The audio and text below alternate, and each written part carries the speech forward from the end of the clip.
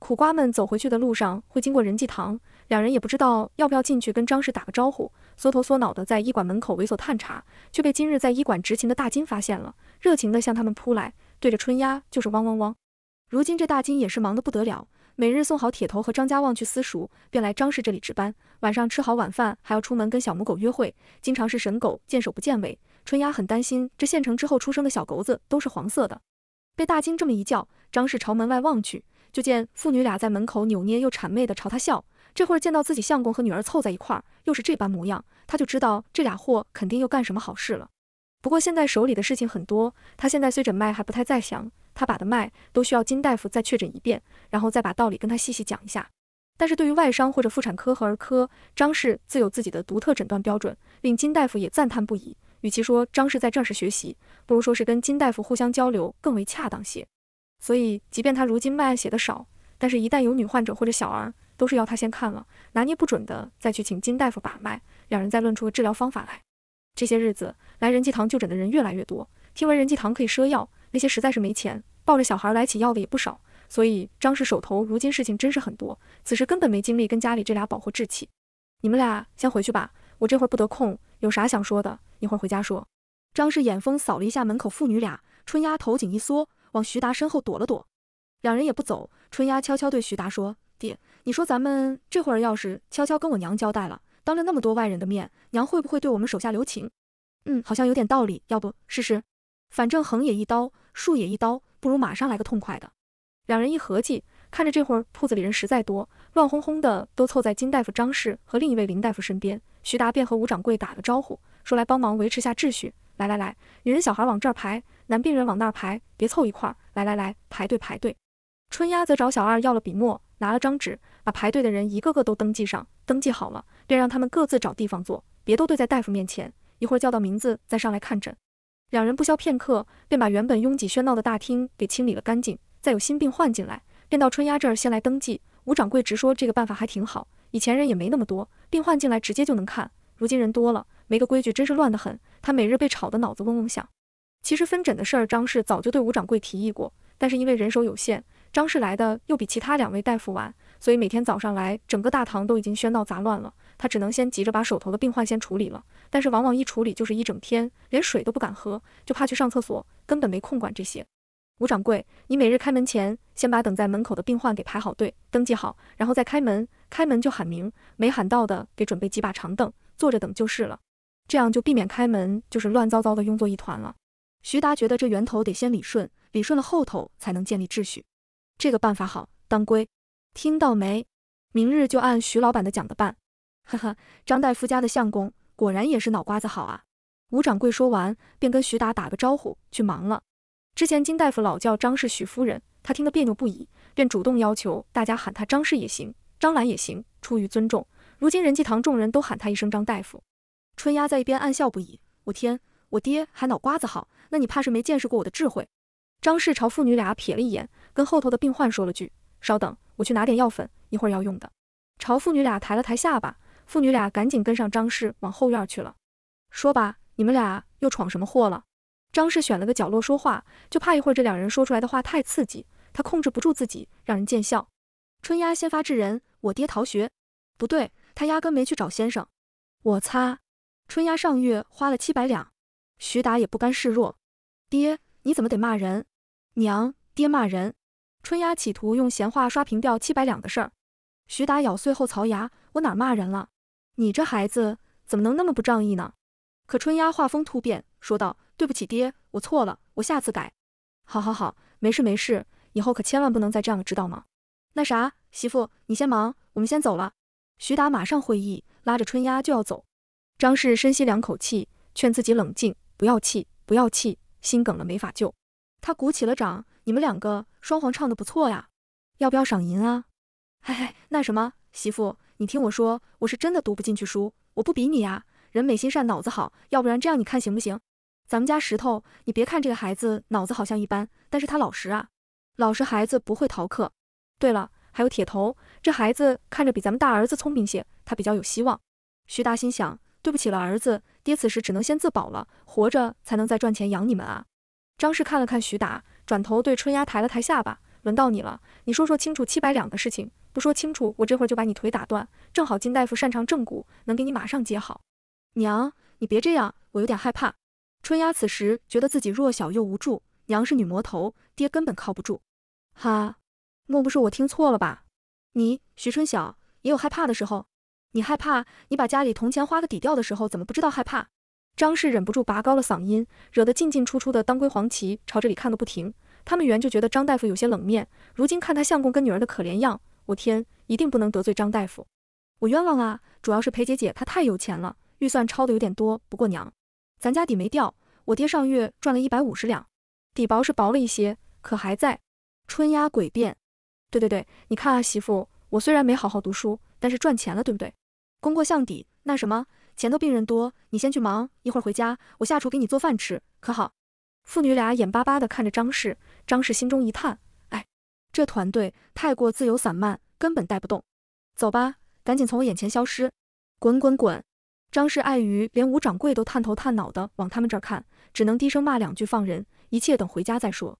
父女俩如蒙大赦，赶紧从人祭堂里出来，一路觉得轻松不已。虽然回家肯定逃不掉张氏的一顿骂，可这会儿张氏已经有了心理准备，春丫的腿肯定是保住了。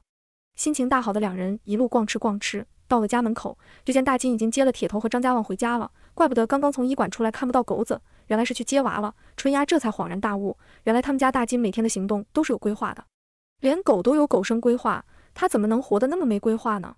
春丫痛下决心，一定要吸取这次的教训，向大金学习，做个有计划的人。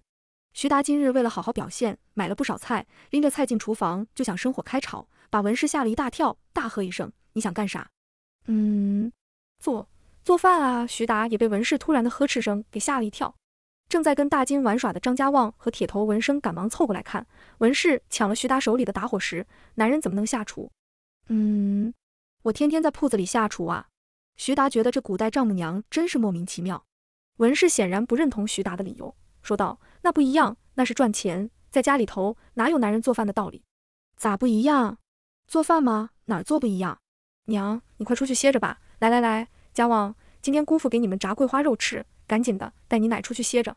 徐达不欲与文氏这位古代老太太讨论男女平等之事，还是让张家旺来发挥他的特长吧。其实张家旺本来不欲掺和文氏和徐达的事儿，他急着出去玩呢。铁头说巷子口的香樟树上有个大鸟窝哦，可一听桂花肉三个字，他就忍不住觉得应该很好吃。掏鸟窝和桂花肉，他选桂花肉。于是他挨到文氏身边，说道：“奶，赶紧出来吧，咱们得客随主便啊。”文氏一听孙子来劝他，顿时就散了真气，又想着自己的确是客，看了徐达好几眼，徐达坦然的随便他看，最后只能叹口气出来了。自家女儿这家风，着实跟别家不太一样。算了算了，他也不能管那么多，谁叫这家姓徐呢？徐达顺势还表扬了张家旺，不错呀，客随主便都知道了，看还是得读书不是？文氏闻此言，紧皱的眉头松了松，的确哦，家旺来这儿一个多月时间，收敛了性子，也不撒泼打滚了。说话做事可比以前妥当多了。想着这些，又觉得这女儿家的家风虽然与众不同，但是还是挺好的，起码孩子们都教育得很不错。待张氏回家，徐达已经烧了满满一大桌菜了。也不知道今日为啥要大吃一顿的张家旺和铁头大金蹲在门口等着张氏，一见他回来便欢呼着往院子里冲，边跑边喊：“我娘托姑回来了，开饭开饭开饭啦！”因为今天做了满满一桌菜，徐达便让铺子里早些关门，让石头和盖头也赶紧一起来吃饭。此时圆桌上已经团团围了一圈，等张氏入席坐定，徐达拿起筷子给张氏夹了一块白切鸡，喊一声吃饭。一桌人来不及说话，低头就是一顿猛吃。张氏的脾气在回家之前早就散了一半。徐达本就是个学渣，这具肉身读了两年书，肯定也是啥都考不出，所以徐家才不再继续供他的。如今能认字，把没有标点的文章读通顺喽，大概就已经是他的极限了。他再强求也强求不来什么了。女儿倒是很会应试，可没用啊。他也不能参加考试啊！关键是这孩子花起钱来简直要命。本想着手里捏着七八百两银子，他觉得生活应该挺稳妥了。虽说大眼庄的确要投资进去，但是说了是投资三百两的，如今却说花了七百两，简直一夜回到解放前。可问题是花都花了，难道还跟裴婷耍赖说没钱出不了吗？他可做不来这种事。哎，都是木已成舟的事情，唯有吃饭解压了。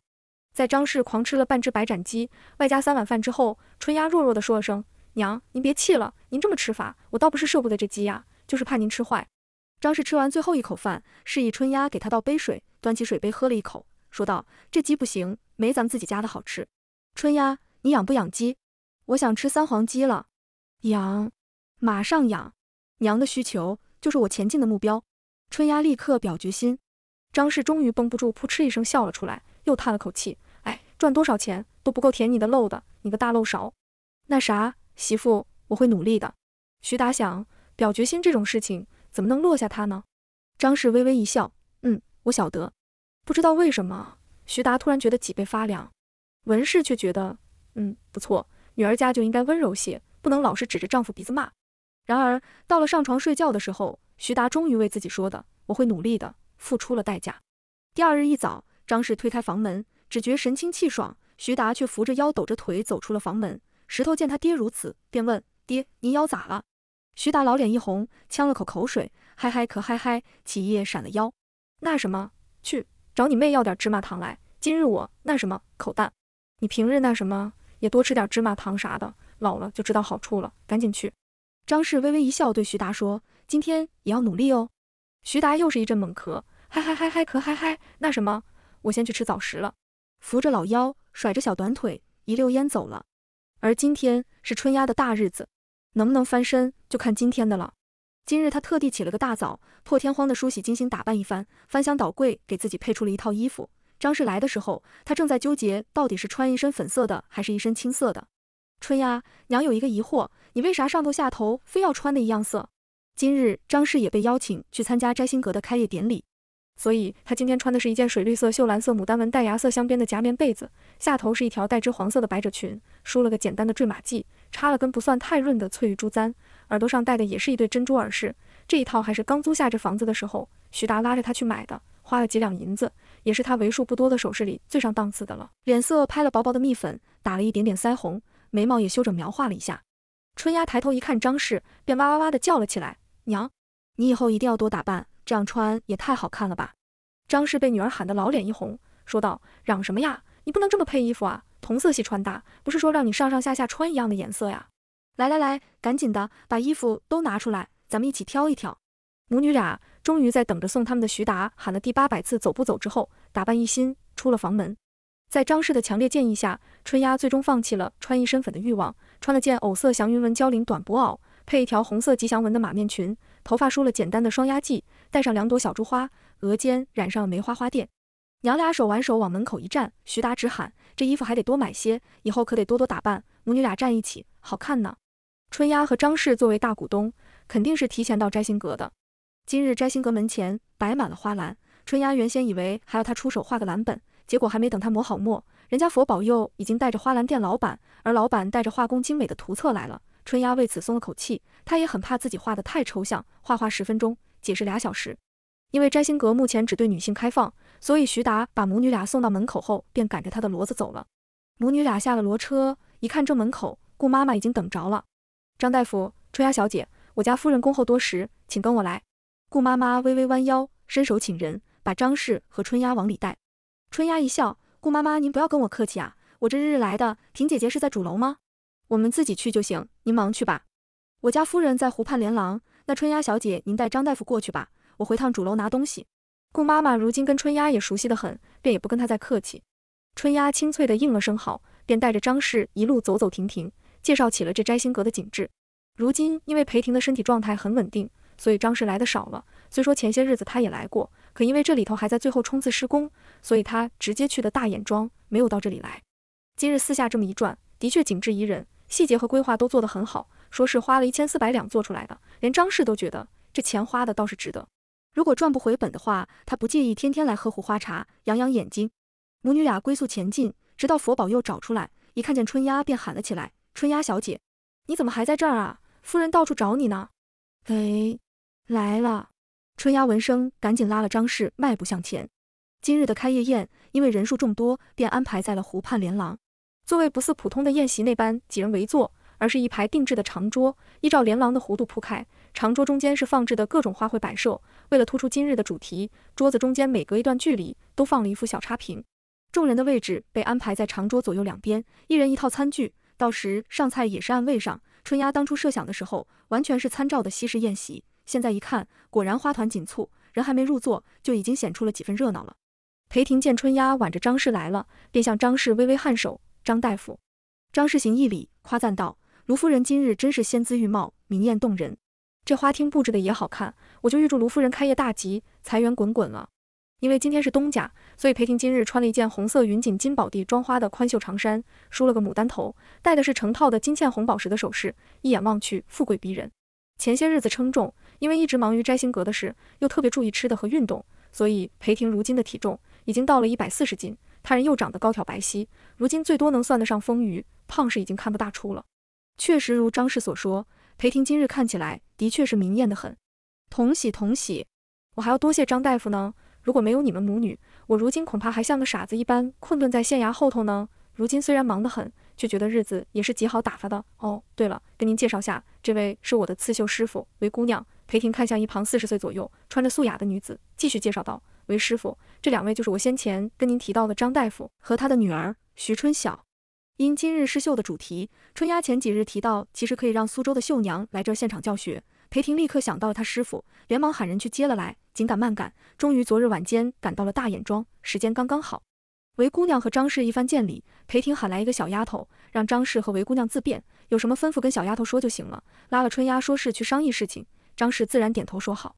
春丫，你赶紧去看看。厨房准备的对不对？我这也是第一次办这种开业典礼，心里着实不踏实。你也不知道早点来，真是吓死我了。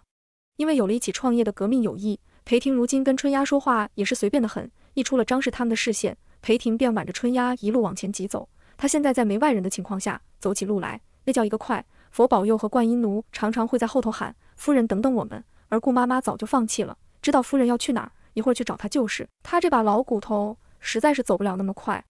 春丫被裴婷拽得直踉跄，谁叫她现在腿那么短呢？苦逼苦逼！等开业的事儿办好了，她打算问裴婷每天要点新鲜的牛奶，她得喝奶。嘿，跟你说，你那蛋挞赶紧去尝尝火候，对不对？你想什么呢？裴婷拍了下春丫的胳膊，这孩子怎么老爱走神呢？哦，晓得了，我马上去。姐，你可别奔了，你这发型可别整乱了。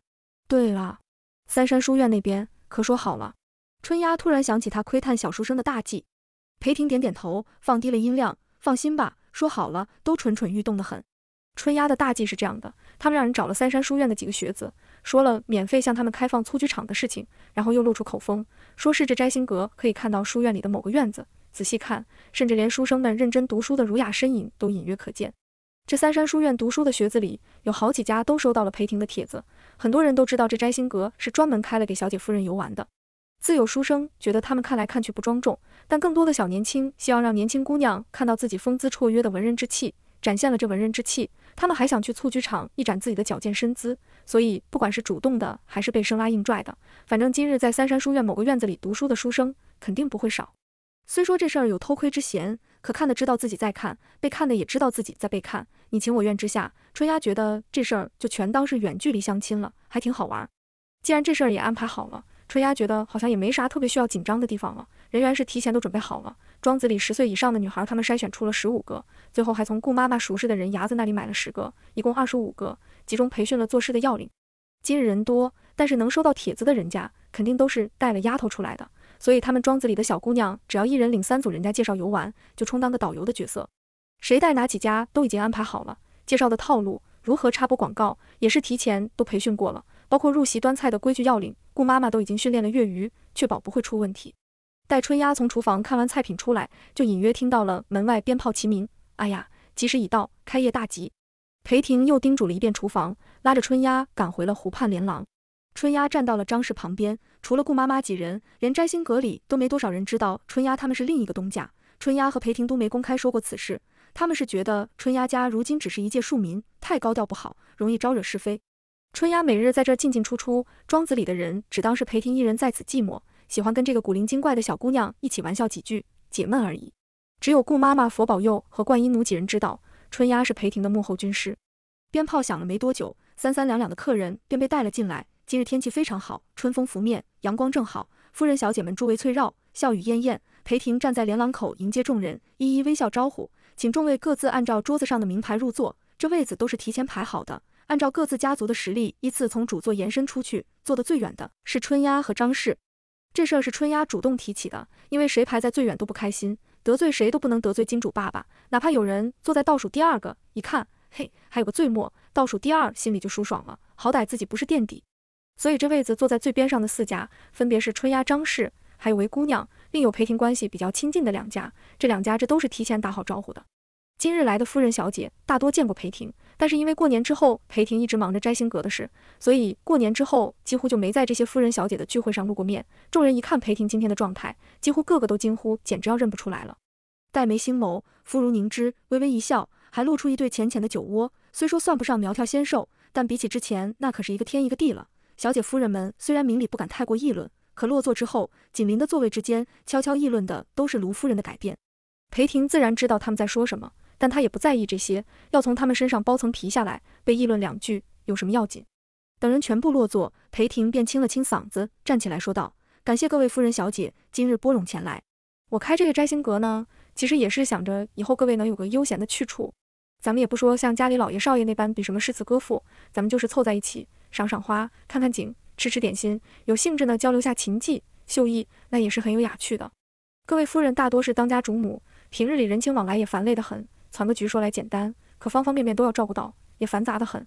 如今我开这个摘星阁，各位主母凡是邀请小姐夫人们的局，都可以来我这儿玩玩。说不上咱们这摘星阁能有多好吧，但是吃的喝的玩的总也是有一些的。今日开业，咱们呢就跟帖子里说的一样，就组一个刺绣的局。前两日各位小姐夫人送来的绣品，我们都已经让人裱好了，基本每家都出了一副。咱们今日就品评品评，佛保佑，喊人上来吧。裴婷简单的说完，便坐下了。佛宝又喊了后头准备好的二十多个丫头，拿着裱装好的绣品，拿到众人中间，一一展示。每个框上暗绣的图案都贴了简单的名称。各位看好的小姐夫人，就按自己心中的觉得最好的三幅绣品，告诉负责统计的春丫。经过一番激烈的讨论和拉票，虽然不能说绣品是哪家的，但是各家都是各种明示暗示，一家三票告诉春丫。最后统计下来，得票最高的是董家选送的蝶，陈家选送的兰和裴婷的双鱼。在座地位最高的三家得了三甲，皆大欢喜。之后，裴婷邀请他的师傅苏绣大师为姑娘，为大家大致讲了下三幅绣品的独到之处，又随机选了几幅他觉得有优点，但也可以有进步空间的点评了一下，顺便把苏绣针法的一些独特技艺说了下。最后，三幅最佳的作品就放在这湖畔连廊的博古架上展示一月。这品鉴会一直进行了一个多时辰才算完。春丫心想，这些夫人小姐果然对绣这件事情非常的在意，以后每月办一次绣品鉴赏会倒是挺好。因为之前耽误了太长时间，开席的时候，各位平日小鸡位的夫人小姐都吃得很香，基本上菜就光盘。不过不光盘也不行，这每人一份，一份都是两口的量，小鸡吃估计也能吃完。冷菜拿上来是一个食盒，里头分六格，放了瑶肉、花雕鸡圈、蒜泥白肉配辣酱、糟虾、心太软和芝麻拌菠菜。想到这下，春丫就糟心。本来说好正月十五吃的，但是爷爷却没带来。后来又问了几次徐发，徐发也说徐老汉不让补。春丫想着，肯定他二叔也想着赚钱，根本就没想着吃呢。徐志倒是想补了，给春丫送来，但是碍于徐老汉的烟杆子，只能叫春丫再忍耐几日。这虾还太小。直到春丫说摘星阁要虾，家里头的虾塘突然就有大虾了。你说气人不气人？春丫狠狠地咬了一口包好的糟虾，嗯，很不错嘛，有酒糟的香气，微咸的调味，带上虾肉本身的甜味，好吃。所有糟货都好吃。热菜上了红焖牛腱，小小的两块。搭配酱汁和鲜花，摆在汝窑盘里，配一杯加了桂花温热的花雕，好看好吃。这牛肉虽然在后世来说是比较普通的食材，但是放在这会儿却是难得，摆盘好看，器皿更好看，各位夫人小姐都点头称赞。再上一道奶香虾球，虾肉里包的是加了水牛乳的山药泥，外头裹的一层是用馒头烘干捣碎做成的类似面包糠的馒头糠，所以这虾球外头是。金黄酥脆，里头是软糯香滑，吃的董夫人直问裴婷怎么做的，裴婷只说请了个淮扬菜的厨子，具体怎么做的她也不清楚。以后想吃，董夫人尽管来。这道菜，裴婷命人搬出了看家的琉璃杯，每人一小杯葡萄酿，两杯下肚，酒量差的小姐脸色都通红了。最后一道热菜是春丫看家的炸鸡，只取了鸡腿部分，上了薄芡，刚炸完就端上来，每人两三块，汁水丰满，外脆里嫩。这道菜换了小盏。每人上一小壶米酒酿，裴婷就要让他们喝到似醉非醉。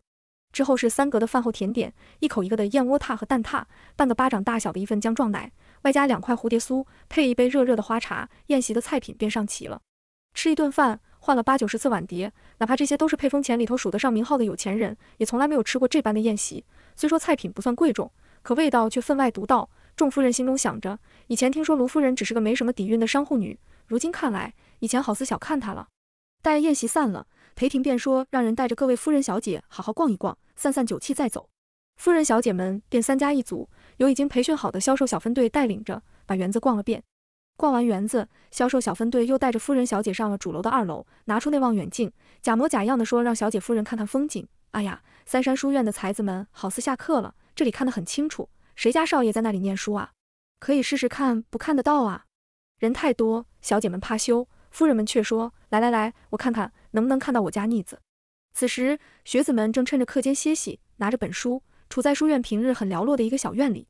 先前这个院子的三间屋子是用来堆放一些桌椅板凳、扫把讲桌的，院子也没门，平日只有一个老杂工看守。今日这一群群进来的人，把他给吓了一跳。这位学子，你要来借桌椅吗？看守此处的吴伯问其中一个造型拗得特别认真的学子。那学子摇头说道：“不是，我就看会儿书，一会儿就走。”那这位学子，你要来借板凳吗？吴伯不死心，又问另一个，他就不信这些学生难道都是来看书的？这书哪儿不好看，就非得在这儿看？第二位学生显然更腼腆些，红了红脸，也摇头说只是来看书。吴伯觉得莫名其妙，他就问要不要板凳。他脸红个什么劲儿？既然如此，吴伯也不再问了。一会儿等这些孩子走了，他得好好找找这院子里到底有什么奥秘。而深知其中奥秘的这些学子，此时虽说都背着一只手挺着胸，另一手拿住书，吹着拂面而来的春风，眼睛却不停地往远处的二层小楼上瞄。哎。那位小姐穿着华丽红色的衣衫，远远反着我很贵的光，远远看来身材倒是有些丰腴。嗯，那位小姐的发饰头戴怎么得有些眼熟？艾玛，好像是我娘。换一个看看。哦，果然旁边还有衣着俊雅的。哦，那定是位小姐。远远看着发饰头戴，定是书香门第没错了。真是远远看一眼，隐隐绰绰，很是让人充满想象。一会儿回去定要问问娘亲，那位是哪家的小姐。不过一刻的放风时间。学子们卯足了劲儿，拗足了造型，歪头斜眼，只为多看两眼那楼中飘飘欲仙、若隐若现的人间仙子。楼中的小姐虽不好意思用望远镜，但也站在窗口嬉笑徘徊，看是只能远远看到人影，可想象，可比现实要美好多了。只觉得这地方风景绝妙，吃食精致。一会儿无论如何都要让娘买下这二楼的入场券，他们才好私下用上那弗朗基人的望远镜。待三山书院那头响了上课钟声，小姐们才勾着看够了自家傻小子摆样子的娘亲们下了主楼，跟着销售小分队去荡秋千。秋千玩。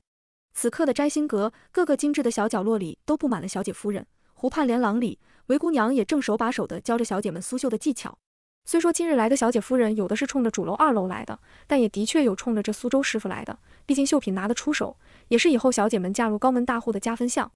春丫和张氏因为不想太过出风头。而相看书生的事情，对于他们来说也还早，而且哪怕相看，按照春丫的风格，肯定是直接脸对脸的对上去看，所以对于主楼的事情，他们是没啥兴趣的。张氏因为如今忙于看诊，所以原本就生疏的女工，如今是书上加书，而春丫根本是书无可书，所以张氏决定，反正今日为姑娘开课，那他们就闲着也是闲着，学一学总是可以的。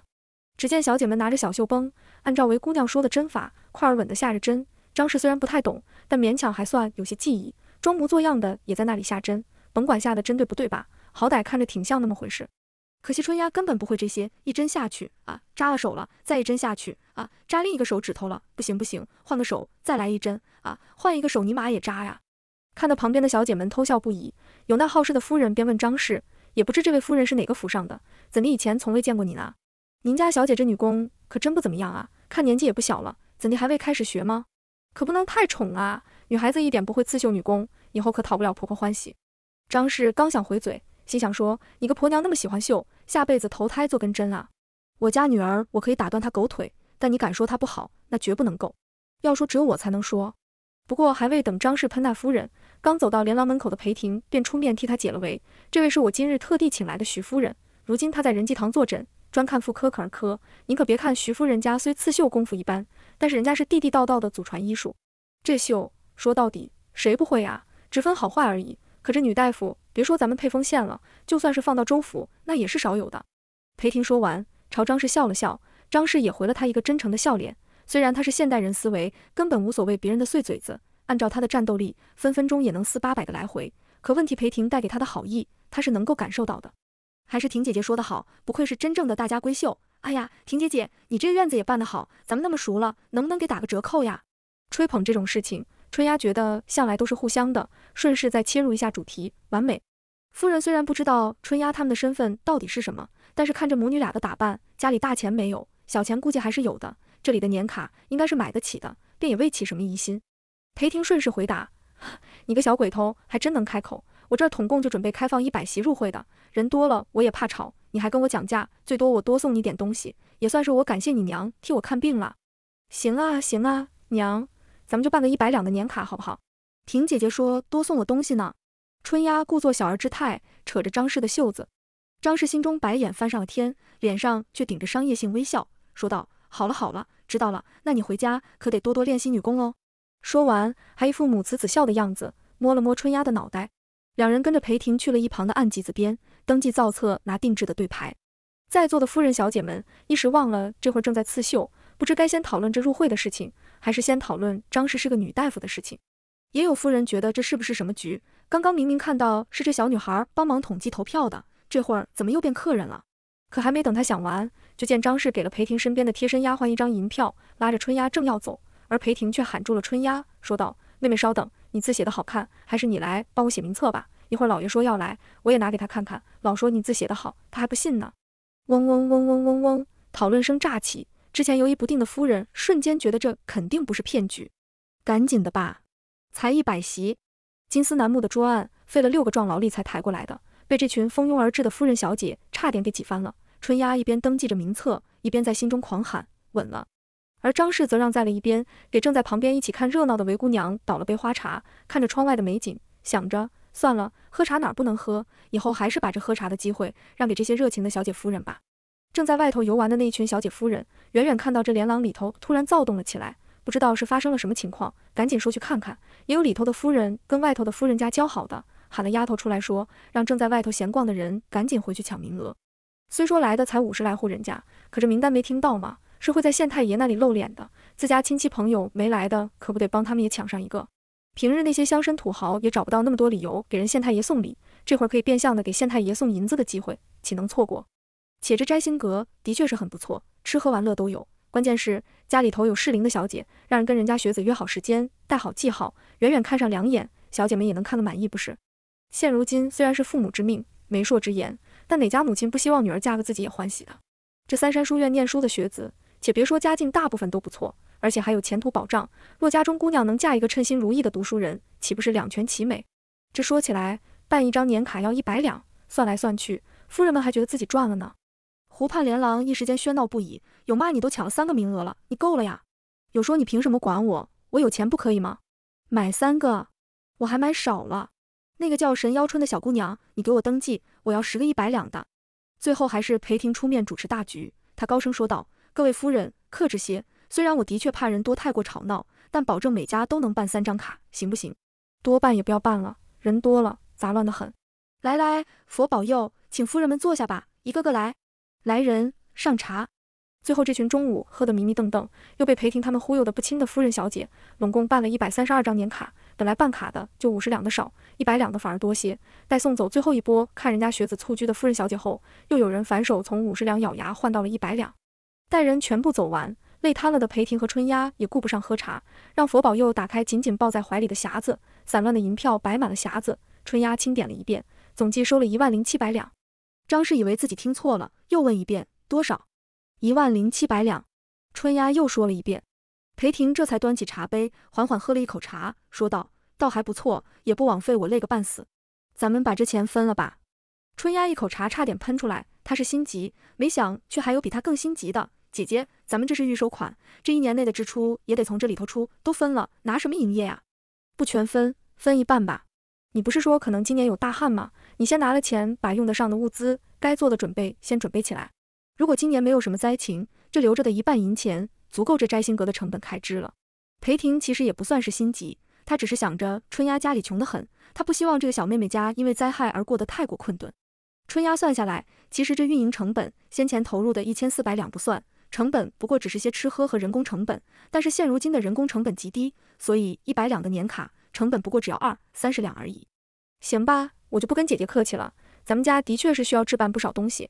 春丫也是个爽快人，于是，一万零七百两银票去掉先前的一千四百两装修钱，再除以四，春丫一共可得两千三百二十五两，还未等观音奴拿出算筹，春丫就心算完了，惊得裴婷直喊：“这娃就是做生意的料，以后他就盯着春丫了。”春丫出点子，裴婷出钱，商业组合锁定。春丫把得来的两千三百两银票给了张氏，张氏还在一万零七百两银子的数额里苦苦徘徊，一看女儿塞来的银票，又狐疑地问了句：“你一个月赚了两千三百两？”“是的，张大夫，呵呵，春丫的确能干呢。”裴婷看到难得失态的张氏，笑出了声。对了，另外还有二十五两，佛保佑，去取了给春丫妹妹。因为来的夫人给的都是大额的银票，另有二十五两，裴婷准备就直接给春丫散碎银子。不用了，婷姐姐，那二十五两就当是我问你买消食的钱。对了，那消食到了吗？春丫突然想起他爷爷挖的坑，要是这消食弄不到，那坑也白挖了，不知道爷爷会不会锤他。裴婷微笑道：“哪个还要你那个钱？东西已经在大眼庄了。”明日你回乡的时候来一趟，我让人给你送去。不用不用，我自己来取就行。那婷姐姐，我们先走了。今天你也忙了一天了，早点休息吧。春丫说完，也不等佛保佑去取了银钱来，领着迷迷瞪瞪的张氏跟裴婷告别回家了。裴婷也不会把二三十两太过放在心上，不过心中也觉得春丫也算大气，心中更是对这个小妹妹赞赏不已。出了摘星阁，自然有顾妈妈安排好的马车等着他们，而张氏却说自己想要走回去散散酒气。顾妈妈想着，刚才宴席里张氏确实喝了几杯，怕这会儿马车一坐就得吐。这会儿天还亮着，且这儿离城门近得很，便嘱咐了春丫几句，目送母女俩离开了。还带着一丝醉意的张氏反手又是一问：“春丫，你告诉我呀，这两千三百两真的是我们家的？”“是的，娘，你不介意的话，可以给我一百两，我花给你看看是不是真的。”春丫边说边挠头。今日因为要显得端庄，所以张氏给她发髻绑得紧了。这会儿她觉得头皮痒得要命，直挠个不停。张氏二话不说，真甩出了一百两银票给她拿去。刚想着怎么从他娘手里骗钱的春丫，反而猛 X 了。嗯，这么简单的吗？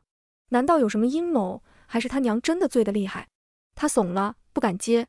快拿着呀，一会儿被人看到了。别怕，我没醉。我就觉得吧，你如今也不容易，这赚了钱，好歹也得买点自己喜欢的，拿去吧，我真心的。张氏觉得女儿在没穿来之前，都是自己赚了自己花的，想买什么买什么。如今小小的身体，却老是要担负起家族的重任，也是怪不容易的。想想自己都觉得鼻酸了起来。张氏把银票塞进春丫腰间的荷包里，拉着她就走。春丫还在后头嘀咕：这么重要的东西，咋能塞荷包里呢？她想往衣服里塞，可穿了个肚兜还会漏，只能捏着荷包，不时警惕张氏周围有没有什么奇怪的人。一路畏畏缩缩的回了家。娘俩到家，张家旺和铁头都已经放学回家了。此时两人正在铁头屋子里做功课。虽然如今他们还没开始讲经义，但每天先生布置下来写字的任务还是不少的。张家旺底子差，每每大团大团的墨汁晕染在纸上，都会被魏先生吃板子，所以不得不每日回家老老实实写上几张，只求不要把墨汁给染开来。不过好在只差最后两个字了，这张总算要写完了。张氏说他喝了酒，晕得厉害，先休息休息。春丫便去后头卧房里藏他的私房钱，路过铁头的书房，推门进去看了一眼。铁头大喊一声：“姐，你今天怎么穿这样？”张家旺一时好奇，转头看了一眼，哎，有什么不对吗？哦，今天穿的不是上下一色了，这么穿看着还顺眼些。看完春丫，张家旺转头一看自己临的帖子，笔尖上的一滴墨正好滴在了最后一个字上。可怜的人儿顿时哇的一声哭了出来。这一章他临了整整半个多时辰，眼看就完成了。天哪，这母老虎就是来克他的吧？春丫简直凑过去一看，哟呵，写的什么狗爬字？当即拿来一张纸，说道：“哭啥哭啥，男子汉大丈夫，只流血不流泪。我写一张赔给你就是，你明交给你先生就行了。”说完，提笔就写，不消一刻便写好了。把写完的纸拍在张家旺面前，春丫微微一笑：“不就写张帖子吗？多大点事儿，拿去吧。”说完，抬步走了。张家旺一看，又哇的一声哭了出来：“天啊，这字写的也太好了，一看就不是他写的，这么交上去。”还不得被魏先生打死。此时已经完事儿的铁头问他：“家旺，我跟大金打鸟去，你去不去呀？”“哇哇哇！你们欺负人啊！”张家旺再也抑制不住内心的崩溃。铁头耸耸肩，心想：这娃是不是有病？不去就不去，写个字而已，哭屁！自己带着大金玩去了，空留张家旺一人在书房里，一边写一边垂泪，又不敢让眼泪滴下来，只能不停地擦着鼻涕眼泪，怎是一个苦字了得？回到自己房里的春丫，自然听到了张家旺委委屈屈的哭声。可他觉得何该让他多写写，收收心。瞧那手狗爬字，比他爹写的还不如。不过他回房也不是为了捣乱，捣乱那是捎带手，主要还是得把这一百两银票给放放好。一下子拥有如此巨资的贫穷女孩，竟然不知道该拿这些钱如何是好了。怎么办呢？春丫很伤脑筋，现在自己居然连钱都不知道怎么放的了吗？想想前世是怎么办的呢？哦，花了，前世是都花掉的呀。既然如此，那便去花了吧。于是刚进家门没多久的春丫又跑了出去，跟文氏说了一声：“外婆，我有事儿去去就来。”然后一溜烟便跑到了巷子口，看到跟一群小孩一起打鸟的铁头，喊了声：“铁，买糖去呀！”铁头自然也就跟上了。可姐弟俩走上了街，春丫却迷茫了，人生第一次不知道自己该买点啥。这买衣服首饰，她好像也没啥兴趣。关键是这自己都放话说了要闹灾的，钱得用在刀刃上不是？姐，咱们去哪儿买糖？我不想吃芝麻糖，我想吃松子糖啊！铁头每天被春丫投喂芝麻糖，都快吃吐了，他也想换换口味。糖，对了，咱们去买盐。春丫拉起铁头就往恒发生跑。铁头已经习惯了春丫牛头不对马嘴的行事风格，说去恒发生，那里头好吃的也多，去就去呗。两人到的恒发生门口，店铺小二已经认识了这个来买过几次太油的小姑娘，便上前招呼道：“春丫姑娘，今日来买点啥呀？有盐吗？”春丫边问边四处打量。小二虽然心中略有失望，原来不是来买太油的呀，不过职业性的礼貌还是有的，便回：“有的，这儿有包好的，你跟我来。这大的一包是一斤，二十文；小的一包是八两，十二文。你要哪种？我要全部。”春丫语出惊人。站在一旁的铁头都不可置信地看着春丫姐姐，莫不是今日去宴席喝醉酒了？提醒道：“姐，醒醒！”小二听闻这小姑娘说的，差点一个踉跄，跟春丫再次确认道：“姑娘，你是说全部这两箩筐？我可跟您说一句啊，这里头能有百来斤。要再给我白糖五十斤，饴糖十斤，这核桃仁要十斤，芝麻花生松仁红枣各五斤，还有这个，你们怎么会有这个？”春丫指着个筐问。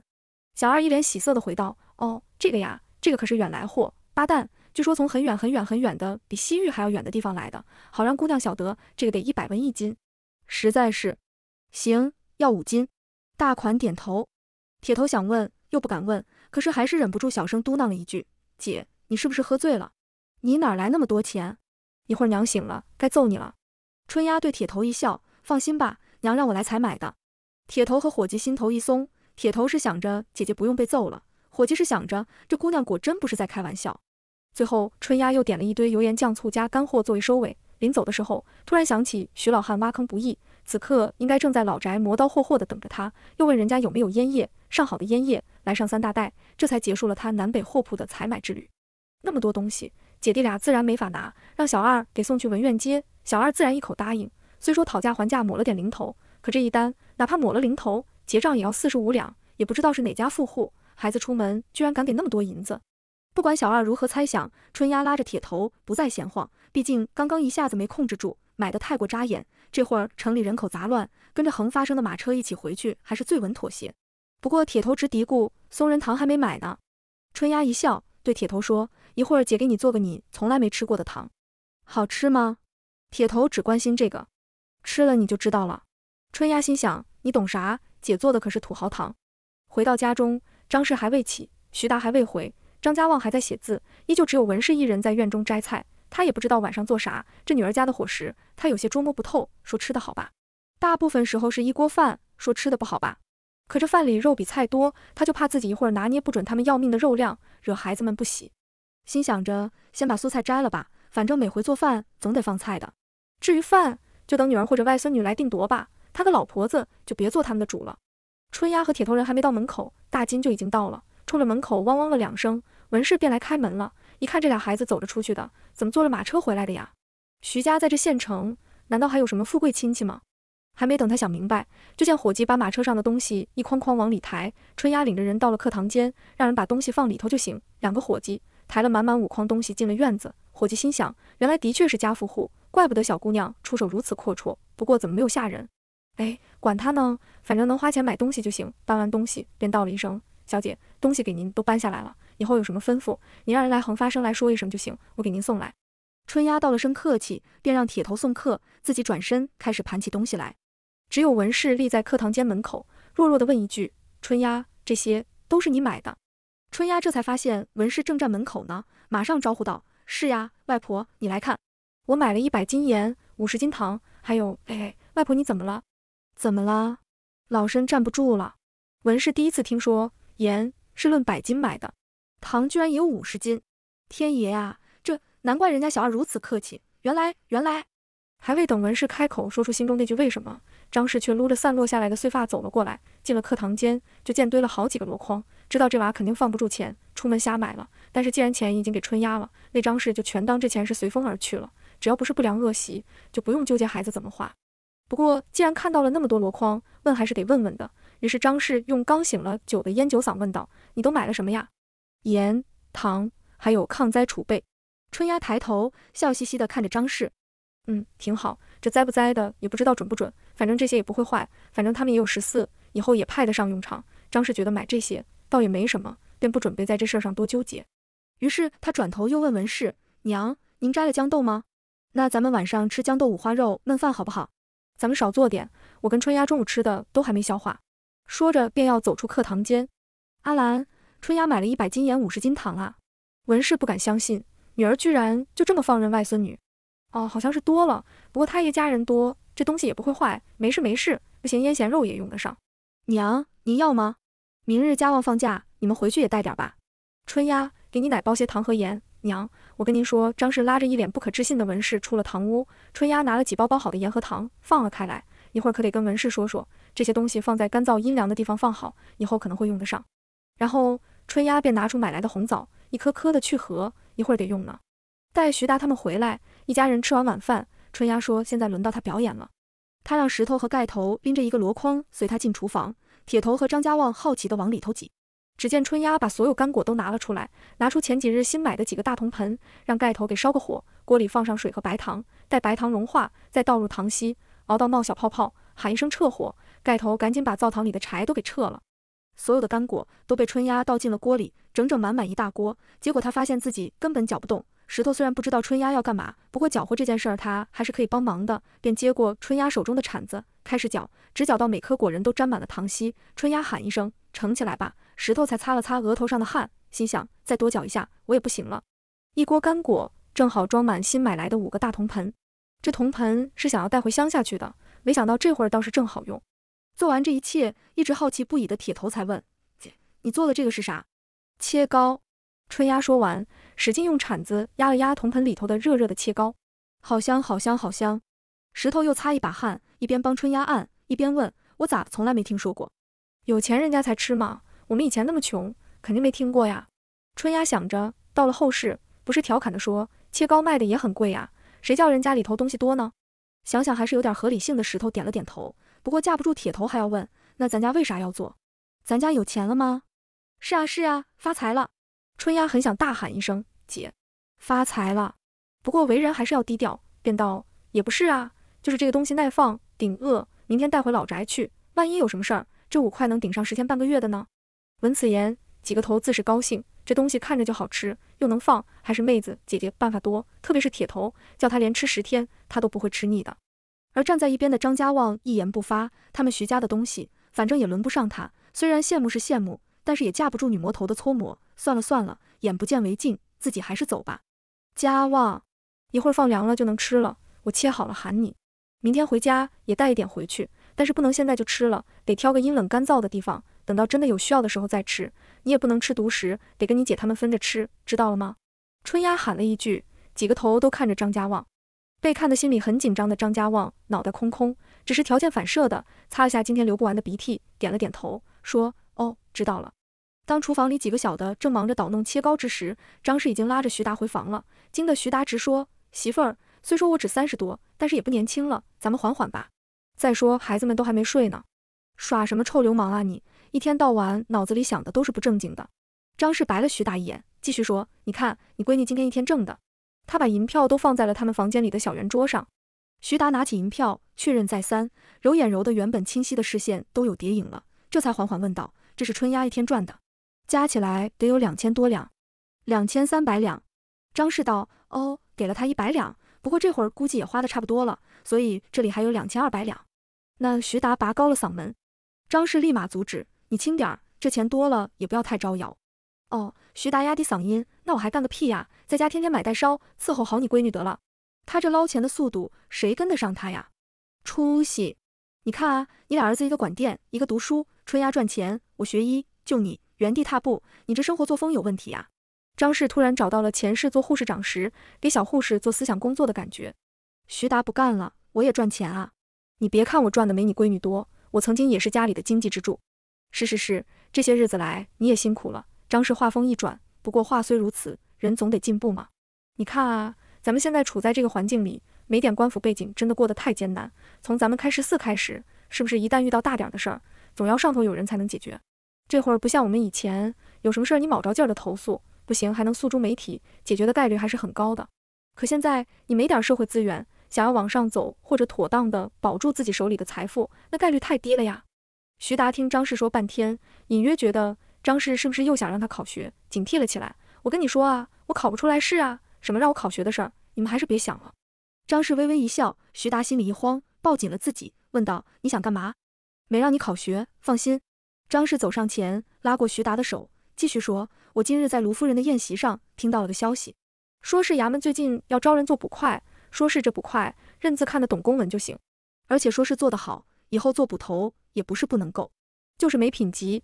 用咱们以前的话说，就不是公务员，算临时工。那那个什么捕快不用会功夫吗？”这招录不得什么比比武艺什么的，徐达有点慌。嗨，你当现在随便是个人都会功夫啊？我都打听好了，就一般的四肢健全、体格强健，三代内没有什么黑历史，能识几个字的就行。招录进去了才找武士训练呢。你现在最大的问题就是老了些，不过这不要紧，到时候咱们那什么，对不对？咱们沛丰县向来富饶，卢夫人说去年最大的事儿就是安远寺踩踏死了几个人，平日向来太平的很，最多打架斗殴。县城里呢？大部分都是打完了捕快再去的，各乡各镇呢，一般没打死人，都是乡绅里长直接处置了。捕快平日就街上巡个街啥的，我觉得挺好，你觉得呢？张氏说完，歪头看向徐达。徐达寻思着，这到底是个坑呢，还是个好事儿呢？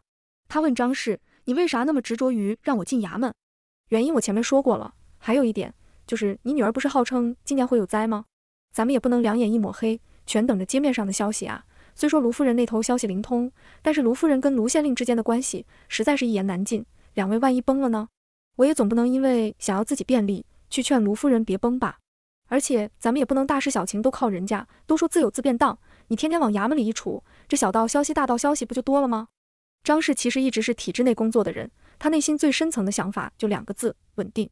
徐达如果能进衙门，哪怕是编外人员吧，各种风向也能早些知道，不然自己家加上老宅一大家子人。他总觉得特别没有安全感。徐达听了张氏一番话，沉默良久。虽说如今只让石头一个人做掌柜，他不太放心，但是想着要是自己做了捕快，这跑进跑出的不也方便吗？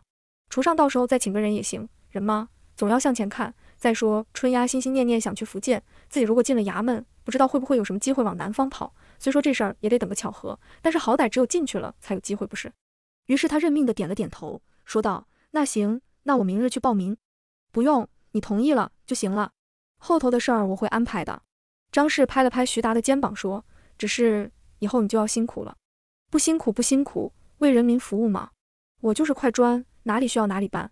比起事业，其实徐达更在意家庭。既然家庭需要他奋斗事业，那这事儿他也无可推脱。除了读书，他都可以。两人商议半天，这事儿就算定了。待到春丫切了刚晾凉的切糕来他们房间，就得知了这消息。当然，跟在春丫后头的石头也知道了。他最担心的事情就是娘捕快不得剿匪，万一有匪乱啥的，岂不是危险的很？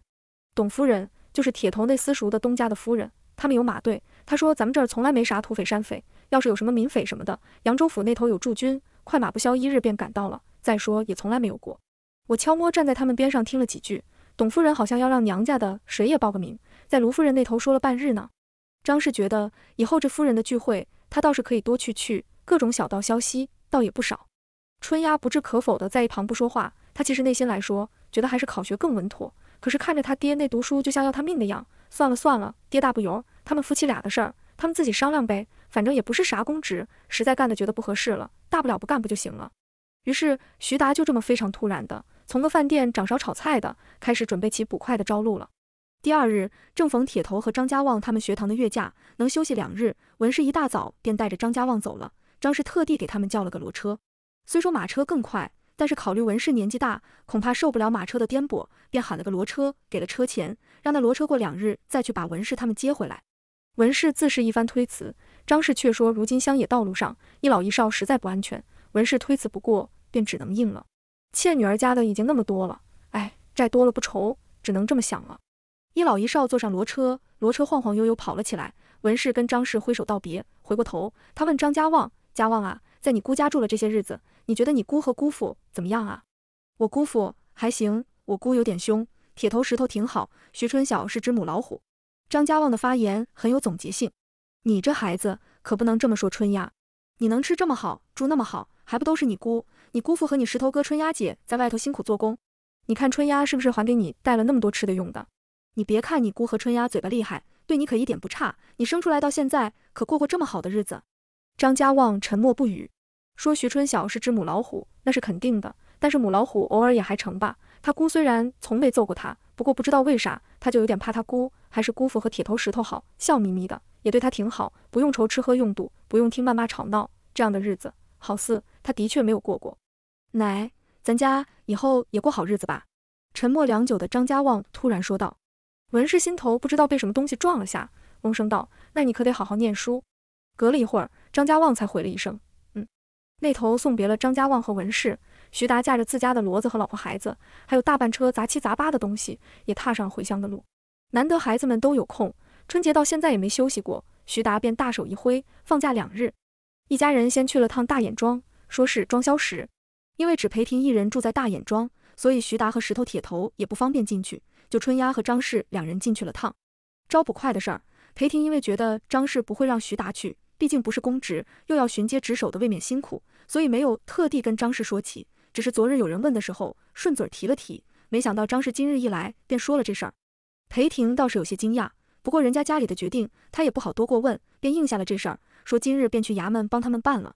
张氏自是一番感激，裴婷却说：“张大夫，算了，您长我些岁数，我还是叫您声姐姐吧。”张氏笑道：“我闺名张兰，你要不嫌弃，叫我声兰姐也行。”“好，兰姐，你千万别谢我，我还要谢你呢。昨日咱们开业办得顺利无比，多亏了你，是你和春丫拉我出了泥沼，才让我找到了除了男人婆媳之外的安心之处。以后这些小事儿你就别跟我客气了。”昨天张氏他们走后，卢县令其实来了一趟，裴婷说摘星阁里还有女客，便不招待卢县令进去了。卢县令也拿捏不出什么错来，夫妻两人便在大眼庄吃了顿饭。裴婷便把今日来的这些夫人都说了下，什么名册之类，根本不可能给卢县令看的。因此，卢县令根本不知道裴婷他们是怎么收钱的。临到卢县令要走，却吞吞吐吐的说不出什么有意义的话来。裴婷这才拿出了三百两银子，假意苦笑一声：“老爷来的也是时候，这钱我正要说让佛保佑给您拿来呢，您就来了。这里是三百两，还有七百两，且等几个月可好？”卢县令这才客气道：“夫妻之间不必如此客气，我知道了，改日再来看你。”你好好养病。裴婷送卢县令到门口，说了一句：“老爷您路上小心。”便转头回去了。卢县令看着裴婷的背影，心中暗叹：当年自己还是喜欢过裴婷的容颜的吧？这些日子不见，他倒的确是在养病啊。这调养的倒是有几分当年的风姿了。婷姐姐，春丫发现裴婷走神了，便又喊了一声裴婷。裴婷这才回过神来，不好意思的说道：“ 突然想到别的事儿去了，定了今日要来的夫人也有几个，我光想着这个了。”春丫，你从老家回来，可得来帮忙啊！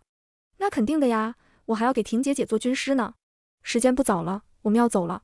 那个萧石，春丫今日来的最大目标就是萧石。要是今日这东西不带回去，她怕她狗腿难保。哦，都准备好了，就是拿是恐怕拿不了的。你们去你们的车那头等着，一会儿我让大眼庄的马车跟着你们就行了。这个方子你拿好，这个是萧石治兵的方子。你们路上小心啊，咱们后日见。裴婷想着他们回乡也要断路。便也不多留他们了。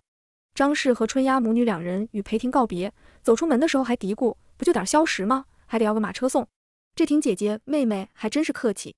但是当他们跨出门的时候，看到满满一车鼓鼓囊囊的东西，两人都傻眼了。等了娘俩半天，跟石头吐槽这女人就是事儿多的。徐达问春丫：“这车夫说跟着我们，这车上都是啥呀？你们还问卢夫人要了啥？”春丫也不理他，跑到车边问那车夫：“大哥，你不要告诉我这一车都是消食啊？”车夫点头道：“是啊，都是啊，前几日才从州府运来的。咱们是现在走吗？”大喜过望的春丫点头说是。赶紧的，给他也好好看看，那坑妥妥的不能白挖。一车人又再次晃晃悠悠地上了路，带到的老宅门口，老宅门还是敞开着，蔡氏依旧在院子里盘着鸡蛋鸭蛋。春丫率先冲进院子，大喊一声：“爷奶，我回来了，我胡汉三回来了。”蔡氏抬头看到春丫，想笑又想不能笑，给他脸了环，结果露出了个似笑非笑的大变脸，说道：“喊啥喊？我又没聋，回来就回来。”那么大动静还未等蔡氏说完，春丫就拉了蔡氏，把随身带着的小包裹打开，往他怀里塞了各色花头巾，嘴上还不停地说：“奶，你看我给你戴的头巾。”可好看了，我给你戴上啊！我还给你缝了个花带，那可是苏州来的苏绣大师傅教的，那可不得了。来来来，赶紧背上试试。徐老汉急急走出房门，看到孙女正在往老婆子头上身上挂布条，咳了两声，春丫才抬头一叠声的喊：“爷爷爷爷爷跟我来！”拉着徐老汉往外头走。徐老汉被拉得差点踉跄，嘴上骂骂咧咧，带走到门口，看到外头老大家几人正在卸车，而后头还跟着辆装的满满当当的马车，他也不骂了，只说了句：“乖乖龙地洞。”你们这是把家搬回来了？春丫拉过徐老汉，神秘兮兮地说道：“爷，后头马车上的可是好东西，咱们去骊山。你们那地窖挖好了吗？”说到那地窖，徐老汉老腰一酸，下意识地扶了把腰，想怒道：“你就张张嘴！你二叔三叔和我整整干了个把月，这腰都快废了。我可告诉你！”未等徐老汉话说话，春丫从放蔡氏头巾的小包裹里又拿出包上好的烟叶，往徐老汉怀里一塞。徐老汉赶紧往衣襟里一藏，低声问：“这玩意儿得花不少钱吧？”春丫也压低嗓音说：“给您花多少都值。”徐老汉立马笑得一脸褶子，能夹死苍蝇，完全忘了之前放出的见了春丫先让他刨三天地的狠话。春丫这才凑到徐老汉耳朵前说：“那一车都是硝石，一会儿咱们直接拉去骊山，趁着天气还冷，咱们正好制冰。”春丫虽然这辈子加上被子都没用硝石制过冰，但是刚刚在车里粗粗看了两眼裴婷给的方子，总结下来，这天冷制冰肯定比天热制冰速度要快，需要的能耗肯定也要少很多。这会儿制冰时节刚刚好，徐老汉本来还怕春丫弄不来这硝石，毕竟说到底，春丫还是个孩子。这虽然办成的事儿不少，可这娃大大咧咧，跳脱的吓人。每次跟在他屁股后头，总觉得是钢丝上走路，不妥得很。也不知道这孙女儿前世是不是卖迷魂汤的，脑子里想着不要听他的，不要听他的，可往往被他三句两句就给拐跑了。还好这消食算是弄来了，也不枉费他这老腰的磨损。可这弄的未免也太多了些吧？这么多，直接拉去骊山吧。你二叔三叔正在那铺砖呢。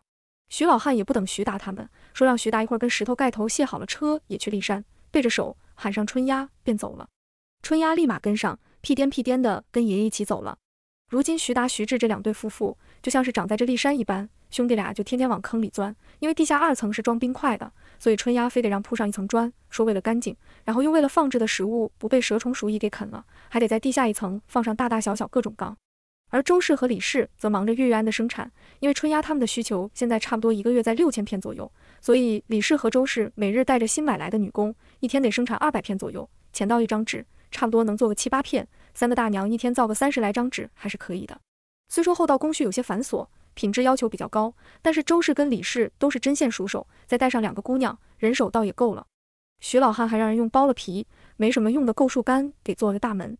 如今看机的人也不需要了。那买来的五人就安排在原本看机的人住的地方临时住着。那房子虽说小了些，但也是新盖的，不透风不漏雨，也算过得去。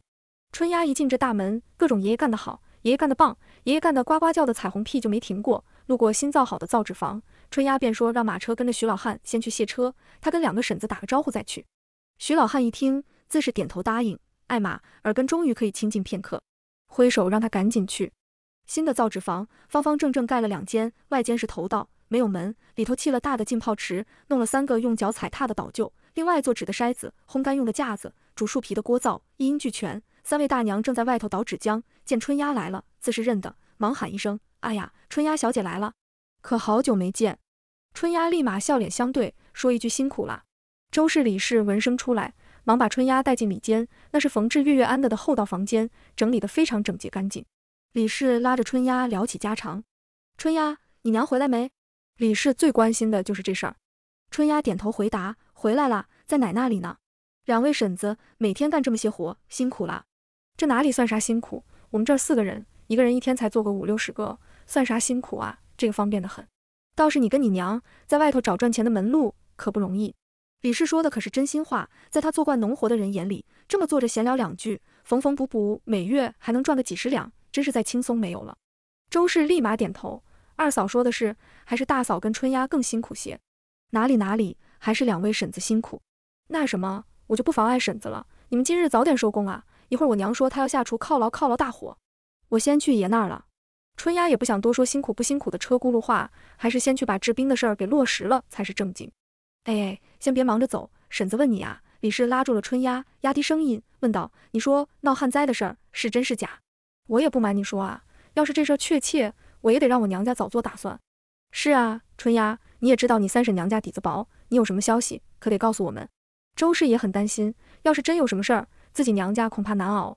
春丫想了下，才说道：“不瞒两位婶子，这事儿我的的确确是不确定的。如今只是县城里头棋子比之前要多不少，都说是北边来的。我们如今主要是手头还算宽裕。”先做些准备，哪怕没闹灾，准备的这些东西用不上，也伤不了我们家里的根基。如果说像三婶说的，娘家底子薄得很，那也得量力而行。但起码今年粮食不要卖，该囤的还是得囤点儿。对了，春丫把两个婶子往旁边拉了一下，低声说道：“今日我还带了卖月月安的钱回来，一会儿给了两位婶子，你们跟我二叔、三叔商量，是不是要给娘家买点米面备着？这事儿你们量力而行，一定要跟我两位叔商量好。我娘说，夫妻之间做事儿不商量。”容易伤了夫妻和气。春丫说完，与周氏、李氏对视了下，两人各自点头。还是嫂子说的对，到底该怎么办？春丫说的这些，又到底应该跟娘家说几分？一会儿得跟当家的商量商量。告别两个婶子，春丫才往徐老汉挖的地窖那头走。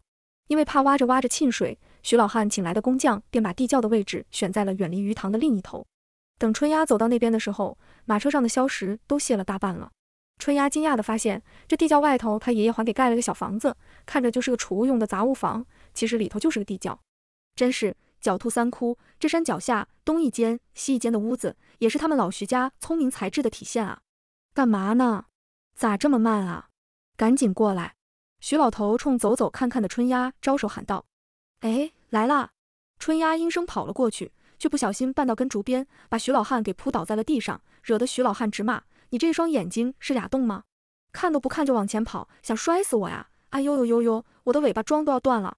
春丫自己也吓一跳，老人家摔跤可不是好玩的。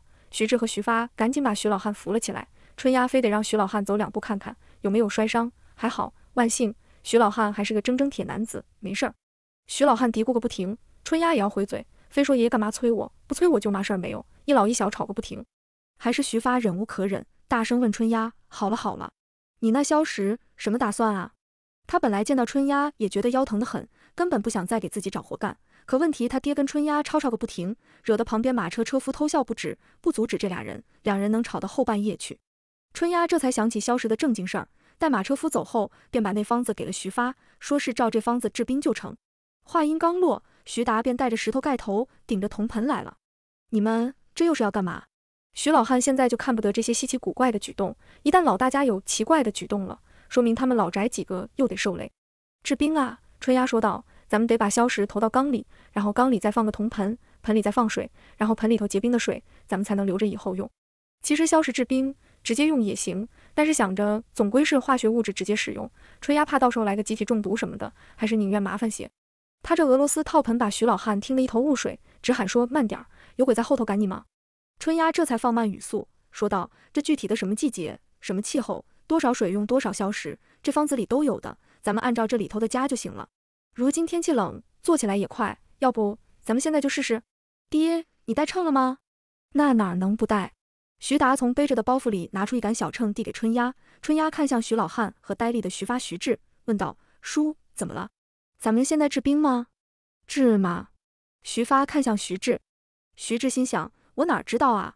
我只是个干活的，于是问徐老汉：“爹，治吗？”虽说这地窖挖的时候就说了是囤兵囤食物的，但是这春寒料峭来治兵，徐老汉生来也是第一次。他这会儿陷入了一种矛盾之中，既希望不要有旱灾，天灾难测，受苦的都是老百姓。可问题，如果没有旱灾，那他们现在折腾的这些是为了甚啊？见他良久没有说话，徐达又问一句：“爹，咱们治兵不？”催催催催个屁！我说不治了吗？徐老汉把自己天人交战的困扰发泄到了徐达头上，悲催的徐达摸了摸鼻子，心想老头子也更年期了，得买些静心清火的东西给他吃吃。于是，在春丫照本宣科的一阵指挥之下，徐家几个男丁忙得团团转，终于准备好了所有要用的东西。治兵大业便在徐老汉让人搭建的杂物房里开始了。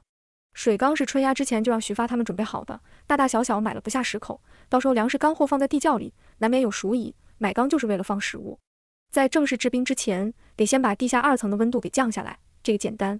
如今气温本就不高，体感也不过在七八度上下，这会儿只要把硝石直接投入水里，那水不消片刻便结冰了。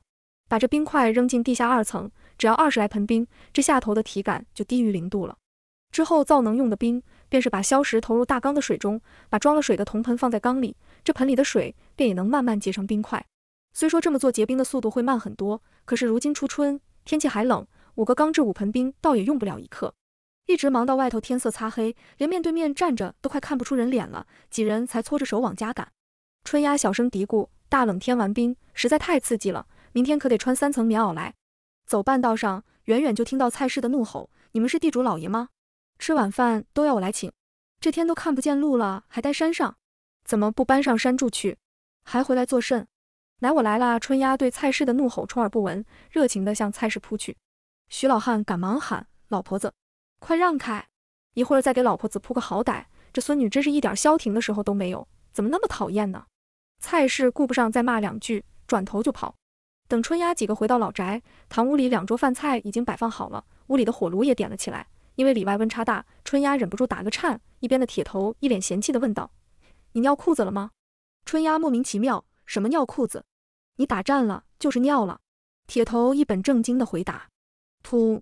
一旁的徐英忍不住笑了出来：“好啊，笑我！”春丫将冰冰冷的魔掌伸向了徐英：“多日不见，英，来，让我好好摸摸你的脸。”说罢扑了过去，徐英赶紧大叫着逃开。几个小的见状，都跟在春丫后头瞎起哄。顿时，老宅客堂间里热闹的房顶都恨不得掀了。蔡氏忍无可忍，大喊一声：“吃饭了，都给我消停点！”几个小的才揉着肚子回到各自位置上。因为春丫一家这些日子都很忙，全家过年之后就没回来过。妯娌兄弟很是热情，各种询问闲聊，一顿饭直吃到四头五头都睡昏过去了。众人才散了席，回房歇息。不过张氏却还有话跟两个妯娌讲。拉了两人进屋说话，把徐达赶去了他爹娘的房间，说是好些日子未见，让他好好陪爹娘去聊聊天。两位弟妹，我有个事儿要跟你们说。张氏拿出一个早就准备好的荷包放在床上，看着李氏和周氏。李氏一紧张，心想莫不是那造纸坊要黄，脱口便问嫂子：“那造纸坊出问题了？要是有啥做的不好的，您说我们改。”周氏在一旁拼命点头：“不是，不是东西的问题。”张氏见李氏误会了，赶紧解释道：“这个月月安。”现如今卢夫人那里，他不是算单片的卖了，而是先收了一年玩乐的钱，然后把这月月安也打统账算进去了。咱们按照原先的分账方式，这个账是分不出来了。所以咱们现在商量下来是这样的：这月月安的生意就算是给你们做了，我们跟卢夫人呢，就算是问你们买一片，就算你们十文钱可好？不然这个算不出来账。李氏眨巴眨巴眼睛，想了半天，问张氏嫂子：“那咱们一月能赚多少啊？六千片一个月的话，一月能赚六十两。”不过这工人的开销什么的，可得你们自己来了，这样行吗？张氏算了算，跟之前比，这样他们还能多赚个三四两一月，吃亏是不吃亏的。周氏立马点头道：“嗯，行的，大嫂，只是让你吃亏了。就是啊，说好了赚的钱咱们分的，那大嫂，咱们那个也分你们点儿。”李氏咬咬牙，决定还是得割肉，这说好的要分账的，多少也得分大嫂一点。张氏摇头道：“咱们现在就算问你们买货了，就不说这分不分账的话了，就只一点。”你们这东西外头千万不能卖，但是家里头女孩子需要就得用，咱们自己用的可以简单点，你们也知道怎么做，就直接给小姑娘做就行了。你们自己的朋友亲戚暂时先不说，因为这钱咱们还没怎么赚，等以后有机会了再告诉他们也不迟。春丫说这钱也不过赚个一两年，时间长了估计做的人也就多了，等外头也有了，咱们再拿出来卖，不然树大招风，容易惹祸。周氏听完才说嫂子放心，咱们绝不往外说的。对。嫂子放心，我的嘴严得很。再说以前没这个，咱们不也过吗？晚个一年两年的算啥？等咱们钱赚够了再说。我这人嘴巴坏，没什么朋友。倒是周氏，你那娘家嫂子外甥女的，不是亲近的很吗？你可别嘴快。李氏终于抓到机会黑周氏一把。周氏立马摇头道：“嫂嫂们放心，我定不会乱说的。以后上娘家，我我我就说我喉咙哑了，不好说话。不至于不至于，反正你们心里有数就行了。”这玉安的方子，我们不过是抢了个先机。这东西说起来也不算难，人家造出来是时间问题。等以后人家都开始卖了，咱们这个也难赚钱了。所以想要赚钱，就得抓好时机。张氏复述的都是春丫交代他的，他这会儿自己细想想，倒是觉得女儿能赚钱，有些道理讲的也挺像那么回事。李氏、周氏自是点头称好，张氏拿出六十两银子，说是这次要带走六千片月月安，这个就是货款。之前因为摘星阁一直在筹备阶段，所以周氏、李氏只管生产，这生产的东西就全堆在两人卧房里，放造纸坊里，他们怕有老鼠也不放心。所以这些日子，徐发、徐志两位大老爷们儿都是睡在堆满月圆的房间里的。当然，他们只知道是擦屁股纸，根本不知道是妇女用品。李氏还常常自己暗地里好笑，这个徐达嘴上逼逼有个屁用，还不是得跟他一起睡堆满了月圆的屋子。妯娌三人聊得起劲，而徐达面对老父老母却相对无言，只能聊不出硬聊。嗨嗨，那什么，爹，您最近身子骨可好？好个屁！谢谢你闺女啊，我这腰差点没折他手里，刚刚还扑了我一跤。摔得我尾巴骨到现在还疼。我说你这爹到底怎么管的孩子啊？徐老汉眉毛扭打在了一起，看着徐达，我爹不管我们，我娘和我姐管我们。爹，你咋还不回去睡觉？是不是被我娘赶出来了？铁头想睡觉，无奈怎么爹不走，还在聊啥呀？蔡氏听铁头这么说，便道：你爹自己能管好自己就不错了，谁还指望他呀？正低头洗脚的徐老头下意识的点了点头。徐达不干了，爹，不是。你刚不是还喊我管春丫的吗？你哪个耳朵听说到的？聋了吧你？去把洗脚水给我倒了，然后不用再进来了。铁头，睡吧。老太婆，熄灯。说完，自己擦了擦脚，往被子里一钻。蔡氏喂了一声，灭了油灯，说一句：“走的时候把门关紧。”自己也钻被窝里去了。徐达只能摸黑端了洗脚水，默默地退出来，走到门边还踢到了脸盆架，引来蔡氏和徐老汉的一阵啧啧啧。哎哎。待徐达出了门。听着走远了，徐老汉才问铁头：“铁呀，你爹平日里对你们好不？”正要入睡的铁头迷迷糊糊的回答：“嗯，好啊，娘给爹的钱都被我姐骗来给我们买好吃的好玩的了。我爹就是不爱读书，被娘跟姐骂了。我大哥也不爱读书，师傅布置的功课一点没做，不知道会不会被呼噜呼噜。好啦，睡吧，娃都睡了，一天天的瞎操的什么心？”蔡氏说完，卷了下被子，转过身去。徐老汉这才在漆黑的屋子里咧了咧嘴。心想春丫这娃真是是个人都要坑一把。在堂屋里等得直打瞌睡的徐达，听周氏李氏走后，便摸进了夫妻俩的房间。他终于想起给老宅造屋的事儿。老宅虽然他们现在来的不算多，可老住柴房也不是个事儿啊。要不咱们再起个房子算了？张氏提议。徐达想了想，道：“你说咱们干脆把房子造立山上吧，到时候万一有什么天灾，咱们往山上一躲，山门一关，妥了。再说这里头还有咱们的地窖。”还有山泉，我觉得真要有啥事儿，那里倒是更安全些。这事儿我同意没用啊，爹会不会骂你啊？张氏真是替徐达捏把汗。没事儿，我有办法。徐达说完，歪嘴一笑。我才不要说，你去说。第二日一早，春丫就接到了他爹让他去跟爷爷说造房子的事儿的任务。那他肯定不答应啊，因为他还有别的事要拜托爷爷。他这会儿马上得找到爷爷，先把自己的事儿说了，抢个先机。张氏等了一晚。原来徐达的办法就是这个，能成才有鬼了。他真是没眼看，便端着个洗脸盆就走了。而此时正在堂屋吃早食的徐老汉，连打了两个喷嚏之后，就听到春丫边喊边往里头走：“爷爷，您吃好了吗？我跟您说个事儿。”徐老汉端着碗就想走，被春丫一把拉住：“爷爷别走，咱们家能不能发财，全看这一步了。不用了，现在就挺好，发不发财的不指望，我这把老骨头还想再多活两年。”徐老汉的拒绝出于本能。咱们种了摇钱树，日进斗金，您没兴趣？春丫问道。一旁的徐发知道自己不该问，但是却还是忍不住想知道啥啥树。你们听我说，咱们山上种的这些桃树，如今正是嫁接的好时候，再晚恐怕气候不好，接了也难活。春丫压低声音说道。徐老汉一听那半山腰的破树，也停下了脚步。他正愁这些树到底是要怎么整呢？先前临安来的树种种下之后，春丫又嚷着去找了三四十棵的山桃树。胸脯拍得砰砰响，说是定能种出好果子。眼看着天马上要转暖，去年移植来的树种都发了新芽了。这娃还在那头挖地窖，他寻思呢，这些树种了到底是要干嘛？如今一听要什么接，那是得问问清楚，不然费了那么大劲儿，总不至于收上几筐又酸又涩又小的毛桃吧？那不得让人笑死！要知道，他以十文钱一棵问人家买一两年的山桃树的时候，人家那想笑不能笑的眼神哦，不提也罢。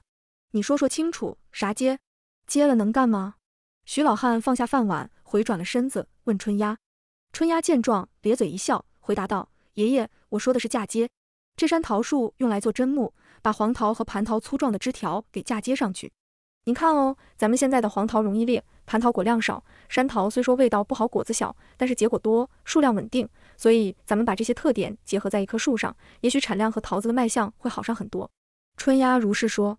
其实他最想种的还是蜜露桃，可这树种北方的那位大哥一直没给送来，怕是北边目前北边情况的确不太好。不要紧，先用蟠桃、黄桃练练手也好。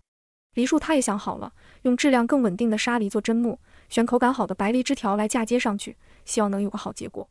嫁接是啥意思？徐老汉想自己种地几十年，从未听说过这个词，也许是因为自己从未种过果树的原因。春丫耐心解释道，意思就是把粗壮的枝条接到别的苗木上去。然后结出来的果子就可以取两者的优点，这能行吗？在一旁听了半日的徐发问道：“这我哪知道，行不行的试试呗。反正那么多树都种了，总得想想办法吧。不然结出来一堆吃不了的果子，那不瞎忙活吗？”春丫拢了拢小碎发，继续说道：“我去准备东西，咱们一家今日都得上山制冰的制冰，嫁接的嫁接，活儿多着呢。爷爷，走吧。”徐老汉看着眼前小小的孙女儿，他觉得自己被春丫先有蛋还是先有鸡的问题给绕晕了。这嫁接是为了不浪费移栽来的苗木，那既然不嫁接就是白浪费力气，那当初是为了什么要种这些树？这不是吃饱了撑的吗？理清了思路的徐老汉正要骂上春丫两句，却看他转了个身，说道：“爷爷，我爹找你有事儿。”正路过堂屋门口的徐达瞪眼看着春丫：“好啊好啊，出卖队友可真有你的。你有什么事儿？”徐老汉不耐烦地看着自家大儿子。徐达想着，伸头一刀，缩头一刀，既然如此，那便说吧。于是开口道：“爹，我在想啊，要不然咱们在骊山那头起个宅子吧，也不用很大，有个七八间，围个院子就行。”徐老汉一个老布鞋飞出去，练我玩啊！滚蛋！春丫缩着肩先溜了出去，接着堂屋里的徐发、徐志都跟着溜了。徐达溜之前还不忘把徐老汉的鞋给他扔回去，还说了一声：“爹，我们在骊山等您哈。”拿上工具便跑了。老宅今日不留人，徐家上上下下除了徐英、徐敏和四头要去学堂。余下的众人都去了骊山，把山门一关，骂骂咧咧的徐老汉好歹分了分工，造纸坊的五人今日继续关门造纸，别的不用他们管。石头盖头，徐志、徐达制冰，蔡氏带娃监工，别的几个全部上半山去嫁接苗木，徐老汉监工。徐老汉再三强调，他觉得他被春丫坑了，他们最好身上的皮都给他紧着点儿。上山的路上，徐志忍不住问春丫：“春丫，你告诉三叔，你这什么嫁接之类的办法是哪儿看来的？”难不成是你自己想出来的？那肯定不是啊！我告诉您啊，您可千万不能告诉别人。春丫低声说道：“是我师傅告诉我的。他说人家富贵人家家里就有这么种桃的，他去给人家讲经看到过。”张氏白眼翻上天，讲得像真的一样。徐志本就是很朴实的一个汉子，听春丫这么讲，觉得似乎有几分合理，便点头道：“那咱们要是做成了，可得好好谢谢你师傅。那是，到时候我做黄桃罐头给你们吃啊，可好吃了。”春丫想想就自己都要流口水。一行人说说走走，没一会儿就到了半山腰。如今正是初春，虽说还未到万物复苏的时候，但是去年栽下的苗木都活了，枝条上也肉眼可见的长出了很多的小芽。虽说未到三月嫁接，总觉得有些早，可如今这个形势还是宜早不宜晚。春丫定定心，想了想步骤，便拿出小背篓里一应工具开始干活，选出健康粗壮的枝条，嫁接入一两年树龄的山桃树，用带来的细绳固定。再绑上布条，看似简单，但是如何切口、如何扦插，都有一定的讲究。要不是当初他外婆家就是江氏本地人，每到六七月，他都会去乡下摘桃子，看人家桃农打理桃树，这些至关重要的细节，肯定是无从得知的。可惜如今没有西瓜种，不然他还可以是试种西瓜。他们江氏本地的西瓜，那也是美得很。徐老汉虽说对于春丫挖的坑是爬起来一个掉进去一个，此起彼伏，源源不断。可看着春丫认真讲解的样子和看似瞎说，但作为一个老农民听来其实暗含种地真理的话语，心中暗叹：哎，算了算了，坑就坑吧，全当锻炼身体了。蔡氏和徐老汉今日是卯了劲的要抓家中子孙做壮丁，午间不过分了几个鸡蛋面饼，煮了一壶开水给众人充饥。别人也不嘀咕，只春丫唧唧歪歪说：徐老汉简直是地主老财，徐扒皮。徐老汉上来给他一个毛栗子，就你话多，还不都是因为你想那么多花样。和该在家多干几日活再走，要不是你娘给你求情，你就给我干到春耕结束再走吧。你说起春耕，徐达问起徐发、徐志今年准备怎么个章法？种地这事儿，徐志比徐发要拿手些，便答：今年原本说种到和麦五五开，可这春雨也下不来，后头这是不是真的要旱，实在拿捏不准。咱们就按照春丫说的，反正准备先准备着，春耕便都种麦算了。这也是他们爷三个商量的结果。麦子耐旱，今年春耕还是都种麦子吧。如果过了秋天没旱灾，再种一波稻子也不迟。反正总要先保证粮食的收成，品种是啥倒没什么关系。徐达点点头道：“是这个道理。反正先保证能种活，是麦是倒无所谓。等那地窖里头冰都堆满了，趁着如今粮价还未涨得太高，咱们还得多囤点粮。这放地窖里头，温度低，到时候咱们再买些生石灰和铁粉，这粮食晒干了放进去，存个一两年也没问题。这生石灰和铁粉还能保鲜不成？”徐发觉得大哥难得科普一回，可要给点面子，提问提问，让他多少有点成就感。徐达得意一笑，道：“这你就不知道吧？这生石灰和铁粉都能吸潮气，多放点，到时候也不怕粮食反潮发霉。”哦，徐发和徐志异口同声的回答，捧足了徐达的场。春丫乘着午休跑去看了眼他的三七田，这看着好像高了些，可细看又好像没高，这没有对照组，很难判断啊。一会儿回去还得跟徐英说说，留上三四颗，不要浇山泉。他想看看这山泉到底是不是比一般的水更富含养分。看完三七，春压一口气，脸不红气不喘的跑到了山顶。如今他每日入睡前都会按照师傅教的心法练练气，无事也会练上一两套拳法。虽说进步龟速，但是体力的确比以前好多了。他站在山顶，看着郁郁葱葱的后山和远处在农田里锄地准备春种的人们，自己突然也有些质疑自己的判断。这。明明是一副春耕忙碌的景象，怎么看都不像是要大旱的样子啊！到时候如果没有旱灾，不知道爷爷会不会打死自己呀？其实春丫的疑惑也是全部徐家人的疑惑。如今拼命的挖地窖、制冰、囤粮，到时候会不会是一场乌龙？谁都吃不准。可问题是，如果不准备，又实在心中不安。一家人都沉浸在既希望自己的准备没白费，又希望不要有天灾的微妙情绪中。这头春丫刚思考好自己会不会揍的命运。那头就听徐老汉的吼叫声：“春丫，给我滚下来干活！”艾玛，老当益壮，老当益壮。春丫连滚带爬的下了山，拿上自己的小砍刀，背上小背篓，继续他的嫁接大业。待到徐英他们放学回家，见家中居然没人，找上山来，徐老汉才挥了挥手，道：“这干的也差不多了，走吧，家去。”一家人才鸣鼓收兵，带着家伙时，叮铃咚隆的滚回了家。张氏心中暗叹：“真是尼玛累死老娘了。”铁头跟大金一整天跑上跑下，挖坑玩水也不觉得累。自从挖出那块琥珀之后，张氏便让他凡是挖到啥都拿给他看一眼。今天铁头的收成不错，挖到了十好几块石头。张氏粗粗看了一眼，还好没有琥珀，便让铁头自己拿去玩。可转念一想，刚刚那堆石头里好像还有别的啥，便让铁头回来把那块看着不像石头的石头给收了起来。张氏问铁头：“铁呀，你跟娘说说，这块东西你哪挖来的？”后山啊。铁头理所当然的回答。你啥时候去的后山？我怎么不知道？你个小孩子可不能乱跑啊！张氏听铁头这么一说，紧张了起来。铁头歪头道：“哪让我自己玩去啊？娘放心吧，我在这儿闭着眼都能找回家。再说我也没一个人去啊，我跟大金一起去的。”大金在一边摇头晃尾。行了，知道了。你且收收心，明日一早还要上课去。前几日魏先生布置的功课可做完了？我看你回来疯到现在，明日不要交不出功课，被魏先生打手板啊！张氏收了那石头不像石头，木头不像木头的玩意儿，赶了铁头去做功课。铁头一想到自己还有很多书没抄，便蔫头耷脑的回房了。可得赶紧抄，抄不完，明日得被魏先生打呢。也不知道张家旺做了功课没有。而此时已经回到县城的张家旺，也的确在赶功课。因为他们住的村子离县城太远，所以张氏便让罗车今日中午就去接了张家旺和文氏。比起前一次离家，这次张家旺倒是习惯很多。回家一日多，张家旺倒觉得有些不适应了。倒也不是吃的喝的问题，反正他这个人也不算挑食，米面吃的，窝头也吃的，肉蛋吃的，菜蔬也吃的。只是娘好似对姐姐们的确凶了些。以前他不觉得，如今住在小姑家，见小姑和母老虎天天手勾手的进进出出，自家娘亲却每日对姐姐们大骂不止，他就觉得娘有些不妥。虽说也讲不出什么大道理，可总觉得自家的吵闹和小姑家的吵闹是不一样的。于是，在他娘打姐姐的时候，他还开口阻止了两回。倒是惹得爷爷和爹都说他不要插手女人的事儿，可问题是小姑家也不分这些啊。爹娘还问他小姑和姑父每日干啥，他也老实回答了。姑父是掌勺的，偶尔也会在家做饭给他们吃。小姑在药铺帮忙，春丫在农庄干活，石头做跑堂的。他爹还说怎地男人家还做饭，奇奇怪怪的。张家旺也不知道奇怪的是他家还是小姑家。晚间，众人吃完晚饭，就在课堂间里闲聊片刻，说起备用的冰块。石头说：“今天一天大概造了二百块左右，不过噩耗是，这仅仅只占了冰窖的一小个角落。如果想要把冰窖填满，这种铜盆大小的冰块，差不多要值上万块。他算了算，按照这个速度，差不多得一个半月。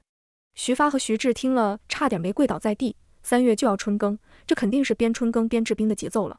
春丫摸出两包芝麻糖，塞给徐发、徐志，说道：“叔，补补。明日我再去买些铜盆，反正地窖里缸多的是，几个缸全部拿上来制冰，速度应该会快上一些。”徐达想着，他们人不在三元村，不出力，好歹钱得出。张氏点头，对徐老汉说道：“爹，如果种地实在顾不上，咱们请几天人，身体第一位，熬不住不要硬熬。那哪成？谁家种地不是自家来的？不行，你们回来帮忙。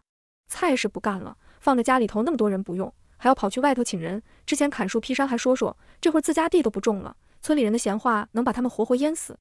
徐老汉这次显然是赞成蔡氏的，清了清喉咙，说道：“行了，这事儿你们大房不用管了，我自有主意。你们还是给我好好赚钱，少出点幺蛾子就行。”闻此言，张氏也不便再多劝说，到时候反倒被公爹婆婆说自己拿大，便点头说好。待过两天，熬点十全大补膏给他们补补。爹。那房子，徐达勇气可嘉，众人都敬仰地看着他。催个屁呀，催！你也不看看时候，这防不防的？待春耕好了，人家有空了再说。徐老汉背着手走了，边走还边大声嘀咕，没点眼力劲儿。春丫上前拍拍徐达的肩膀，给他比了个大拇指，便拉着徐英走了。因为白天徐英和春丫各自都挺忙，刚刚吃完饭的时候便说好了，一会儿去看看村叔。大金开路，春丫带队，一群孩子吵吵嚷嚷到了村叔门口，看里头还亮着灯，立马安静了下来。这会儿教室里怎么还亮着？春丫转头问徐英。徐英答：“先生说有几个学子进度太慢，额外给他们加课呢。”哦，那咱们轻点儿。说完，春丫带头蹑手蹑脚地走了进去。格局还是之前来看过的格局，不过多了很多生活气息。后头的迷你教场上还立了标靶，先生卧房的后墙墙角还堆了几个藤球和毽子。徐敏小声说道：“这些都是咱们自己做的。课间先生赶我们出来玩，咱们还练射箭。”也是先生教，内功收在先生的房间里，等上课射箭课的时候才能玩。春丫惊讶不已，没想到这个先生如此开明，转头问徐英：“先生学问好吗？”“好的，虽然我只听过你的课，现在程度也浅，但是先生讲的精义，好听易懂，连敏都坐得住听呢。”徐英答道。正当徐敏要说是的时候，就见一位白发老者走了出来，问道：“谁在那儿啊？”徐英带着徐敏四头立刻上前行礼，喊先生。春丫也跟在后头喊了声先生。这个小姑娘倒是未曾见过，怎地没来咱们这儿念书啊？你是谁家的孩子啊？你回去跟你爹娘讲啊，女孩子识字也是要紧的。俗话说，春丫觉得这先生说话怎么有些开弓没有回头箭的意思，也不等他说完，解释道：“先生，我日常住这儿的少，也认了师傅的，以前这儿是我的家呢。我是徐家的二孙女。教书先生姓于，于先生闻言道：哦，原来如此。”哎呀，你们这个屋子我很是喜欢。来来来，你看看这茅厕和浴室，我第一次来就甚是喜欢。你跟我说说你是怎么想的呀？还有啊，你看看你们家如今后院我都改成了教场，来我带你看看。于先生说话毫无缝隙，连春丫都插不进去话。待到于先生重新带春丫参观了一遍教场、厨房、教室、书房之后，春丫几个才在于先生的热情欢送下落荒而逃。嘤，你怎么没告诉我于先生是个话痨？春丫懊悔不已。自己觉得自己已经话很多了，没想到于先生居然话更多。徐英才笑道：“没来得及说，就被于先生逮住了。我们还算好的呢。我爹和三叔上次来拜访于先生，三叔回家整整三天没说话。哈哈哈哈！怎么那么好笑？那你爹多久没说话？”春丫一边爆笑一边问。我爹好些两天没怎么说话吧，之后就再没敢去村塾见先生呢。哈哈！一帮孩子笑作一团，你推我嚷的回到了家中。夜间回到临时房间的张氏，扣扣锁锁摸出今日铁头何大金的斩获，拿给徐达看。徐达摸摸闻闻，也看不出个所以然，便道：“这啥呀？你这不废话吗？我知道还用问你。”张氏边泡脚边吐槽：“你闺女真的，你改天把她送到什么亲戚家去住几天吧，老这么折腾人，真是折杀我也。折杀我也还能这么用，她还能听我的？你也太看得起我了。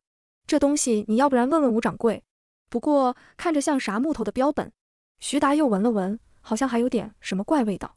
张氏一听怪味道，便闻了闻自己的手，说：“怪吗？我怎么觉得挺好闻的？行了，这东西也不知道干嘛的，我先收了。以后有机会问问人家卖木头的吧，感觉是块啥木头化石之类的。”说罢，张氏把这块奇怪的东西放进了荷包里。自从铁头挖到琥珀之后，张氏便很留心这娃挖回来的每一样东西。他突然想到，以后让这孩子去干勘探倒很不错。想完自己还觉得自己想的挺美，笑了。媳妇儿想啥呢？咱们要不要好一好？徐达一脸不可描述的笑容。张氏擦好脚，往被子里一钻，不要，谢谢，你不累我可累了。说完灭了油灯，徐达也往被子里一钻，嘀嘀咕咕说：“来来来，为福帮你按摩按摩。”春天的脚步提前来到了徐家老宅。次日一早，春丫一家吃完早食便要走。张氏昨晚干着生娃的事儿，突然想到这会儿生娃正好遇到灾年的话，风险未免太大，于是吃完早食，找了周氏、李氏他们交代了一些计算排卵的方法。两人被大嫂的直言不讳闹了个大红脸，张氏却分外认真地说道：“你们以后行房定要算清楚，生理表现我也跟你们说了，你们自己算好时间，注意好自己的生理情况。虽说不可能百分百避孕，但是起码比一点不算要效果好上不少。你们都还算年轻。”想要孩子过个一两年也没问题，但是生孩子毕竟危险，要生也得等好年景再生，知道不？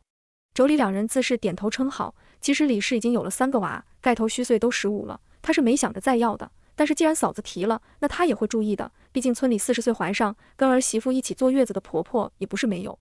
周氏倒是还想生两个，毕竟她现在才二十多，也就生了两个。但是既然嫂子都这么说了，她也觉得荒年生娃总是娃吃苦，晚两年就晚两年。到时候五头也能去学堂了，她正好能腾出手来带小的。趁着三妯娌讲话，春丫拉了徐英也说这事儿，倒也不是啥大事儿。春丫的事无非就是赚钱攒吃食。一件呢就是三七的事儿，让徐英隔几天浇水的时候留上三四颗不要浇，好看看对比。另一件就是他被竹鞭绊倒的事儿。咱们山上也没见着竹子，哪来的竹鞭啊？他问徐英。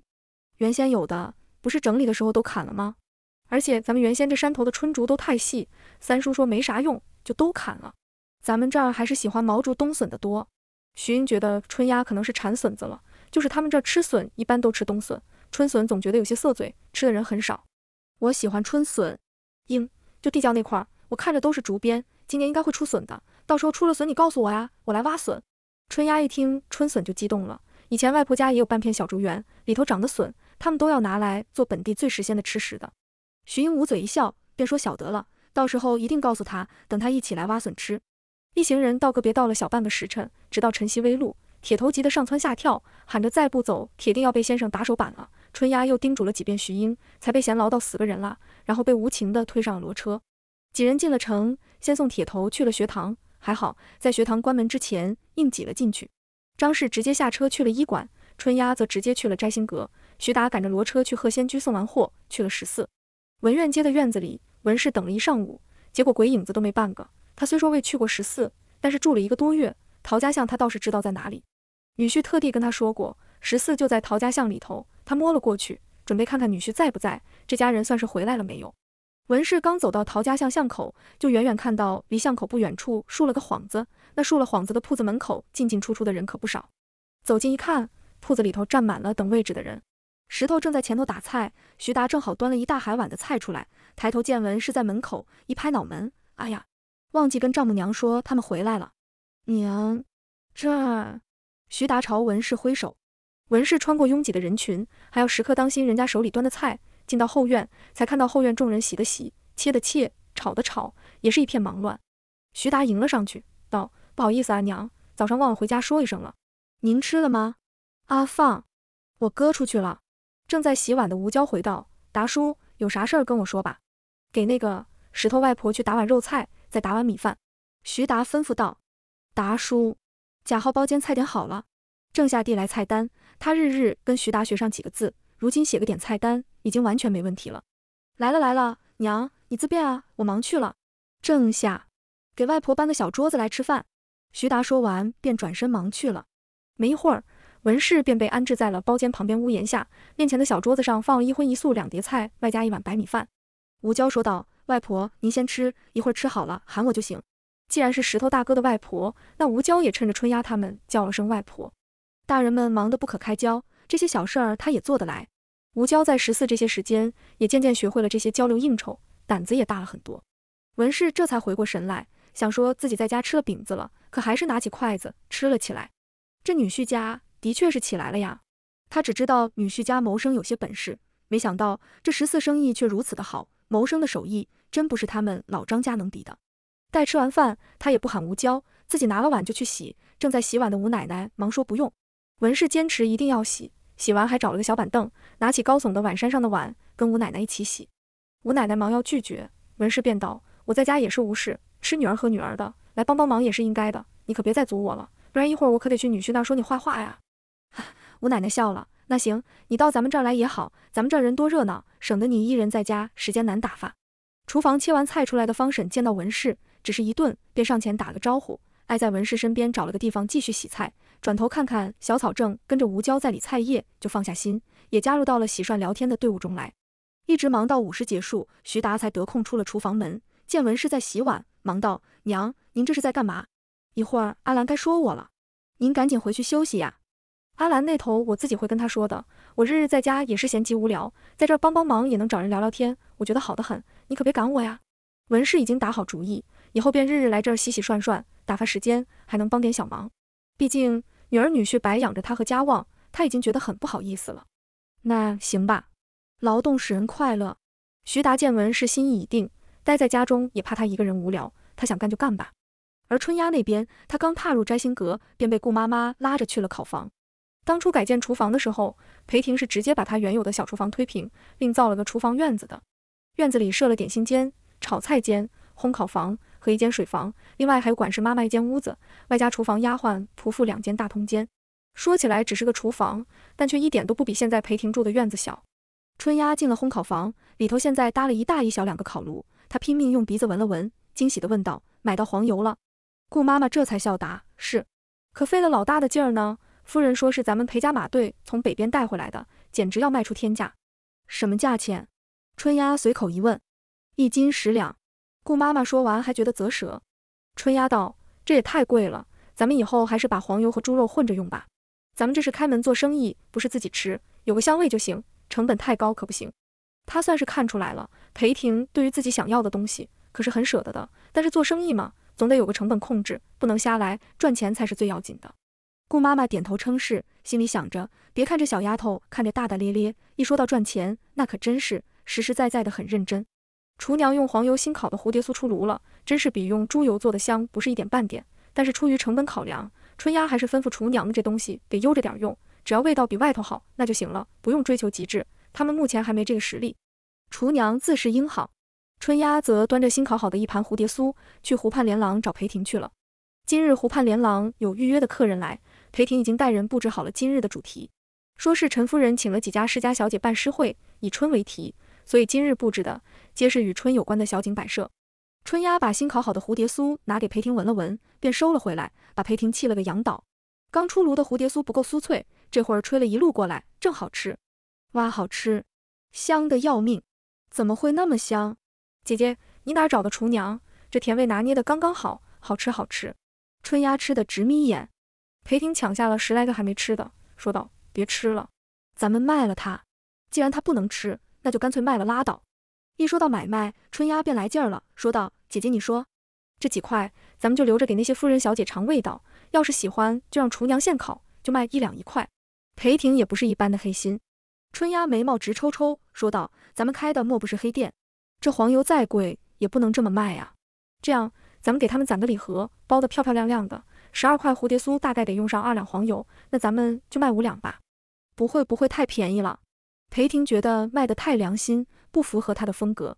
春丫嚷嚷道：“一盒点心五两银子，哪里便宜了？行行行，五两就五两。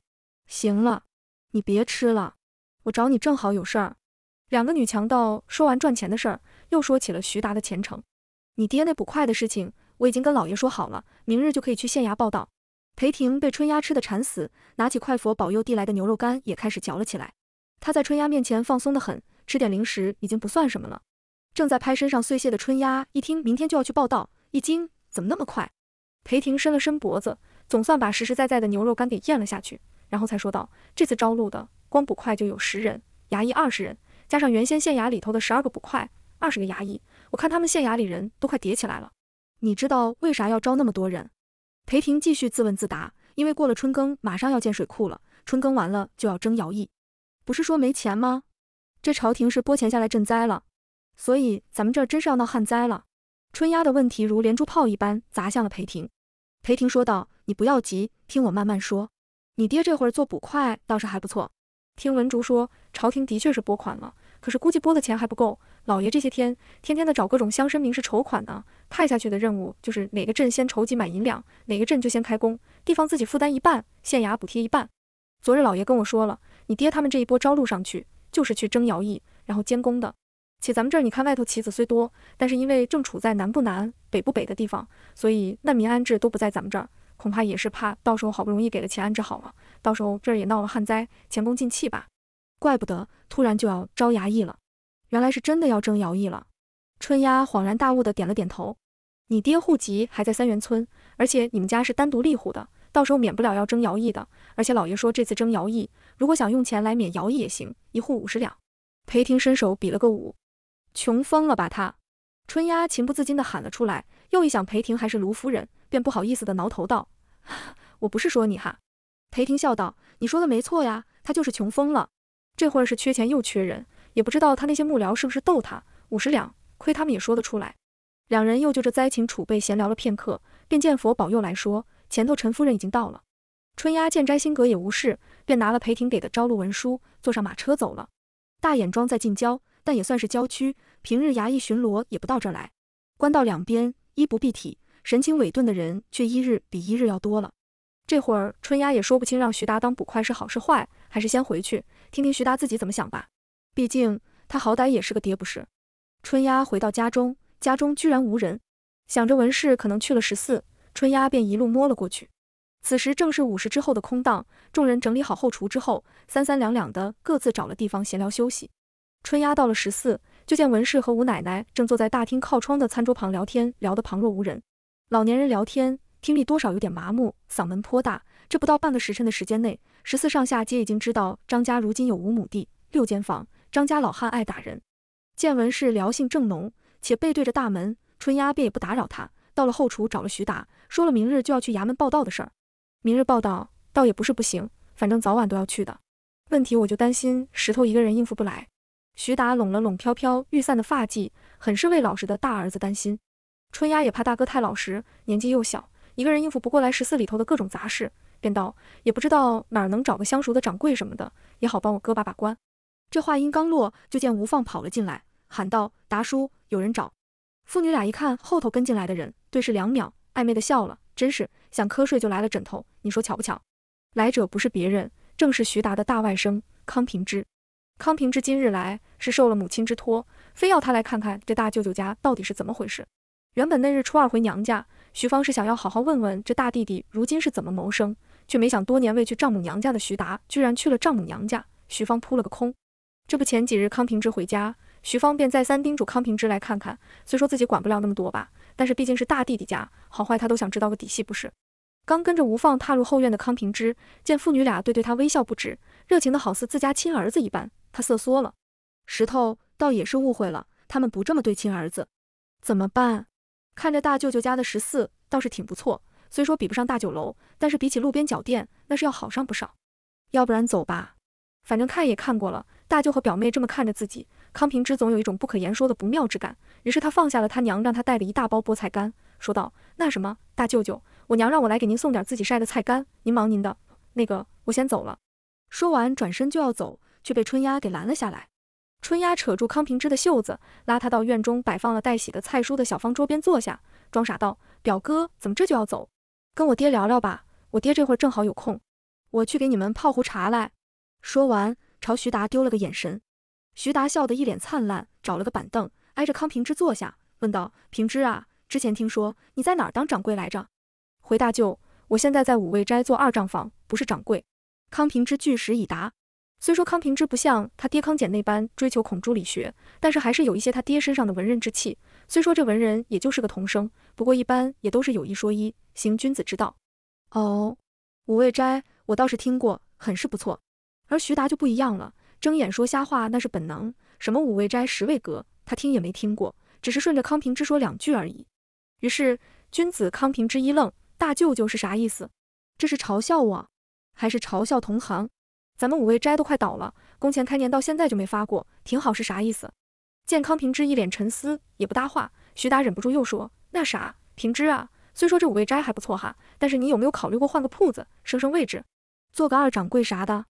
说到这个，康平之轻叹口气道：“如今这世道也难得很，这五味斋能经营到啥时候还不知道。想升升位置，也得有位置给我升啊。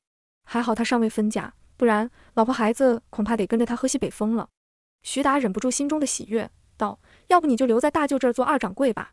不瞒你说，你石头表弟别的不行，就打算盘好，你给他搭把手，我也能放心的走了。”康平之闻之大惊：“大舅你怎么了？有病咱就治病，您可千万别往坏处想。”呸呸呸，说的什么话？我是说，我走去做捕快去。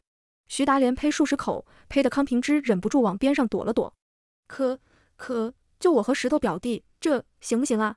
康平之从二账房突然变二掌柜，一时之间觉得有些无所适从。徐达见他有退缩之意，忙道：“这行不行的，试试不就知道了。”那不太好吧？万一咱们做不好，连累的大舅的生意可怎么办？这生计之事不可儿戏呀！康平之很惶恐啊，一面不知道这大舅到底靠不靠谱，一面不知道自己到底靠不靠谱。他一下子觉得自己的人生怎么突然不靠谱了起来。徐达心想：大外甥啊，你可想多了呀！咱家赚钱不靠这铺子，可话却不能这般说。他拍拍康平之的肩膀道：“大舅相信你，也相信石头。如果有啥急事，你去衙门找我，或者去仁济堂找你大舅母也行。没事儿，大胆的干，一切还有大舅，一切有你才可怕吧，大舅。”但康平之却不能把这话说出口，心中也无法拒绝大舅开出的条件。二掌柜来了，就跟石头表弟好好干就行，不就是他一直等待的机会吗？思考良久，康平之才点头说道。那行吧，我一定会尽力而为的。怎么就那么巧？那头康平之刚点头答应，这边春丫就端着茶，带着石头进了后院。当石头得知他爹明日就要去做捕快，他明天就是这店的掌柜之后，也不知道是激动的还是害怕的，颤声说道：“爹，您可得常回来看看啊。”春丫见家里头男子们的这些男子气概，她都觉得没眼看，刚想走，却听康平之说道：“不对呀，大舅，这做了捕快，家中儿孙三代都是不能参加科举的，您可是想好了？”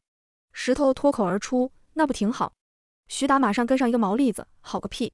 你不念书，你弟可还得念书呢。”春丫，这是咋回事？你问过卢夫人没呀？没呀。科举的事儿，我怎么可能知道？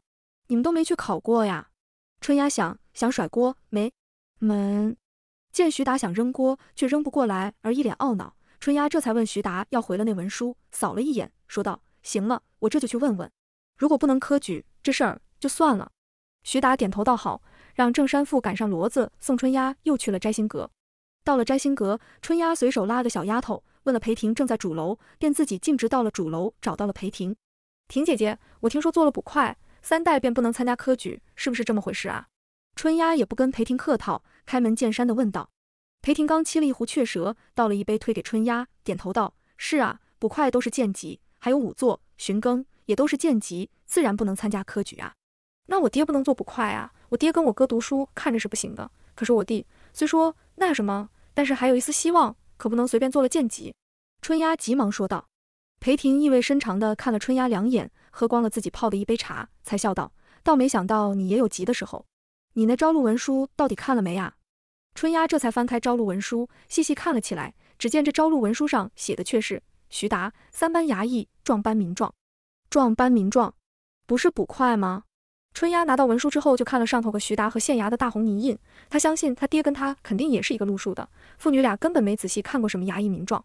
要是这文书落到张氏手里，倒会被仔细看上两眼；落在这对父女手里吗？怎么可能给你们报捕快？又不是贱籍。不过也不能怪你不明白这些，日常不接触这些的人是分不太清三班衙役，就只含糊着说是捕快衙役而已。这次因为只招捕快和民状，造班并未招人，所以才分开说的。实际你不是贱籍。一般也不会录用你做捕快的，民状都是普通庶民，没什么科举限制的，这点你大可放心。一般也不过就是做做监工、巡巡街而已。我也不瞒你说了，这次找的民状都是到时候造水库要去下头监工的，捕快呢都是要去押送难民过境的。早上我想着，反正这些事儿你爹明日去了就知道了，也没跟你详说，倒是闹出这些误会来。来来来，我自罚一杯。裴婷说完，便笑嘻嘻的喝光了面前的一杯茶。松了一口气的春丫也拿起一杯茶，说是自己没看清，不过主要责任在他爹马大哈，他替他爹再罚一杯。裴婷点着他额头直说：“你呀你，你爹有你这么个闺女，我也不知道该替他哭还是该替他笑。”终于搞清了三班衙役的事儿，春丫这才坐上门口等着的骡车回到家中。到的门口一看，一狗俩娃已经蹲在门口等开门了。哎妈！咱家真是能不能多配两把钥匙啊？抠门抠成这样。春丫一边叨叨道，一边开门放铁头和张家旺进去。大金已经护送好了娃，便自己找女朋友们玩去了。你俩饿不饿呀？姐马上做饭哈。春丫进门就关心弟弟们饿不饿，仿佛已经完全忘了徐达正在十四等他消息。不饿，刚吃了点心呢。铁头如实回答。张家旺也在一边点头道：“嗯嗯，说是蝴蝶酥，好吃着呢。”那你，肥水不流外人田，合着姐姐赚着钱，弟弟还能吃上免费点心。春丫很想知道这位雷锋是谁，便问：“谁给你们的点心？”铁头挠头道：“说是董家的婆子，就是上次给我们家。”行了，我知道了，赶紧做你们功课去。春丫适时打断铁头的话，在还完全确定张家旺品性绝对无误之前，他还不太想暴露太多。铁头啧啧道：“叫我说也是你，不叫我揍你的也是我。”春丫伸出了他的爪子。张家旺拉了拉铁头：“走吧，走吧，你姐疯的。”张家旺，你说谁疯的？春丫故意一脸狰狞，张家旺二话不说，扯着铁头就往里头跑。母老虎，母夜叉，以后嫁个大马猴。俩娃走了，想着表哥大概率马上又要进入他们家了。春丫翻箱倒柜，找出铺盖棉被，趁着还有一点点日头，晒上一晒也是好的。等张氏到家，看到院中此时居然还晒着被子，皱了皱眉，问正在院子里打拳的春丫道：“你弟尿床了？我明天给他抓点太子参煮水喝。”不是，这个说来话长。于是春丫把今日一天干的这些事儿跟张氏一一汇报了一遍。咱们这儿有张家旺和你外婆，还有盖头，你郑大叔一家，再来个康平之，集体宿舍呀。张氏说完，又往正在淘洗的大米里加了半碗。再这么下去，这一锅饭恐怕打不住啊。春丫倒是无所谓，她对赚钱的欲望比较强烈，对生活的精致度倒是不怎么追求，可能还没到那个需要追求精致生活的程度吧。目前只是追求发财而已。所谓经济基础决定上层建筑，如今。他还在造地基呢。对了，春丫说道：“年前不是董家给我弟送来了东西吗？今日又请他吃了五两银子一盒的点心。娘，你改日有空去拜访下董太太呗。这送东送西的，不问清，为啥总让人瘆得慌？咱不是摘星阁开业那天见过他吗？看着还挺好沟通。哎，不如您在摘星阁办个中医科普讲座，到时候让婷姐姐给董夫人下个帖子。”张氏觉得这个主意倒是不错，便点头道：“行啊。”科普科普日常的女性生理健康倒也不错，顺便还能帮月月安做做广告，挺好。哎，你怎么知道铁头他们吃的点心要五两？他们送点心的还会跟他说，因为是我们卖的呀。春丫一脸得意，噗，怎么哪儿都有你？张氏已经服了女儿赚钱的劲头了。此时在十四等的火急火燎的徐达已经无心炒菜，见郑山富早就回来了，春丫这丫头怎么就不知道给自己捎个口信？左等右等也不见人，便把锅铲扔给了盖头，自己急匆匆地跑回了家。进门就见母女俩有说有笑的在准备晚饭，便喊了一声：“春丫，你怎么不知道给我报个信儿？事情怎么样了？”见徐达茶壶状站在门口，春丫这才啊呀一声，连忙道歉：“忘了，真忘了。”阿兰，核桃呢？咱家的核桃呢？赶紧给他续上。徐达气急败坏地喊着要给春丫补补空空如也的脑袋，春丫却说他爹这眼神有问题，文书上写的清清楚楚，怎地自己不看？父女俩互相甩锅甩个不停，宅子里都是两人叽里哇啦的嚷嚷声。那头康平之刚辞了五味斋的活计，就被老板用二百文铜钱给打发了出来。作为账房，康平之平日里就住在这五味斋后头的杂物间里，每月拿四百文的月钱。年初五，康平之就回来上工了，这二百文的工钱根本不对版。但他也知道，如今五味斋能给他这打骨折了的工钱，已经是看在他是读过书，他爹是秀才公的面子上了。无法，康平之只得带了自己的包袱，找到了徐达之前跟他说过的位于文苑街的宅院。虽说不知道具体是哪个宅子，但是当他路过巷口进去第三家的时候，站在厚厚的院门外，就听到了人声夹杂着狗叫，吵吵嚷嚷。不过随着张氏的一声“统统给我闭嘴”，一切归于了平静。是了，没错了，就是这里。康平之拍了拍门环，就听里头像滚地雷般的脚步声，门打开了，是盖头。现如今，盖头每日在铺子里吃了早晚饭，回家还要吃上一碗晚饭，这身材也是日益硕壮。张氏虽不阻止他吃，正值发育，该吃还得吃，但是每日吃完了就喊他在院子里头跑上几圈，锻炼锻炼。表哥来了，快进来，咱们正等你呢。盖头回头喊道：“大伯，平之表哥来了。”然后引着康平之到了堂屋。此时刚吃完晚饭，一群人正在堂屋里说着徐达明日去报道的事儿。见康平之来了，张氏站起来问：“平之吃过了吗？锅里还留了饭的，我去给你拿。”说完就往外头走。康平之原想说吃过了，可无奈是真的没吃过，午时也不过吃了个馒头，如今腹中空空如也，拒绝的话说不出口，只得说上一句：“那那我就谢谢大舅母了。”张氏倒是被他的客气逗笑了，回过头说道：“别那么客气，以后你就住咱们这儿了。刚刚你石头和盖头表弟都帮你收拾好了屋子，你就当这儿是自己家就行了。”说完便走了。康平之心想，当自己家那规矩就大了。不过他心中也明白张氏的好意，只点头对张氏远去的背影说了声好。原本想着舅舅的决定没问过舅母，那日他回外祖家看得真真的，这大舅舅家中舅母似乎说话很有分量，心中很是忐忑。如今看着张氏这般，倒是放心不少，便坐下与大家说起了话。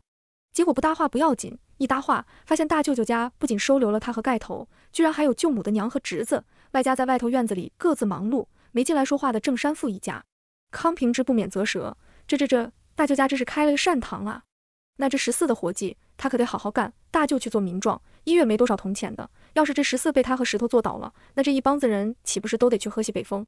相对于康平之的忐忑。石头倒是表现得相当淡定，不过主要是他在十四时间久了，所有的事情他基本都知道，再加上他这人跟大象似的，针戳在腿上，等过上半小时才能发现，哎呦，有点疼。这会儿石头还并没有觉得自己是个掌柜呢，且也没把自己当个话事人呢，所以才会表现得如此之淡定。待康平之安顿好了，徐达又喊来他们几人，说了说今后的安排。其实今日他已经在铺子里交代过了，但是这几个孩子，就康平之最大，不过也才二十二，石头盖头才十五。多交代两句也是不会错的。平之啊，今后你就跟石头两个在前头盯着。你如果有认识什么好的炒菜师傅，就招一个来。盖头明日一人顶不住，我已经跟方婶子说了，让他暂且再造上两天。反正菜色也简单，平日我怎么做的，你也怎么做就行了。方婶手艺也不错，有不会的问问他也行。另外，明日吴奶奶还会带个杂工来。石头，你如今是掌柜，分工可得自己拿捏好。平之啊，你比他们都年长，可得多帮衬着石头盖头两个呀。康平之点头道：“大舅放心，我一定会尽力的。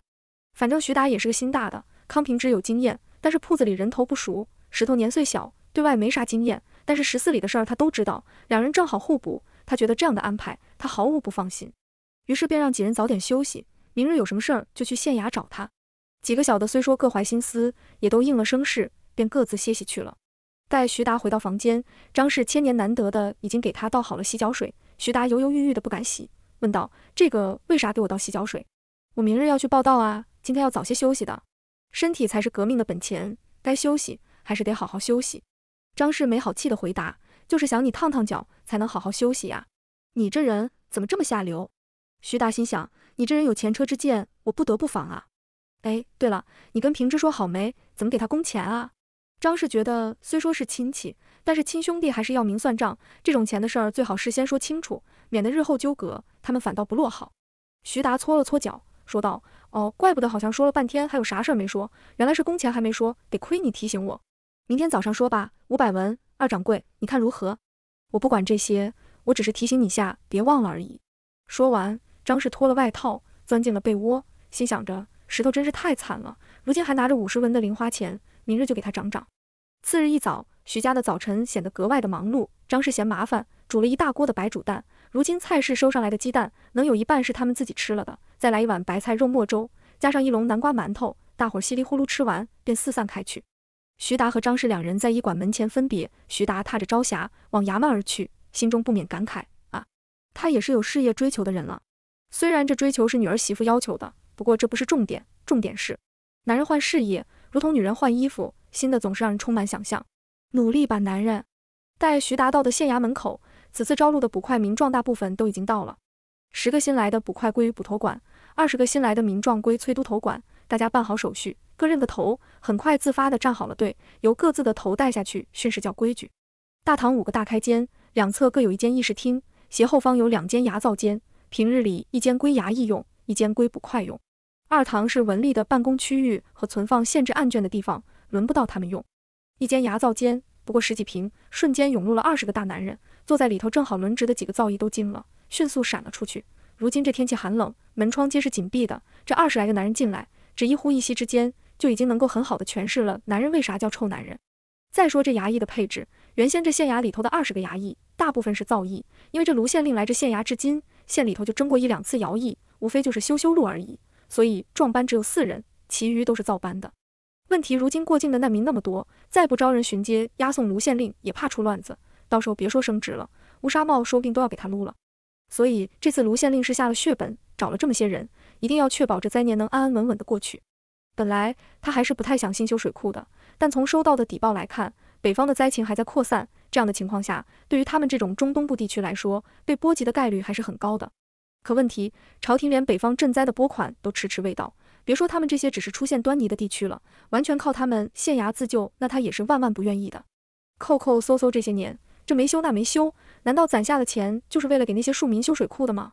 所以卢县令和幕僚最后就商量出来这么个办法，说是让他们民间集资一部分，县衙再承担一部分。实际反正民间集资的钱到位了，就能开始修了，修好修坏，也就是那些钱，县衙一丝一丝出点也就是了。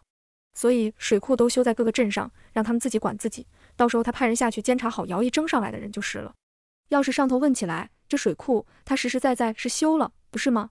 事情。就是这么个事情，可师爷都头却不能这么说，只说咱们县令卢大人想民所想，为民所急。春耕结束，马上要开始新修水库，民壮在一个月里头得操练完毕，到时候就得下去监工。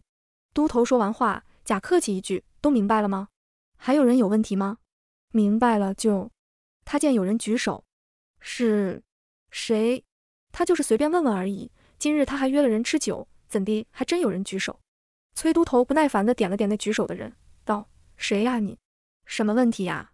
那人自是来自二十一世纪，从未混过古代体制内的的徐达都头，我就想问问，啥时候征徭役呀？就这两天吧。等师爷把告示写好，你们就跟我下去贴告示。你问这干嘛？你都做了民状了，就抵了徭役了。好了好了，今日就到这里，一会儿出去之前不要忘记去领衣服造靴，明日便要换好了再来。崔都头说完便要走，徐达迟疑一刻，跟上了崔都头，出了衙门才喊了一句。都头，请留步。转头见又是徐达，崔都头更没好气，问道：“跟着我干嘛呀？你，你还啥事儿？烦不烦啊？这人，这酒局可是说好的，谁最后一道谁买单。不知崔都头可有空去喝一杯呀？小的家里开个小食肆，也能供卖些酒，就是酒品普通，不知崔都头能否赏个脸啊？”徐达说完，做了一揖。这可怎么说的？崔都头想着，他怎么知道我平日就好眯两口？行，那就给个面子吧。他清了清喉咙，答道：“嗨嗨，行吧，既然你这么客气，我好歹得给你个面子不是？你叫什么来着？”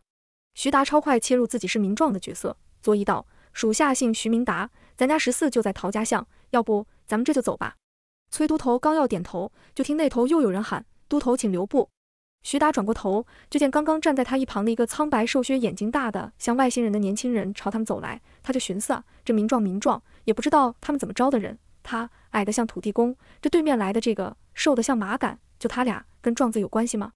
不过还未等他心中吐槽完，那马杆就到了他们跟前，也是给崔都头做了一揖，说道：“崔都头，我想跟您打听个事儿，这个要不然咱们去鹤仙居喝两杯，我已经订下了包间，听说鹤仙居的秋叶白很是不错，不知可否赏个脸？还有这么截胡的？”徐达气的意念中的胡子都要翘起来，便道：“这位同仁，崔头已经答应我去我们家十四了。”崔头如今听到秋叶白，已经完全魂飞天外了。想他一月一两银子的俸禄，这辈子是别想喝到秋叶白了。可这马敢开口就说要请他喝，这这这这，让他如何拒绝？可这徐达家里卖酒，这也是个长久生意呢，他该如何抉择？不管了，他决定还是喝个秋叶白先。还未请教阁下贵姓？如若不嫌弃，要不咱们一起？那马敢如此说道。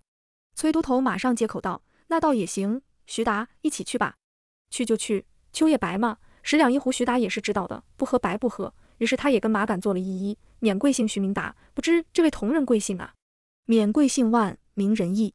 马杆回了一揖，好名字，好名字，呵呵呵。走吧。崔都头带头，徐达和万仁义跟在后头，三人向鹤仙居走去。如今这世道，崔都头混了那么些年头，也是看不懂了。想他出身贫寒，三岁死爹，四岁死娘，被两个姐姐拉着长大。好不容易到了岁数，求人给他进了这县衙做衙役。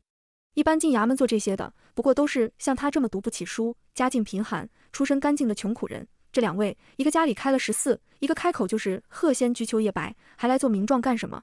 有病吗？不是。带的崔都头心中确认了这俩货多少有些毛病，抬头一看，已到了鹤仙居门口。他抬脚跨进了门口，便听有人喊：“徐老板，今日怎么有空来呀？”却听后头徐达答道。白掌柜，哈哈哈，多日不见，生意兴隆啊！那还是托了徐老板的福啊。徐老板，来来来，我跟您说个事儿。白掌柜上前就想拉徐达去一旁说事儿，徐达赶紧婉拒，说自己上司还在呢，一会儿再找他说话。白老板问清包间是哪间，便亲自送了三人进去。崔都头这会儿是连吐槽的心都没了，他心想，还是大姐说的对，这人啊，果然是越是活的岁数大，越是什么奇奇怪怪的人都会遇到。三人被带到包间就坐，也不用看菜单，那万人义就说来一桌五两的席面，再上两壶秋叶白。小二便说句客官稍等，便退了出去。崔都头本不想多问这两人的来历，可等上菜的功夫，三个原本就不认识的人面面相觑，多尴尬呀！他只能随便找个话题尬聊一下。这位万公子，我看你这出手也不像咱们这些讨生活的人，你这来做名状有甚意思啊？崔都头很想知道这些有钱人到底怎么想的。万人义微微皱眉道：“我原想去投军的，可家里头不准。我私下打听了下，扬州驻军每两年招募一次兵丁，咱们县里的民状都可以优先录取，所以我就来了。对了，崔都头。”我想跟你打听的就是这事儿是真的吗？崔都头都听懵了，他没有直接回答万人义的问题，而是反问道：“你为啥要去扬州驻军当兵啊？”崔都头，您有所不知，这扬州驻军作为咱们南面的补充军力，每年都会向北边甘肃卫输送兵力，到时候我争取表现好些就能去了。万人义说完，包间里一阵静默，崔都头没说话，他实在闹不明白，现在有钱人都在想些啥？在家吃吃喝喝不好吗？参啥军啊？真当打仗是儿戏吗？刀剑无眼，那都是要死人的好吗？而徐达正在整理思路，他觉得这人的脑回路有些似曾相识，这不就是春丫的脑回路吗？想起问题来，能兜一个巨大的圈子。静默片刻，他问道：“这位小兄弟，我受累问一句，你为啥会想去甘肃卫啊？”万人义一副很惊讶的样子看着徐达，答道：“自然是去加入廖家军，打鞑子，收复我大国师弟呀。”崔都头和徐达都一副终于了解的表情，互看了一眼，情不自禁的点了点头。绕了那么大一圈，原来是有个家国天下的军人梦。嗨，你说这有钱人奇怪不奇怪？人穷人想方设法的想逃过征兵，这有钱人却想方设法的想去当兵。崔都头此刻觉得人生怎的有些魔幻了起来，心中直叹看不懂看不懂。问题是，你家里不是不准你去当兵吗？徐达对这个干瘦的年轻人也好奇起来。是啊，他们不准我去当兵，把我锁在家里，我就绝食了半月，每日只喝水度日。最后，我姑母见如此不行，得知你们这儿正在招人，就说让我先来做名状，就当是体验体验得了。我原也不肯的，不过后来打听下来这些情况，便也就来了。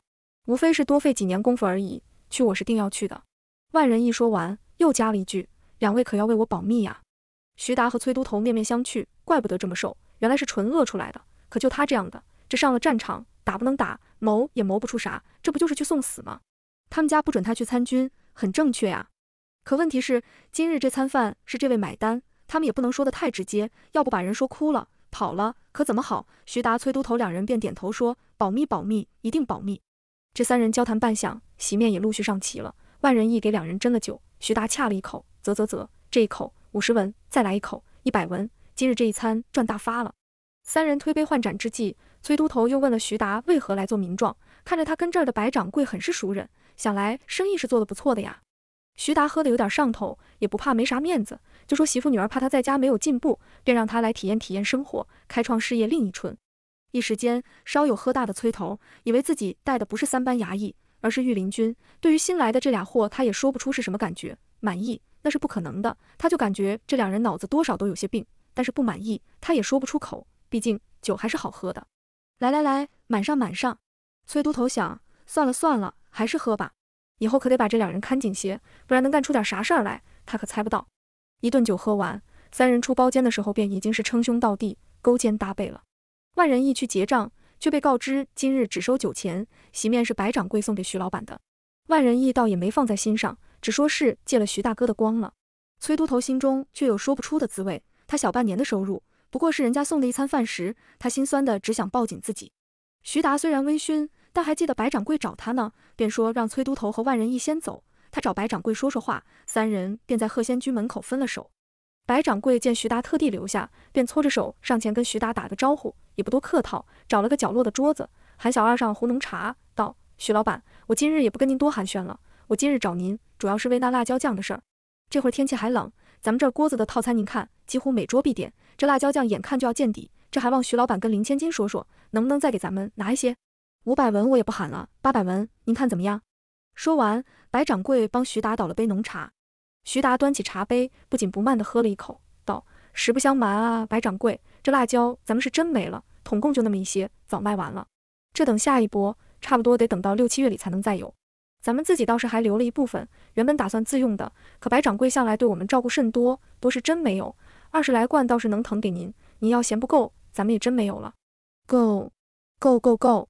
我这会儿就让人随您去拿。”白掌柜说完，便喊了小二，说赶车送徐老板回去。顺便把辣椒酱给拿回来。您别急，不知道我弟弟有没有跟您说那干脚？徐达突然酒醒，想起这茬来。白掌柜立马说道：“说过了，这事儿肯定没问题啊。你们什么时候要，什么时候来装就是了。哎呀，徐老板，这等小事儿您就不用操心了。以后做了官爷，可得多照顾照顾咱们啊。”虽说白掌柜知道名状做到头不过就是个都头，但是伸手不打笑脸人嘛，多说好话总不会错。徐达笑称自己不过是个跑腿打杂的，客气了两句，便带着白掌柜给的十六两银子回了十四。此时午饭时间已过，十四里头只剩下一桌客人，十四众人都各自找了地方坐着聊天休息。徐达问了两句石头和康平之，两人都说还应付得过来，便也不再多问。既然这事儿交给这俩孩子了，总得给他们发挥的空间和充分的信任，不是？他匆匆跑到后院的杂物房，那里头堆着之前他让春丫给囤的辣椒酱，他们辣椒酱给的抠搜，当初囤的四十来罐，如今还有三十罐呢，自己剩了十罐，马上天热了，锅子套餐也可以撤了，让盖头节约着点用，也能熬到春丫做新酱。来拿货的马车此时正等在后门，后院帮厨的人都在前厅里头坐着休息聊天。徐达和小二分了几次，搬完了二十罐辣椒酱。待小二走了，徐达关上后门，刚一个转身，就见春丫双手交叉在胸前看着自己。而旁边站着神色不明的石头，春丫今天怎么会在这儿啊？徐达虽然知道无法转移话题，可还是不死心的想硬转。春丫似笑非笑的看着徐达，没有说话。倒是石头回答道：“妹妹说怕我第一天来做掌柜太紧张，来给我壮壮胆。”嗯，好。那什么，爹报道好了，一会儿晚上要不我来炒菜？徐达还在垂死挣扎。春丫伸出手说道：“见者有份。刚那小二是贺仙居的吧？你那些辣椒酱卖了多少？”你没钱吗？你可是咱们三个里头最有钱的。徐达想着，好不容易弄点私房钱，居然还被春丫给发现了。虽说今日他不出点血肯定是不行的，可这事实他还是要强调一下。春丫不跟他多说，转身就要走，边走边说：“不给拉倒，我告诉娘去，我爹存私房钱，十六两，卖了十六两。”徐达立刻招供。春丫微笑转身，伸手道：“拿来吧。”懊恼不已的徐达从腰间解下个荷包，扔给了春丫。春丫从里头挖出几块碎银，掂了掂，一半给了石头，一半放进了自己的小荷包里，然后又把徐达的荷包扔还给了他。别说你女儿我不孝顺啊，这里头起码还有十两，你拿着花吧。徐达下意识地说了声谢谢呀。本不想要钱的石头也鬼使神差的跟着说了句谢谢，随后才激动了起来。他暴富了。虽说每日过手的银子不少，可石头如今依旧还只有五十文的零花钱。他对钱倒是没啥想法，就是想着自己也有私房钱了，就忍不住有一种隐秘的悸动。可能这就是人类对金钱本能的热爱吧。春丫露出两颗老虎牙，笑称不必客气，都是应该的。转身就要走，可又想到了什么，回头问徐达：“爹，你不会去喝花酒吧？”“那哪敢啊！就凭你娘那插你三十刀，刀刀不致命的手艺，我这辈子都不可能喝花酒的。”徐达立马表忠心。春丫满意了。点点头，说是去趟摘星阁，抬腿就走了，留下颤抖的石头。他问徐达：“我娘啥时候有这手艺？最近新学的，以后可得孝顺着点你娘，晓得吗？”“晓得，晓得。”石头疯狂的点了点头。今日在十四耽搁了大半天的春丫，喊了郑大叔赶着骡车送他去了摘星阁。说来也巧，今日大眼庄本就说要种辣椒，没想到徐达还卖辣椒酱攒私房钱，被他抓了个现行。他本来不反对他爹有少量私房钱，以后跟同事喝个酒啊，买个饭啊，给爷奶买点吃的喝的呀，有点私房钱也方便些。只是被他撞见了嘛，总归得扒拉下来点，顺便逗逗他爹，不然日子多无趣啊。骡车没多时便到了摘星阁，看门婆子说夫人正在大眼庄，春丫便进门右拐走了过去。进门走了没多久，就见裴婷今日衣着轻便，似乎跟旁边的庄头在说些什么。远远瞧见春丫进来了，便朝他招了招手：“春丫快来，正说种辣椒呢。”春丫闻言，小跑了过去，脸不红气不喘的跑到裴婷近前，问道：“姐姐打算种多少？我正和庄头讲呢，要不然咱们这儿就多种辣椒算了。粮食今年估计收成也不会好，又卖不了几个钱，还不如统统种了辣椒拉倒。”裴婷其实一点不懂农务，反正怎么赚钱怎么来呗。春丫思忖了下，才道：“要不空几亩出来吧，再种几亩白菜萝卜，这东西耐存放，到时候辣椒收了，用白菜萝卜做泡菜也好吃。用辣椒做。”裴婷如今虽称不上是辣如命，但她日常略显寡淡的无糖低碳水的饭菜里，总得加上些辣椒酱，她才觉得比较能下咽。是，好吃着呢。到时候腌上几缸，能吃不少时间。春丫点头道。那裴婷也不多纠结，吩咐庄头多种些萝卜白菜。转念一想，又问春丫。空的几亩要干嘛？春丫把裴婷往旁边拉了拉，裴婷便知春丫又有什么鬼点子，便让冠音奴清退了身边一众人等。春丫这才说道：“婷姐姐家生意做得大，可听说过南方沿海有叫番薯的食材？番薯是外番来的，倒是未听说过。这东西有甚特别之处？我倒是可以这人打听打听。”裴婷想着春丫定不会乱问一气，既然他问了，就定有问的道理。先别，我还没想好到底要怎么办。婷姐姐。我想问问你，你是希望离开卢县令呢，还是不离开他呢？春丫其实如今不确定裴婷对卢县令的态度，说两位是好的，可这两人如今简直跟撕破脸没什么两样。可要说不好，裴婷也并没有做出什么想要和离或者真正离开卢县令的举动。而且说到底，如今他们这摘星阁的生意也都是裴婷靠着县令夫人的身份拉来的，所以裴婷的心意他很难确定。裴婷陷入了长久的沉默，他其实也很不确定。夫妻感情早就在那些日日夜夜的搓磨和算计中消失殆尽了。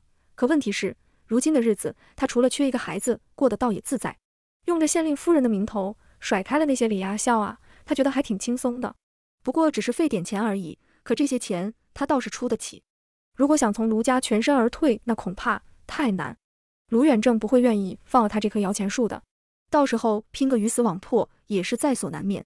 过了很久，久到春丫都想屏息练功了。裴婷才摇了摇头，说道：“我不能离开他，那咱们就按不能离开卢县令的方法办。”春丫的态度令裴婷很是惊讶，他本以为他如此说，在张氏这么开放的教育下教出来的春丫会对他多少带点不屑，可没想到春丫说的是帮他想办法。可这所谓的办法是什么意思？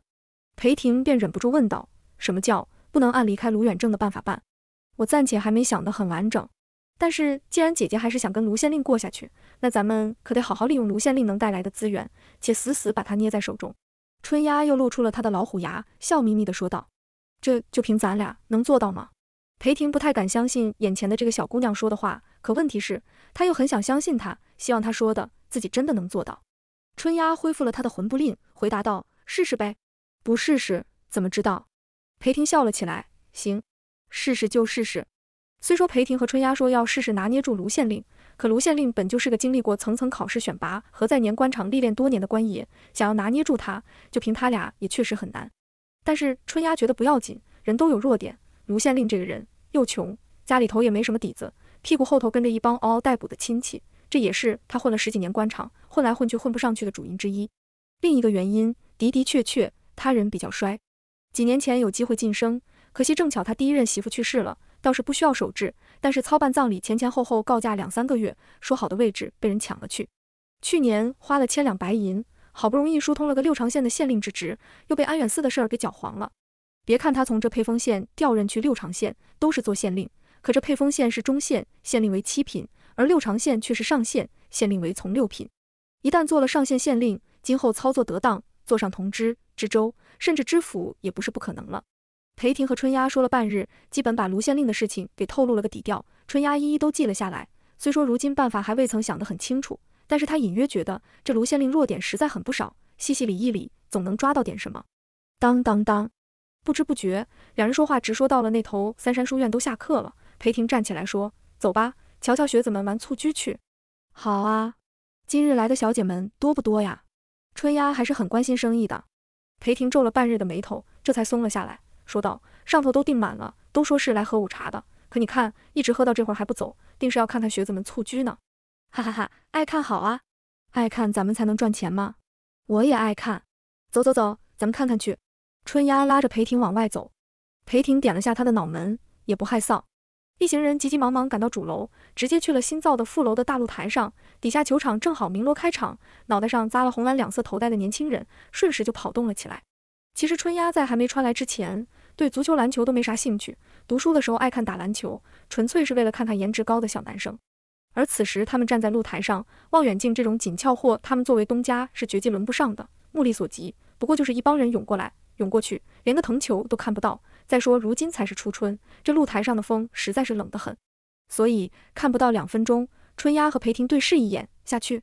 春丫问：“走吧，走吧，太冷了。”裴婷也受不了这上头的冷风。两人看了两分钟蹴鞠，匆匆下了楼，见顾妈妈和佛保佑正带着小丫头往返于各个包厢之间，忙得不亦乐乎。他们也不喊他俩忙好啊，忙来忙去，可不都是钱吗？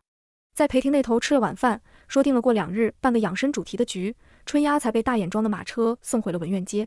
推门进去，就见各个屋子都点了灯，院子里连个鬼影都没有，狗都不知道去了哪儿。他们还真是一点不操心他。春丫原想喊两声，转念一想。还是算了，先去找徐达和张氏商议点事情再说。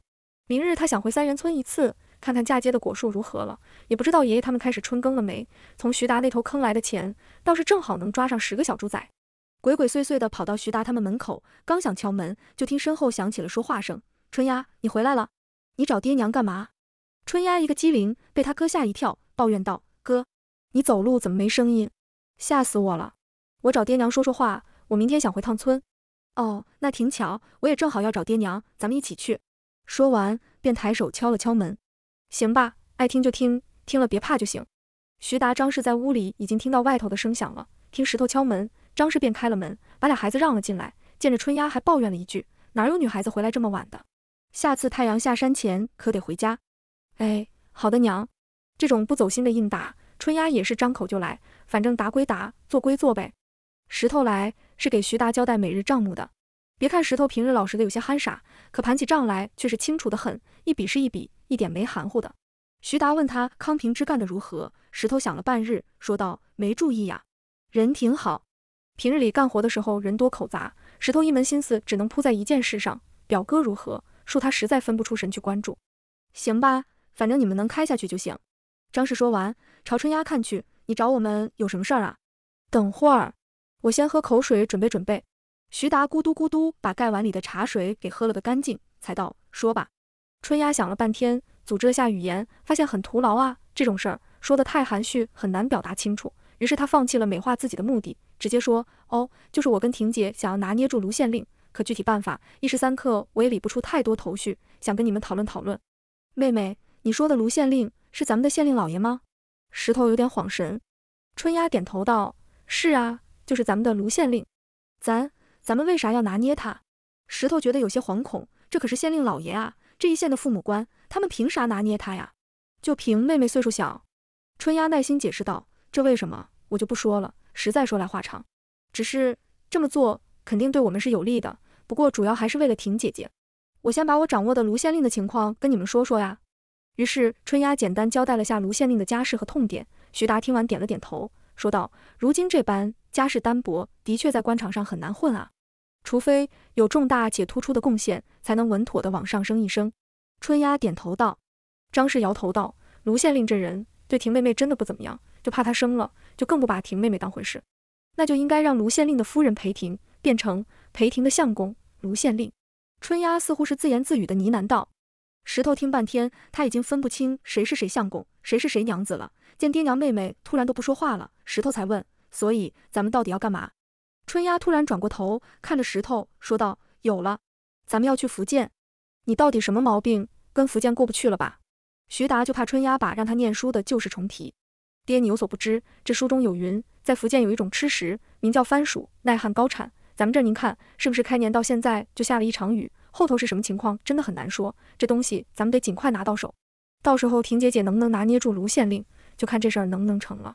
春丫爱看趣史，她买过一本画册，里头是写中国人食物的演化的，其中就记录了番薯是由福建商人从吕宋夹带过来的，只是刚开始不被大众所接受，后来南方大旱才推行种番薯，然后番薯才慢慢在全国铺散开来的。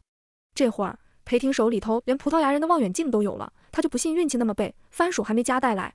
虽然我不是很懂春丫的脑回路，但是我觉得哪怕不是为了别人，光为了咱们自己，咱们也得去找找番薯。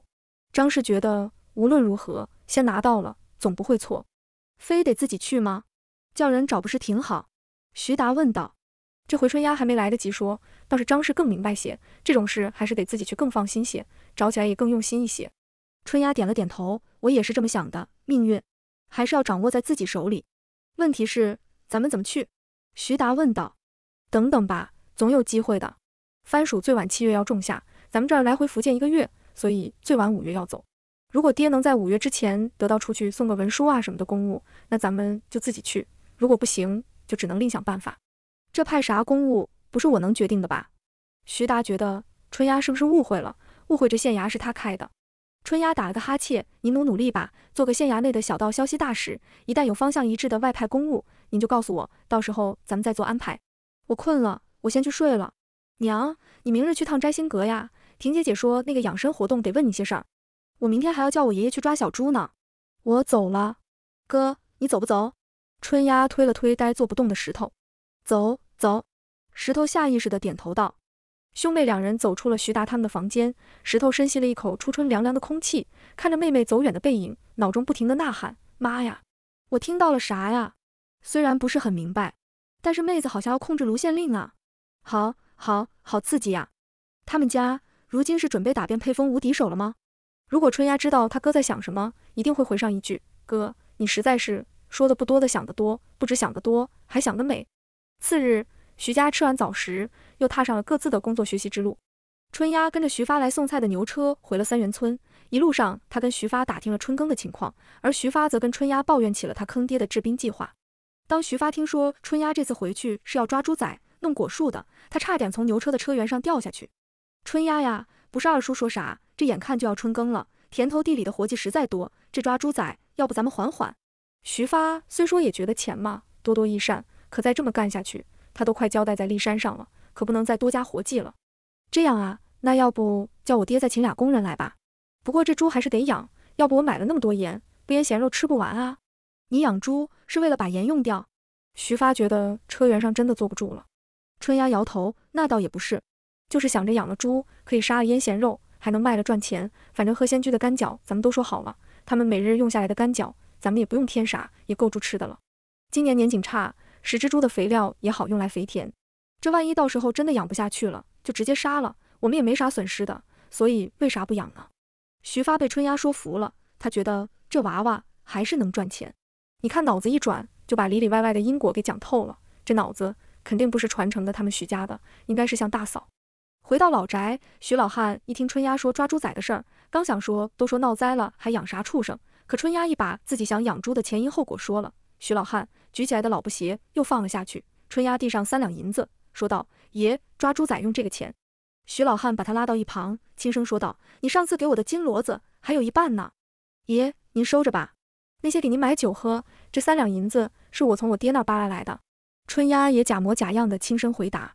徐老汉一听是徐达的钱，立刻收入囊中，带着春丫出门抓猪去了。而蔡氏在听闻徐发说请人来养猪之后，直接一把扫帚扔了过去，放你娘的屁！说完又觉得不妥，重新骂道：放你的屁！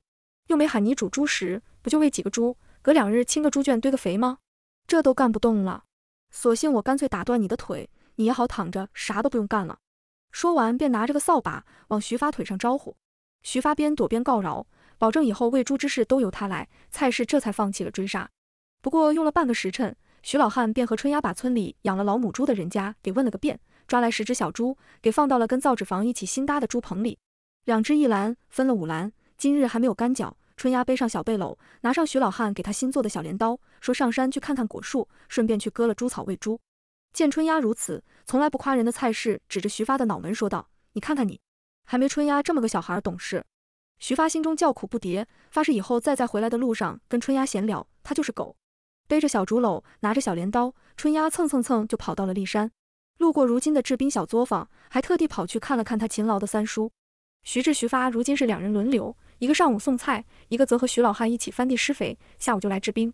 日落前还得伺候鸡呀、鸭呀、兔啊、鱼呀、虾呀。忙的那叫一个脚不沾地。春丫，你怎么回来了？有啥事儿吗？徐志看到春丫，心里也直打鼓。要是这娃再弄点啥事儿出来，他怕自己也顶不住啊。三叔，你不知道吗？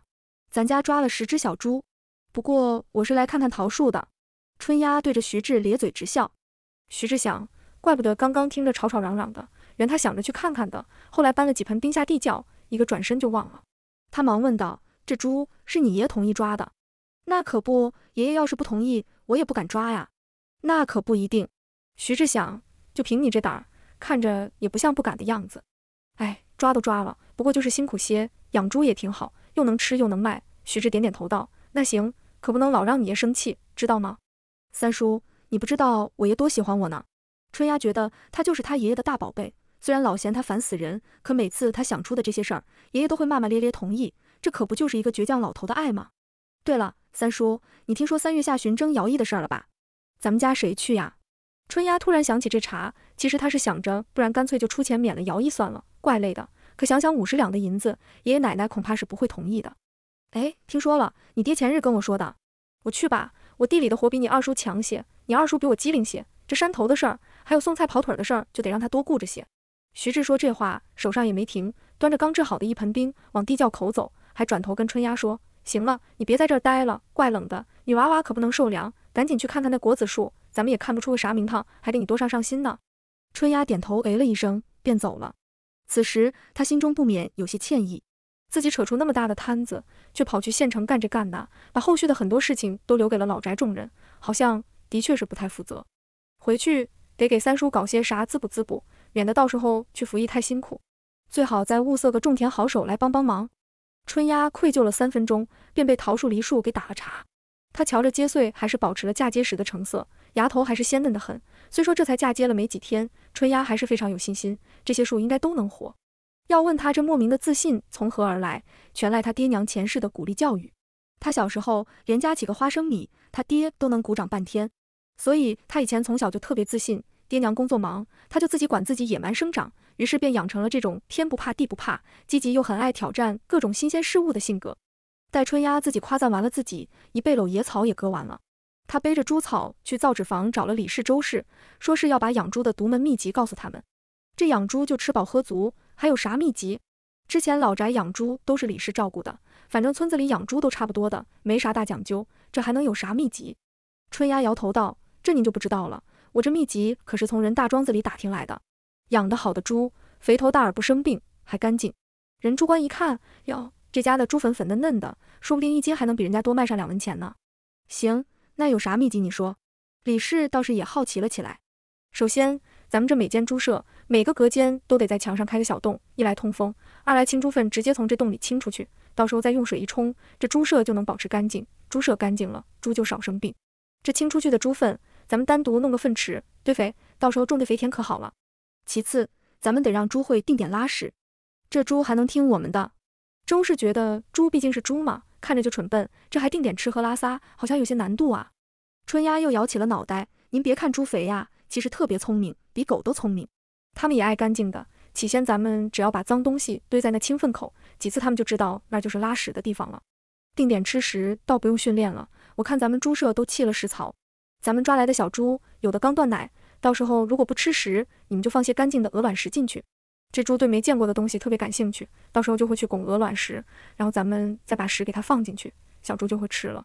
另外，每回清扫猪栏之后，撒点石灰消消毒，猪就能不生病。别的我一时也想不起来了，再有啥我回来的时候再跟你们讲啊。春丫说完，眨着眼睛看着两个婶子，而两个婶子也眨着眼睛看着他。好半天，李氏才道：“春丫呀，你这些都是哪儿学来的？咋就知道那么多呢？”就是大眼庄里头问他们专门养猪的学的，人家说了，这可是他几十年的经验总结。要不看我勤学好问，他还不愿意告诉呢。春丫说起谎来，那也是张口就来。李氏点头说道：“要说人家大庄子产出高哈，这到底跟我们这儿自己瞎养不一样哈。”春丫点头称是。三人从造纸房出来，把猪给喂了，让朱立山的五人今天稍微住一些猪圈。春丫飞喊徐志给捞了一笼虾，几人这才回了老宅。回去的路上，春丫一直在想一件事儿。如今他们这立山也算是个赚钱之地，只放了五个女子在山上，总觉得不太安全。这会儿他们这儿还算太平，可随着难民大批往南，他们这儿又正好在南北交界的必经之路上，以后到底能不能继续太平下去，也很难讲。这事儿还是得找他爹娘好好商议一下。回到老宅，春丫闹着非得做晚饭，蔡氏嫌他做饭费钱，他已经受够了这娃连吃十天羊肉的败家之举，发誓无论如何绝对不会让春丫拿锅铲一下。春丫却说她在自家还做了早茶给文氏吃呢，所以奶奶爷爷也得安排上。闻此言，蔡氏停下了跟春丫疯狂撕巴的魔爪。那行吧，算着点做，别做多了。行。春丫硬从蔡氏手里抢过他久久不肯撒手的锅铲，喊了李氏、周氏一起帮忙。今日回来的时候，春丫就想要做顿好的，所以肉菜调料都带得齐全。一进厨房，便把李氏、周氏指使得团团转。一顿晚饭历时将近一个时辰，天都黑了，隔壁叶家都喊着烫脚上床了，春丫这头才将将做好。等得徐老汉直抱怨老七，为啥把锅铲的控制权给放弃了呢？豉汁排骨、梅菜扣肉、柳叶蒸饺、爆炒羊肉、虾仁跑蛋，再上一个甜点豆沙麻饼。对了，还蒸了一锅腊肠饭，五菜没汤，一点心一主食，摆了满满一桌。蔡氏心疼的直吸气，拿起扫把就想给春丫来两下。春丫自然不会站着挨打，只跟蔡氏两人一圈圈的绕着桌子转。春丫边跑边喊：“给你们补补啊，马上春耕了，可不得吃好点儿。”徐老汉实在被这两人绕得头晕，喝一声：“够了，还吃不吃饭了？”蔡氏才放下握着的扫帚，头晕眼花的，简直站不住，没好气地说：“补什么补？种的粮还不够这一顿吃的呢。行了，吃还堵不上你嘴。春丫，不是爷说你有钱也不是这么个用法。”咱庄户人家平日里能吃饱就好了，这么吃法，金山银山也吃得完。徐老汉吃是要吃的，但是面上总得教育几句。春丫摇头道：“吃不完，吃不完，改天我给你赚个金山回来，咱姐看看能不能吃完。少贫嘴，吃你的。”蔡氏往春丫碗里扔了块排骨，劈手又从徐发手里抢了一块给自己。你娘还没吃，你吃啥？也不知道先孝敬爹妈。徐发心疼的抱紧自己，今日黄历可能不利他。他好想大哥，如果大哥在，那他就肯定不是那个最被嫌弃的崽。春丫，你怎么能想得出那么多好吃的？坐在春丫旁边的徐英悄声问道。春丫笑答：“我也是在卢夫人那庄子里学来的。如今我在他们厨房帮忙，他们厨娘可厉害了，什么都能做。过几日我带点心给你们吃啊。帮忙，给钱不？”蔡氏听了一耳朵，反正谁吃亏也不能自家孙女吃亏。给卢夫人可大方了，我可没私藏啊。我的钱可都给我娘了，我娘再给我零花钱。春丫说的倒是实情，就是这钱到底有多少，她也不太好说，怕吓着老太太。既然给钱，那蔡氏就满意了，不过表情还是那般的嫌弃，边嫌弃春丫浪费，边往她碗里扔菜。一顿晚饭吃的盆子里头干干净净。李氏拉着春丫说要讨教几招，过几日他爹生日，好回娘家露一手，震慑他们李家村。周氏倒没这个需求，这些东西他娘家一般也不太会吃到，不过听听也无妨。徐英、徐敏也被两个娘拉来说得学着些，以后用得着。蔡氏一看他们几个凑在一块儿，那他必须监督好啊，不然这几人再想法子霍霍钱怎么办？他得看着点儿这群败家玩意儿。于是徐家老宅的妇女儿童们莫名开起了座谈会，一开开到半夜，春丫眼皮打架了，几人才放过他，让他赶紧去睡。然而春丫觉得自己都还没怎么睡，就被喊起来说得走了。睡得迷迷糊糊的春丫也不知道被谁拉了起来，穿上了衣服，裹上厚被子，给扔上了牛车。一路继续昏迷般的直接睡到了县城，听徐志喊了一声：“春丫，醒醒，到家了。”这才清醒过来。今日张氏特地没有早走，春丫没回来，他也不放心。见春丫迷迷糊糊的从牛车下来，怀里还掉出了两个撒了满满葱花的鸡蛋面饼，忍不住笑了：“人家鸡下蛋，你倒好，下个现成的鸡蛋饼。”春丫憨笑两声，捡起用干净白布包着的面饼，咬了一口，这才问道：“娘怎么还没走？等你呀。”顺便跟你说一声，你婷姐让你今天去趟摘星阁，今日要把布置定下来。她昨日已经把帖子都下好了。张氏说完，便拿了自己随身的小包准备走了。春丫这才清醒了点，问道：“我爹昨日第一天上岗，表现怎么样啊？”张氏想了想，意味不明的说了句：“就那么样吧。一会儿你自己问你爹，我先走了。”然后抬腿就走了。昨日徐达第一日报道，走到县衙门口，看到人家的统一着装，才想起来。自己前日要紧着去追崔都头，把领衣服的事儿给忘到了脑后，可没穿衣服也得进去啊。徐达想着，一会儿悄悄溜进牙灶间，就挨门口站着，先去报个到，然后再趁人不备，悄悄溜出去拿衣服。不过这事儿吧，在他看来本来就没啥，不就件衣服吗？崔都头应该不会上纲上线。不过让他万万没想到的是，崔都头新官上任三把火，一心想着杀杀这些新来的民壮的威风，凡是有衣衫不整。精神萎顿的都被他狠狠骂了一顿，正说着要让被抓出来的几个人去后头教场上跑上十圈呢，徐达就穿着宽松的直身，顶着松松垮垮的发髻，狗头缩紧的挨进了门。此时刚被崔都头喊着去罚跑的那几人正好走到门口，大家看看徐达，看看崔都头，一时屋子里无比寂静。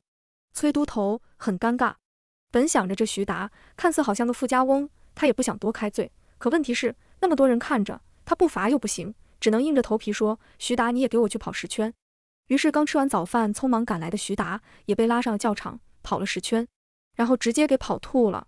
跑吐还不算，那头刚吐完，另一头又觉得要拉，又着急忙慌的找茅厕，真真是苦不堪言。崔都头也怕这人跑出个好歹来，又听闻徐达的媳妇儿是仁济堂的女女大夫，赶紧亲自给送去了仁济堂，把张氏给弄了个哭笑不得。于是春丫早上的询问，张氏也只能回答一句：就那样吧，好歹得徐达留一丝面子不是？不过春丫也并不是特别期待徐达能干出什么丰功伟绩，问也不过是随口一问，没有任何要计较他爹表现到底好还是不好的意思。他自己忙自己的事儿都忙不过来，且没什么心思管他爹呢。张氏走后，春丫也换了身衣裳，重新梳洗一番，在到底要不要去喊郑大叔送他去摘星阁的事上纠结了一下，最后还是决定自己腿着去。反正路也不远，而且摘星阁离城门也不算远，他觉得他自己去应该是没问题的。沛丰县城如今虽说过境的难民不少，可都因为有限制活动范围，也有县衙派了捕快衙役管理，倒也不算太乱。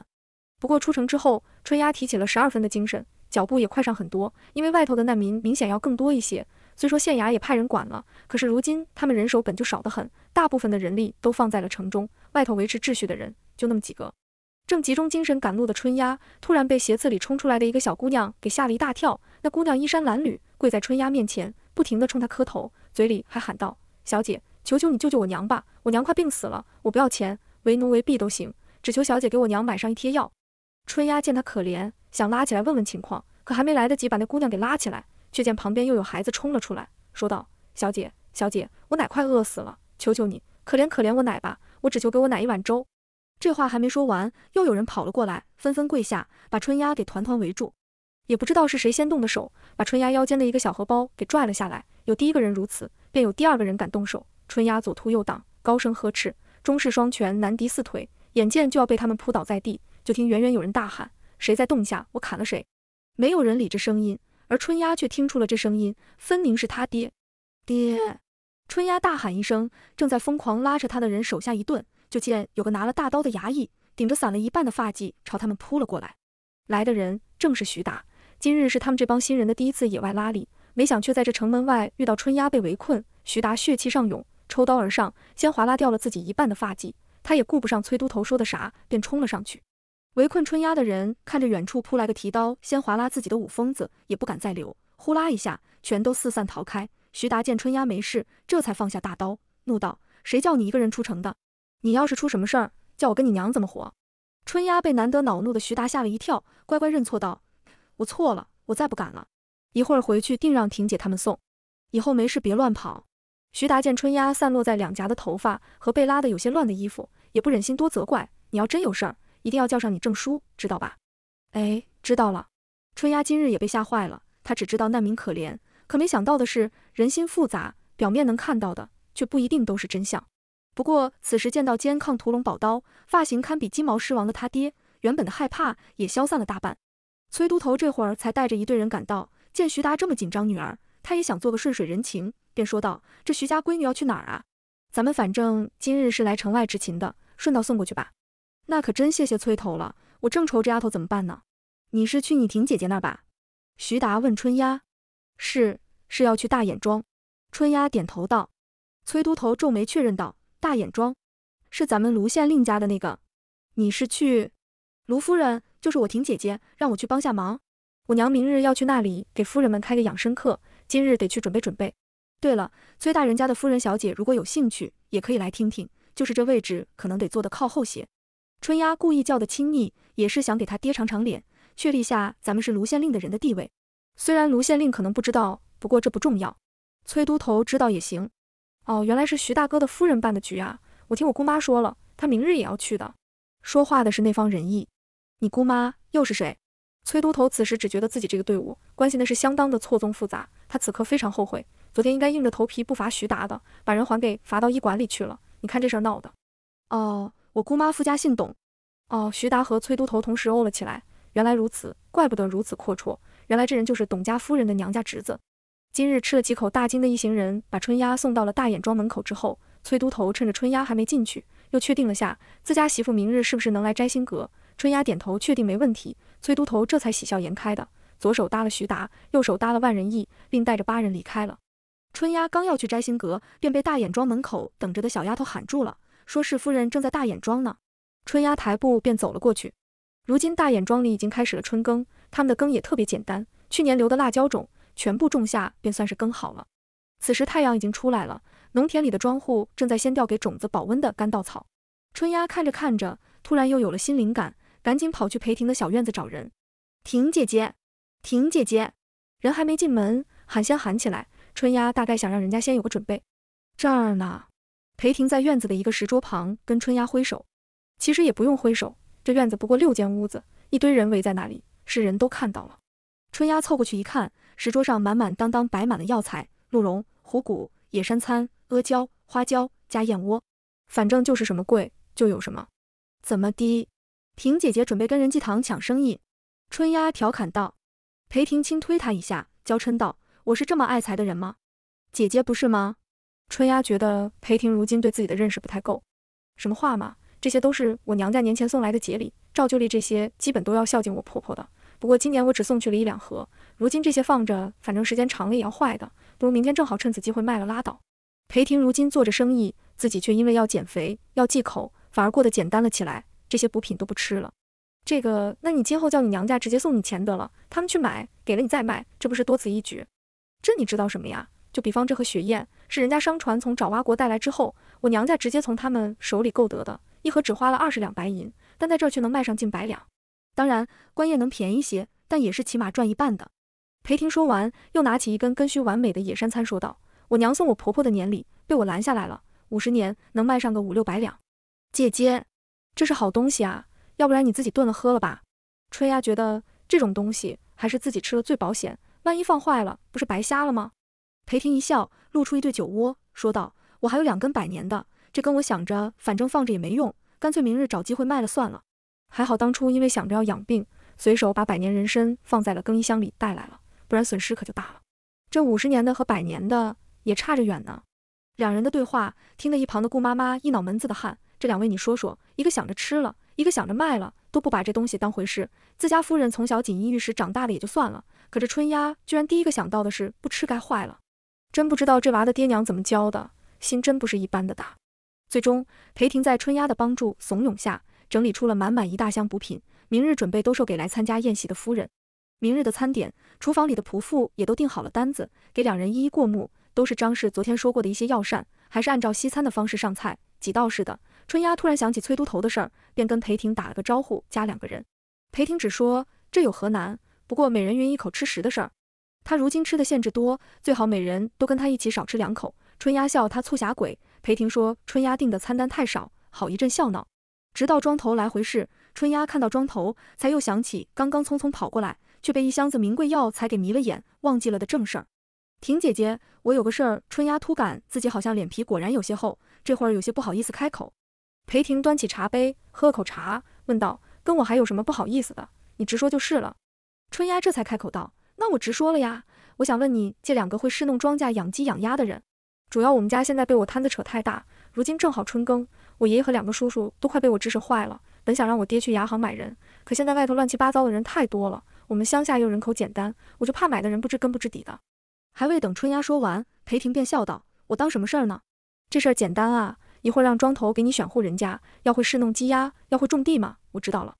那个人太多也不行哈，我也乃怕费粮食。”春丫撸了撸略显散乱的头发，说道：“哈哈，知道了，知道了，一会儿定给你选家好的，月钱你不用出，我这儿自会安排好。行了，你看你这头发怎地如此乱？观音奴，给春丫再梳一下吧。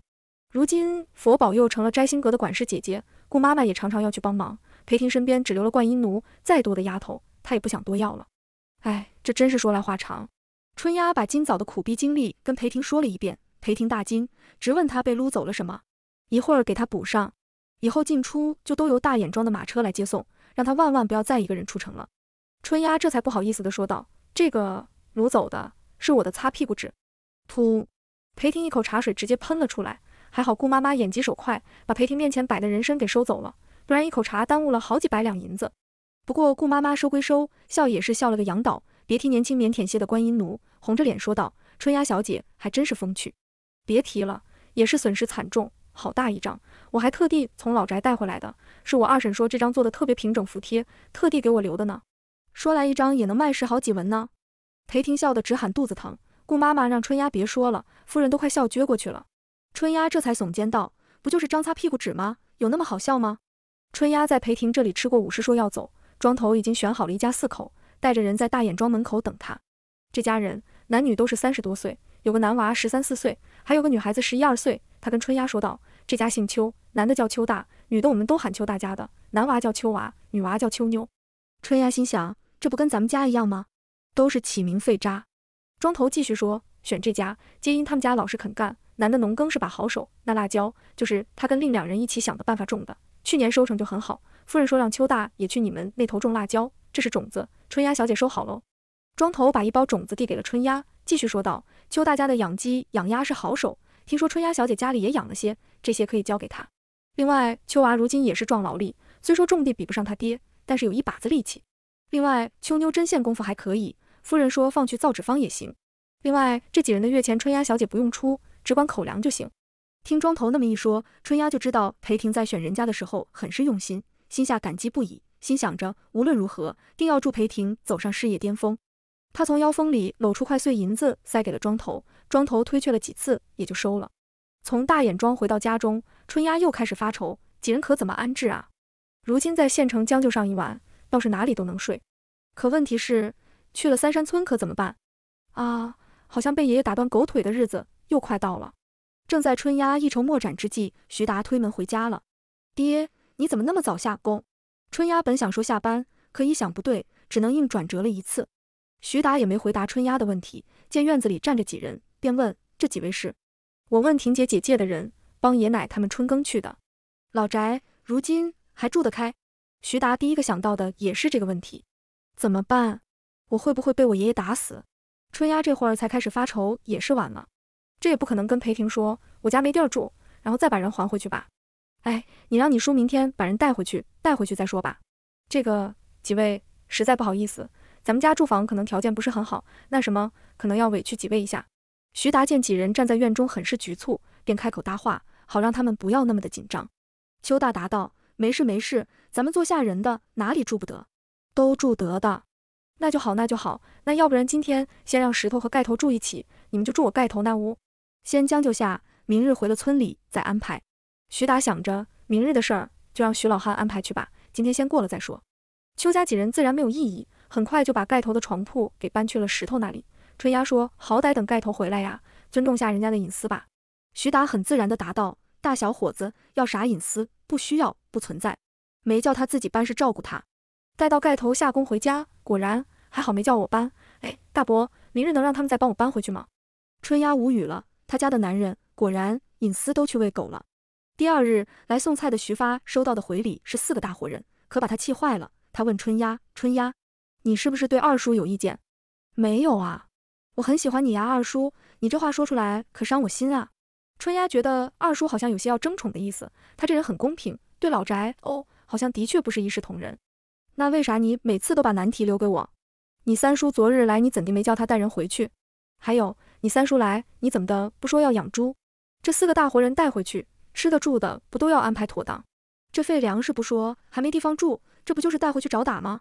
春丫无奈道：“误会二叔，真的是巧了。来来来，我给你个秘方。这个呢，是我批发的奶奶的头巾；这个呢，是我私藏的爷爷的烟叶。一会儿你回去就塞给他们，他们一高兴，这事儿就不会骂你了。”徐发半信半疑，真的好使，可好使了？你又不是没见我用过这招，灵不灵你自己感觉。春丫如是说。徐发想了想，好像是这么回事啊，便把东西收入囊中，带着人。唧唧歪歪的走了。他再三跟春丫说：“以后有这种好事，千万记得留给你三叔。你爷奶更喜欢你三叔一些。”春丫点头说：“好，没问题。以后好事就留给三叔了。”等徐发赶着牛车带着人回到老宅，跟蔡氏和徐老汉说明了这四人的来意，惹得徐老汉又老当益壮，追着儿子跑了一回。徐发赶紧掏出春丫塞给他的头巾和烟叶，一股脑的给了徐老汉。徐老汉更火大了：“你瞎霍霍什么钱？这春丫前阵子刚给我买了这么些东西，你怎么又买？”当钱不是钱啊！又是拎起烟杆敲了徐发两下。徐发发誓，真的再不会听春丫半句了，再听他就是狗。可打也打了，骂也骂了，这人还是得找地儿住啊。这家关键还有男有女，这可咋整？还是蔡氏说道：“那你们让造纸坊的那几个回来住，这几个搬过去，那里头不是有两间吗？就给他们住。那大哥他们回来。”李氏小声问道：“就让他们露天睡，睡牛棚？徐老汉怒道：“真是烦死个人，天天的给他找事儿。本来这骊山脚下造院子的事儿他也不急，等着春耕结束了再说。可这会儿人是一波波的送回来，春耕之后还要征徭役，现在他也顾不上那么多了，只能先去一家家问了，有没有得闲的，能上他这儿干上几天。他这回斥巨资，人工开到二十文一人，好歹在征徭役之前把这事儿给办好了。三儿，明日找你哥要钱去，要他个五十两，就说咱们要造房子了。徐老汉恨恨地想。这六间屋子不过三十来两银子，可看着那破儿子就生气，可不得好好敲他一笔。徐志点头应是，父子俩一边往骊山走，一边商议着房子的事儿。可怜巴巴的徐发跟在后面，春天的风怎么也如此的寒冷。次日一早，待徐志赶到文苑街的时候，徐达已经去了县衙。徐志也不好意思问嫂子侄女儿要钱，便跑去了衙门找徐达。而此时，徐达正被衙门请来的武师折磨得生不如死。如今这些新来的人。每天早上先集合，请了武士练功一个时辰，连带衙门之前的民壮又补录了一人，一共二十五人，分了甲乙丙丁戊五个班，由崔都头在各班指定了一人做班头。徐达是甲班班头，万人义是乙班班头。金钱的味道真香。衙门口的造诣一听说是找徐达的，知道崔都头跟这人关系很不错，便热情地把徐志带了进去。徐志略显惶恐地进了衙门二堂，沿着连廊到了建在寓所外头的一片大教场，一眼便看到了徐达。他也不知道大哥为什么半边没了头发，由于徐达有些自然卷，这半边短发就如被炸过一样蓬在那里，另一边则是一个歪斜的发髻，此刻看着也马上要垮了。不过更尴尬的是，大哥扎的马步，人家都是半蹲的，只他大哥如蹲坑一般深蹲在那里。武师也不好多开罪，这造型很不符合规制的徐班头，只能在一边絮絮叨叨的喊他起来些，别蹲那么深，蹲那么深，腿上的劲儿也练不出来。直到造诣喊了一声徐班头。有人找，徐达这才如蒙大赦般的站了起来，一看是三弟来了，跟崔都头打个招呼，呼哧哈哧的跑了过来。徐志见大哥这造型，不知道先问他要钱，还是先问问造型的事儿，一时语塞，想半天只能说出个大哥。哎，你是要问这头发呀？我说另办啦，也不要了，剪了拉倒。我丈母娘死活不让我剪，你们将就着看看，我头发长起来快，过些日子就好了。对了，你找我啥事儿？徐达如今已经彻底放弃了形象，越来越往奔放的方向走了。徐志这才想起此行的主要目的。爹说要造房呢，趁着还没征徭役，先把屋子给建起来，怕到时候找不到人。如今不是春耕吗？徐达问。是，不过有人家种得快的，粮食没几日也种下去了。瓜果蔬菜家里女人种就行了。总有种的快的，能抽出人来。爹开了二十文一工的钱，估计愿意来的人应该不少。徐志如此解释。徐达点头，行。你们安排好就行。那什么，你找我就是说这事儿。大哥，那个钱，徐志见大哥根本想不到钱的事儿，便只能自己开口了。徐达眨巴眨巴眼，咱家钱都是你大嫂管的呀，你家就没碰到你嫂子？我没钱的呀。回答的如此顺溜，如此坦然，也是让徐志对大哥的妻管严有了更深层次的理解。真是白耽误功夫，早知道就直接开口问大嫂了。徐志说了一句：“那行，大哥你先忙。”便走了。徐达飞说：“徐志第一次来，容易迷路，一定要送他出衙门。出了衙门，还给他在对面街上买了俩烧饼，自己也吃了俩，这才拖拖拉拉的重新回了教场。”徐志走了两步，又回头喊了一句：“大哥，你最近还是别回家呀，这头发都没了半拉，听说还是自己砍的，他怕大哥被爹打残。”重新回到文苑街的徐志，再次敲开了徐家的大门，正赶上打扮一新的母女俩要出门，问明缘由。张氏笑道：“以后要啥你直接说，不用跟你嫂子客气。”五十两够不够啊？春丫，给你三叔取个八十两吧。你大哥说过，答应了爹老宅再起一排屋子的。这八十两，咱们造屋子剩下来的，就当是资助老宅造屋子吧。春丫雷了一声，就跑去张氏他们房间里拿钱。这张氏的私库藏在哪几个地方，春丫是知道的一清二楚的。其实张氏想的是，骊山那边造个六七间屋子，四五十两肯定够了。但是他们也帮不上什么忙，都是老宅几人在忙这事儿，他们不出力，好歹钱得出足喽，这样才不会有矛盾。徐志连连摆手，够了够了，五十两够了，拿着吧。咱们如今事情多，脱不开身，家里都靠你们两兄弟和爹在张罗，我们已经是万般的不好意思了，你可不能再推脱了。张氏微笑说道。没一会儿，春丫便把八十两银子拿个了匣子装了，塞给了徐志。徐志这辈子都没拿过这么些钱，一下子心慌意乱，这么大个匣子，他藏哪儿啊？这外头也不太平，瞬间就急得脑门冒汗。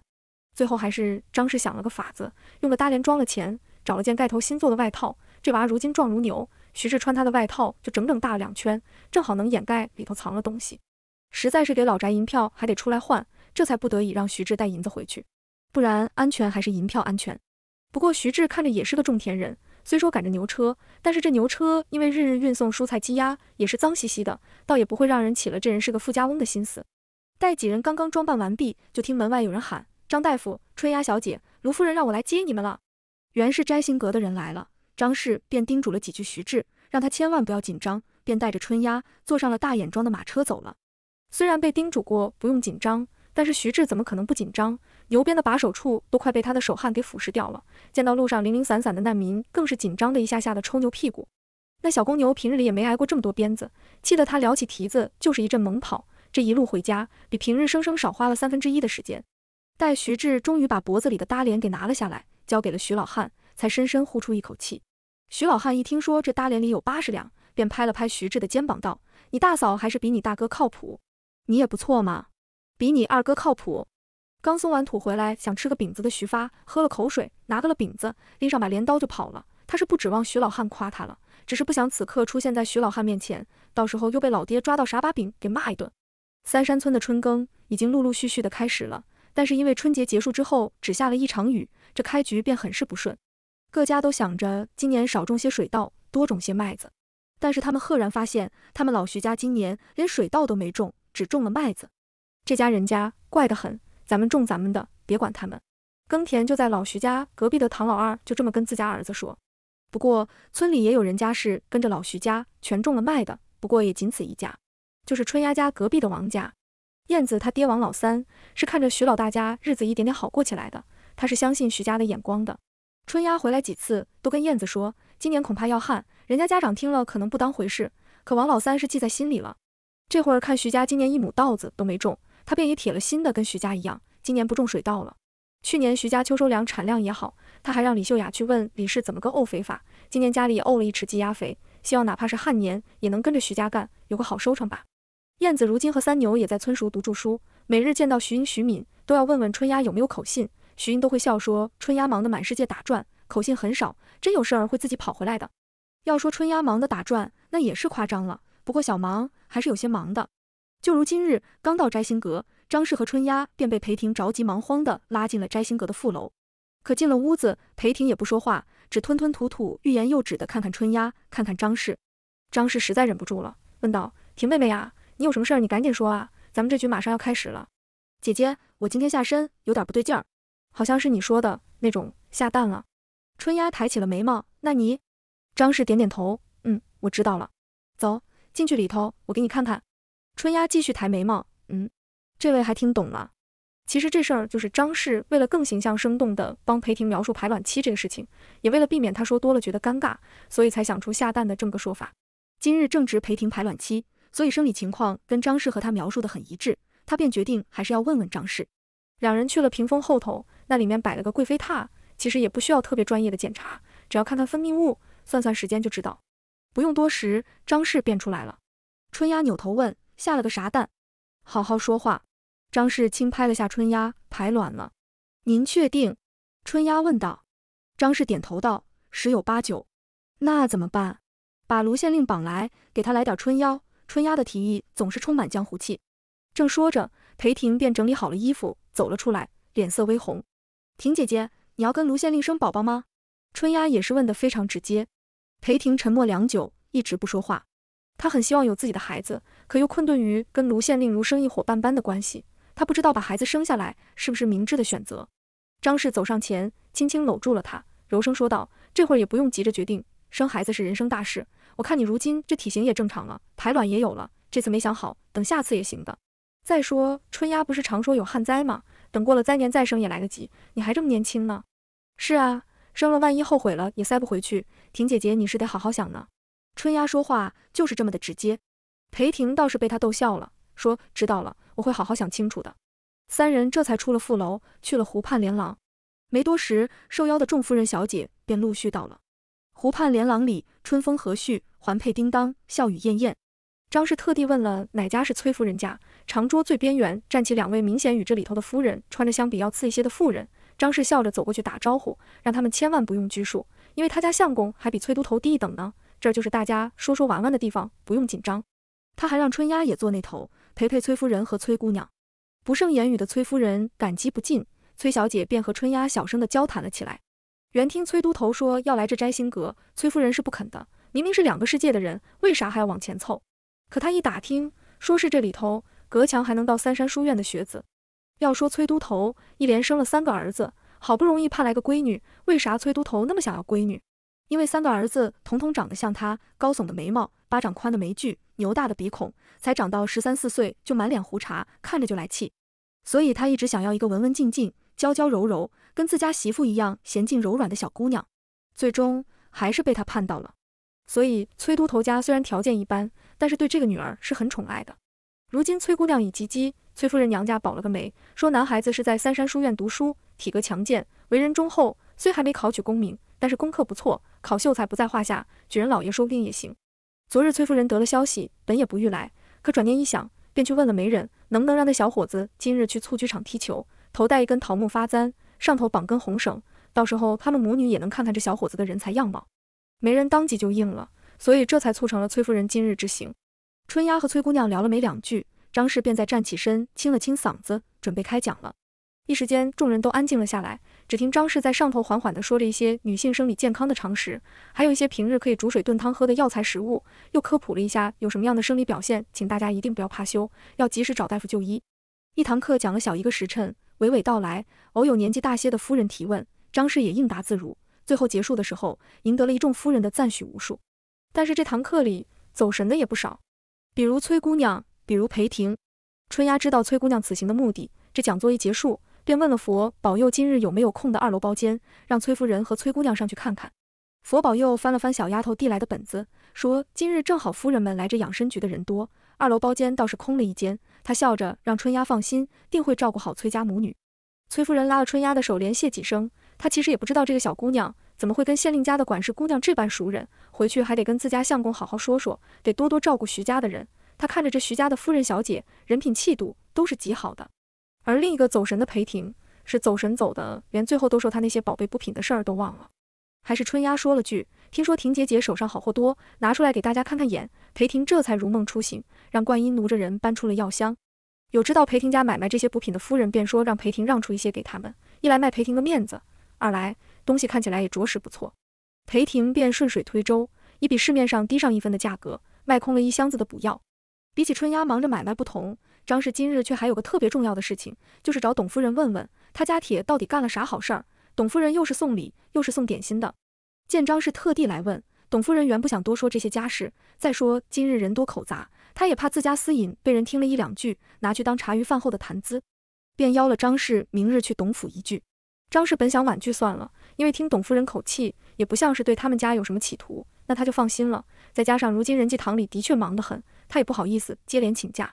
可董夫人却说家里有个孩子病了，想让他去看看。张氏思虑再三，觉得既然是孩子生病，那倒是应该去看看，便也应了下来。一箱补品最终倒卖了三千五百两银子，还是春丫点好了递给裴婷的。裴婷伸手接过春丫递过来的银票，转手又塞了五百两给他，说是卖东西的分成。春丫哪里肯要，裴婷就硬要给，两人撕巴半晌。裴婷突然道：“兰姐，我想好了，我要生孩子。”春丫反倒一惊，问道：“这么突然的吗？”“对，我突然想明白了，我赚那么多钱，好像也没什么花的去处，不如生个孩子给他花呀。”裴婷说完，看向张氏，张氏点头道：“养孩子的确很费钱。那兰姐，我需要做点什么准备吗？”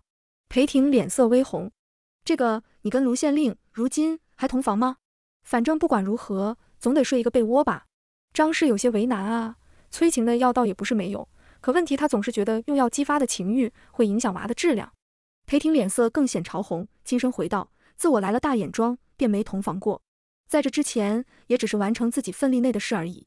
不过这事儿如今也不难办，我让他来拿钱，他定会来的。到时候点上一炉香，喝上三杯酒也就行了。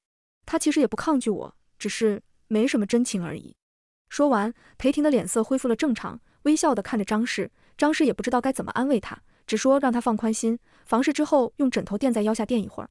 裴婷点头说了声好，突然像想到什么，拉着张氏说：“兰姐，咱们去品品我带来的香吧。我日常并不太用这些，不过如今手里这家南香，是我嫁过来的时候的陪嫁之一。我婆母也不知道这香极为难得，只当是什么不值钱的摆件，便没有抢去。到时候点了，借他儿子的一个种，倒也不违和。你们给我参详参详。今日我就想约他来。春丫对这种华而不实的东西，也实在是很有兴趣。谁叫人家这种东西贵呢？管它实用不实用，只要值钱，他都有兴趣，便怂恿了张氏一起去品香。顺便又提议，咱们下次活动也可以用品香来做主题。三人说说笑笑，到了大眼庄，进了裴婷的小院子。观音奴拿出了个金丝楠木的匣子，里头装的是什么？张氏和春丫也没凑过去看，只坐在裴婷书房的圆桌旁等着。母女两人的想法倒是很像，人家的东西给你看你才看，没给你看你等着便是。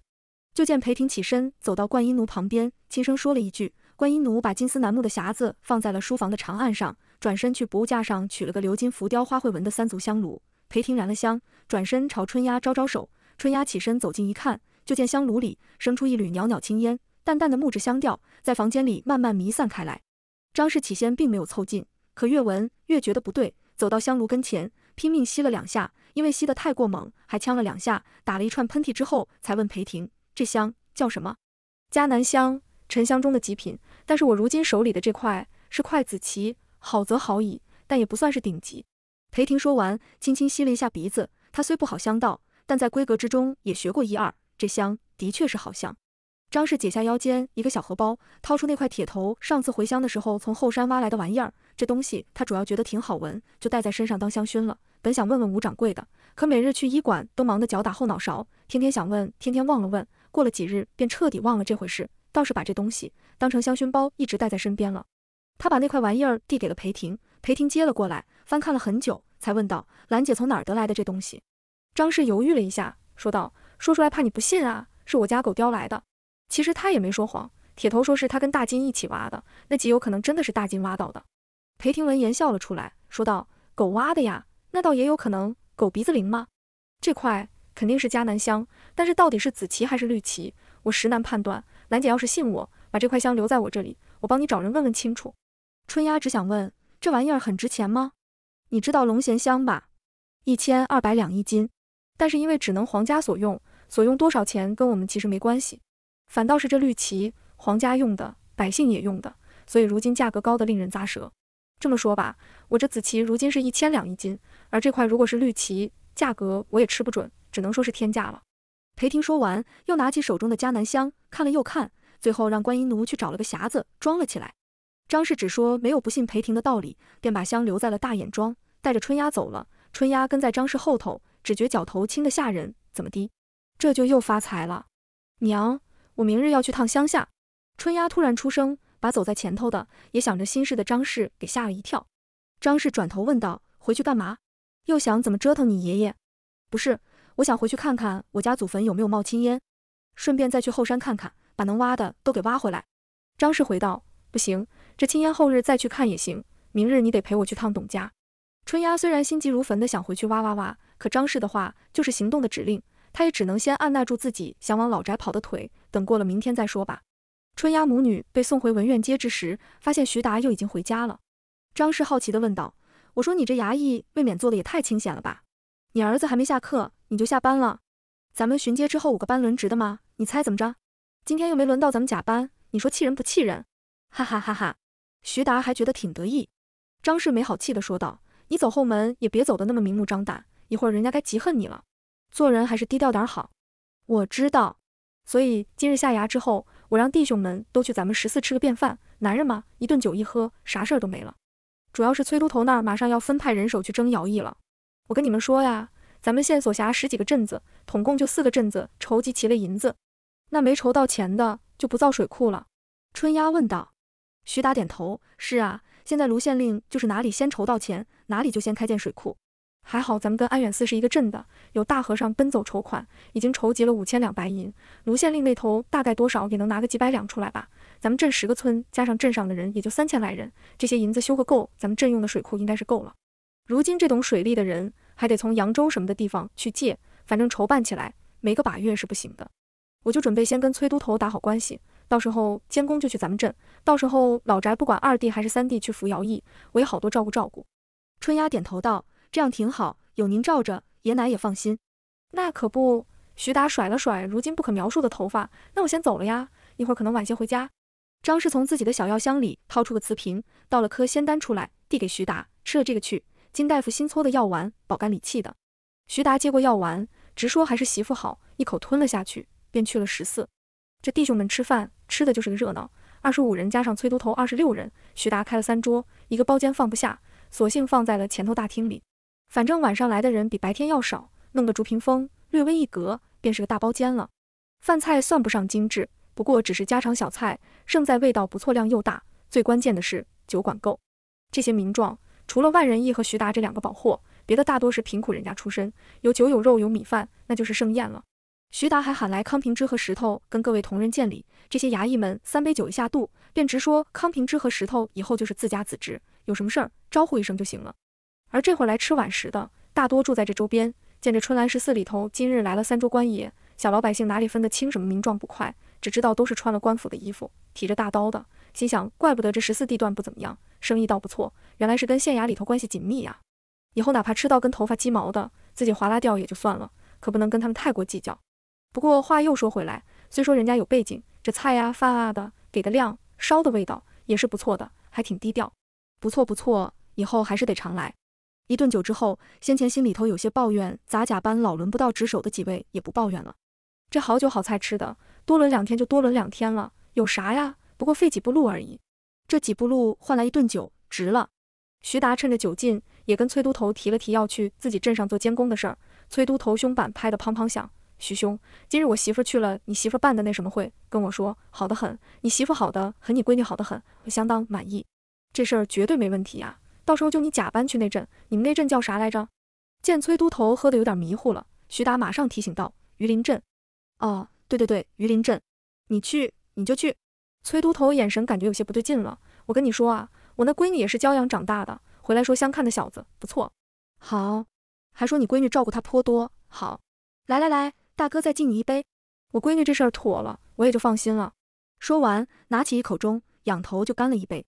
徐达跟着也喝了一杯，行，咱闺女满意就行。待到酒局散了，二十六人一共喝了二十坛酒，屋子里简直酒气熏天。徐达是被康平之和盖头石头用骡车给拉回的。张氏安顿好了徐达，听那震天的呼噜声，今日睡在这房里是没法好好睡了，便抱了枕头铺盖跑去跟春丫睡了一晚。没想闺女呼噜倒是没有，可翻个身还得坐起来翻。翻身不算，还三百六十度的转，他都就想不明白了。去老宅睡的时候，徐英到底是怎么过的夜？下次必须好好问问他。次日起床，徐达一睁眼，居然看到枕边没人，顶着个朋克头出门找媳妇，一坐起身，头晕目眩，差一点吐了。他缓了好一阵，才把到嗓子眼的干脚给重新吞了回去。再不敢猛地坐起来的徐达，缓慢地起床，慢慢地把自己给挪到了门边，开了门，抓着门框，见张氏正好从院子里走过。娇弱地喊了声“媳妇儿”，张氏看看他，说道：“大爷醒了呀，别怪我没提醒你，你点卯的时间还差一刻，你再磨蹭，今日恐怕又要被罚跑圈。”听到这话，徐达立刻站直了，跑出门去，打了盆冷水洗脸，好让自己清醒清醒。张氏递了碗温热的蜂蜜水给他，喝了吧，一会儿稍微吃点粥再出去。徐达感动到热泪盈眶，直说有媳妇的男人像个宝，把旁边春丫几人恶心的直打机灵，直喊受不了。只张家旺和盖头稀里呼噜的喝着他的粥，完全不被外界所打扰。众人吃不完的荷包蛋被他俩给包圆了，一个早上一人吃了五个蛋，看得文氏直皱眉。这俩孩子是忘了这蛋也是要钱的吧？一家人吃饱喝足，各自出发，各奔前程。张氏和春丫今天如约去了董家。这董家坐落在叠桥巷，一个宅子占了大半条巷子，另外小半条巷子里头住的大多也是董家的远方亲戚和各种管事和妈妈。董家的私塾也在这巷子里头。张氏和春丫先送了铁头和张家旺去了私塾，见到了传说中的魏先生。魏先生五十来岁的样貌，面带微笑，手持一把戒尺，等在门口候着孩子们。张氏上前跟魏先生打了招呼，魏先生倒也不似老学究般的搞什么男女避嫌那一套。得知是徐新的娘，张家旺的小姑，倒也直言不讳的表示，两个娃娃读书上天赋也不过平平，不过加把劲，努努力，考个秀才是没问题的。张氏倒是没指望铁头和张家旺能考到什么大功名，毕竟徐达就这基因，他自己也觉得自己不算聪明，就别要求娃太多了吧。他就希望这俩孩子能生理心理都健康，别做个文盲，那就可以了。跟魏先生说了一会儿话，来上学的学生越来越多，张氏这才带着春丫告辞了。母女两人到了董家大宅门口，张氏敲了敲角门，门开了，出来个小厮，扫了张氏一眼，问道：“你找谁？”张氏也不生气，跟着看门的小孩生气不过来，不卑不亢地答道：“是董夫人邀我来的，我夫家姓许，不过如今在仁济堂坐诊，也有叫我张大夫的，不知道你家夫人告诉你们的是哪个名？”“哦，是张大夫，夫人是亲自交代过，说您来了，让直接带您进去，请跟我来吧。”小厮躬身做了个请，让出了道，让张氏母女进去了。董家这宅子占地颇大，春丫刚刚从这外围走到私塾，估摸着这占地不比安远寺小，可进到宅中。她发现她想简单了，这分明就是个宫殿啊！母女俩此时只觉是进了活着的博物馆，跟着小厮一路走过了开阔的正厅，从旁边的游廊到了垂花门前。小厮喊了守门的妈妈，轻声说了两句，那看门的妈妈便朝张氏点头微笑说道：“张大夫，请随我来。”张氏便又跟着这位妈妈往里走，越往里走，亭台楼阁、假山其实越是多，奇花异草环绕其间。走过一座九曲桥，又走过两座小拱桥，春丫和张氏被绕的已经失去了方向感。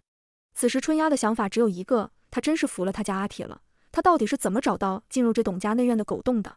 下了拱桥，前头便有个小花厅。看门的妈妈停了下来，那拱桥边另有妈妈候在那里。张氏和春丫又一次被转手了，是被运送的货物，没错了。拱桥边的妈妈迎上前说道：“张大夫辛苦了，请随我来。”走了半日的张氏心中暗暗吐槽：“不随你来，我也得迷路。”面色却依旧如常，笑说：“劳烦妈妈带路了。”拱桥妈妈带母女两进了花厅，董夫人此时正等在花厅里。张大夫这边坐。董夫人也不是个太有架子的人，四十来岁的年纪，保养得宜，珠圆玉润，皮肤白皙。张氏跟她客套了两句，春丫坐在一边，一门心思吃着丫头端上来的茶点，吃到一道好吃的薄撑，吃完还问人家丫头：“姐姐这个还有吗？我还要一份。”丫头抿嘴一笑，道：“小姐稍等，我马上去取。”张氏服了这丫头，来人家做客，还当是饭馆吗？只能跟董夫人说道：“这丫头被家里头惯坏了，没什么规矩，夫人见谅。”哪里哪里，徐小姐一派天真，很是小姑娘该有的样子。董夫人说完，拿起盖碗，撇了撇上面的茶叶，喝了一口茶。因昨天说了，今日来是为了说铁头那些赏的。可张氏见董夫人也不开口，她却并不喜欢如此绕来绕去，说不上重点。一会儿她还要去仁济堂呢，便开门见山的问道：“董夫人，昨日我问您的事儿，您这会儿是不是方便说呢？要是不方便，她也不勉强。”看着董夫人也不是个事儿精，他也不欲再多追究了。人家总有人家的隐私，不是？董夫人听张氏这么问，思虑了下，跟身边的丫头说道：“你们都退下吧，只留陈妈妈就行。”丫头闻言道是，都退出了花厅外。然后董夫人才开口说道：“贵公子找出来的是我们家的一份地契。地契？夫人家地契埋地里吗？”春丫想，这倒是不错。尘归尘，土归土，地契就埋地里头。哈哈，这个真是说来话长。这份地契是咱们家老太爷创业初始买的第一个庄子，咱们刚开始是在南方做水果生意的。董夫人解释道。春丫眼睛一亮，问道：“夫人家是在广东？你怎么知道？”董夫人也是很惊奇：“你家吃的这个薄撑是南方小点呢？”春丫笑答。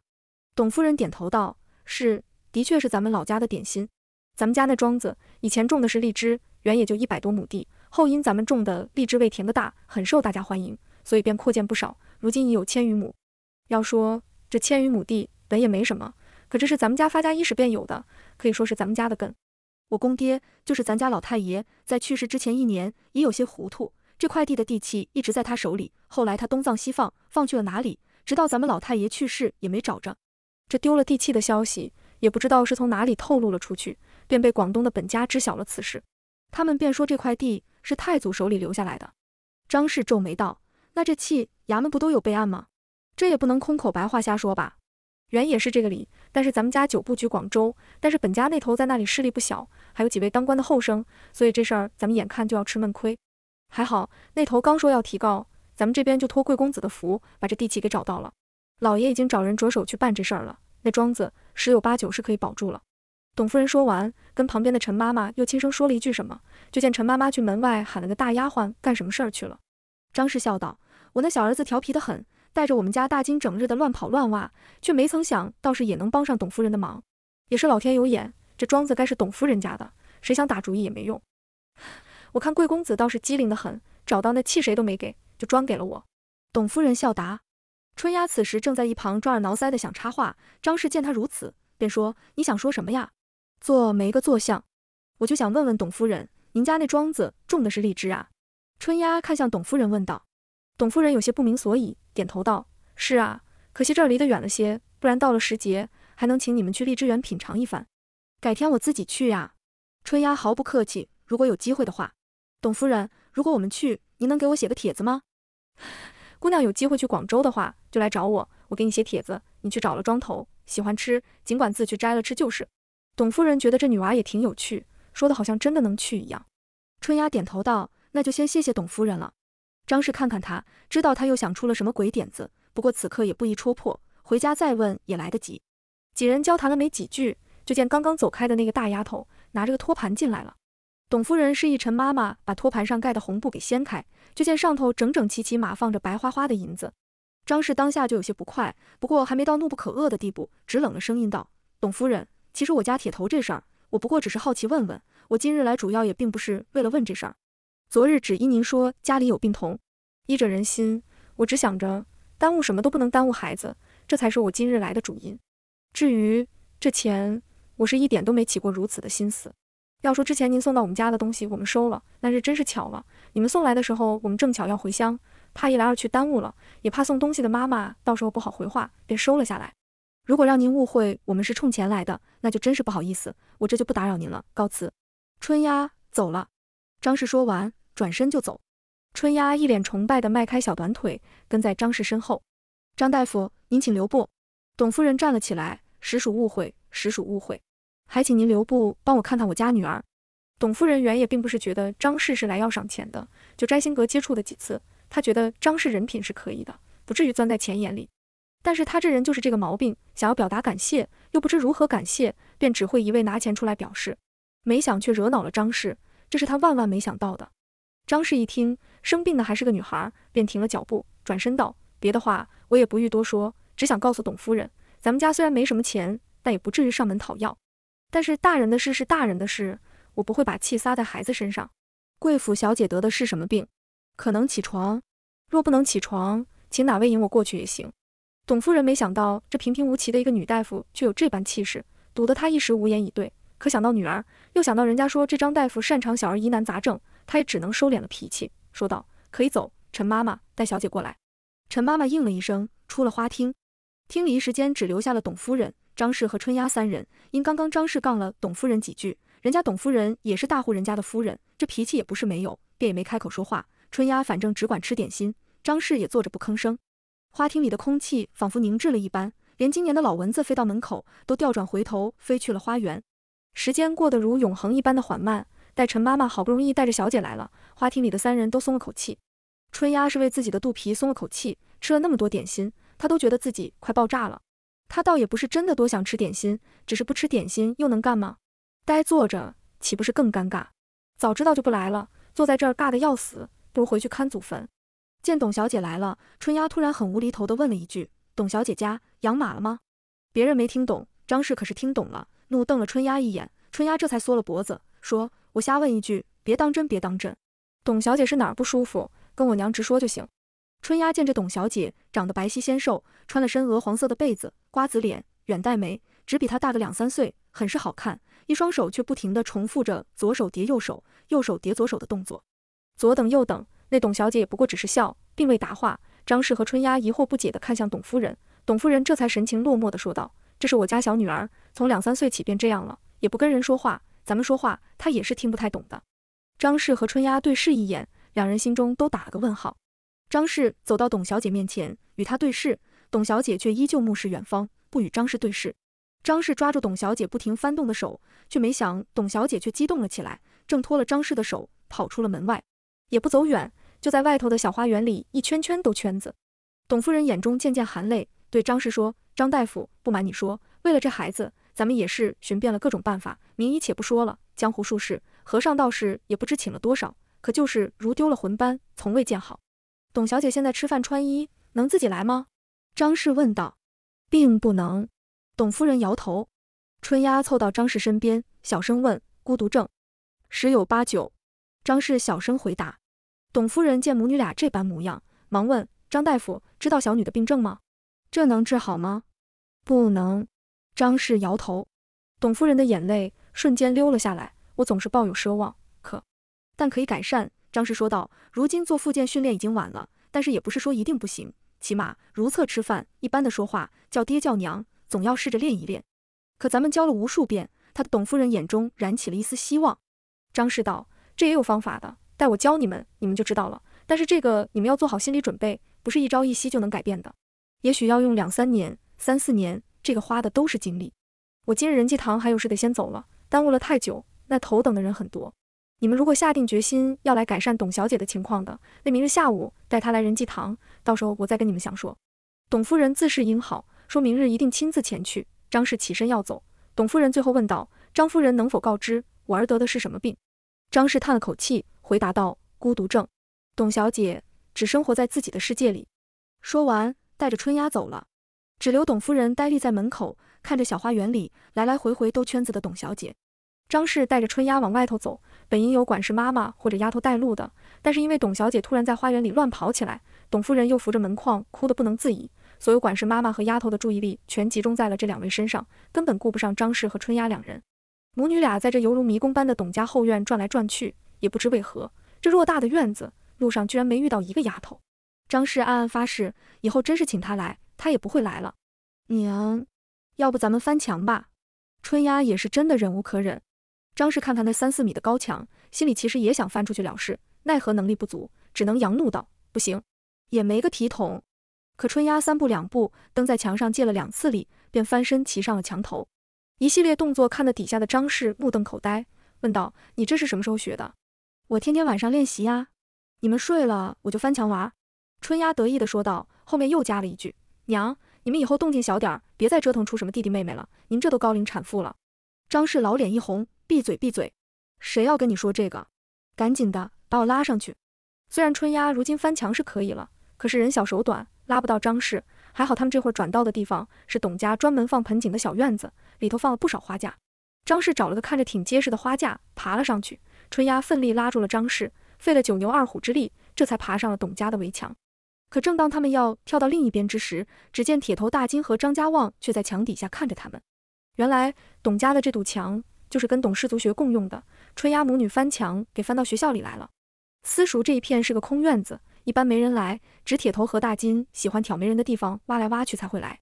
如今张家旺也加入了他们的挖来挖去小分队，所以正值课间休息，三人正好来这儿玩，就见娘、小姑和姐姐也不知为何骑在了墙头上，场面忽而有些尴尬。娘，你们在做甚？铁头打破了沉默又尴尬的气氛。哈哈哈哈，也没啥，就是呵呵看看风景。张氏不知道如何说自己迷路了，只能跟着春丫翻墙而出这事儿。春丫倒是很坦然，反正自家弟弟嘛，又无所谓。咱们在里头迷路了，绕不出来，只能翻墙了。张氏很想拍春丫一把，可碍于如今两人这处境，还是太平点吧，别一会儿给春丫拍下去了。哦，铁头若有所思的点点头，然后去了一处墙角，扒拉开了一堆杂草，钻了过来。可你们为啥不在这儿？这就是铁头发现的那个洞。春丫诧异道：“这洞居然没填上？填了呀，又被咱们挖开来了。”铁头回答完。又钻了个来回，张氏都快疯了，低声呵斥道：“别钻了，赶紧回去！”铁头哦了一声，又重新钻了回去。张家旺原不知道有这个洞，他本来就是个皮大王，看到个狗洞怎能不钻？于是铁头钻了回来，张家旺又钻了过去。骑在墙上的张氏气得简直要晕厥，他觉得跟春丫上墙是他这辈子做的最最错误的一个决定，怒道：“张家旺，你给我钻回去！”然后他转头跟春丫说：“怎么下去？赶紧的！”哦，娘您稍等啊。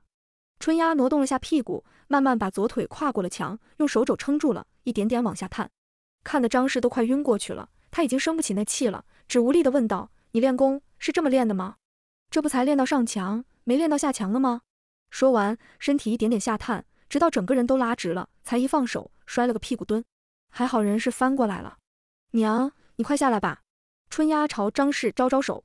那洞边，张家旺还没钻回去，铁头又钻了过来。说是喊张家旺回来，大金也跟着进去了。见人多热闹，还高兴地叫了两声。张氏这人有点恐高，这上墙的时候一门心思往上看，倒是没觉得什么，可下墙得往下看啊，他就有点不太敢了。一时间骑虎难下。最要命的是，大金以为是进来玩，跑来跑去，开心的不得了。铁头张家旺越去追他，他越觉得他们是在跟他玩。这僻静的小园子突然充斥着大呼小叫声。张氏出了一脑门子汗，又想赶紧下去，又实在紧张的不行。直到园子里的动静引来了董家的仆妇，哎呀，张大夫，您这是来的？这个正是刚刚引他进垂花门的妈妈。张氏想，还好认识，不然真是百口莫辩了。那个，哎，一言难尽。我我自己下去，你且不要惊动你家夫人。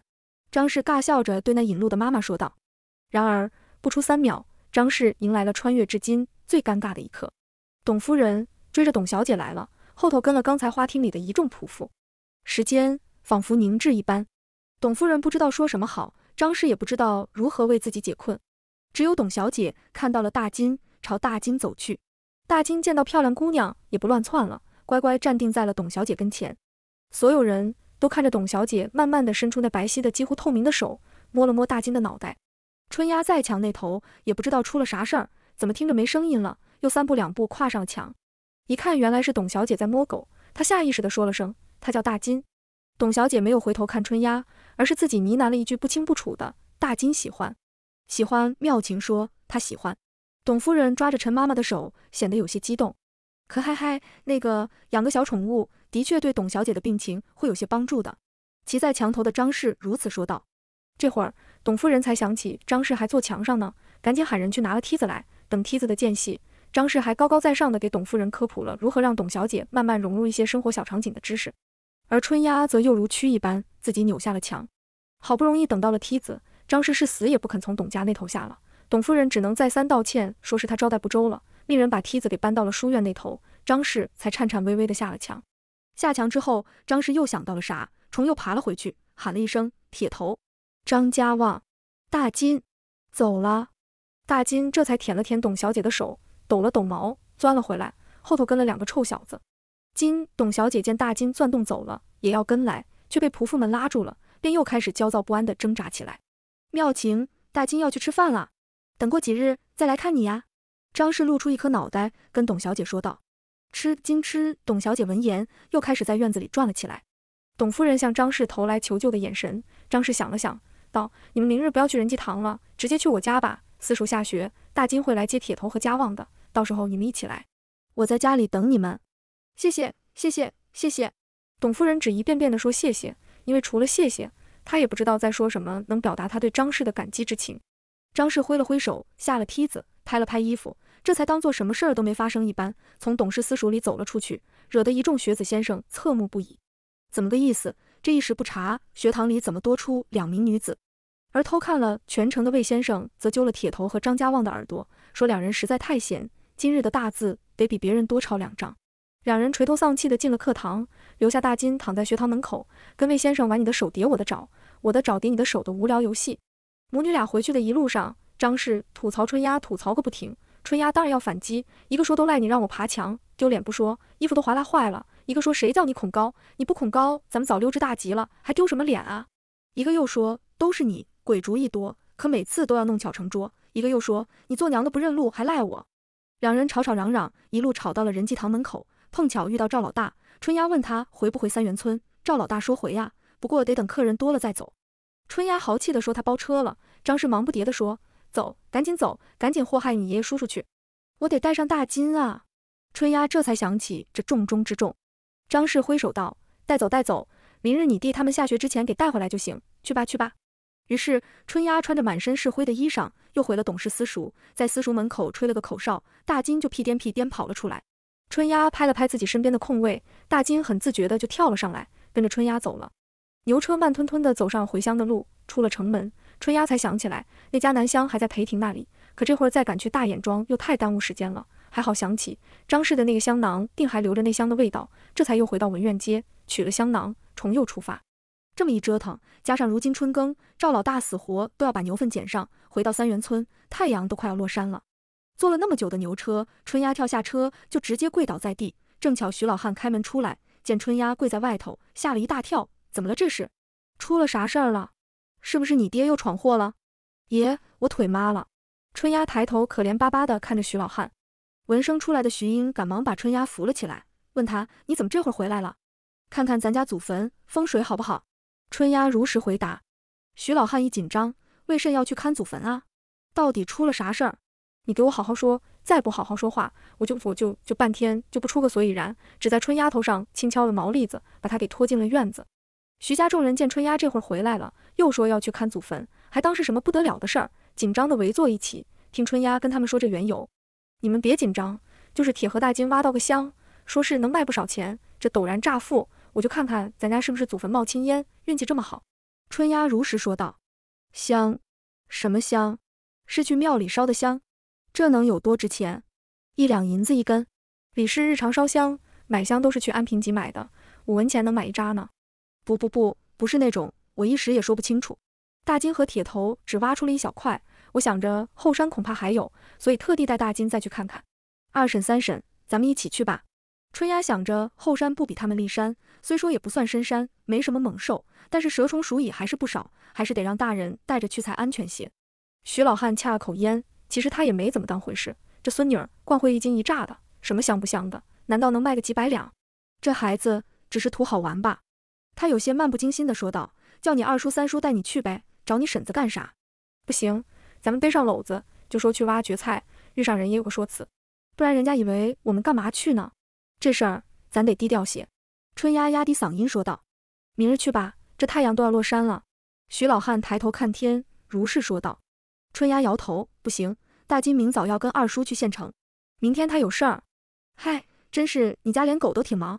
去去去，赶紧去，带上风灯，一会儿要是晚了，记得点上。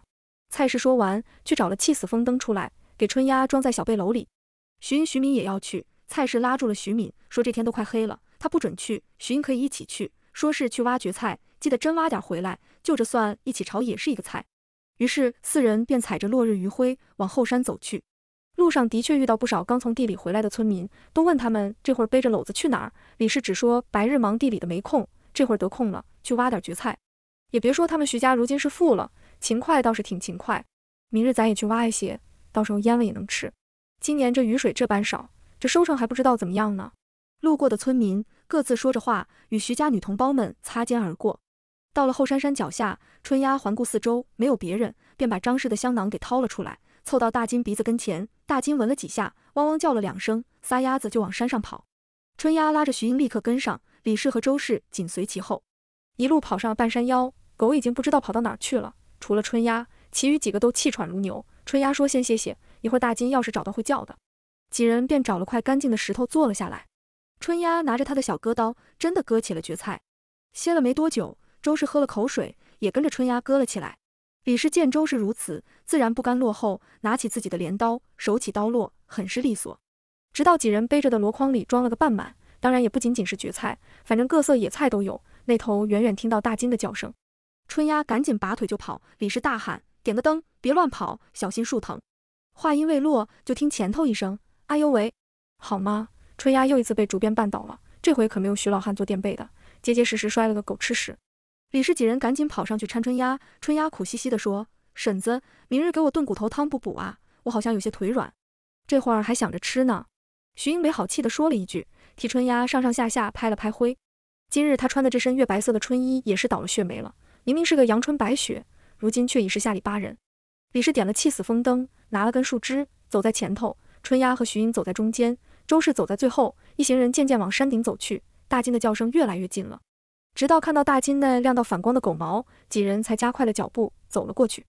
大金见春丫来了，绕着春丫的腿蹦跶了两圈，跑到了离他们两三米的地方，坐定不动了。春丫走上前，探头一看，大金已经刨了老大一个坑，坑里头有块小孩巴掌大小的黑黢黢的东西。他拿了起来，李氏把灯拎了过来，问道：“是这个吗？”“应该是。”说完，春丫还凑近闻了闻，又点点头，大概不会错。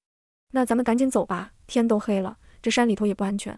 周氏自己倒是不怕，就是怕有蛇呀什么的，在吓着春丫和徐英。徐英元就有些胆小，如今东西拿到了，那就赶紧走吧。是啊，走吧。这山里头晚上怪吓人的，怪吓人的你还来？春丫嘲笑他。我我也是好奇嘛。行了，别说了，咱们赶紧走。徐英拉着春丫，急着往山下走去。四人一狗也不耽搁，点着灯，匆匆赶下了山。到了老宅，李氏和周氏才松了口气。他们自己倒是无所谓，只要孩子们安全了，他们就放心了。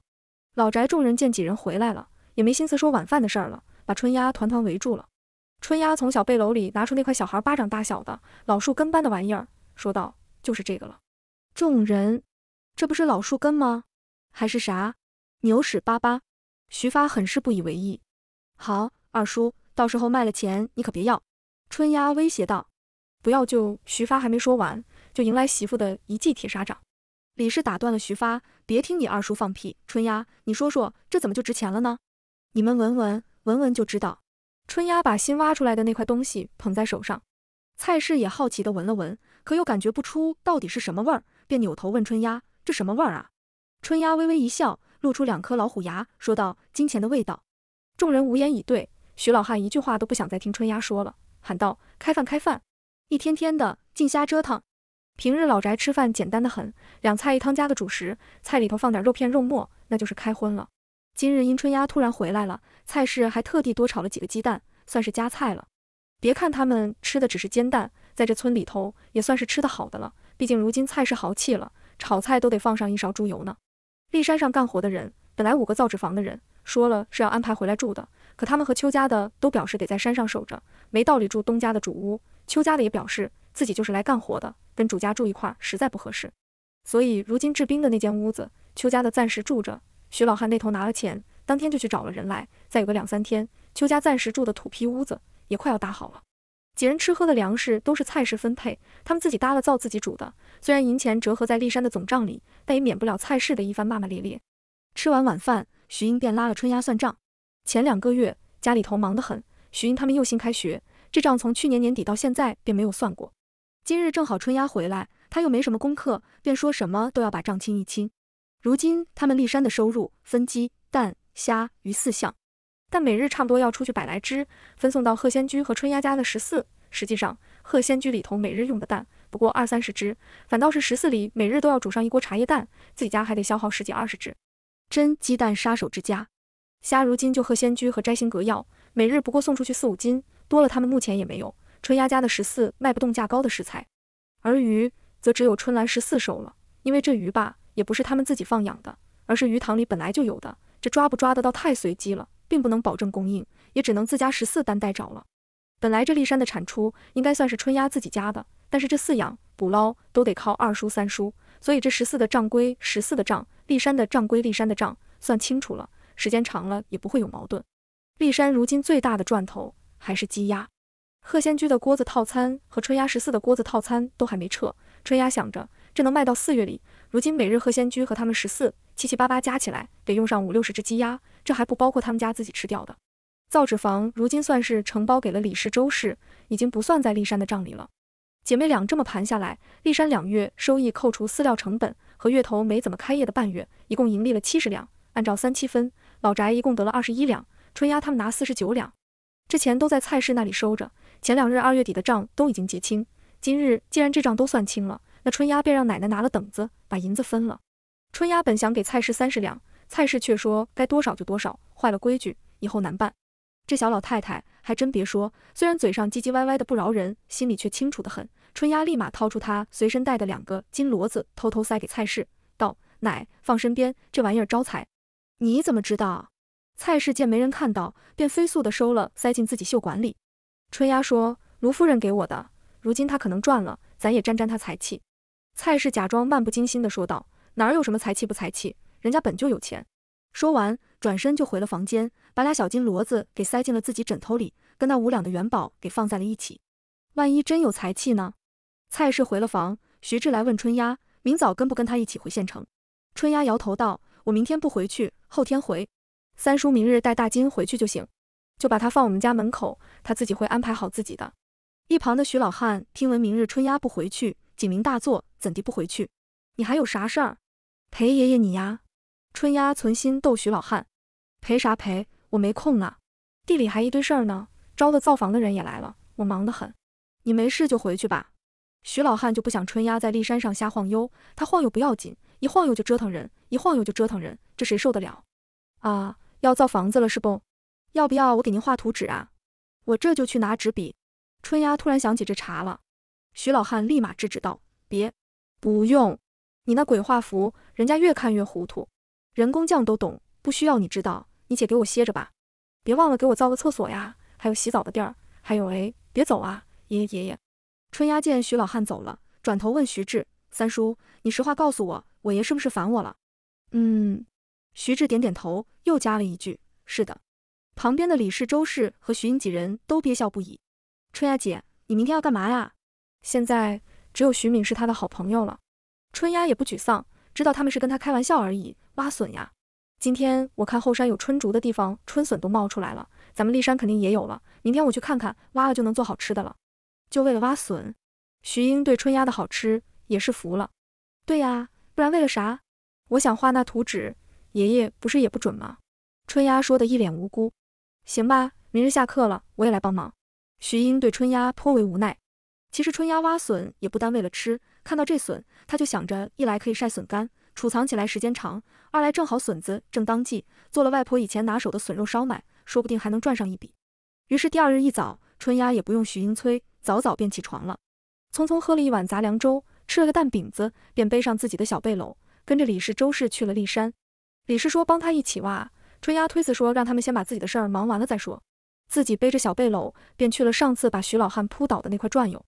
果然，那一片冒出了好多新鲜的笋子。住在制冰的窝棚里的邱家几人，这会儿正要出门干活。邱大家的袁氏认识春丫的，见她背着小背篓走了过来，便问：“春丫小姐，你要干啥？有什么事儿您吩咐我们就成。”“没啥事儿，就是来挖笋子。你们忙你们忙。”春丫客气道。如今邱大和邱娃每日都去地里帮徐发他们春耕，邱大家的何秋妞便专门伺候鸡鸭和小猪。春丫怕耽误他们正经事，自然不需要他们帮忙。邱大家的却死活留下了秋妞，让他帮春丫一起挖笋，说那些鸡鸭猪的他一个人就能干完。春丫也不欲与他多扯皮客套，这早点挖完，早点让秋妞去忙便是。于是乎，一个上午，春丫和秋妞两人把能找到的笋子全给挖了。小背篓里头装不下，便去造纸坊问李氏要了个大背篓。李氏怕春丫背不动，便拎着背篓跟春丫一起来背笋子。不过眼前的一幕却把李氏给惊着了。春丫呀，咱们吃得完吗？吃不完就晒笋干，能存好久呢。到时候要吃要卖都行。春丫觉着，说实话，她还觉着少了呢。李氏想着那旱情的事儿，也是，到时候万一真旱了，干嚼吧，笋子也能吃。于是他又去喊来周氏，三人一起拿背篓背下了整整三筐竹笋。进了家门，菜市都懒得骂了。他就知道放春丫出去就会收到意想不到的结果。说吧，又想干嘛？蔡氏也不挣扎，反正挖都挖回来了，总得做些啥吧？总不至于一顿全吃了吧？奶，做笋干吧，给我留一篓子，我有用。我去趟安远寺，马上回来。春丫早就想去趟安远寺了，他师傅好久都没消息了，他得问问道心去，顺便给他带点春笋尝尝鲜。一天天的，净给我找事儿，赶紧滚！蔡氏说完，不耐烦地挥了挥手。春丫嬉皮笑脸的说道：“一会儿回来给您做好吃的，我先走了。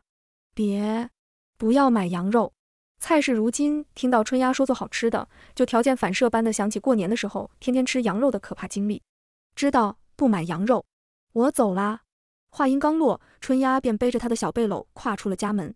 如今他脚下功夫见长，这一路快走到安远寺，才不过三四十分钟。进到寺中，随手抓了个小沙弥，问道：“玄在哪儿？”小沙弥认得他，知道他常来，便指了指后头，说：“大师在后头疗房打坐呢。”这道玄道心两人不知道为何，非要你唤我名，我换你名，弄得如此复杂。两人这身份玄机，知道的也没几人。春丫对此间隐情是没啥大兴趣。这世界上知道的越多，死得越快。她还是太太平平演她的没心没肺的九岁女童最安全。想了一会儿心事，等春丫再抬头，就已经站在道心的疗房门口了。可隔着门。他就听到了那和尚的打呼声，这打坐打的也真够忘我的。春丫在门口重重的咳了一声，呼噜声停，他这才问道：“大师，我是春丫，给你带了点刚挖的笋子，进来吧。”道心的声音显然是还没睡醒，春丫这才抬步推门走了进去，想着一会儿回家还有事儿呢。春丫便也不跟道心兜圈子说客套话了，开门见山的便问了自家师傅如今何在呀？怎地那么久了也没点消息？道心微笑道。亏你倒还想着你师傅，不错不错，你这徒弟还算及格。前两日我收到他信了，说已经在回来的路上了，再要个一两个月就能到了吧？一两个月？怎么这么久？虽说这儿离北京也的确远了些，但是按照他师傅的那能力，再怎么样，二十来天估计也能赶到了吧？具体的他也没多说啊。飞鸽传书，你想，那纸就那么些，能写多少啊？道心吐槽道。春丫对飞鸽传书倒是很有兴趣，问道：这儿还能有飞鸽传书？我能养不？可以呀，训个一两年也就成了，能飞上千里的，十只里能有一两只。不过你要给谁传书啊？道心歪头看着春丫，嗯，是哦，好像也没啥人能传书啊。算了算了，这事儿暂且还是不要干了。真是没事找事儿吗？不是。众人你也知道。于是春丫又跟道心闲聊了两句，说那就过两月再来看看师傅回来没，便走了。道心还是那句话，如今外头不太平，别太皮，好好在家待着。你师傅回来了，自会去找你的。巴拉巴拉巴拉巴拉。出了安远寺，春丫转头就去安平集买了七斤五花肉，背着五花肉，快乐的回了徐家老宅。哎呀呀呀呀！他想这口春笋烧麦想了好久了。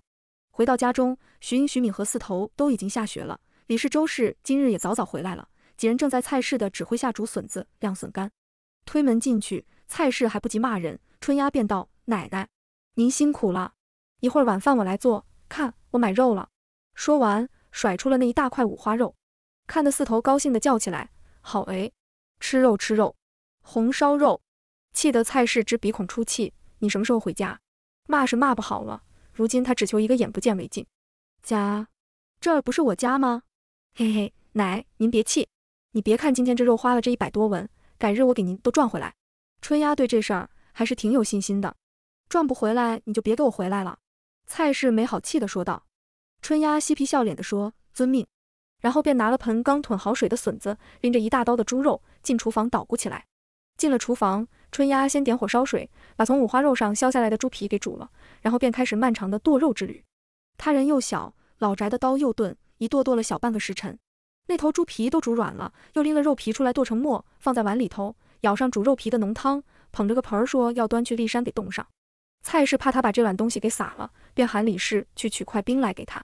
如今老宅制冰已进入攻坚阶段，家里头的男人上午春耕，下午制冰，如今估计正在制着呢。去拿一块倒也方便。李氏反正也不知道春丫要捣鼓啥，但是刚刚这丫头说把买肉的钱给翻倍赚回来，那他就觉得这肯定是好事儿。虽然吧，这钱大概率落不到他口袋里，可落到婆母口袋里，家里头吃的用的，如今可比村里别家好多了。这样他也乐意。待李氏取兵回来，春丫赶紧把那碗肉皮汤给冻上了，也不知道来不来得及一会儿活馅儿。爹这回招了三十来人呢，说是开了一天二十文，半天十文的工钱，想来干半天的人还挺多。李氏坐回了他做笋干小作坊的板凳上，跟一边的蔡氏汇报：“可不得抓紧些，不然到时候争徭役了，一家也就那么几个壮丁，有的去服役了，刘家里的还得忙地里的活，到时候更没人做工了。这老大家一天天的，真是烦死个人，忙里忙外，全忙活他们的事儿。”蔡氏想想就气不打一处来：“娘，您可别这么想，要不是大哥大嫂，咱们如今也过不上这日子。”周氏边剥笋壳边说道。蔡氏皱了皱眉：“我还不知道这个。”这么折腾还不行，我说两句，就是娘心里可清楚着呢。李氏接话道。周氏也不生气，只笑笑，继续低头剥笋子。如今这日子虽然忙吧，但是有奔头。嫂子婆母虽然嘴坏，但是心其实挺好。她知足的很，并不会因为这一两句话跟他们怄气的。蔡氏跟儿媳妇闲聊了两句，听厨房里头没了声响，想想不对劲，便起身去查看。进门就看到春丫糊了整整大半脸盆的白面，她都气笑了。你娘俩是多跟我们家面粉过不去啊！一叫你们做饭就把面粉给霍霍光，一叫你们做饭就霍霍光。他发誓，他这辈子再叫这俩败家精做饭，他就跟他们姓。奶，您看这一脸盆馅儿呢，可不得一脸盆面吗？您放心，包您好吃，绝不白瞎您的面粉。春丫觉得自己的逻辑很合理。蔡氏深呼吸了两下，平静地问道：“你明天回不回去？”回呀。春丫点头道：“那就行，那就行，别气，别气。”蔡氏鼓励自己坚强，坚强，气坏身子更费钱。他也不跟春丫多说什么了，明天走就行，今日暂且忍一忍。待春丫费劲的和完面，醒了半晌，李氏、周氏那边笋子也处理完了，便说来帮他。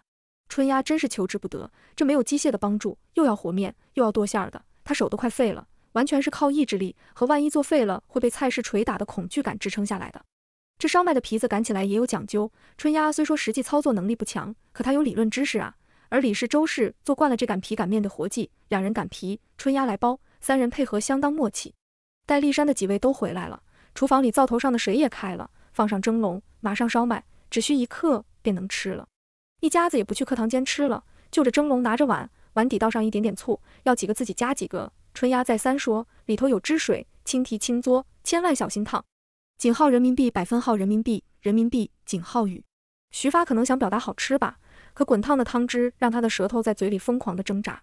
还是李氏聪明些，见自家男人吃成这德性，他便在烧麦开口的地方多吹了两口，这才咬破了底下的皮子，嘬了一口热乎鲜美的汤汁，才说道：“这是啥味道啊？这咋这么鲜呢？”四头急得上蹿下跳，娘，给我吃，给我吃，等着，没见你爹烫成那样吗？吹凉了再吃。李氏说完，又帮四头吹了起来。老宅厨房间里此时没有别的声音，只留下呼哈呼哈的吹气声。春丫第一个吃完，放下碗筷，问众人怎么样？这春笋烧麦还不错吧？好吃，太鲜了。徐英答道。众位还没吃好的，也不说话，皆以点头代替。我告诉你们啊，这个可是时令货，过了这春笋的时节，就做不出这味儿了。你用冬笋代替都不行，就必须是得这个时节的笋子，才能吃出这个味道来。最终，整整七八十个烧麦被吃了个干干净净。奶，怎么样？您说咱这烧麦能卖个好价钱不？春丫见蔡氏放下了碗筷，赶紧谄媚地勾住了他。蔡氏白他一眼，欲言又止，最终还是说了一句：“卖贵点儿。”引来春丫的哈哈大笑。晚上因为吃撑了。大伙儿便坐在一块闲聊。徐老汉说：“请了那么多人，先把帮工的屋子造了，地基整了，砖瓦过两日便来了。这屋子估计一个来月就能造完。然后问俩儿子，到时候争摇曳谁去？我去吧。”徐发、徐志同时说。徐老汉满意的点点头，说道：“先大后小，这回老二去，下回再有就轮到老三。”可这徐志是觉得自己不如二哥活络，干点体力活还行。别可不可的，就这么定了。徐老汉一锤定音。春丫也说道：“我爹说他们头安排了他来监工咱们这儿的徭役，到时候二叔有照应呢，你们放心吧。”是吗？那倒是不错。你爹这人好歹是干了件人事。徐老汉难得对徐达有了一点满意。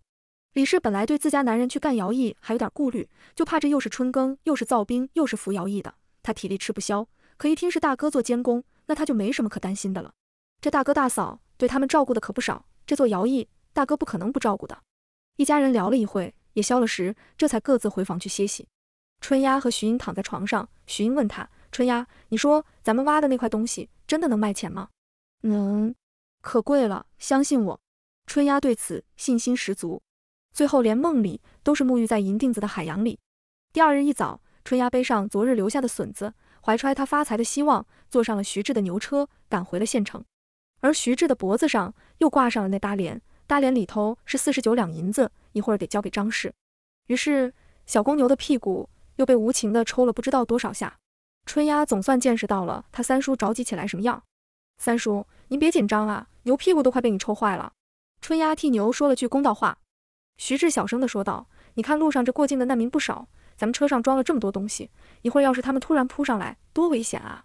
还是快点走吧。”春丫看看路边三三两两，的确有些人。可也就仅限于三三两两。虽然他觉得徐志有些过于紧张，但是如果情况真的再这么发展下去，这么慢的牛车的确不怎么安全了。三叔，要不你们换个马车吧？春丫如此建议。徐志一鞭子抽歪了。你可千万别提呀，一会儿你爷奶又骂你。这马车哪里是说买就买的？可别说了，不对，连想也别想。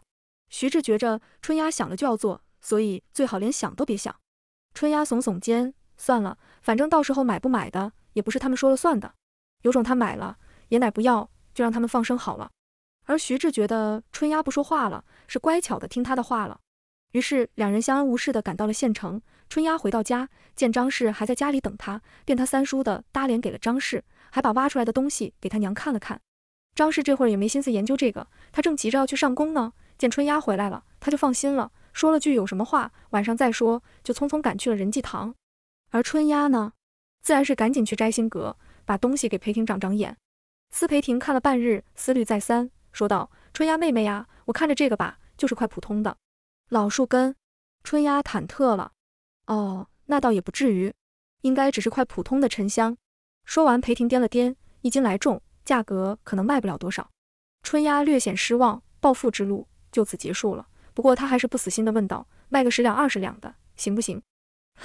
那倒也不至于那么便宜，七八十两总能卖到的。裴婷笑答，他就觉得春丫财迷的样子特别的逗，看他两眼冒光，就不自觉的想笑出来。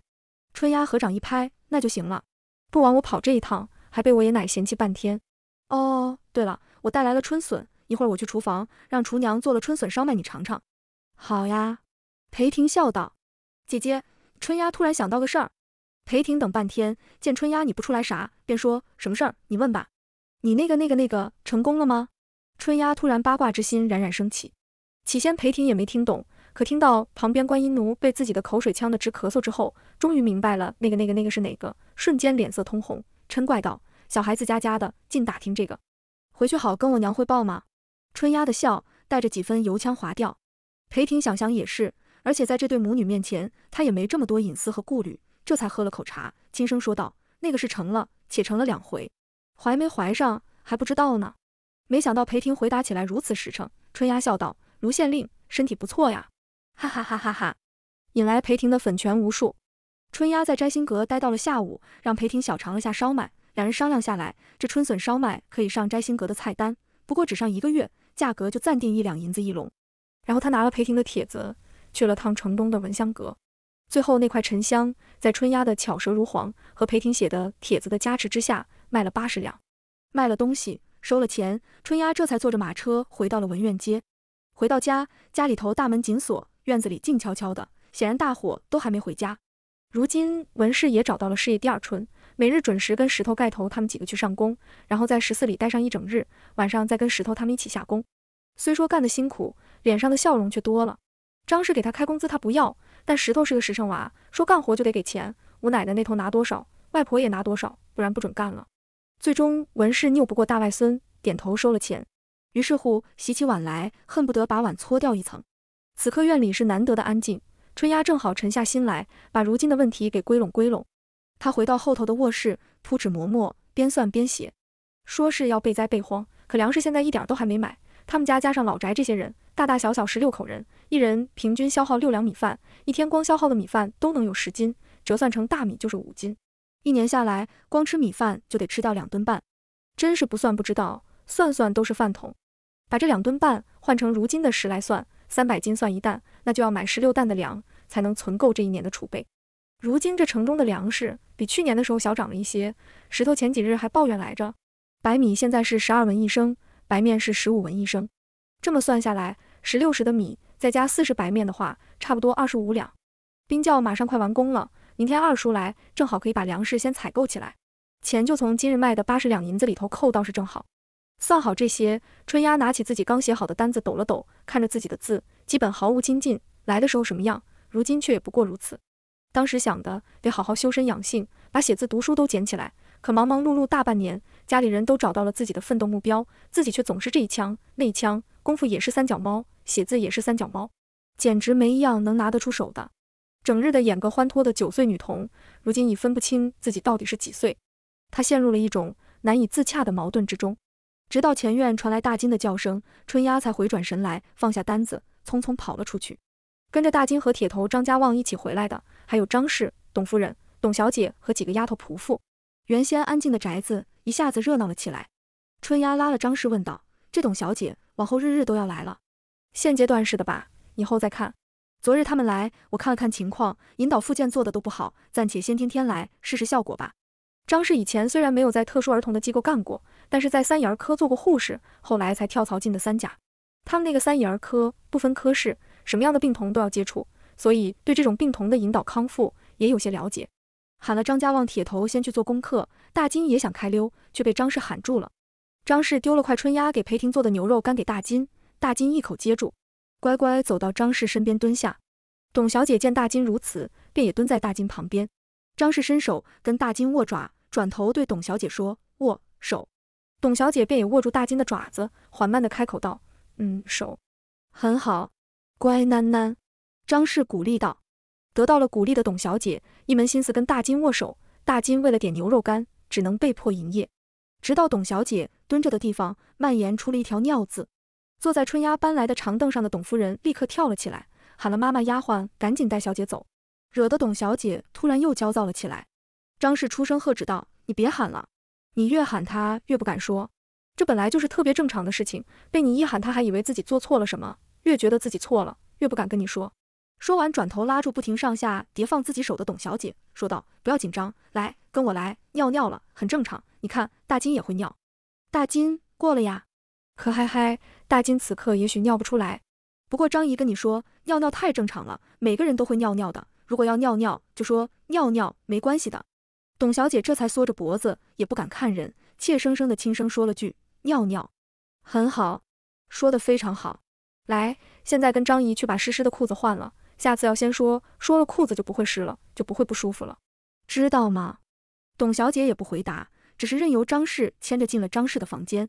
一众丫鬟仆妇跟着董夫人赶紧跟了进去。待董小姐换好衣物，又被众人拥着出了房门。张氏再三叮嘱董夫人，尿了拉了不会说，都是当时引导的时候没好好引导，大惊小怪，大呼小叫，下次万万不可再这样了。今日教过了，下次说不定还是会尿裤子的，但是多教几次，他也能懂的。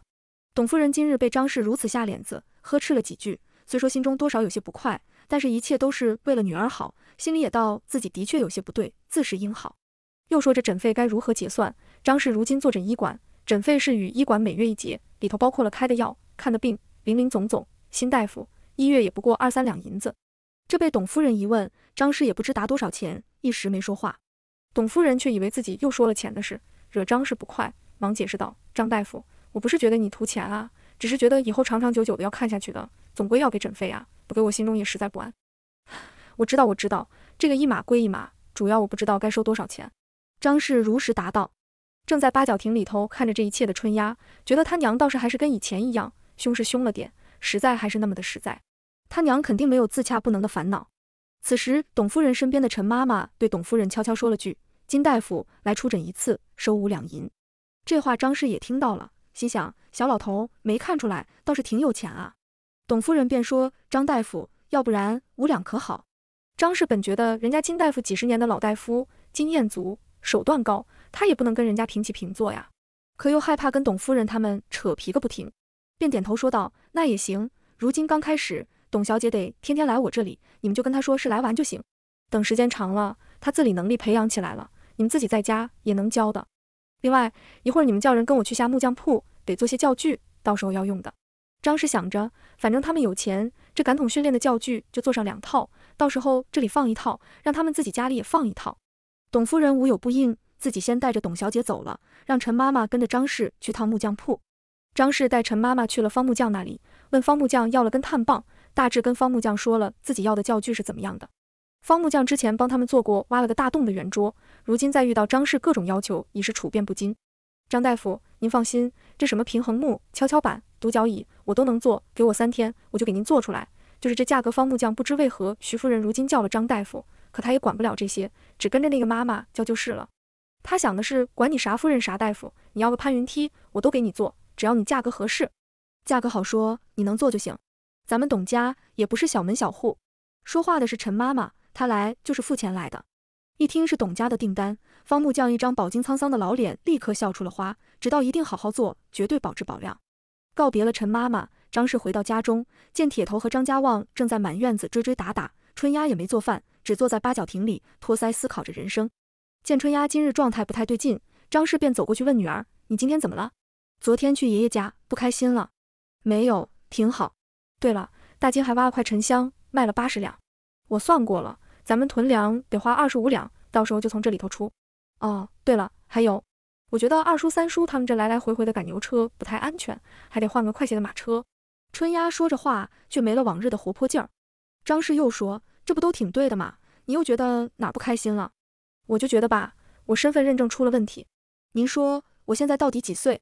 春丫这钻起牛角尖来，也不是三句两句就能开解的。这个我也很难回答你。但是你看啊，你折腾到现在，咱们手里也有了两千多两银子，我和你爹还有哥哥弟弟都有了自己人生的方向。我觉得这里头有很多很多都是你的功劳。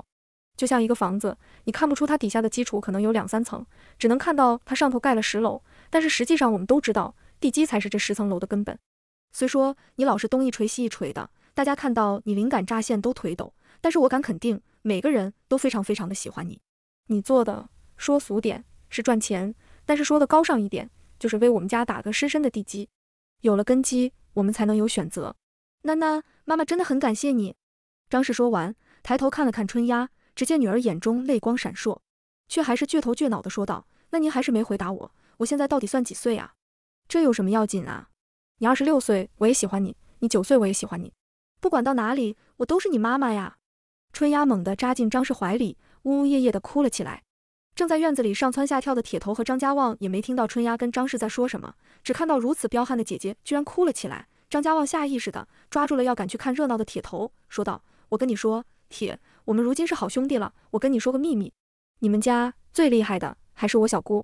你这会儿别去招惹我小姑，咱们还是撤吧。”铁头想了想，觉得张家旺讲的很有道理，两人于是轻手轻脚的默默后退着退出了大门。出门互看一眼，呼出一口气。还好还好，撤退及时，不然一会儿哭的可能就是自己。还是赶紧出去打鸟丸算了。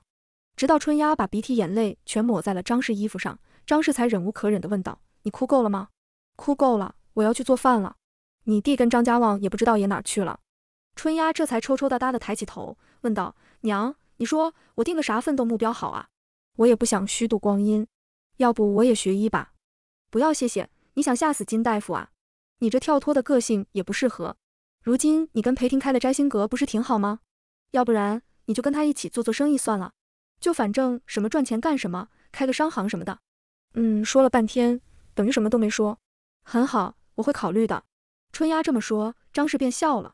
看来这丫头是想通了，又会说这种怪话了。想通就行。别看这娃前世活了二十六岁，其实一直是有些小天真的。也许是成长环境比较友善顺遂，又或者是因为天生就比较开朗。总之。他今天能自己跟自己和解，那就行了。晚上，张氏和徐达卧谈会的时候，张氏跟徐达说了春丫今日的一番作为。徐达心疼地说，春丫可能是看自己太废，所以下意识地承担起了本该是他承担的家庭责任。长久来的压力，让他自己也看不清自己了。张氏便道：“那你真得好好努力，业余时间看看书什么的，争取把咱家基建再打得扎实些。”你说？徐达皱眉说道：“什么？”张氏以为徐达总算要争气一回。这咱家跟老宅那头预备十六担米够不够啊？要不咱多买点儿，咱家一个个的可能吃呢。迎接他的自然是张氏扭扭神功。第二日，当徐发到了春兰十四的时候，发现徐达正在里头等他。今日徐达是特地请了半日假，在这里等他二弟的。不知道为什么，徐发如今到县城送菜，总觉得有些紧张。今日看到大哥还特地在十四等他，他便更紧张了。大哥，今天有什么特别的事情吗？你公务不忙吗？徐发颤巍巍地问道：“忙啥？不忙，得等征徭役的时候才忙呢。听春丫说你去服徭役，你且放心，有大哥在，稳妥。”徐发心想，这可说不好。见徐发不接话，徐达也并不觉得有啥尴尬，站起身说道：“走，跟我去牙行走一趟。干什么？家里可不能再加人了呀，爹会骂人的。咱们今年春耕只种了麦子，不用插秧，人手够了。”徐发想着再带人回去。他爹可能就要把他给赶出来了。徐达笑道：“放心，不加人了。走，赶紧的。”没办法，既然徐达说不再加人了，徐发便放心了一小半，跟着大哥又去找了金牙人。到的东城牙行门口，叫人喊了金牙人来。金牙人远远看到是徐达，心中的堤坝疯狂地筑了起来。他到得徐达面前，见徐达对他笑，哪怕嘴利如他，他也不知如何开口，也不知道这徐达今日是来正经买卖的，还是又来挖坑的，因为这些。他都经历过，他也不知道徐达为啥老爱找他。他自认为不过是沛丰县几十号牙人里最最最普通的一个。徐达见金牙人不说话，便也一个劲儿的朝他笑。咱们今日做个正经买卖。徐达总算先开口了。金牙人才道：“您要正经，我也正经。行，咱们今日就做个正经人。走，带我看看马去。”徐达大手一挥，让金牙人前头带路。金牙人想，既然他今日想做个正经人，那这生意总归是要做的，便在前头带路，往后院牲口棚走去。却没想徐发不走，非但不走，还往后退，说道：“大哥，你买吧，我先走一步，家里头忙呢。再见啊！”站住！走什么呀？一会儿你还得带回去呢。徐达一把揪住徐发，在他耳边轻声说道：“前日春丫挖的那东西卖了八十两，正够囤粮买马的。你们一匹，我用一匹，我跟你嫂子都商量好了。”这事儿，反正他们夫妻俩都觉得，如今这交通的确不方便，买马也算是合情合理。既然春丫提了，他们便也同意了。所以今天徐达请假半日，就是为了把这事儿给办妥的。大哥，我觉得你们对我有意见。徐发再一次觉得徐达他们是存心逮着他坑的。为啥呀？都给买马了，怎么会有意见？你是不是傻呀？有意见，我花这老鼻子钱干什么？徐达觉得二弟好像比自印象中的机灵模样差了不少。我可不傻。这马买回去，咱爹能打断我腿，你信不信？反正我不干，你明日找三弟吧。徐发铁了心的不干，最后无法，只得商量了，今日先买了，明日让徐志来带走。金牙人和徐达今日说好了，都做一个正常人，于是买卖也很顺利。两匹马，一匹老一些，品相普通，已经九岁，不过带个马车厢，讨价还价下来花了二十八两。另一匹品相虽也一般，可年纪也小，才五岁，受过训，脾气也温顺，砍到三十五两。无论如何，金牙人也不肯便宜了。徐达今天打算做个人，便也点头答应了。兄弟俩一个牵着马车，一个牵着马，回到了文苑街。徐达再三问徐发要不要叫个马夫，今日就把马车带回去。徐发说了声不要，逃也似的去春兰十四取了牛车，赶着牛车就开溜，把带粮食回去的事儿给统统抛在了脑后。次日一早，徐发说是家里头耕地要用牛，死活让徐志包了赵老大的牛车去送货。他也不说大哥买了两匹马，反正这事儿在他看来，谁说谁挨骂，反正他不说。徐志自然不知道他二哥心里的小九九，虽说家里耕地已经耕得差不多了，但的确还剩了一两亩地没翻完。徐志也不疑有他，徐老汉如今也只驻扎在骊山上，种地的事儿已经全放给了两个儿子和邱家父子，根本不会管他们牛车到底去哪里。于是，当不知道徐达已经买下了两匹马的徐志，站在了文苑街徐老大家后院马棚面前的时候，心情非常的复杂。他虽然知道不能多跟春丫谈论花钱的事儿，可没想到的是，这孩子竟然连念头都不能让他起。怎么样，三叔，这马车不错吧？虽说马是老了点，车是旧了些，可是跑起比牛车快不少啊！你们每日送菜也不用提心吊胆了。三叔，跟你说话呢。恢复了活力的春丫拍了拍他三叔的手臂。今天他是特地留着门，等着他三叔来取车的。沉默良久的徐志这才回过神来，问道：“怎么就买了呢？不是你说路上不安全吗？”春丫反问。徐志回道：“可我也说让你别想买马车的事儿啊，你咋听话听半句呢？”三叔，你可别诬赖好人啊！这马不是我买的，是我爹买的，用的钱是那日咱金哥挖的那东西换来的。可以说这两匹马也是咱们土里刨出来的。咱刨土过活，跟种地过活不是一样吗？对不对？是不是这个道理？春丫的歪理邪说，虽说说服不了徐志，可徐志却无奈没什么口才，根本无从下口来辩驳一二，最后只能你你你这这这的不知如何应对。春丫短手一挥，说道：“三叔，你也别你你你的了。”赶紧的装了粮食走吧。对了，我还没跟您说，我爹说今日起，您跟我二叔每日除了拉干脚，还得拉粮食回去。如今猪还小，你们就少拉些干脚，千万不要撒出来，不然弄坏了粮食，我爷爷又得骂人。为甚还要拉粮食？什么粮食？他觉得他二哥咋那么不厚道？这什么马车粮食的，怎地昨日都没说？徐发，我敢说吗？不囤粮，咱挖地窖干嘛？春丫便把囤粮计划跟徐志解释了一遍。当听到要囤整整十六担粮的时候，徐志又开始了：“你你你，这这这，三叔您别你啦！我爷爷问起来，便说都是大金挖的那宝贝疙瘩换来的钱，这个真的是真的。虽说买马已经花了六十三两，这么算来买粮便缺了八两，可徐达买的他们自己家用的马匹，确实是比老宅的那匹老马要贵上不少。于是这八两银子，张氏便说他们出了，反正他也不是太计较这些的人，毕竟有钱不是。”张氏那日给裴婷的迦南香已经让文香阁的老板确认过是绿旗了，但是分量却不过七八两，一斤绿旗能卖上两千多两，但是就他们配丰县，估计也没人会买，要卖估计也只能卖给董夫人。徐达和张氏商量下来，这东西还是姑且放着，等以后有机会再出手也不迟。所以别看徐达一家如今吃穿用度不过普通，女儿儿子平日里也都只穿细棉衣物，每人绸衫都只有一两件，这都是赶上大场面才用的。但是其实他们这里赚点，那里挖点，手上的银子却已经不比这城中富贵人家差多少了。毕竟这里不过只是一个中等县。既然这马车也买了，粮食也买了，徐志除了做好挨骂的准备，也别无他法。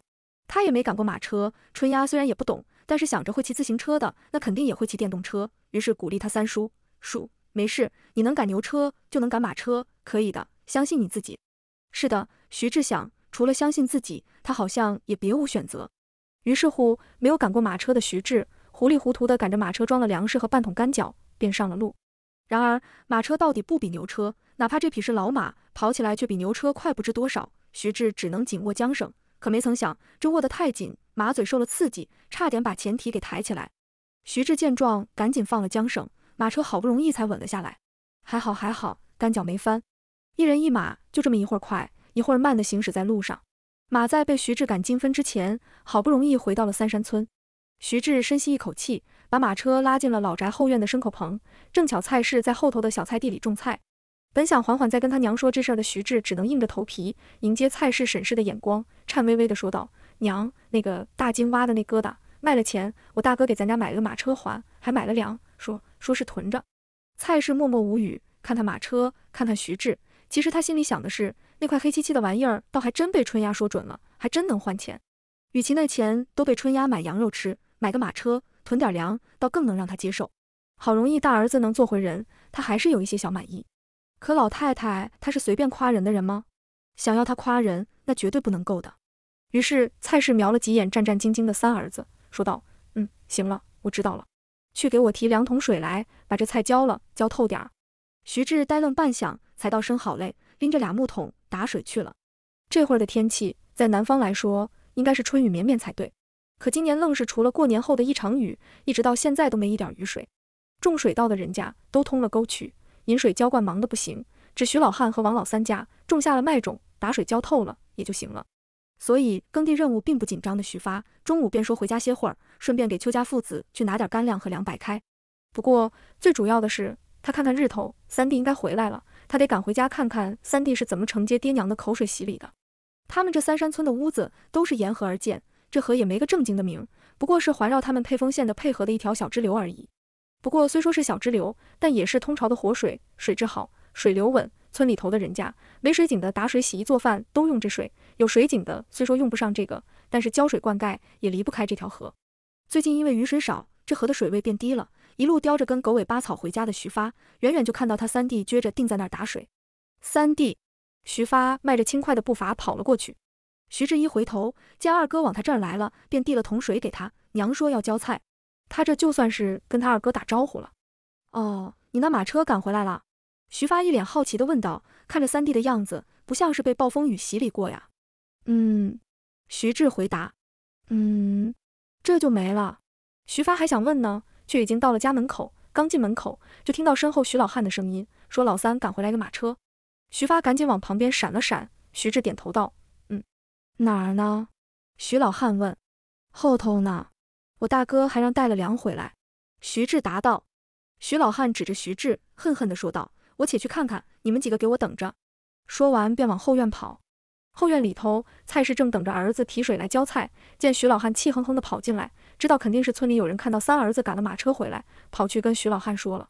他对徐老汉招了招手：“你来，我跟你说个事儿。”徐老汉气哼哼地走到蔡氏跟前问：“啥事儿？”这马车是春丫前日挖的那东西卖钱买的。听三口气，老大昨日就买了。你二儿子肯定知道，昨日他啥都没说，今日还死活要用牛车，就是请等着三儿去牵了回来，被咱们骂呢。你大儿子、二儿子都是老鼠精投胎的，活该一天敲打了七八回。撒老实，却不善言语。之前你一门心思培养大儿子，到头来却养成了祸。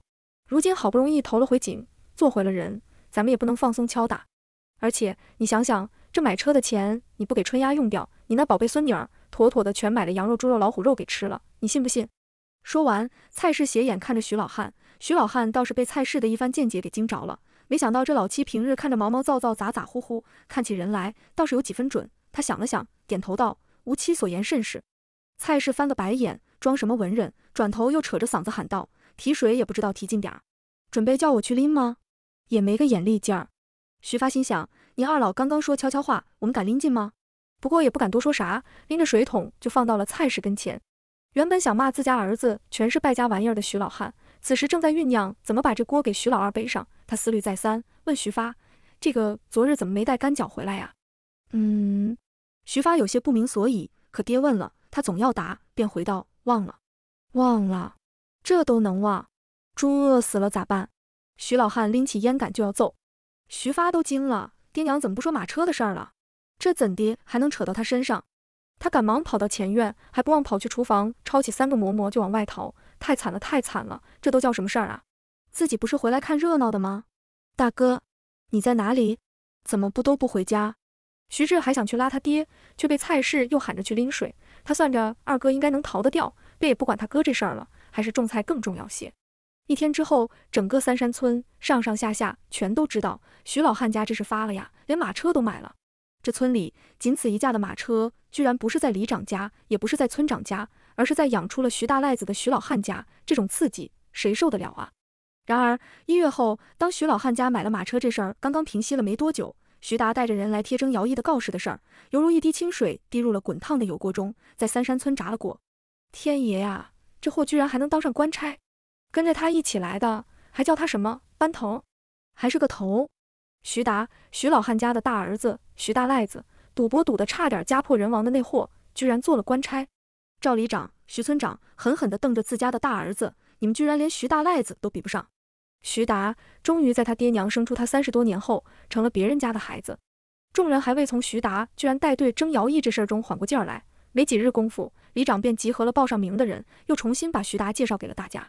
嗨嗨，这个徐头大家也都熟悉哈，这个。别的话我也不多说了，反正你们好好干，咱们村里出去的徐头也会照应的。此次咱们这做活的地儿呢，离安远寺不远，原本呢是不能每日回来的，但是徐头跟咱们县太爷请示下来，特许咱们能日日回家休息，每日辰时出客上工，酉时出客下工。这个中午要是要吃干粮，就自己带点儿，别的也没啥了，反正自个儿看好时间，服役期间不能请假。如果实在有身体不适的，家里得出人来顶替，这个本也不可以的，但是也是徐头给咱争取的。好了，我就说这么多吧。工具，对了，工具你们都自己带好，一人一个铁锹，一个钉耙，必须带。衙门不提供啊。明日准时在这儿集合，别忘了。行了，散了吧。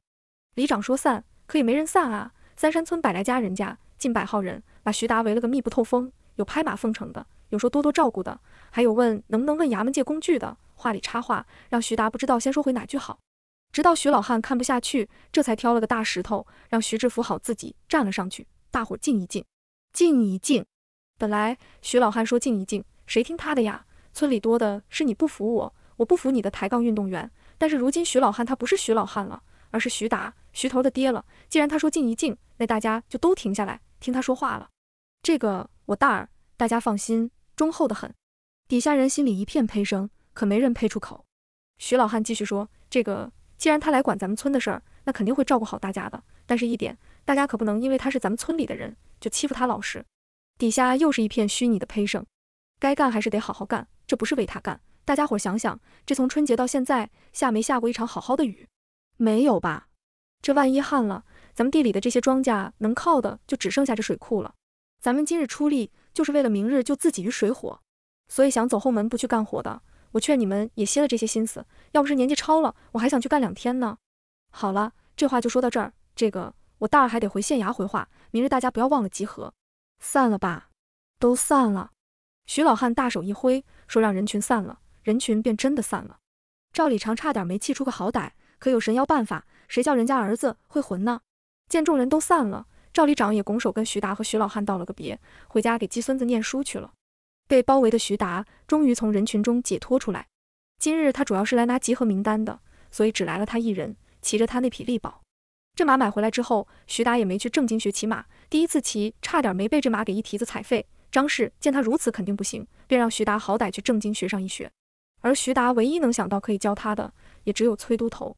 要说这沛丰县虽说是个中等县，但也算不上穷。可无奈卢县令抠门啊，三班六房一百多号人，拢共就三匹马，只卢县令有一匹专用的。另外县城主簿、县尉还得轮着用，与捕头、崔都头有急事才能借来一起。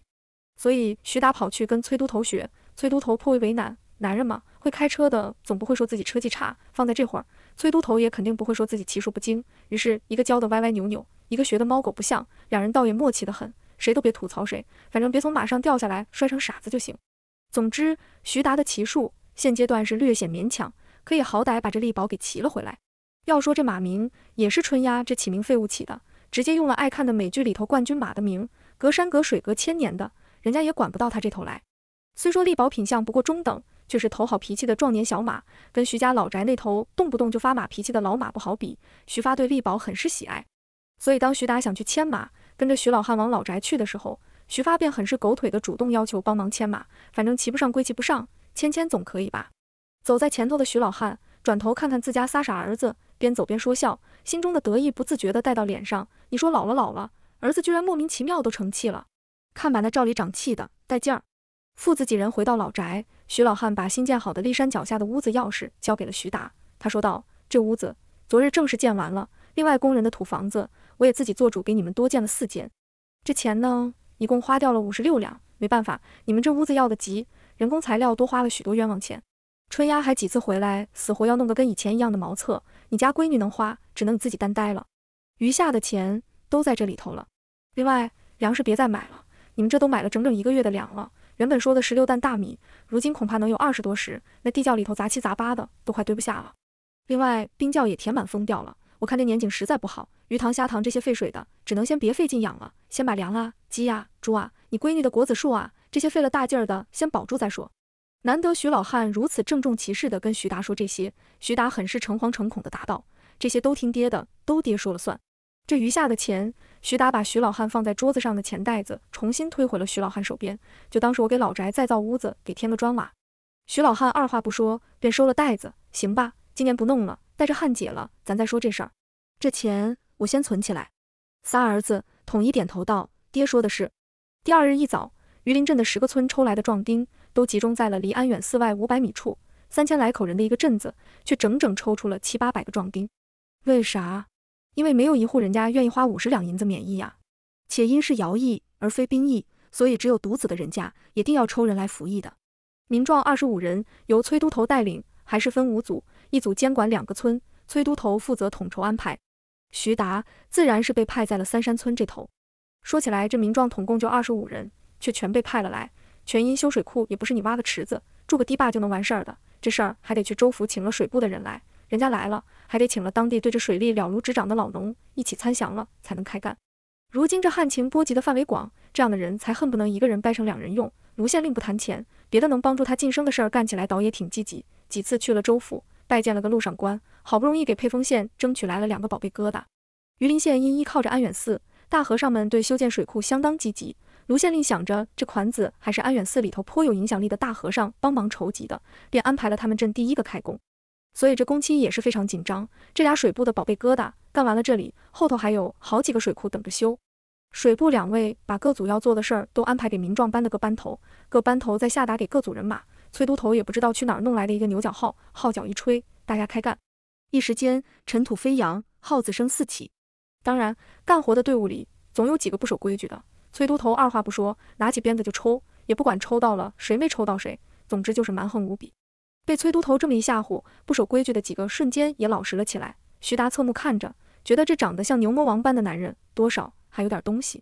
趁着职务之便，给自家弟弟安排个轻省的位置，那是徐达加入民壮队伍的奋斗目标之一。所以徐达自然在自家大哥的照顾之下，得了个挑土的工作，这就已经算是最轻的活计了。但是再轻的活，也得使一把子力气。徐达也不好太过徇私，毕竟这七八百号人看着做的太过乱了人心，就凭他们二十六个人，那也是没法收拾的。于是，在搬搬抬抬一个上午之后，徐发便觉得自己饿得快晕厥了。好在崔都头的号角及时响了起来，徐达赶紧帮徐发找了个空的坐了下来，刚说了没两句话，想带二弟去大棚等饭呢，却见远处晃晃悠悠来了辆骡车，没错，是他们家的。赶车的是郑山富，骡车停在了个不太显眼的位置。上头跳下一个小姑娘，那便是春丫了。她是来给她爹和二叔送饭来的，不过主要是来看个热闹。这古代纯手工修水库，他没见过，好奇的紧，便跟着郑山富的骡车来了。要说这卢县令抠门是真抠门，别说人家服役的人他不管饭，连民壮每人一天也就俩馒头，水还得自己煮了哈。徐达一想，不过二十几人的饭菜，大手一挥便说他包了。这世上没有什么不需要付出代价的便利，他可以行职务之便。都是同僚和上官默许的，那付出点金钱的代价肯定是必须的。午休半个时辰，官差们自有搭的大棚休息吃饭，而干活的壮丁便只能自己找地儿吃了。春丫远远就看到自家二叔被他爹拉着要往大棚去，徐发却好似不愿意，兄弟俩拉扯个不停。二叔爹，春丫边跑边喊，郑山富提溜着两个巨型食盒跟在后头。你怎么来了？这儿到处尘土飞扬的，你赶紧回去。徐达一见到女儿就赶人。春丫笑说：“好奇，来看看。爹，你跟我二叔干嘛呢？哦，我让你二叔去棚里坐着吃饭，他非不肯。”徐达答道：“这么多人呢，看到了多不好。我这活已经算轻松了，算了算了，我坐地上吃也成。春丫呀，今天带了啥吃的呀？”徐发也是个人精，除了在家里头被嫌弃，在外头还是知道些为人处事之道的。徐达却会时而正常，时而短路。总体来说，花钱能解决的事儿，他挺拿手。别的就发挥的有些随机。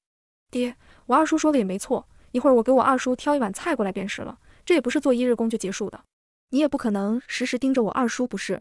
别勉强了，咱们还是得低调着些。这事儿春丫肯定是站徐发这一边的。春丫的低调二字话音刚落，就见远处尘土中赶来一架刚上过新漆的华丽马车。这车春丫认识啊，这不是董家的吗？马车停稳，车里走出三人，每人提溜了两个食盒，朝着衙役们休息的大棚走去。大棚那头走出个人，不用猜了，定是万人义无疑了。来来来，放这儿吧，大伙儿一起吃吧。徐头，你也一起来吧。万人义招呼同僚们。提溜着食盒的郑山富看向东家，徐达毫无尴尬之意，跟郑山富说：“去吧，咱今日拼桌吃饭。”说完，转头跟自家二弟又说：“那你在这歇着，我让春丫给你加点他们的菜。董家那菜色定比咱们家的强，等着呀。”说完，便迈开大步，招呼春丫赶紧跟上，给他二叔夹菜去。春丫只觉好笑，跟了上去。崔都头更是乐不可支，你看这整的，怎地如郊游一般？这如果一月吃下来，叫他回家如何适应家中饭菜呀？正当大家摆好饭菜，春丫夹了满满一大碗董家送来的小菜，又揣了俩大肉包子给徐发之际，就见远处又来一辆马车，风尘仆仆，歪七扭八，眼看着就要散架。春丫定睛一看，这人有些面熟，可又不太敢确定，又揉了揉眼睛，犹犹豫豫的大喊了一声：“师傅！”驾车之人闻声停了马车，大声答了一句：“哎妈呢？在吃饭吗？加我一个，好吗？”道玄回来了。道玄马车刚一停稳，春丫便跑上前去，问他道：“师傅，你头发呢？还真成和尚了？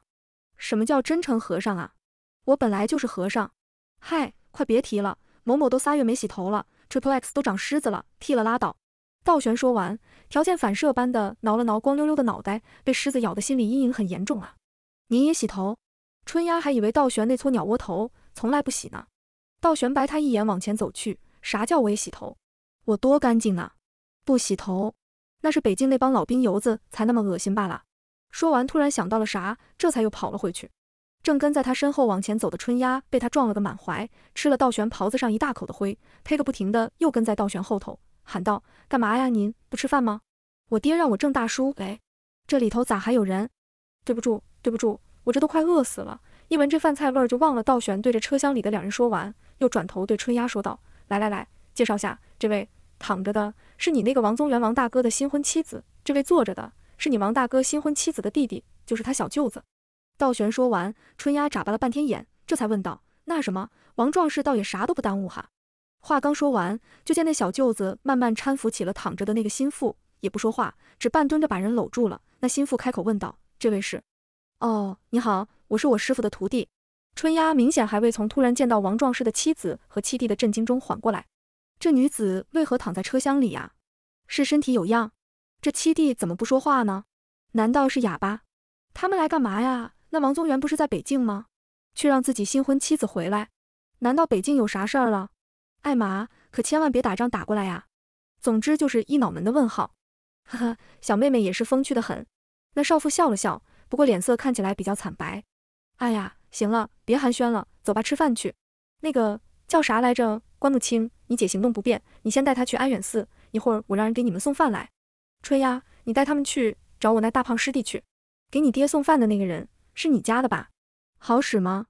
道玄饿得火急火燎，连人都来不及安置了，就想着赶紧去扒拉一口饭。哦，是我家的，姓郑。春丫点头道。于是道玄挥了挥手，行了，去吧，然后头也不回的跑了。留在马车边的春丫很是尴尬，可那叫关木清的少年也没说话。只是把他姐挪到了车厢边，自己跳下了车，背起他姐，挽了两个包裹，冷声问道：“往哪儿走？”春丫看他脸比石头大不了多少，也不过十五六岁的模样，说话却不似他哥哥般的正值变声期的公鸭嗓，而是已经完全是成年男子的声音，身量看着比石头头高些，剑眉星眼，面色却辉煌无光。而那少妇估计比他也大不了多少，看样子应该是下半身行动不便，面色苍白，头发凌乱，就是一路实在不太好过的样子。关木清见春丫站着出神，便不再多问，背着他姐抬腿便走。对不住，对不住，我这人就这点不好，老动不动就走神。来来来，跟我走吧。春丫追上去替自己解围。水库的施工地离安远寺不过六七百米。春丫本想着让这叫关木清的把车赶到安远寺去，却没曾想他倒是背起人就走，走得还贼快。春丫紧赶慢赶，才将将追上他的步伐。一路春丫也没空多说话，只疯狂地挪动着自己的小短腿。倒是趴在关木清身上的王宗元的妻子，自己简单介绍了下自己叫关静，弟弟叫关木清。三人到得安远寺，春丫奋力直追，到底还是抢在了关木青前头进了寺门。虽然他也不知道为啥非要抢在他前头，这也许跟大金到处尿尿的心态有点像吧。春丫抓来一个小沙弥，两人互看一眼，同时说道：“怎么又是你？巧合，有缘。阿弥陀佛，那个道玄大师何在？”春丫如是问。道玄大师不是关静话还未说完，关爷好像背不住他姐的样子，把他姐往上拖了一下，关静立刻不说话了。后头疗房里呢？这位施主，这两位是？小沙弥看了看关家两姐弟，心想：咱们也是个大寺，后头师叔、师傅、师祖们住的地方，也不能随便进啊。春丫拉他到一边，说道：“这两位是王宗元的妻子和小舅子。王宗元你知道吧？去年在你们寺里住过，捐了好多香火钱的那个。我我不知道啊。不过既然是姐姐认识的，那你们就进去吧。”小沙弥如此说道。春丫都服了这孩子，早点说认识他就行，不就得了？一路把两人引至道心屋子门口，春丫又闻里头的打呼声，他心中腹诽：这位大和尚每日除了礼佛讲经，剩下的就是吃睡。你说他白胖，还有谁白胖啊？大师，是我，春丫，我师傅回来了，有事找您帮忙，您赶紧醒醒。春丫说完，便拍起了门。屋内打呼声停了，传出一声：“进来吧，进去吧。”春丫推开房门，看着关木青，下巴朝屋里头抬了下。关木青二话不说，抬步走了进去。道心显然没料到进来的人他居然不认识，春丫赶忙把前因后果给解释了一番。反正就是这俩人跟着他师傅来了，具体为啥、怎么来的，他反正也不知道。虽然有兴趣知道，但是一联想到这两人的身份来历，他还是觉得有些八卦。不听也罢。几人正说着呢，便听有小沙弥来说，有个姓郑的来送饭，进来吧。送的啥呀？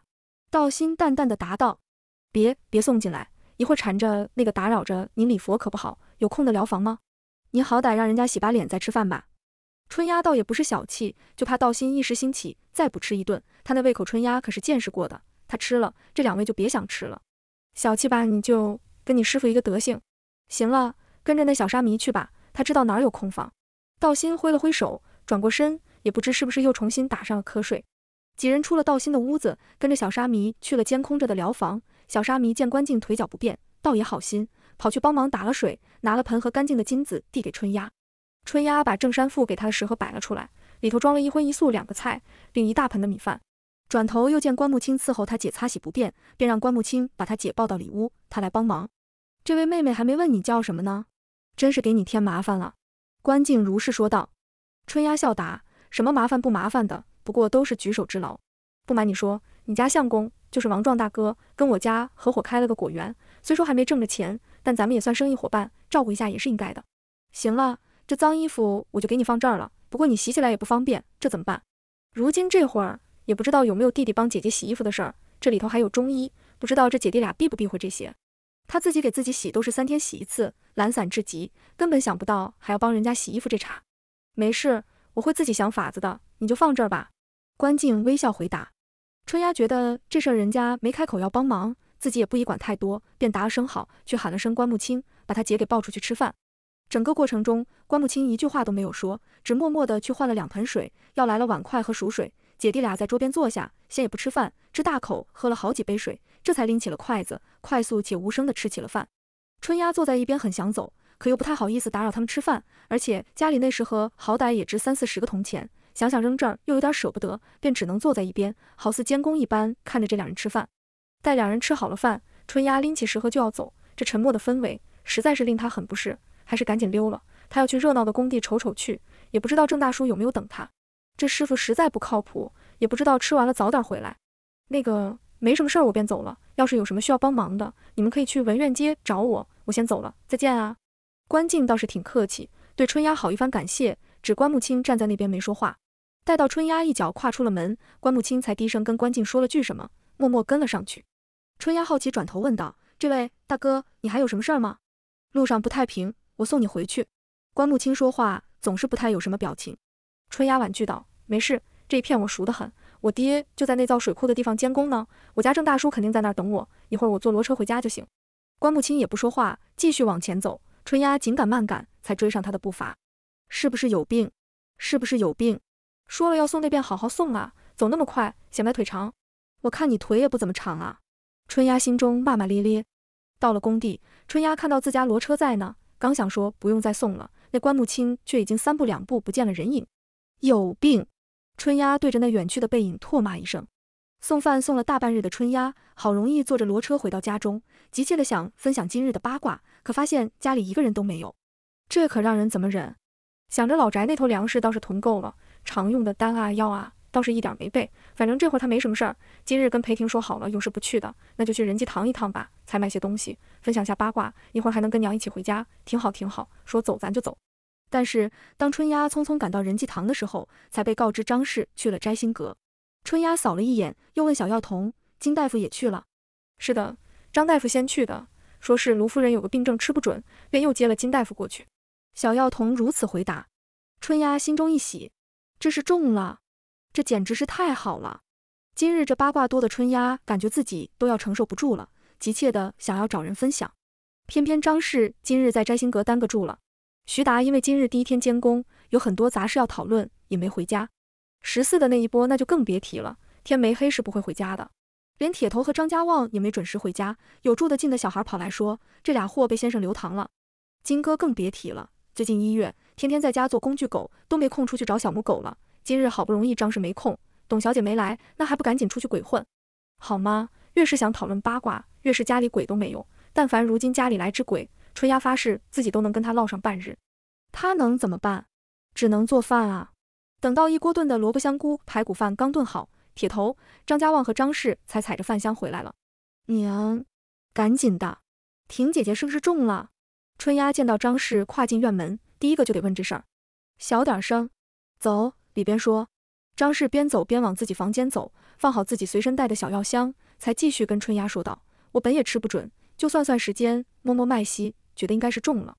后来请了金大夫来。”金大夫到底医术好，一把脉就说有了。哎呀，你婷姐姐你是没看到，激动的直哭。我费了好大一番口舌才稳住了她情绪。金大夫说要开安胎药，我觉得这种事情要补不如食补。讨论了好一会儿才论出几张食补方。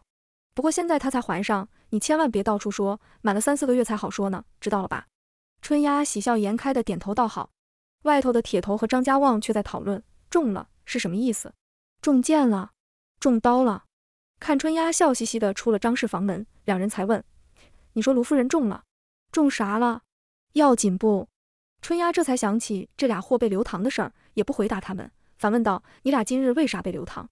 张家旺和铁头对视一眼，赶紧逃了。什么中不中的，关他们屁事！溜了溜了。直到张氏喊吃饭，张家旺和铁头才挨到近前来。春丫抓住铁头好一顿挠痒痒，然后把魔爪伸向了张家旺。张家旺这才说是两人又把董家田上的洞给挖开了。这才被魏先生给罚了，有病吧？你俩练什么功啊？非扒拉人家墙不可！你们给我等着，我明日就叫董夫人把那栋用铁水给浇上，看你们还怎么扒拉！张氏恨恨地说道。他如今就不能提起董家的那面破墙，一想起来就脑仁疼。说到有病，我今日也遇到个有病的。你们猜我师傅今日回来带谁回来了？春丫被裴婷巨大的瓜给冲昏了头脑，差点忘了自己的瓜。土地公。铁头猜。屁，不是说你们师傅是和尚吗？那应该是西天的菩萨。这是张家旺猜的，不知道。这是折腾了一日精疲力竭的张氏对瓜的不重视。春丫短手一挥，你们说的都是啥呀？今天我师傅带回来的是王宗元的媳妇儿和小舅子。王宗元谁呀？张家旺根本不认识这人。哦，来呗。张氏也是不太想接茬。铁头扒拉了两口饭，嚼巴了下去，才说：“我石头哥。”倒大霉了！师傅布置的功课一点都没做，没劲！这些人咋一点都不配合呢？春丫突然觉得自己的瓜怎么就不香了呢？待到徐达喝得满脸通红的回家，只有他才表现出了一点点对春丫的瓜的兴趣。那王宗元不是在北京杀敌吗？咋把媳妇给弄回来了？话说你师傅这段时间干嘛去了？春丫摇头，不知道。你这啥都不知道，吃的哪门子瓜？空心大倭瓜。徐达喝大了，胆儿也大了。没意思，没意思，一个个的都没意思。春丫嘟嘟囔囔的跑去看他石头哥赶功课，还是看他哥发愁更开心一些。第二日一早，昨日吃了空心倭瓜的春丫，早早的让他郑大叔赶了车，跑去了大眼庄。他得赶紧去吃口甜瓜，甜甜嘴儿。婷姐姐，春丫人未到，升仙至，惹得后头跟着的陈妈妈连忙道：“春丫小姐，咱们夫人还未起身呢。”没事儿，春丫进来吧，我起了。屋子里传出裴婷的声音，很是婉转好听。春丫兴冲冲地跑了进去，婷姐姐，恭喜你呀，终于心想事成了。我还要谢谢你和你娘呢，你娘说前三月让我自己多当心，这摘星阁里头每十日的聚会以后还得你来了，另外每日的菜品布置也要你多上心了。虽说你虚岁不过十岁，但是我看你可以的，多给我家娃赚点压箱底的钱啊！裴婷简直是春风满面，说话间流出露出的喜气，真是挡都挡不住。哈哈，姐姐不怕我把这摘星阁搞垮就行，我这人就是一点不好，做事儿太激进，别的都还不错。春丫的自我认知仅限于此。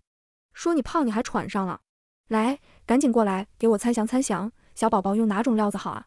我手脚慢得很，这会儿开始给我娃做衣衫，估计做到他出生也做不了多少呢。裴婷说完，还下意识地摸了摸自己微凸的肚子。虽然春丫知道裴婷这微凸的肚子就是点脂肪，如今那小宝宝还只是个胚胎呢，可是扫兴的事儿他可不干，搀了裴婷的手让她坐下，自己便蹲在观音奴打开的三大箱料子里头翻翻找找，找出一块，两人讨论半天。找出一块，再讨论半天，等到两人总算挑出了一箱给孩子做衣服的料子，时间已到了正午。裴婷留了春丫用饭，用完饭，春丫又去摘星阁溜达了一圈。佛宝又知道春丫虽然年纪小，可却是裴婷除了他们三个之外最信任的人，自然是有问必答。前几日春笋烧麦已经停卖了，要说起来，这卖的还真是不错的很。经常来的小姐夫人几乎每来必点，回去的时候再带上一两笼生的，给自家的儿子相公婆婆公爹现蒸现吃。回头再来，就变成带上三四笼、五六笼了。最后因为要带的人实在太多，裴婷只能出面说，每人最多最多只能带三笼。因为卖的贵，一月下来，光这春笋烧麦，他们就赚了六七百两。不错不错，时令鲜货就是诱人的很。待哪天我再想个别的吃食，也只当寄卖。春丫对佛保佑如此说道。那春丫小姐得快着点想。文竹昨日来说，咱家老爷的底报如今越发的多了，说是这旱情广得很，重灾的地方。都一年多未下一滴雨了，再这么下去，我们这儿要是也闹得严重了，咱们这钱可赚不了了。佛保佑现在主管摘星阁的丫鬟婆子也算是磨练出来了，这看事情也远了些。经过他这么一说，春丫也觉得赚钱这事儿吧，还是得激进点儿。当下就撩了袖子，说分分钟有新点子了，跑去做白案的厨房，喊来两个厨娘，备齐了东西就开干。本来想着戚风蛋糕他们如今这温控达不到要求，别说烤箱温控的事儿了，光打发蛋清都能打疯掉。但是今天跟裴婷里那层层叠叠的布料的时候，突然觉得千层蛋糕是可以实现的。这奶油他本来想着得去什么北边游牧民那儿绑个人来做，这会儿突然想起一个替代的法子，用这厚厚的水牛奶加了琼脂，先冻到半凝固，打发一遍，再冻，再打发，如此三遍便可以得到替代的奶油。虽然口感可能没淡奶油打出来的那么细腻蓬松，但是不细长，没对比，应该是可以过关的。说到冻，那就要冰。裴婷如今的冰库储备。春丫怀疑她都能媲美皇宫了，这会儿怀孕了，估计她为了孩子能安然度过灾年，且有的存呢。实在不行，她还可以回苏州嘛。所以这冰用起来也不心疼。如此一来，各种班戟也可以做了。但是这儿也没有什么特别适合的果子做班戟，春丫便想用芋泥包了糯米粉做的麻薯，再包上奶油和千层蛋糕的饼皮，味道应该也不错。为了做这两样点心，春丫一直在摘星阁待到了快日落，总算皇天不负有心，算是做成了。除了饼皮还不够薄，千层效果不够蓬松，别的都不错。不过这个不要紧，这饼皮的厚薄都可以练习改进的。这厨娘都是请来的很有经验的白案师傅，不出三日定能做得很好了。春丫捧了个试验品的千层蛋糕，拿去给裴婷看了看，切了指甲盖大小的一块给她过过嘴瘾，惹得裴婷很是哭笑不得。她虽爱甜食，可张氏说怀孕期间也要少吃甜食，控制体重，不然到时候生不出，不止她危险，孩子更危险。鉴于此。别说让她忍着不吃糖了，哪怕让她忍着不吃饭不喝水，她都可以做到。这整整一个千层蛋糕都落到了春丫手里，她捧着食盒，想着得赶紧回去与众人分享自己的聪明才智。大眼庄的马车停在了文苑街的巷子口，春丫跳下车，稳稳重重，一步一个脚印的往家走去，就怕打翻了自己的聪明才智。刚想推门进去，却见里头出来个人，差点撞翻他手中的食盒，还好那食盒在落地之前被人给接住了。春丫刚想骂人。却看那人居然前不久刚见过，他退出门外看了看，没错呀，是自己家呀，这才疑惑的开口道：“关木青，你怎么在这儿？”关木青把食盒往春丫手里一塞，三下两下，身影便隐没在了巷子口。卧槽，这什么人啊？有毛病吧？春丫再一次确定，这人有病。姐，你咋回来那么晚？我都快饿死了，你刚骂谁呢？铁头听到春丫的叫骂声，迎了出来，结果后头还跟了个倒悬。赶紧的，赶紧做饭，想饿死谁啊？师傅，你怎么来了？哦，那关啥来着？是不是你带来的？春丫这才恍然，这人肯定是师傅带来的。他姐病了，你娘不是女大夫吗？我就带他们来瞧瞧病。道玄答得很是理所当然，又看春丫手里捧着个食盒，立马拿了过来，打开一看，啥玩意儿啊？这是新式的点心，吃不吃啊？铁呀，家旺，赶紧过来，再不来没了呀！春丫高喊道。铁头和张家旺闻言也赶忙凑到了春丫跟前。点心，甜的咸的，我爱吃咸的呀。道玄凑近食盒闻了闻，甜的，给小姐们吃的点心当然是甜的多呀，不爱吃别吃。春丫用身体挡住了蛋糕，师傅这人。看着就不太干净，别一会儿口水再给喷蛋糕上了。不爱吃归不爱吃，尝尝还是可以的。如今你怎地跟你爹学的一般小气？昨日吃饭我还没吃饱呢，你爹就护食，真真小气的紧。赶紧的给为师切一块，再泡壶茶来。哎，你是不知道，我这一路倒悬还在叨叨叨个不停。春丫立马捧了食盒溜了，跟他费不起这劲儿。切了三块蛋糕，泡了壶菊花枸杞茶。春丫拿去八角亭，把老的小的都给伺候好了，这才推开张氏的房门走了进去。张氏和徐达住的这屋子分了里外两间，外头一间是会客间兼书房，中间放了个小圆桌，并几个小圆凳，北边放了个罗汉榻，西边放了个长案，边上是个小书架。里头一间是卧室，两间屋子中间中间隔了厚纱帘。这纱帘平日张氏夫妻俩并不放下来，今日却放了下来。张氏正在外间的长案上写着药方，里间却听不到什么声音。见春丫走了进来，张氏抬头小声说了句：“回来了，轻点儿，那女孩子刚睡着。”哎，好，怎么样啊？他好像腿脚不太方便。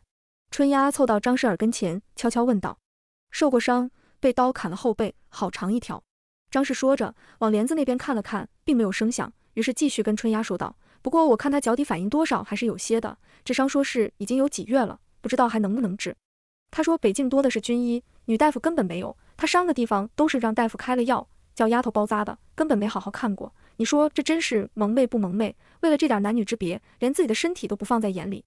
他说：“本来王宗元让道玄带上他要去京城求医的，王家干嘛的不知道，但是据说能找来女医官。但是走到半道上，道玄突然改了道，不去京城，直接回来了。他也不知道为啥，别的张氏也不知道了，毕竟是人家的隐私，他也不便多问。他弟就那官啥来着？出去干嘛去？”春丫突然想起门口遇到的那人，你说那个关木清啊？我让他去喊金大夫和你爹了。张氏如实说，春丫听不懂了。喊金大夫，我倒是明白，去喊我爹干啥？我爹下宫了吗？哎，这个张氏有点不好意思。我那个啥呀？春丫也见不得他娘如此吞吞吐吐。张氏小声斥道：“轻点儿。”指了指纱帘后头，继续说：“好不容易睡着的，今日来的时候身上都好久没擦洗了，我帮他好好擦洗了一番，水都换了三大盆，换了干净衣衫，这会儿才睡着。他说你昨天帮他擦过。”擦的啥呀？身上没擦吗？都能搓出泥了，也是可怜，带的一个丫头，半道就没了，就靠他弟和道玄两个伺候。你师傅就他那样，能伺候个屁呀！而且都是男人，我不过帮忙递下毛巾衣物，换换水盆啊，叫我干那么细致，我也不会呀。不过娘，你可能搞错了，我问你的是，你叫我爹回来干嘛？春丫执着的提问。哎呀，你这孩子真是烦人，还不是因为我如今针灸技术不行，他这半瘫着。这会儿也不能给他开刀做手术的，而且能做我也不会做，总归是打金针试试啊。金大夫有所谓无所谓，看女人的屁股我不知道，但是你那金主爸爸和他媳妇，我觉得肯定有所谓。那我这会儿也不能看人家屁股，我只能看你爹的呀，就只能找你爹回来，再跟金大夫讨论套针法出来。我先给你爹试试，才能往人家身上扎呀。张氏说完，还觉得这法子挺好，点了点头。得亏想出这法子，不然还真不知道怎么办了。哎，能让我下针的人太少了。春丫二话不说，赶紧冲了出去。怕啥呀？搞得我好像很乐意扎你似的。我也很费神的，好不好？张氏在屋里小声嘟囔了一句。春丫回到院子里，那老老小小三个已经吃完了点心，都等着她做饭呢。春丫哀叹一声，往淘米篮里加了五碗米，犹豫着要不要再加点儿。想着道玄那一路通到大海的胃，春丫认命似的又往淘米篮里加了三碗米。今天本来张氏准备煮鸡肉一锅炖的，已经把杀好的鸡放厨房里了。家里常有的咸肉、火腿。瓜果蔬菜厨房里也有，每日老宅送来蔬菜，他们都会自留一部分。春丫在家里炒菜，肯定也是向张氏学习的，只追求数量，不追求卖相。一锅走地鸡，扔点莴笋进去，再加点笋子就行了。再在煮饭的锅子上架好蒸笼，蒸上两盆咸肉蒸芋头和两盆蒸鸡蛋，这就成了。一顿饭不过小半个时辰便好了。春丫这头刚要喊开饭，徐达带着关木清和金大夫就跨进了屋门，后头还跟了个大胖丫头，几人火急火燎地往正屋走去。见这会儿还不知死活的徐达一脸意气奋发的模样，春丫根本不想凑过去看热闹。可无奈没过多久，张氏就在里头喊了起来：“春丫，来一下。”哎，春丫无法，只得往正屋走。进到屋子里，徐达正一脸惊恐地看着张氏，做着最后的垂死挣扎：“媳妇儿，你要不换个人吧？换谁？”你说，你说得出来我就换。张氏边整理着他的针带，边气定神闲地问徐达：“换换换！”徐达好想出卖儿子了事，可一想，万一出卖了儿子，张氏说不定下针更狠，于是支支吾吾的答不上来。金大夫见徐达如此，便出声安慰道：“徐头，没事儿，咱们下针只是确定个位置，只扎表皮，不会往深里扎的。这只扎表皮也疼啊！”徐达以前就是那种被刀拉一刀他倒也不怕，就怕抽血打针这种小针刺的人。张氏走到徐达身边，在他耳边小声说道：“行了呀，那么多人在，别到时候说我不给你面子。趁我还没发火，赶紧的。”纠结了半晌，徐达最终只能认命般的宽衣解带，向罗汉榻走去。不过拖到一半，才想起旁边看热闹的几人：“你们看啥看啊？走走走！”“谁要看你？”春丫翻了个白眼，这才问张氏：“娘，你喊我干嘛？”“你去帮关静脱一下衣服。”张氏凑近春丫耳朵说道：“全脱喽。”听张氏这么说。沉默良久的关木青突然开口说道：“我刚找了个丫头，让这丫头来吧。”张氏看了看那大胖丫头，摇头道：“不行，身上太脏了，得先换身衣服洗一洗。这次就让春丫来吧。这从人贩子那儿刚找来的丫头，居住环境恶劣，身上细菌啥的肯定少不了。张氏肯定忍不了让她动手的。”关木青这才回头看了眼春丫，说：“麻烦了。”春丫也不答话，耸了耸肩，转头歪了两下嘴，掀了帘子就进去了里间。张氏让胖丫头先出去等着。一会儿等她忙完了再说。春丫妹妹，不用麻烦你了，我可以自己脱的。里屋的关静早已醒了，外头的话他都听到了。没事儿，帮忙脱衣服又不费劲儿，你自己能翻身吗？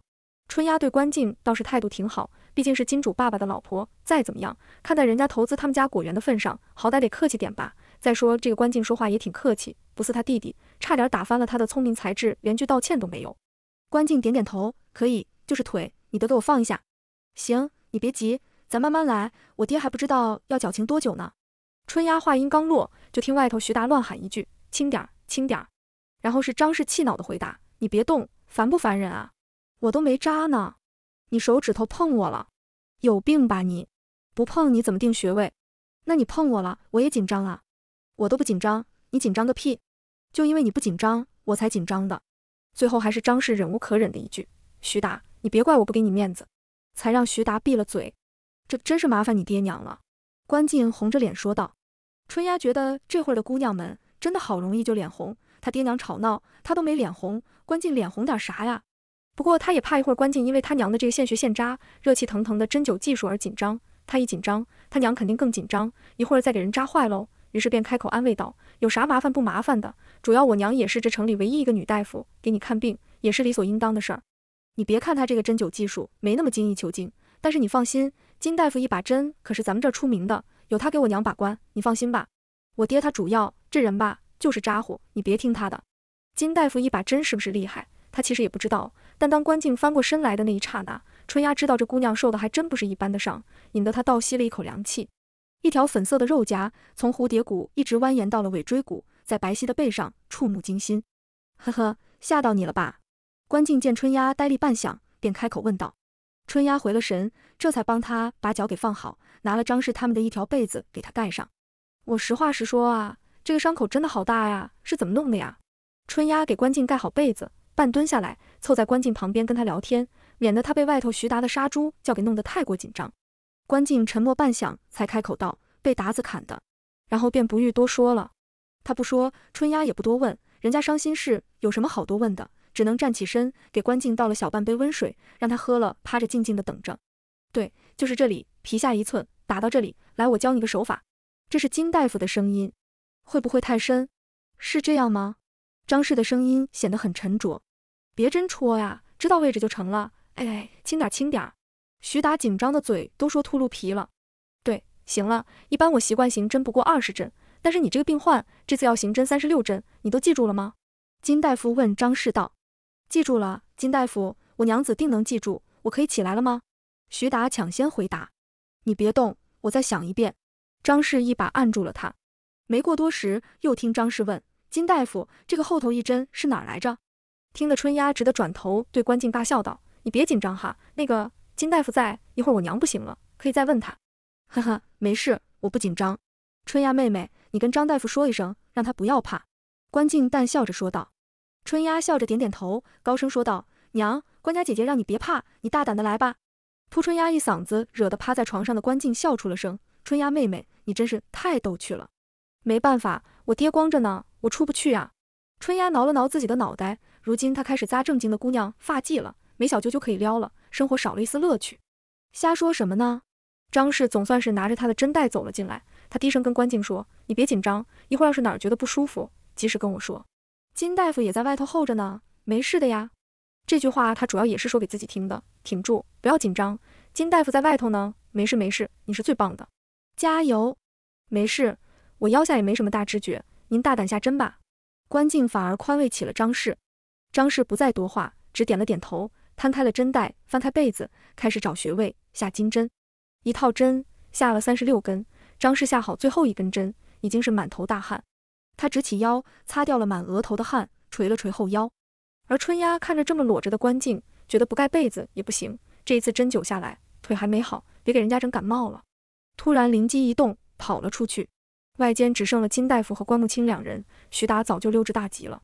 关木青见春丫突然冲了出来，站起来问道：“怎么了？”“没事没事，我找东西。”春丫说完，便往吃饭间跑。跑到吃饭间，拎了两把长凳，又跑了回去。金大夫还没开口问。春丫便又匆匆跑回了里间，他把两把长凳往关静身体两边一放，再拿了被子往上头一盖，妥了，正正好好，又不影响针灸，又能保暖。张氏这才点了春丫的脑门，说道：“算你还有点小聪明。”转头又跟关静说：“你闭着眼睛休息会儿，这得小半个时辰才能取，咱们先出去了，不吵你。”关静说了声谢谢，便闭上眼睛。见张氏出来，金大夫忙问道：“如何？行针都没问题？”张氏点头道。那就好，效果这会儿肯定还看不出来，先行二十一天再看吧。”金大夫说道。张氏点头，还未开口，却见关木青站了起来，朝张氏一拱手，少有的说了句客气话：“张大夫，多谢。大夫治病本职而已，不用客气。”经此一事，张氏自觉自己也收获良多，所以回的也很客气。只有春丫杀风景，客气是不用客气，那个诊费不要忘记付一下，这是自然。关木青说完，拿出一张银票放在张氏的长案上。春丫瞄了一眼，一百两，啥家庭啊？看着穿着打扮也不过普通人家，咋出手这么大方呢？关木青说道：“这是我姐姐接下去二十一天的诊费，不知道够不够？够了，够了。走吧，让你姐姐休息会儿，咱们出去扒拉两口饭去。春丫，你做饭了吗？”张氏这才觉出饿来，做了。啊呀，糟糕！春丫突然想到，他师傅会不会已经自己开吃了？那完了。他们就等着饿肚子吧。说完一句糟糕，赶紧跑到厨房一看，还行，还算保留了一丝人性，给他们剩了个底。这底还是徐达从道玄嘴里虎口夺食抢下来的。这生气归生气，老婆孩子到底也不能饿着，也不必多客气什么。此时月亮都已经出来了，十四里的几人也都回来了。忙碌了好一阵的几人拿了碗筷盛了饭菜，也不用什么男女分桌之类的陈规旧礼了，粗茶淡饭也吃得很香。吃饭间，隐约还能听到后院道玄机娃的暴躁喊声。徐达则坐在堂屋的门框上不进去。他今日算是看出来了，他在张氏眼里不过只是个工具人。惨，好惨，好惨，好惨！惨人徐达看着皎洁却苍白的月色，突然发现他们房间的窗底下还坐着个人。走近一看，哦，是刚才去金牙人那里买的大胖丫头。那关木青跑去衙门找他，说是什么道玄介绍来找张氏看病的。他也不疑有他。谁尼玛还没事做假扮是道玄的朋友啊？想着家里就张氏一个大人，也的确不安全，便跟关木青走了。走半道，关木青突然提出要去买个丫头，他还好心好意的把她带去了金牙人那里。你瞅瞅买的这个丫头，看着足有一百三四十斤，多划算啊！他们居然还连起手来骗她回家当工具人，想想就来气。徐达走进胖丫头身边，问她：“你家主子且还要一会儿呢？你饿不饿呀？”“饿的。”胖丫头抬起头，可怜巴巴的看着徐达。徐达看这丫头虽说长得大些，看脸却也不过十二三岁的模样，心下觉得自己惨，这胖丫头更惨，便说：“你等着，我去给你找些吃的。”结果徐达去厨房揭开锅盖一看，好家伙，啥啥都没有，只剩锅底一大块锅巴，便把锅巴铲了起来，撒上一把白糖，拿到那胖丫头面前，对折了给她吃吧，没余粮了，你将就下。不将就不将就，谢谢大叔。胖丫头接过锅巴，呱唧呱唧就嚼巴了起来。徐达蹲在一边，好奇地问道：“我说这世道也不怎么好，大叔也不是嘲笑你哈，我就好奇问问，你家都穷到把你当丫头卖了，你是怎么长大那么大只的呀？”大叔，我叫石金。因为我娘说我生出来就有十斤，其实我吃的不多的。石金真诚地看着徐达说道：“吃吧，吃吧。”徐达朝他点了点头，然后在眼睁睁地看着这丫头两分钟内解决了一大块锅巴，并意犹未尽地嗦着手指上的白糖之时，徐达心里只剩下了被欺骗的悲凉。他觉得这姑娘家里肯定是被他吃穷的。吃完饭，张氏忙着进去给关静拔针，春丫收拾碗筷。金大夫跟关木青说：“你姐姐这个伤本不应拖这么久。”最好也不能再太颠簸了。你们这一路是赶路过来的吧？他本就伤未痊愈，再一路舟车劳顿，身体底子太差了。你们如今住在城外安远寺，刚行了针，不要再颠回去了。我一会儿跟张大夫说说，你们就在这儿住一晚吧。明日一早，你去租个小院子，就在城中住下。以后就烦劳张大夫出诊吧。他这人你别看看着挺凶，实在心肠好得很。金大夫说的，晚生记下了。张大夫家人口颇多，我也不便多扰，我这就去找客栈去。关木青说完。抬脚就要走，见徐达坐在堂屋门口，正跟买来的小胖丫头说话，转念一想，问徐达：“徐大叔，谁是你大叔？叫谁大叔呢？叔什么叔？”徐达今日被关木青喊回来当工具人，给他姐做小白鼠，正一肚子气没处撒呢。关木青自己找上门来，且春丫和张氏都不在，正好给他撒气。关木青也不生气，拱手道：“今日之事，晚生也是出于无奈，佳姐身体实在耽误不起，请徐大哥原谅一二。”徐达斜眼看了眼关木青。见他态度端正，神情诚恳，这才说道：“找我什么事儿啊？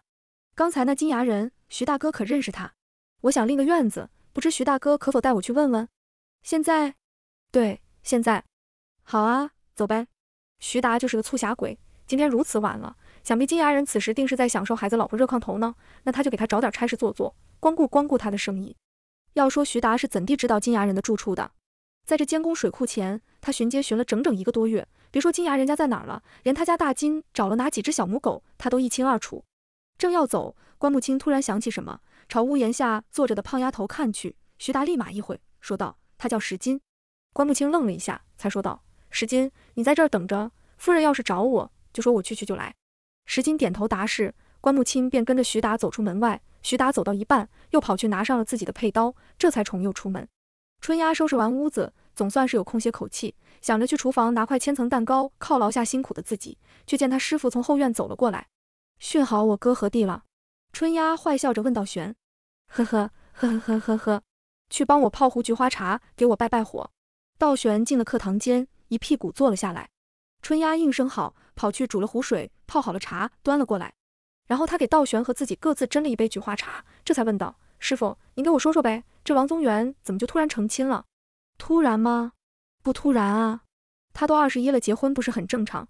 道玄说完，喝了一口茶。哎，那他之前怎么都没成亲？春丫突然想起那一路跑来找王宗元的绛乳歌小姐叫什么来着？感觉两人很有些瓜葛呀。对于这种男男女女的事情，又无关乎什么机密，春丫很是有八卦的心思。嘿嘿，这个嘛，道玄一副我知道是知道，但我就不是很想说的鬼样子。春丫立马掏出自己的芝麻糖奉上。怎么又是这个？你都吃不腻的吗？道玄有些嫌弃，不吃拉倒，你爱讲不讲。春丫揣了芝麻糖，作势要走。哎哎，聊胜于无，聊胜于无。道玄拉住了徒儿，开始慢慢讲道：王宗元他娘姓廖，家族世代生活在北境。虽说他外祖父廖威茂只是个总兵，但是在北境的声誉比镇北将军还高一些。三年前他外祖父一家战死，各种原因，反正你也不必知道。总之就是他外祖父一家被鞑子灭了族，他娘去报仇也死了。王宗元当时好像也还没定亲，反正就守孝嘛，也谈不了什么婚事。如今这个关境是王宗元外祖的副将的副将，就是个参将，当时也守在平奥城内。这个平奥城还是王宗元他外祖手里改建的，易守难攻。当时反正也是鞑子以几万兵力强攻下的这平奥城。当然，这个关境他爹也战死了，应该说关家最后活下来的只有这关境和在外求学的关木青两人。王宗元去年回了北境，想要去把那平奥城重新夺回来。但是廖威茂已经死了，镇北将军在那片拥有绝对话语权。王宗元刚进军营，因外祖家的威名还在，才谋了个千户。他说话其实也不太管用。不过最主要的还是那平奥城被达子给加了东西，两个瓮城和东西南北四个马面，本就易守难攻的一个地方，又如此改建，更是攻不进了。但王宗元这人轴得很，再加上廖家军的旧部也有些支持他的人，而且廖家那些人头都晒在城门上，谁看着都觉得气愤难当。中间过程我就不说了，你也听不懂。反正最后的结果是，王宗元能想办法从平奥城里开了城门，从里面瓦解瓮城的那道防线，那镇北将军就同意里应外合，派兵攻打。然后就是关静，从小不是在平奥城长大的吗？廖威茂改造这城的时候，王宗元已经去京城了，关静还在，而且他爹就是负责改造这城的。于是关静姐弟从廖家军那里知道了王宗元这大咒子的事儿，就主动请缨，带他们通过当时修的暗道进了城。其中波折我也不赘述了。总之他们带队进去一百人，最后只剩下五人，关静差点没被劈死，是他弟从死人堆里把他弄出来的。之后便落下了残疾，王宗元就说要娶她，但是关静姐弟不同意。最后，王宗元跪在关静房门前三天三夜，关静这才应了下来。两人匆匆办了婚事，结果王宗元那支队伍又说要被抽调去平乱，关静这么摊着也不是个事儿，于是，一合计就准备一起上路。对了，哎，TMD，北境吃水都靠雪山上融下来的水，除了风沙大，倒也还好。咱们一路过来，路过中北部，真是一路赤土，为师差点没渴死在那儿。咱们跟王宗元在山西境内分手。原本想去京城的，可突然接到消息，反正这会儿去不了了，我就想嘟尼玛到山西了，再往回走我可不干，我就带他们回来了。事儿就是这么个事儿吧。关静嫁给王宗元，这两人心里咋想的我不知道，反正王宗元就说得给他治病，我就给拉来你家了。说完，道玄连喝了两杯菊花茶，春丫这才缓缓开口道：“原来这般曲折呀。话说你们怎么不直接从甘肃往北走，绕道不是更费时间？你是不是傻子啊？”你为师虽然武艺高强，轻功了得，但叫我一人单挑哦，那关木青身手倒也还行，就我俩人往达子的地盘走，是嫌命长了？不绕道还能咋地？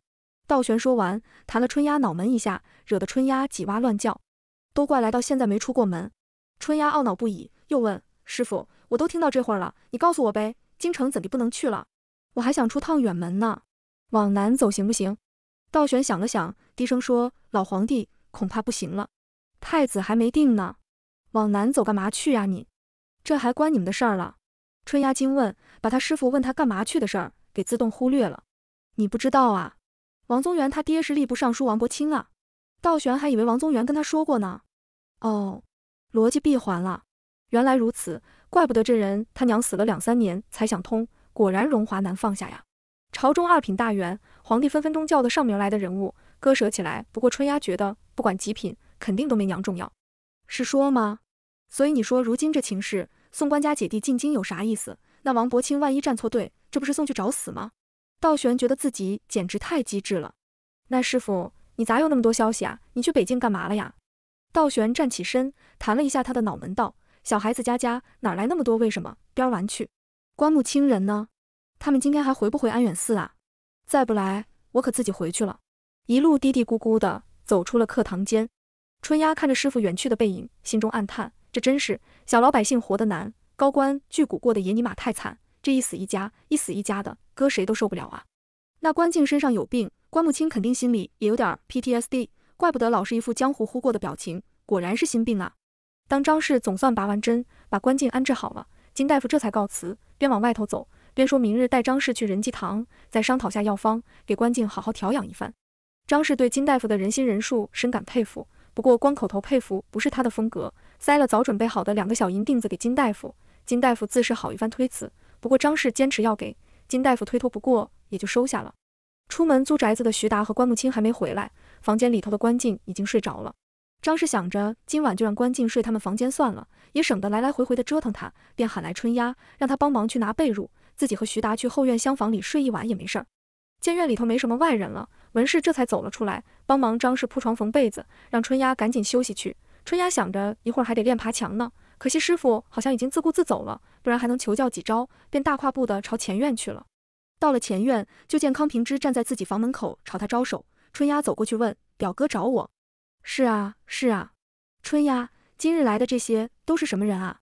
康平之显然还没习惯徐家这房子里头时不时会出现各路人马的奇景。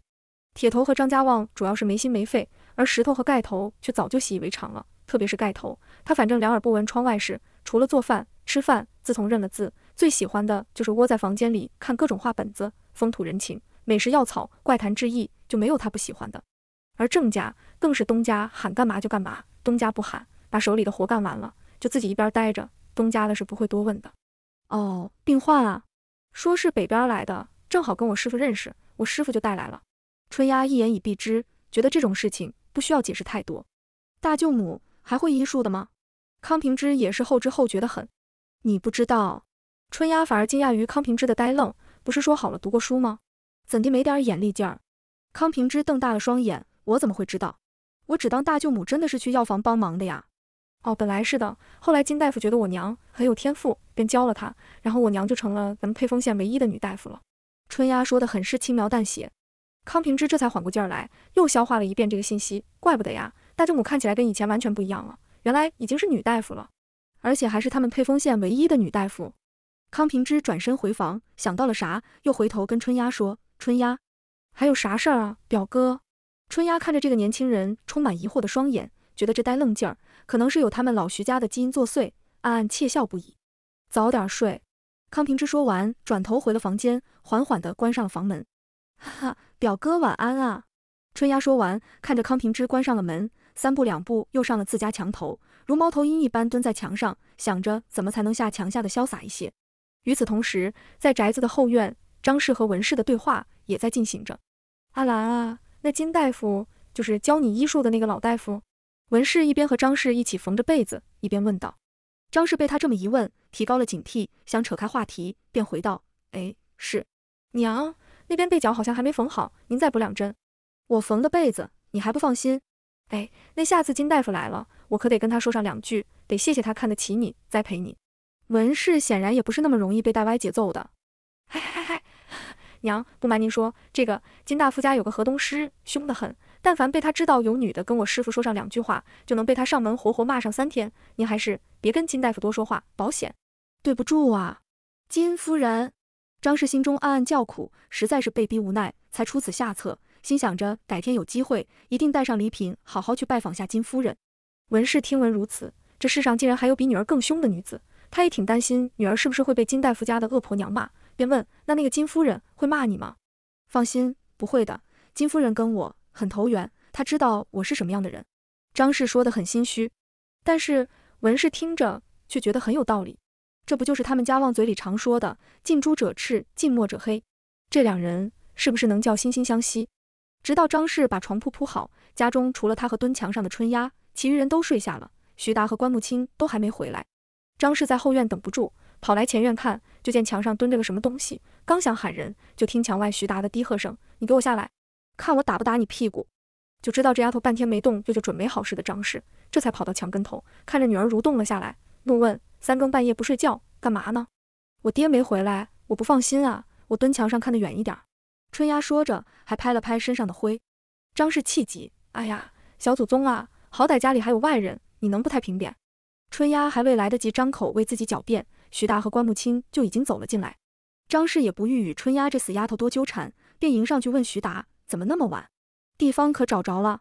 转头又跟关木青说：“我说你也不用急，我们今晚的房间我已经另外整理好了，你就睡咱们外间的罗汉床。你徐大叔，大哥，徐大哥。”徐达打断了张氏。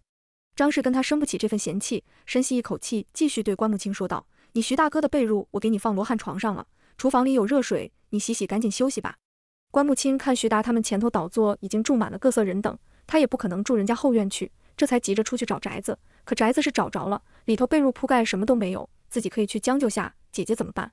把他一个人留在这里，他也不放心。思虑再三，也就点头应了。徐达带着关木青回到正屋，见门檐上还坐了石金，一想怎么把他给忘了。石金，醒醒，别睡了，一会儿冻感冒了。徐达喊醒了石金。张氏想着这娃怎么安置啊？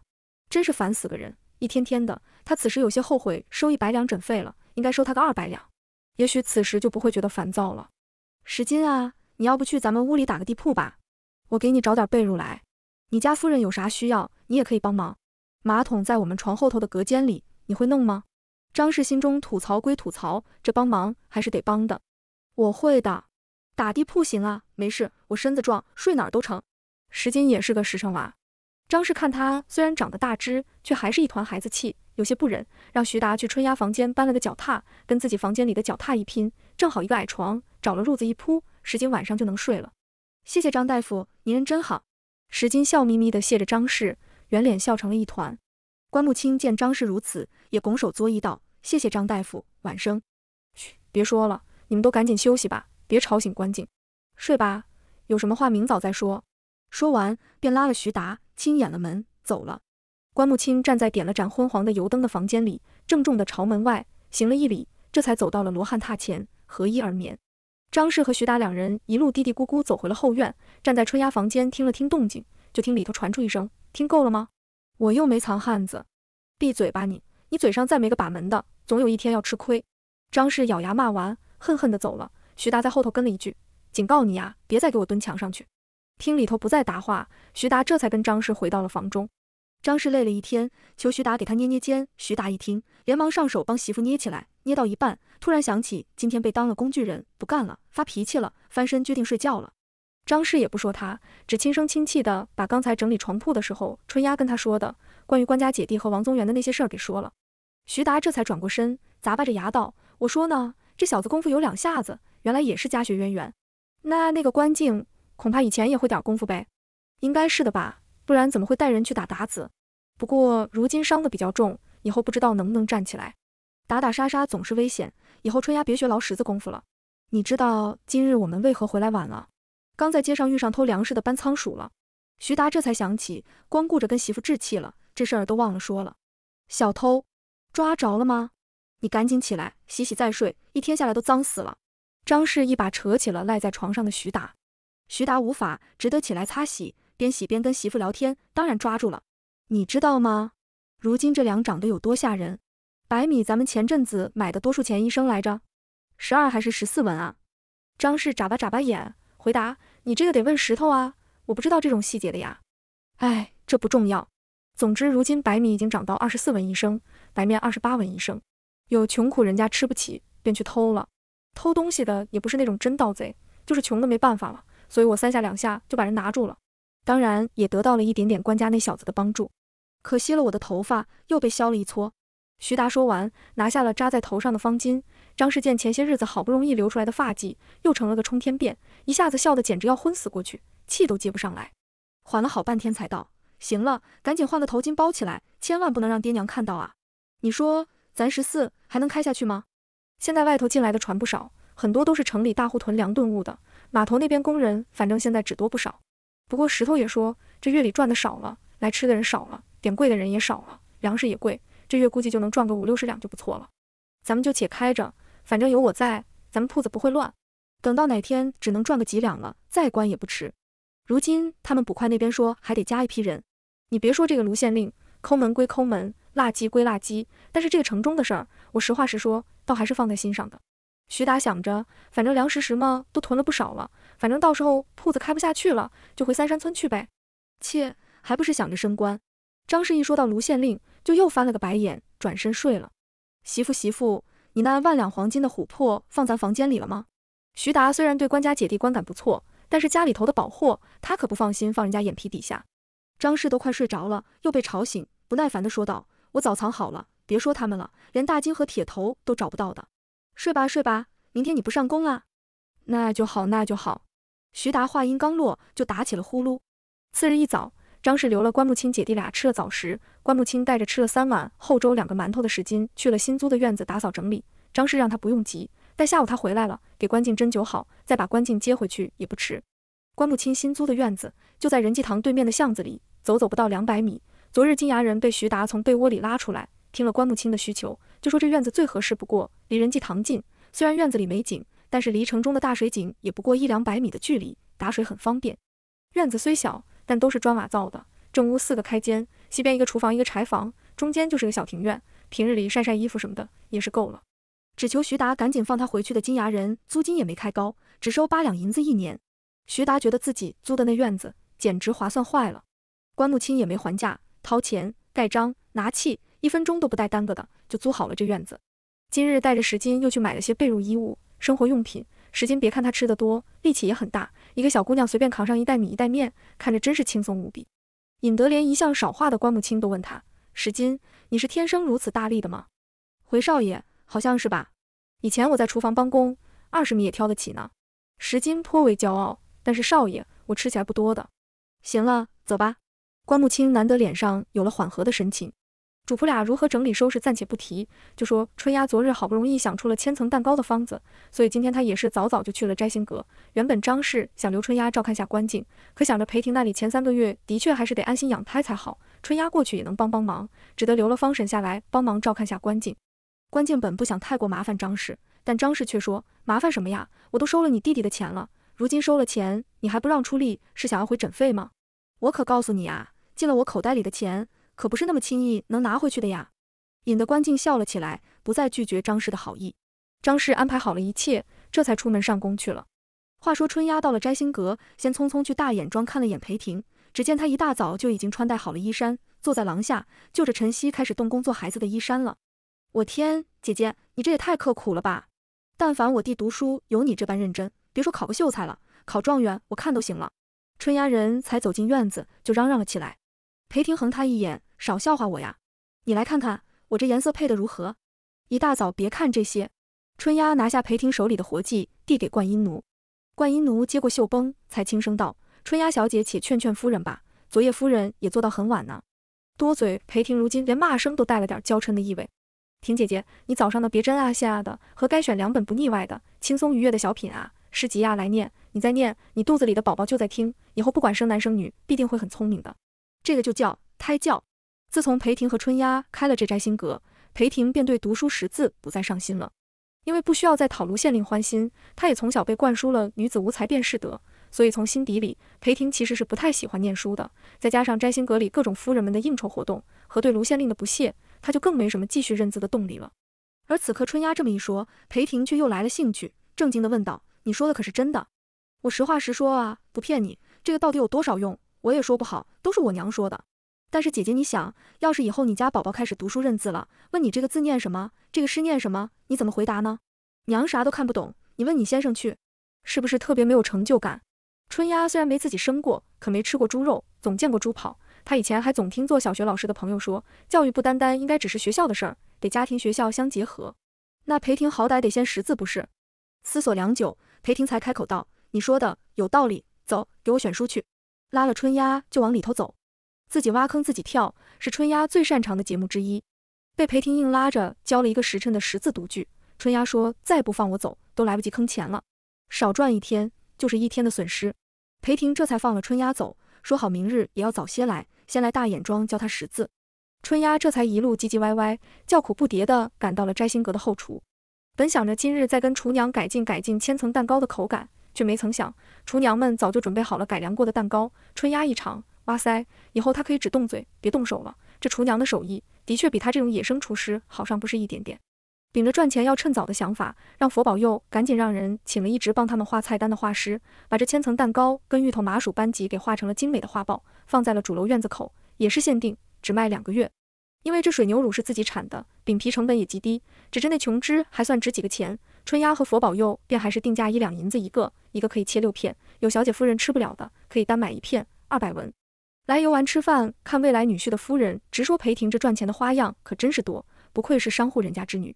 却也有死对头的夫人说，有本事你去赚啊，反正有女人的地方就有江湖。说归说，买归买，如此卖了一月，居然这东西卖的比烧麦还要好些。佛宝又怕厨娘们的手打奶油打废掉，还特地抓了几个壮丁去打，一月居然也能卖出一千多个。算下来，倒又赚了七八百两。个把月的时间，安远寺外的水库工程也进入了最后的施工阶段。这日，沛丰县却迎来了一场久违的春雨，这让卢县令感到了一丝尴尬。这旱灾来与不来，他此时都觉得非常尴尬。但是，既然这水库都已经修了一大半了，那硬着头皮也得修下去啊。同样感到无语的，还有三山村的徐老汉，他家囤了那么多米面粮食，还把稻田全种了麦，一场雨下来。背地里偷笑徐老汉的人还真不少，气得他都恍惚了。这到底是盼下雨还是不盼下雨啊？他自己都已经捉摸不透自己的心意了。一场雨下了小半天，三天后，不知是悲是喜的春丫却迎来了他等了很久的消息。可这消息如今算是好是坏，他自己也拿捏不准了。嘿，春丫，发什么呆呀？我跟你说的，听到了没呀？裴婷把春丫的八百两分红推给了他，拍了拍他肉乎乎的手。春丫这才回过神来，回道：“你是说有公差可以去广州？”“是的，不是说了吗？有个人犯查出来是那里的，如今要押解回去。门主打听过了，余捕头说这两日就要走的。你爹到底要不要给安排去啊？前两日还下雨了，你看这事儿你们怎么想啊？去不去的？你明日可得给我个准信儿啊！”裴婷见春丫有点恍惚，便又说了一遍：“危险吗？那人犯了什么事儿？土匪强盗？会不会有人劫囚车？”春丫虽说老念叨这事儿，可真的有机会去了，她却安逸日子过久了，有些怂了。裴婷放下手里的诗集，解释道：“有危险的，怎么会跟你讲？我打听过了，那人不过是个流民，靠到处小偷小摸过活。不过不巧，我家老爷这几日吧，急火攻心，那人被余捕头抓了，正好撞枪口上了。本来就地打上几个大板，关上十天半月的，赶出城外就是了。但是你懂吧？我家老爷就非得让人给押回原籍。”那押送犯人的囚车，就按我家老爷这几日的脾气，那让他好好站着，那绝对不可能。你看着吧，非得让人一路颠脚颠回原籍去不可。这人也没帮没派的，不过就是小偷小摸，谁吃饱了没事，冒着被砍头的风险来劫车呀？放心吧，差事是辛苦的，这个肯定的，但是危险是没啥危险的。你要不跟你爹娘商量商量？行。春丫站起来就要走，突然转身抓起了放在面前的银票，朝裴婷嘿嘿一笑，钱都差点忘了。慢着点儿，问好了，差人来告诉我就行。让门口给你叫个马车，别自己跑回去呀。裴婷叮嘱道。知道了。春丫边说边往外走，匆匆回到家中，家里也没人。这会儿张氏应该在关静那儿，春丫也等不及了，放银票就跑去了关家姐弟家。路过仁济堂的时候，春丫还先进去瞄了一眼，见张氏果然不在，这才去了仁济堂旁边巷子里的关家。春丫敲开门，来开门的是关家新请的一个烧饭的婶子。石金虽然在厨房干过，但是这煮起饭来也没个准头，味道且不说好吃难吃，这个煮起来的量真是吓死人。几次下来，关静不得不托了张氏给找了个煮饭的帮工。春丫进到关静的房间，就见张氏正好在拔针。你这会儿怎么来了？张氏拔完最后一根针，扭头问春丫。春丫跟躺在床上的关静微笑着打了个招呼，之后才跟张氏说裴婷让他带两句话。张大夫有事儿就赶紧去吧，我一会儿让石金帮我穿就行。关静见春丫如此说，想着人家肯定是有急事才来的。春丫如今偶尔会来给自己送点新鲜的吃食，陪她说说话，来的也不算多。就说这小姑娘平日里也是忙得脚不沾地的。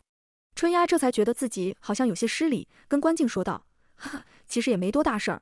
对了，关姐姐，你弟入学怎么样了？”出于礼貌，又亦或是同情，她还是决定陪关静聊几句再走。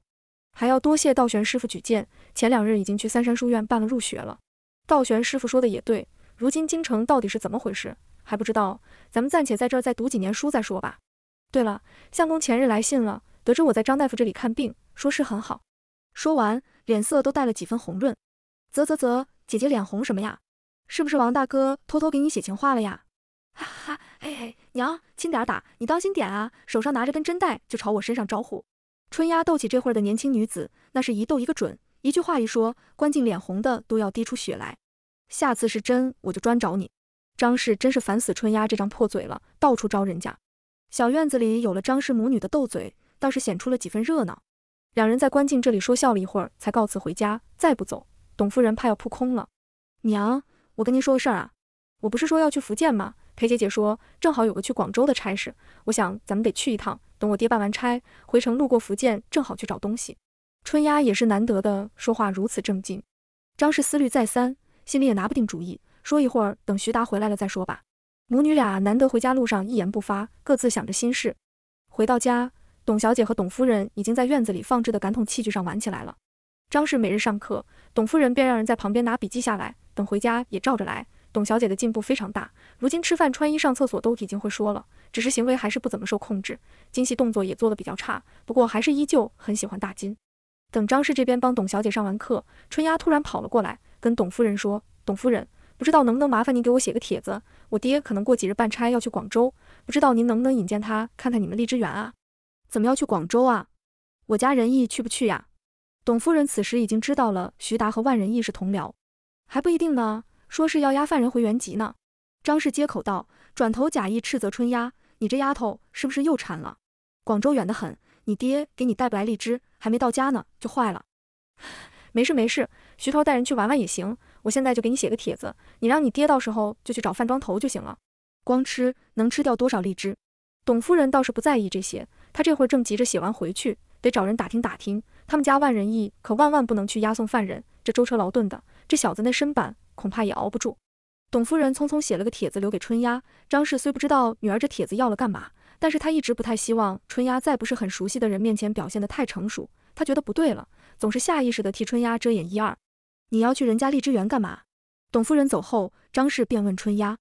春丫撅着嘴唇，闻自己嘴唇上的口水味，看得张氏恼火得很，又赏了他一巴掌。少作怪，难不难看？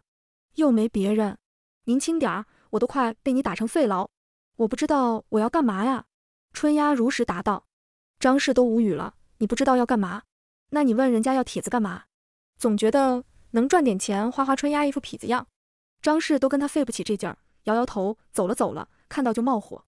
等到晚间吃完晚饭，大家都各回个房了，春丫这才悄咪咪地溜到张氏和徐达房间的窗子底下，思虑再三，又跑去石头窗口下，羞羞羞，大哥睡了吗？春丫，啥事儿？石头开窗，伸头出来问道。大哥，你来，有事商量。石头闻言，赶忙跑出房门，跟着春丫敲开了张氏他们的房门。来吧，都说说吧，这事儿怎么办？去还是不去？徐达拿起个盖碗茶，撇了撇上头的沫子，说道。石头根本不知道这事儿，便问啥事儿啊？如此这般，这般如此。春丫这才想起大哥压根不知道这事儿，又跟石头解释了一遍。要不别去了吧？石头听完，犹豫的开口道：“不是前两天都下雨了吗？可这是这小半年来唯一一场像样的雨呀。主要我是觉得吧，这事儿还是得先去办了，因为这灾情不灾情的，咱自己也不确定。东西先找到了，先安心。”春丫如是说道。可路上太平吗？不是说京城那头比较那什么吗？再说咱们这儿逃难的可一点都没少，甚至还越来越多了。张氏主要还是担心安全问题。我觉得吧，春丫说的对，而且人家要抢也抢上队呀。咱们观察押解犯人，这人还只是个小偷，谁还专门来抢咱们？是不是有病啊？徐达是支持春丫的，保守派和激进派展开了一场口水风暴。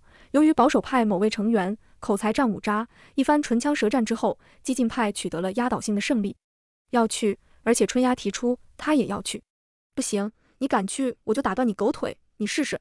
张氏这点很坚决，我不去不行。我爹不够机灵，而且他都不知道往哪儿找，光我爹去等于白去。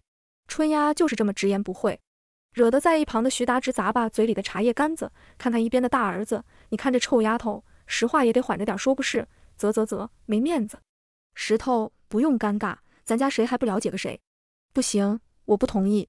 张氏才不管这些，最好他们都不要去，一个徐达去就够让人操心的了。春丫也去，他能活活操心死。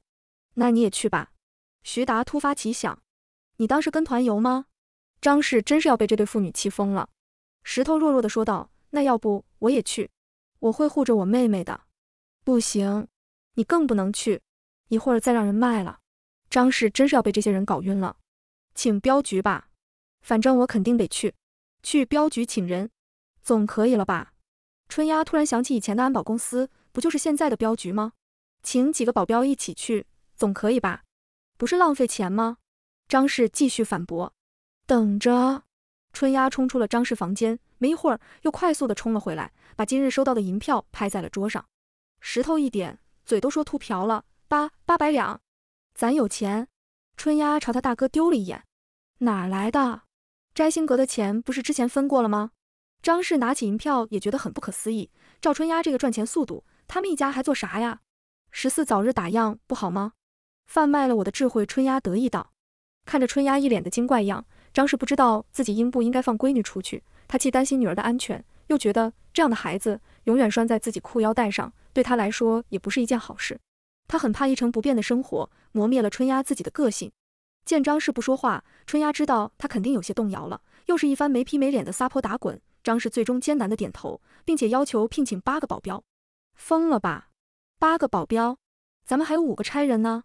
就为了押送一个小偷，用十三个人，能不能低调点，有点谱啊？徐达喊要低调点，倒也是难得。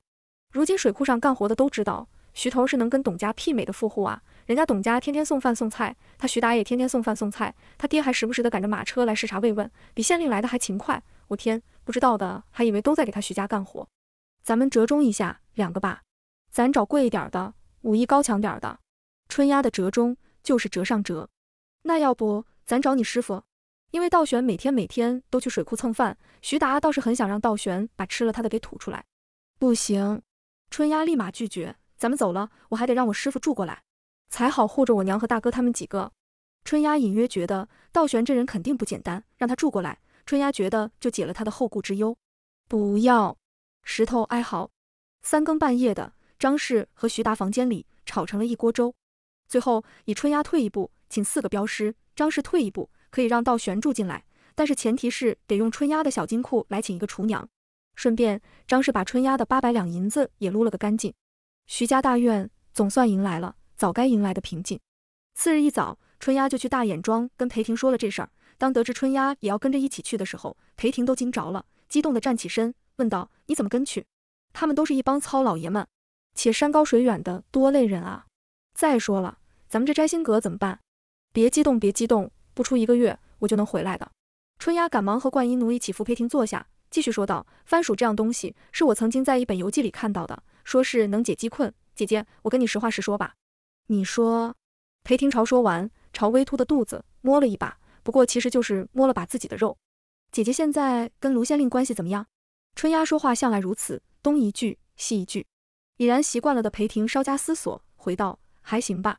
就像你之前说的，就别把他当相公当亲人，就当是自己的生意伙伴，就好像真的没有那么多的精力和喜怒放在他身上了。话说，我好像都一月没见着我们家老爷了。夫人是两月，自从老爷来留夜之后，您就再没见过老爷。冠衣奴鼓起勇气纠正了下裴婷。哦，那么久了。那个的确哈，我最近手头也比较忙，老爷也挺忙，呵呵。裴婷给自己找了个台阶。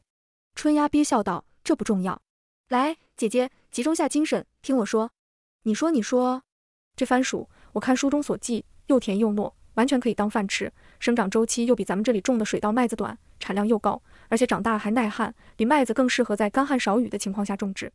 我就想到时候咱们把辣椒一收，大眼庄全部种上这番薯。到时候要是真的因旱情欠收，咱就往城门口摆上一排口大锅，每日施这番薯粥给众人，帮姐姐你把乐善好施、救苦救难的名号给打出去。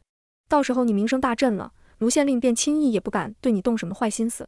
不过这只是我自己的想法，具体这事儿能不能成？这名声能不能起来，还得看到时候的具体情况。我如今心里也没什么底，但是好歹咱们得试试，不是？春丫说完这席话，看着裴婷渐渐红了眼眶，握起了她的手，说道：“春丫，原来你这是替我考虑啊！哎呀呀呀，可别哭，我也不只是替你考虑，我也为我自己考虑了来着。姐姐，你稳了，咱们的生意才能稳；你不稳，咱们怎么稳？对不对？你且好好的，我去个个把月就能回来了，等我好消息呀。”春丫用小手反握住裴婷雪白粉嫩、仿若无骨的贵妇手，裴婷点头道：“行，你去吧，路上小心，姐姐等你好消息。”冠阴奴，把我的钱匣拿过来。哎，姐姐，我可不是问你来要差旅费的呀，我就是来给你回个信告别的。我这两天还得准备准备，之后恐怕没空来跟你道别了。一会儿跟佛保佑去说两句，我就得走了。观音奴姐姐，你别拿了，我先走了呀。春丫说完，站起身就要走。裴婷一把拉住她，春丫怕推推搡搡再伤着裴婷肚子里的宝贝蛋，也不敢多拉扯。夫人，观音奴打开了裴婷平日放零散银子和银票的钱匣，钱匣拿来了，给春丫拿五百两银票，五十两碎银吧。裴婷一边拖住春丫，一边跟冠衣奴说道。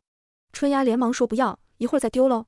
裴婷把她娘家世代祖传把银票放肚兜里的秘密告诉了春丫，春丫一番推拒无果，只得收下，说道：那咱这钱就算一起出的。下月从分红里头扣啊！哎呀，好像缺你这两三百两银钱似的，看不起谁呀？走吧走吧，路上小心，快去！裴婷假意不耐烦地朝他挥了挥手，春丫这才揣上巨款，坐着马车回家了。这头他才从大眼庄出来，裴婷便带了冠衣奴去了趟县衙。正巧卢县令这几日越看那破水库越烦躁，躲在县衙不欲出去。裴婷一到，便在翠竹园进门处遇到了文竹。文竹见到裴婷，那可真是。有个尾巴，恨不得当下就摇起来。夫人，您回来了，小的可总算盼着您了。别贫嘴，夫人有事，办完就要走的。老爷呢？观音奴看到这上蹿下跳的猴子，就下意识地从裴婷身侧挡住了文竹，就怕他一个不慎碰到夫人。文竹见左右无人，便小声道：“回姐姐，老爷在书房呢。这几日老爷心气儿不顺，刚把彭师爷给骂走了。夫人进去可小心些呀。”没事，你去通报一声。裴婷微笑着对文竹说道。见裴婷如此，文竹便答句好，跑去书房通报了卢县令。待裴婷走到屋内，卢县令已经从长案后站了起来，意味不明的说道：“今日你怎有空来了？听说你那摘星阁办得不错，应该挺忙吧？”他已经不止一次从应酬的饭局上听说过自家夫人办的这个所谓俱乐部，说是只得女子入内，不准男子进去，所以只是听说生意不错。男人们这不都没进去过吗？包括他自己。哈哈，托老爷的福，是有些夫人小姐肯来坐坐聊聊，可惜里头都是女宾，我也不能邀老爷去坐坐。今日来是给老爷送来说好的一千两的最后三百两，顺便跟老爷打个招呼。名状班甲班的班头徐达，就是给我看病的那个张大夫的相公，说想这次一起押送犯人去广州，可能要去广州找个什么亲戚还是朋友吧，单独上路又不安全，便想跟着一起走一趟。裴婷说完，便把三百两银票往小圆桌上一放，老爷点点吧，三百两。哦，我当什么事儿呢？卢县令翻看了下桌上的银票，眼中流露出一丝满意的神色，把银票递给文主，让他去放好。这才扬了扬嘴角，说道：“行，也不费什么事儿，一会儿我跟于捕头打个招呼就是了。还烦请老爷多给个路引，徐达家儿子也想跟着一起去。真把这押送当玩笑了。”卢县令显得有些生气，大概也想让孩子出去历练历练吧。对了，老爷，前几日我偶得把好扇面，命人镶了，您看看中意不中意？裴婷缓缓转身，从冠衣奴手中接过一把套了扇套的扇子，递给了卢县令。卢县令取下扇套一看，落款写的是。幽居山人，面上一喜。这幽居山人的扇面虽不是古画，这几年却非常的受文人墨客的推崇。这把扇面少说也值百两。于是他面色一缓，清了清嗓子，说道：“扇面倒是不错，你也有心了。这个徐达想历练历练孩子，说来也是一番拳拳慈爱之心。这事儿我知道了，一会儿让人办了，到时候一起给徐达，你也不用操心这些了。倒是你最近身体可好些了？谢老爷关怀，好多了，没什么事儿。”我便不耽误老爷办公了，一会儿给母亲请了安，我便走了。说完，给卢县令行了一礼，退出了书房。卢县令一愣，没想着裴婷如今说走就走，都不带耽搁的。卢县令看着裴婷匆匆而去的背影，想着她如今气色红润，身材虽说不上苗条，但也匀称，倒是找回了当年第一眼看到她时的一丝感觉。再说如今裴婷每每见他，都不再说惠姨娘或者母亲的不是，倒是学乖了不少，挺好。看来以后他倒是可以多去见见她。一旁的文竹心中不屑地想到：当初哭着求你，你不要；如今盯着人家背影看得出神，切见不见啊！因裴婷的打点，徐达他们的出行计划就变得异常的顺利。第二日，徐达就接到了于捕头的通知，说明日一早就要出发，让他和他儿子好好准备一下，还把他儿子的录影给了徐达，说：“这体貌师爷说他不知道，让你自己写，你多备几双鞋，咱们衙门就三匹马，不可能给咱们骑走的，到时候都要靠走。你儿子能行吗？”其实昨晚徐达几人压根就没讨论过如何去。春丫说一月，几人就想着时间的事儿，根本没想过到底是乘船、骑马、坐车，还是靠腿儿。现在于捕头说要走着去，他其实心里也没啥想法，但因这事儿他压根没过脑。行，我知道了，谢谢啊，于捕头，一会儿来咱家喝杯薄酒呗。徐达客气道。于捕头摆手道，往后有的是日子喝呢，今日且回去好好准备准备，三千里地可不是开玩笑的，走吧。他早有耳闻，这个三班的徐达和万人义家里头都挺有钱，也不知道为啥要来衙门做苦力。今天他得到彭师爷的通知的时候，还以为自己听错了，这不 PM 有病吗？还有人愿意跑三千里地去押送犯人的？要不是他是捕头，县令特别交代让他带队的，他都想把这好差事让给这个徐达了。破案了，为啥家里有钱还要做苦力？因为脑子有问题。脑子有问题的徐达回家第一时间喊来他儿子春丫，说陆隐让他看着田，自己急着出去找镖师。春丫一把拉住他，爹还得找马车。徐达瞪大眼问道：“为啥？这不合规矩吧？不是说卢县令存心跟那贼过不去，才兴师动众的要押解回原籍吗？这还能让他坐马车？三千里地，你想想，腿着去，没半年回得来吗？”春丫觉得他们老徐家除了他，别的几个多少都有点缺心眼子。对哦，也是，怪不得昨日与捕头说费鞋，我压根都没意识到腿着有多远。如今被你一说三千里，我这腿都软了。租几辆马车那得花多少钱啊？好家伙，半趟公差不赚反赔，你这亏本买卖做起来可顺溜。租时间长不划算，咱们就买，用好了回来再卖了，不就是了？到时候让请的保镖驾车，咱们待里头坐着不就行了？走走走，爹，现在就去。一会儿找了镖局，还得找金牙人买马车去。时间好紧张，我还得准备衣服什么的。我天，赶紧的。走吧走吧。春丫越想越着急，拽着徐达就往外走。走什么走啊？你娘给的钱不够啊，得回去问你娘要钱。春丫狡黠一笑，腰间摸出张百两银票，在他爹眼前一晃，道：“我有啊。”徐达一把拽住春丫的手，鬼鬼祟祟地问道：“哪儿来的？别是你娘那里？哪能啊？我像那种偷鸡摸狗的人吗？婷姐姐那支援的，大户一出手就知有没有。不过您别跟我娘说啊，一会儿再给没收喽。”春丫不知为何也越说越鬼祟。行，知道了，走走走，一脑门子事儿没办呢。于是父女俩便跑到了沛丰县最大的镖局。不过他们沛丰县拢共就俩镖局，两人就找了家看着大一些的，找了他们总镖头说明来意。总镖头有些听不大懂他们的需求，用自己的语言复述道：“徐头的意思是，您衙门官差押送一个小偷回原籍，找咱们在保护您几位的安全。”对，是这个意思。徐达点头道：“可是为什么呀？”总镖头很疑惑，这趟镖到底能不能接？那犯人不会是什么江洋大盗的头子吧？于是他追问道：“那犯人犯事的真的只是小偷小摸？我怎么会骗你？你不信上衙门问余捕头去。就卢县令这几日气儿不顺，这不撞枪口上了吗？这是我家这不争气的儿子。”徐达拍了下春丫的肩膀，春丫因着想着要来找镖师，特地去翻了件张家旺的外套。反正他们家男人没隐私。只听徐达继续说道：“这小子非吵着闹着要跟出去看看。”这不，我夫人不放心，非得让找了镖师护着这捣蛋玩意儿。哦，那我明白了，主要还是保护令公子。总镖头终于从徐达杂乱的描述里理出了主要任务。徐达想想，面子和里子到底哪个更重要？当然是里子啊。于是他又说，主要保护我，不过我腿脚功夫也不是最好，而且这钱是我们徐家出的，不是衙门出的。总镖头能明白吧？明白，明白。呵呵，来人啊，都排好了，让徐头看看你们的精气神。总镖头大喝一声，在镖局院子里头耍大刀的、玩流星锤的、舞斧钺钩叉的，闻言都赶了过来，光着膀子列成排，任凭徐达、春丫两人挑选。徐达很想捂住春丫的眼睛，可无奈春丫如今是个男的，随便摸，随便看。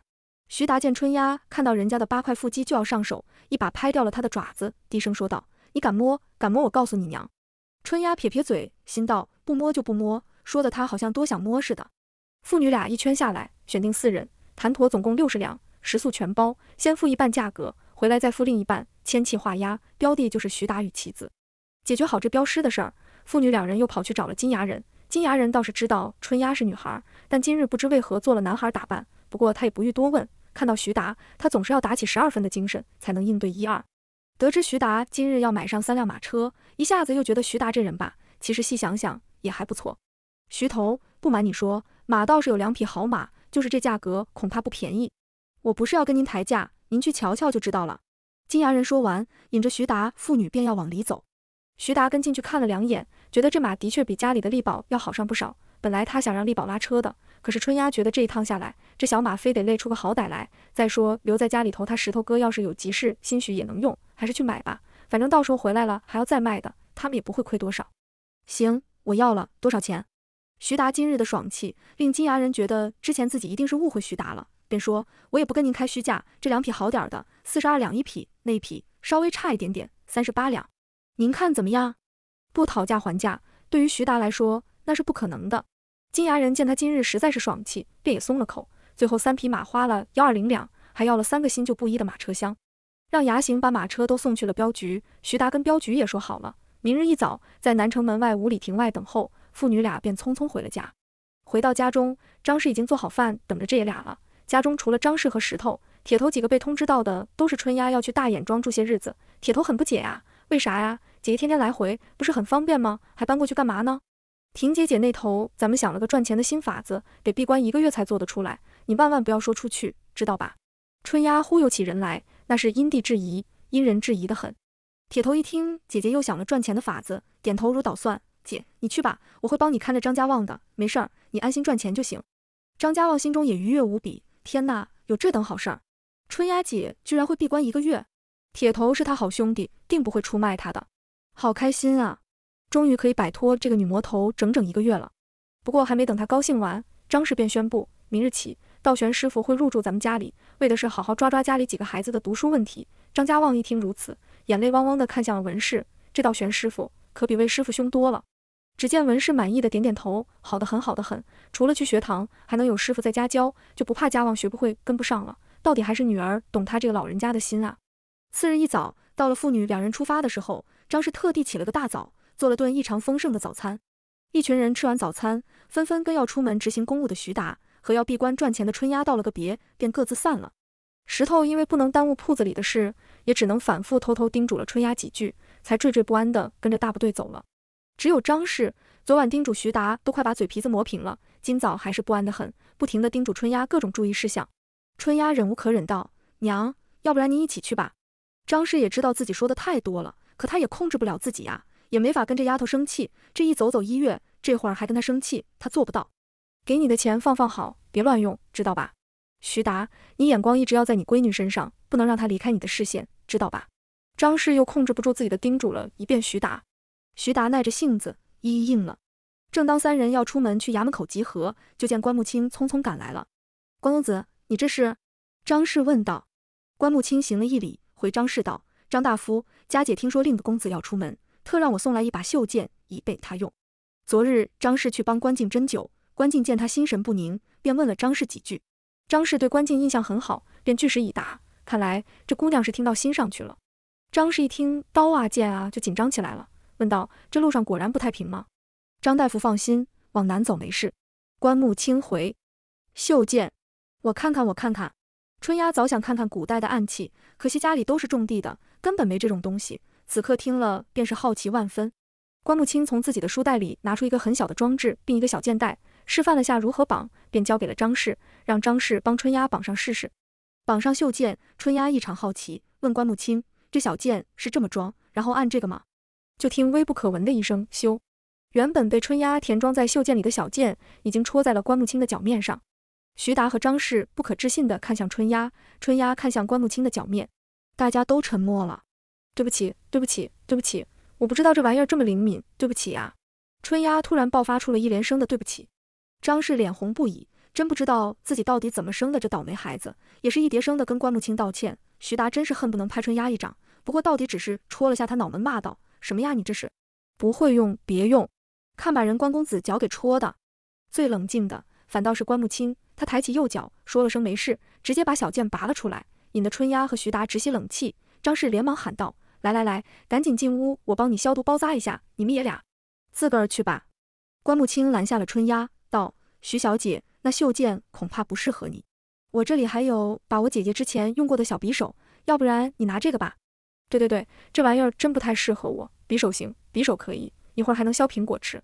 ”“谢谢啊。”谢谢关姐姐，那什么，你赶紧去包扎一下，咱们先走了。对不住啊，春丫边说边解下了袖剑还给关木青，拿起了小匕首就拉着徐达往外跑，太尴尬了。你看一不小心把人脚面戳个窟窿，真是对不住这位壮士了。张氏还在后头喊，别动刀动枪啊，那玩意儿给你防身的，不是给你削苹果的。直到春丫跑远了，张氏才又转头对关木青说，对不住啊，赶紧来，我给你包扎一下，你看都淌血了。原本想直接去书院的关木青一看。果然脚背上流了一滩血，怕淌着血去书院一会儿引来不必要的误会，便说了声麻烦张大夫了，跟着张氏进去了。话说春丫和徐达在南城门口分头行动，春丫此次是冒充了铁头的身份出门的，录音写的是徐鑫。县衙里头民状班的都见过春丫，有几个走得近的也认识铁头，可衙役跟民状本来就是两个部门，不太熟悉，更没见过春丫和铁头，只知道徐达家里头有两子一女。因此，春丫也不便在衙门口出现，便直接带着张氏准备的包包裹裹去了城门外五里，找到了镖师和马车，选了辆最干净的马车，登车等候。激动的心，颤抖的手，终于可以出门了。要说春丫在川来之前，虽然不太热衷于运动和旅游，但是她喜欢度假呀。每年最开心的便是发了年终奖，和小伙伴来一场说走就走的度假。冬天看雪，夏天下海。春天看花开，秋天光着腿穿着小短裙，跟小伙伴踢着落叶，分享一个冰激凌。可如今再也没有这些了。好在还有爹，还有娘，还有爱他的一众亲友。将来待他发了财，发了大财，发了大大大财，一定要带上娘，带上爹，带上哥哥姐姐弟弟妹妹爷爷奶奶叔叔婶娘，一起出去玩，去天涯海角，去苍穹之巅。坐在马车里的春丫也不知道为什么，想着想着便把自己想哭了。没多时，便听外头有人来。春丫用手背擦了两把眼泪，脑袋探出车厢外查看，见那头来了五个差人，其中一人便是他爹。几人中间押送了个囚车，里头关了个身形瘦削的囚犯，穿了件脏成灰黑色的囚服，垫着脚尖，一脸痛苦的听不清嚷着什么。春丫跳下车，朝那兔子尾巴长短的队伍挥手喊道：“爹，于捕头，那就是我家小儿子徐鑫，小名铁头，平日里调皮的紧，这一路上还要请于捕头多多关照。”闷头走路的于捕头抬起头往前一看，就看到春丫站在马车边跟他们招手。他转头看了眼徐达，又看了眼春丫，问道：“这是你儿子？几岁？马上六岁了。这不，反正现在还没考学，先带他出去见识见识。所谓读万卷书，不如行万里路嘛。”徐达觉得自己的说辞无懈可击。春丫因之前营养不太好，身量本就偏小，这大半年的算是养起来了，但是身高长得慢，一张小脸倒是比以前有肉了一些。而铁头现在活动大，一天到晚跟着张家旺和盖头混吃混喝，这半年来身高窜了上来，现在只比春丫矮了小半个头。徐达几人是想着捕快都是男的，怕到时候看徐达带了个小姑娘，不准让他同行怎么办？再说如今这世道，他们想着扮个男装行路方便，便想出了这主意。徐班头家小子长得挺高啊，说话的却不是于捕头，而是于捕头带来的三个捕快之一的丁二。徐达笑答，贪吃着呢，嘴就没停着的时候。说话间，几人已经到了马车前，而于捕头却神色不明的看了春丫好几眼，见他也不慌张，只恭恭敬敬的跟他们几人打招呼。好，可以，心理素质不错，就是有点缺心眼儿。于捕头心想，他第一眼看到春丫的时候，就想起去年在安远寺见过这个孩子，当时虽然场面混乱，但是他好歹也是做了小半辈子的捕快了，平日里办案抓人都是他的事儿，这怎么可能会认错？徐达还真当人家都是傻子了，怪不得之前跟他打了招呼，说不腿着去了。他出钱雇了马车，原来是带姑娘出门啊！看在这马车的份上，且不与他们计较这些，他倒要看看这俩没脑子的玩意儿到底想干嘛。一行人换了马车，想着囚车带着太过麻烦，便把那囚犯直接也带上了马车。囚车就让来送行的镖头拆了，偷偷带回去。这车还要不要？等他们回来再说。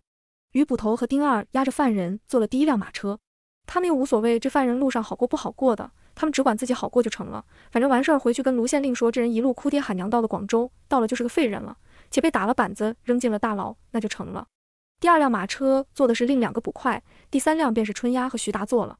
四个镖师驾三匹马车，春丫和徐达车上自然放了两个镖师，谁叫他们才是金主呢？上了官道，马车飞快地跑了起来。原本壮志凌云，想要以后带爷奶出门玩耍的春丫，顿时就打消了这念头。出门玩归玩。可坐马车那恐怕是不能够的，太颠了。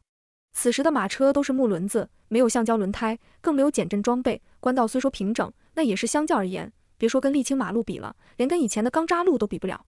所以从不晕车的春丫，此时只觉得五脏六腑都被颠在了一起。她不是恶心想吐，而是被颠吐了，活活的、物理性的，把早上吃的早食都给颠了出来。当然，徐达是要略好一些，做了这几月的衙役，也不是白操练的。再说平日里骑马倒也骑。虽说骑的也不算好，但是好歹对于颠簸这事儿是有心理预期的。他拉着春丫留在车厢里的半拉身子，大喊道：“要不然叫他们赶慢点儿。”就听窗外的半拉春丫答道：“不必不必，我这也不是恶心吐的，主要是把吃的给我颠出来了，我吐完了就不……”哦，徐达本不欲吐的，但是一听春丫那动静，自己也在车厢里直打恶心。相较于春丫和徐达的狼狈，前头两辆车却难得的和谐。丁二甚至还和犯人聊起了天，打听起了广州城里哪有好吃好玩的，盘算着得让徐达到时候好好请上两顿饭。他们可都听说了，这货在水库监工，日日和姓万的那二傻子送吃送喝的。要不是自己身份问题，他也恨不得跑去做了名状，天天跟着徐达混吃混喝。原想着这三千里路恐怕熬不下来的犯人薛青山，此时坐在马车里，虽然嘴巴和丁二聊着天，脑子里却是想着这到底是怎么回事。想他本来只是跟着商船来干装卸的苦力活的。没曾想，却生了一场大病，被人扔在了码头上。不过到底命大，狗活了过来。可没有身份，没有盘缠，第一次出门也分不清东西南北，一路躲躲闪闪到了沛丰县，却没想到这沛丰县乞讨行业竞争如此激烈，自己三天都没讨来半个窝头，只能铤而走险，跑去饭店后院偷了点吃的。又没想到当场就被抓住了，押送到县衙。他本想着大不了就吃几个板子，关上几日，更没想到的是，县令居然大发官威。不仅打了他，还说要押解他回原籍。他记得清清楚楚。那县令当堂说的是给我好好押送。他原本以为所谓好好押送，就是弄得他死不了活不成。而且今早进了那囚笼，他只能用脚勉强点地，直接站好的话，自己就能把自己活活勒死。原想着这么走上三千里，回去不是死人就是废人了。可这会儿却坐在了马车里，舒舒服服的和捕快聊着天。所以那县令所谓的好好，难道真的就是字面上的意思，还是咋的？这一年来的大多数的事情，结局好像都不在他的预料内。薛青山原本以为自己最终一定是会客死异乡的，却没曾想，居然能免费坐着马车，合理合法的回乡了。怎么事情就变这样了呢？马车行路，途经的且都是官道，一个半天就能跑上百多里地。于捕头坐的头车缓缓地停了下来，后头跟着的两辆马车也跟着慢慢停了。众人下车，于捕头看了几眼造型凌乱的春丫，心想着到底不能让人家小孩出什么事儿，便道：“徐家小娃，你要是不适应，就开口说，咱们吃好饭，赶路赶慢点就是了。”于大叔，我没事儿，我不是恶心，主要是还没能适应这边，您不用惦记我，赶路要紧，我颠着颠着也就习惯了。行吧，进去吃点吧。于捕头不再过多的询问，而是招呼着兄弟们进驿站吃饭。一般来说，此时的驿站基本是四五十里就有一所，有大有小。本来出发前，于捕头还做了个详细的计划，几时几刻必须走到哪里，不然天黑走不到。哪怕他们是官差走官道，那也不太安全。可如今都有这马车了，四五十里不过只要个把时辰，哪怕是夜间行路，点上盏气死风灯，只要车不翻，他们就肯定没什么危险。关键是赶车的四人，他乍看就知道是练家子，一个个的虎背熊腰，目光矍铄，哪有这样的车夫？再说城中镖局两家，他都知道，那来送行的人就是吕镖头。还车夫徐达这货真是个二傻子，骗人骗到爷爷头上来了。于捕头这么想着，跟在众人后头，摇着头走了进去。卢县令不愧是世上最抠门的县令，这次差旅费让彭师爷给算好了人头，每餐饭每人不过二十文，什么鸡鸭鱼肉就别想了，勉强能混个饱就阿弥陀佛了。几个捕快都想着，不过这次也不知道走了什么狗屎运，徐达这货非要挤进来，今日就看他如何一丝一丝了。小二，给咱上个小炒鸡，来一斤白切羊肉。一个炒白菜，把那鸡的鸡杂也给我用蒜炒了。另外再要两斤米饭，那桌四位的上一斤羊肉，八碗阳春面吧。于捕头，您看够不够啊？酒咱们白天就别喝了，耽误功夫。待晚上咱找好了落脚的驿站，我再敬您两杯。徐达点完菜，一脸讨好的看向于捕头。于捕头心里有些讨厌崔都头了。原来崔都头这些时日，这日子居然过得这般好，怪不得如今跟他们喝酒喝的少了，原来是吃够了这姓徐的孝敬了吧。不过白送的鸡啊肉啊的，哪有不吃的道理？于捕头假装淡然的点了点头，行了，就这些吧，赶紧吃，吃完了好赶路。春丫此时已经把胃里的东西全部吐了个干干净净，饿得不行，又不想在这帮子糙老爷们儿口水里夹菜，所以只要一上菜，他就第一个动筷，加上两筷子。徐达想着往后还得个把月相处呢，总得给人留个好些的印象吧，便让他不要吃那么猛，一会儿又吐了。没想到春丫却说没事儿，吐了再吃呗。惹得严肃了半日的鱼捕头都哈哈大笑，说：“没错，吃吧。”而另三位捕快根本不没在意春丫到底干嘛了，因为他们全副心思都在吃饭上。家里平日里也没吃那么好的，虽说他们也不是什么馋鬼，问题赶路半日本就饿了，再加上这好饭好菜的，管别人那么多干嘛？自己管自己吃呗，有人买单就成。于是乎，这几人吃饭吃得犹如风卷残云。只要你一盆菜一端上来，哪怕没熟，他们都是剔牙的时候才能发现，吃一餐饭也用不了一刻。主要是上菜耽误了，吃好饭，徐达自觉地喊来小二结账。但凡只要拿得出官差的手续文书，这饭菜价格便能按平价的算。这餐结算了二百文。春丫飞快地算了一下，要是以后顿顿是他爹买单，按照这个标准，再加上酒啊什么的，就光吃饭这一项，满打满算二十两，负担倒是负担得起。但是当冤大头到底还是很悲伤的。可谁叫他自己非要跑出来的呢？自己作死自己扛。悲伤的春丫鼓起勇气。去上了趟茅房，又鼓起勇气爬上了马车。犯人薛青山在吃饭的时候便被锁在了马车车辕上。徐达还特地问小二要了个白面馒头，走过他身边的时候递给了他。他们根本就不怕这人逃跑，要是跑了，他能去哪儿呢？这有饭吃，有车坐，是个正常人，他就根本不会逃。要是逃了，索性就说他办到死了，倒也干净利落。别说什么律法不律法，制裁不制裁的事儿，但凡与捕头严苛点儿，这人小命交代在路上。那也不是不可能的，但是于捕头虽说看着凶，但是办差也从不含糊，这种故意把人弄死的事儿，他可做不出来。所以说，这薛青山此时如果还想着要逃，那他就是自己作死。薛青山是这种作死的人吗？显然不是。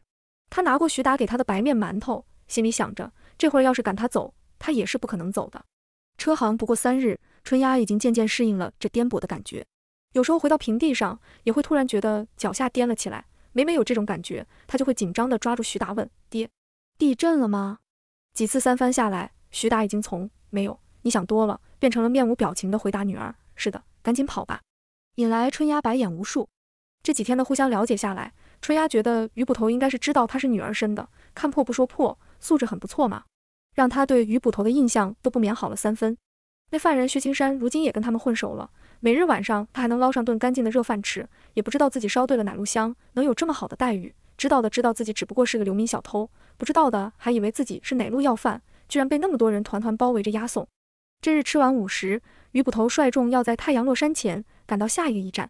这会儿他们走的这条路是条绕行的林间小道，因为之前有一段官道被塌方的山石给截断了，此地正好位于两府之间，属于三不管地带，扯皮了大半年。还没个定论。本来这半路上也有个驿站，可这路一断，那个驿站车马便也过不去。徐达几人这会儿要赶往的下一个驿站，距离他们中午吃饭的能有百余里地。虽说在太阳落山前赶到应该是没问题的，但是小路难走，出门在外，于捕头有丰富的经验，一切都要谨慎而为。赶车的镖师也打起了十二万分的精神。一般来说，这种突然改变路线的事情，在镖局眼中就是危险的信号。驾车的四人都卯足了劲儿，稳住马车的同时，又尽快地往前行进。一路上无人说话，连平日叽叽喳喳说个不停的春丫都感觉到了紧张的气氛。他以前哪经历过这个呀？要说穿来到现在最危险的那一次，就只是被人给撸走了一袋擦屁股纸。太阳渐渐往西，而小道却还没能看到尽头。春丫紧张地抓着徐达的手臂，问道：“爹，咋办？咱们今日能不能出了这林子？你快把我皮都抠破了，赶紧的松手。”徐达扒拉开了春丫的铁爪，才说道：“没事，别紧张。你看咱们有鱼捕头带路。”他经验足得很，又有镖师做护卫，没事的。你要实在觉得紧张，咱要不下午子棋吧？我带了。春丫从自己杂乱的包袱里掏出一个小棋盒，里头放了黑白两色的棋子和一张棋盘图。行，啥都行，别再扣他皮就行。徐达立马答应。父女俩几次要分出胜负，马车一颠便乱了。春丫说他赢了，徐达嚷嚷放屁吧，明明是他赢了。两人一路吵吵嚷嚷，几次下来便说不完了，互相都称对方是赖皮狗。收好棋盒，春丫坐着坐着，觉得这路怎么没那么颠簸了？他赶忙撩起车窗上的帘子一看，兴奋地喊道：“爹，咱们上官道了！”徐达立马开了车门，差点没把坐在前头的镖师给对下去。他问惊魂未定的镖师道：“师傅，咱们这是上官道了？”“是，应该马上就能到驿站了。正巧这太阳刚要落山。”镖师也相当高兴，平安无事，万事大吉。徐达应了两声还好，便缩回了车厢。上了官道。车行变快了不少，没多时，于捕头前车便停了下来，后车跟着也一一停下。春丫跳下车，见于捕头正在打量着一个客栈，也没进去，便问于大叔：“您怎地不进去？我以前来过这儿，怎么记得这儿应该是个驿站呢？这会儿怎么改了客栈了？这舆图上也没记录在册呀。且这客栈说是客栈，怎地如此像民居呢？”于捕头很是犹豫，是自己记错了地方，还是他几年未来这驿站搬走了？要不？咱们进去问问。”春丫说道。于捕头想想也是，光自个儿在这里想有啥用啊？去问问呗。快步进店，发现这店还真不小，前头吃饭，后头住宿，前头有个大院子，马饲草料一应俱全。于捕头问询那赶来应城的小二：“这儿以前我怎么记得是个驿站呢？倒是没那么大，这驿站哪儿去了？”回差爷的话，因为前头二十里地处已经有个驿站了，所以这儿的这个驿站便撤了。官爷今日若还要往前去找官驿。恐怕得赶夜路，赶上一两个时辰了。官爷何不在小店住下？咱们这儿的价格也是实惠的很。那小二殷勤地推销着。于捕头又问：前头那驿站离这儿只有二十里地，我咋记得还挺远的呢？回官爷的话，您怕是很久没往咱们这儿来了吧？那驿站早挪过位置了，不过如今您往前走也过不去了，路坏了。小二依旧态度恭谨。此时，于捕头带的这些人，包括犯人薛青山，都凑到了客栈里头来。春丫不停地打量着这个大客栈。若说这是个客栈，可它离官道倒也有两三百米的距离，并不是沿路而造的。要不是那两个巨大的灯笼上写了“客栈”二字，怕是很少有人会发现这里。而且不说这是客栈，这房子的规制格局反而更像是个宅子。前头宽敞的院子能停上四五匹马车，而屋子分明就是前厅后宅的格局。后头住宿的房间里隐约透着几盏灯，前头饭厅里却只有他们一行人。连捕快们都觉得这地儿有些古怪。丁二拉了于捕头到一边，说道：“头，虽然我没证据啊，但是总觉得这儿不是很让人舒服，怎么办？咱们要不再往前赶一赶算了？”于捕头没有说话。而此时，春丫却说史急，拉着最壮镖师的韦东说要他陪着去借用下茅厕。徐达赶忙说自己也要撒尿，趁着小二手指的方向，跟着一起走了。春丫走后，就有个号称是掌柜的。出来接待于捕头，只说难得来官差，要是于捕头想要住下，早晚饭他们便包了。于捕头说：“咱还有个头尿尿去了，等他来再说。”等到春丫拉屎回来，便做一派天真的问于捕头：“您还没点菜呢？不是说都饿了吗？我今日想吃酱鸭，您这儿有吗？”“哎哎，有的有的。”小三子给客官们点菜。您几位要几间房啊？四间上房。徐达豪爽地说道：“再给烧几锅水，也几个今日好好洗洗。”“哎，行，您先吃，吃好了，咱水就给您准备好了。我先吩咐人去烧水。”掌柜说完，躬身后退，往后院去了。没过多久。饭菜便上齐了。今日饭菜叫的不多，因与捕头说都啥时候了，吃那么多顶着胃怎么睡？可不多不多，几个大男人也点了四菜一斤饭，外加旁边一桌的车夫每人一碗面。菜上齐了，小二端上来两壶酒，说是孝敬各位官爷的。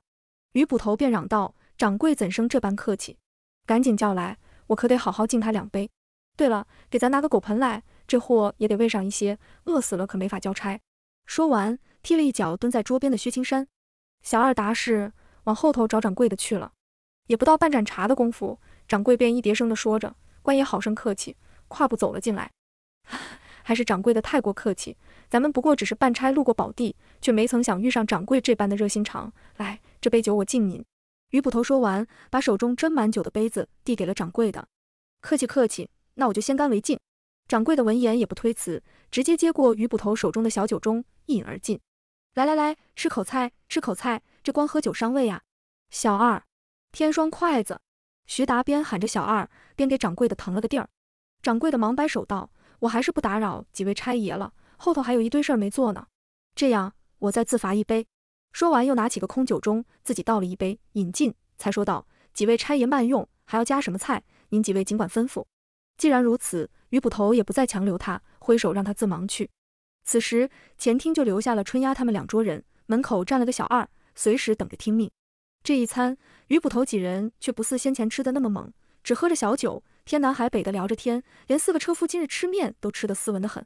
这餐饭吃了整整大半个时辰，等得站在门口的小二直打瞌睡，于捕头这才站起身来，喊道：“吃完了就各自回房休息吧。小二，让你们烧的热水给咱们送房间里来，也几个好擦洗擦洗。”小二这才从门框上弹跳了起来，看着这一桌狼藉，空碗空杯，露出一丝满意的神色，笑称马上会有人给官爷送热水来，请官爷回房自去休息即可。一行人带着拖着个犯人去了后院，没有丝毫的异样，只那犯人看着泪光闪闪，佝偻着身子，疲惫不堪。小二也没多关注，犯人吗？不都这样？要是雄赳赳气昂昂，那才奇怪了。四间房，于捕头和丁二一间，把原本只有锁在外头晾着的命的薛青山也给拎了进去。捕快尹三桂和刘平一间，春丫和徐达一间，另四个车夫一间。进去不过一刻，小二上前敲于捕头的门，说道：“官爷，您的洗澡水好了。”房间里头没有声音，里头没有动静。小二面上一喜，又提高了声量，说道：“官爷，洗澡水好了。”这句话说的颇为响亮，在空荡无人的后院带起了回响，却依旧没人应答。小二见状，推开了于捕头未落锁的房门，就见于捕头和丁二趴在床上没有动静，床边还趴了那个犯人。小二上前，从袖管里掏出了把尖刀，往地上的犯人腿上就是一刀。那人却一动不动，脸上一丁点痛苦的表情也没有。小二又往那人手臂上划拉了一刀，那人依旧一动不动。正当小二要往于捕头身上招呼之际，门口掌柜出现了，就听他说道：“都妥了吗？查个点，怎地这么慢？大哥，我就看看他们是真晕还是假晕。”小二指着胳膊大腿都在往外冒血的薛青山说道：“这人应该是真晕了，还有两个，要不要试试？”掌柜摆手道：“行了，行了，赶紧叫弟兄们来把这几个绑了。地上这个吃的最少都晕了，另两个还是个屁，杀不杀的再定夺吧。”小二这才收了刀子，跑了出去。没一会儿，这客栈里头的人都集合在了于捕头他们房间外头，快速的去房间里把人都给绑了起来。这个犯罪团伙六男二女，一共八人，此时在场的共有七人。平日里主要就在这三不管地区流窜，因都是在这一片多年，又有男有女互相打掩护。抢杀的也都是过路客商，干一票歇上几月，所以从未被人抓到过行踪。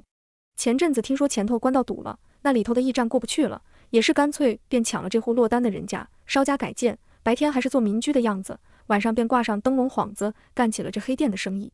没曾想开了两三月，晚间来住店的客商倒是有一些，平均两三晚就能宰上几个来投诉的路人。一般能来他们这种大店求诉的，别说什么豪商富户吧，哪怕是赶路人，多少都带了些银两。又因他们向来都是来者便杀个干净，所以这两三月来从未有过闪失。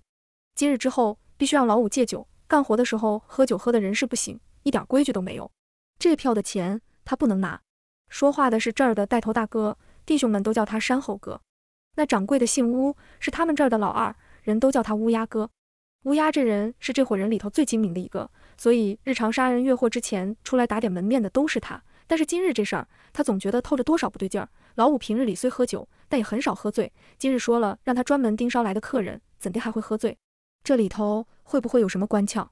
乌鸦哥，您没去五哥屋子里闻，那酒味直冲天灵盖，嘴里也都是酒味儿。脸色红的不像话，我看他床边还放了个铜吊，估摸着是喝了整整一铜吊的酒啊！会不会是因为想着昨日那小娘吗？哈哈哈哈！说话的就是那小二，是他们这最小的一个老八。老八说完，后脑勺便迎来山猴哥的一记巴掌，毛都没长齐呢，还小娘们儿！我昨日就说这女人皆是祸水，那一老一小俩娘们儿当时就该杀了了事，还留着干嘛？一会儿这完事儿了，就一起杀了吧。那老五乌鸦还是觉得作为犯罪团伙，还是要互相尊重。很多帮派死就死在自己人内部分裂上。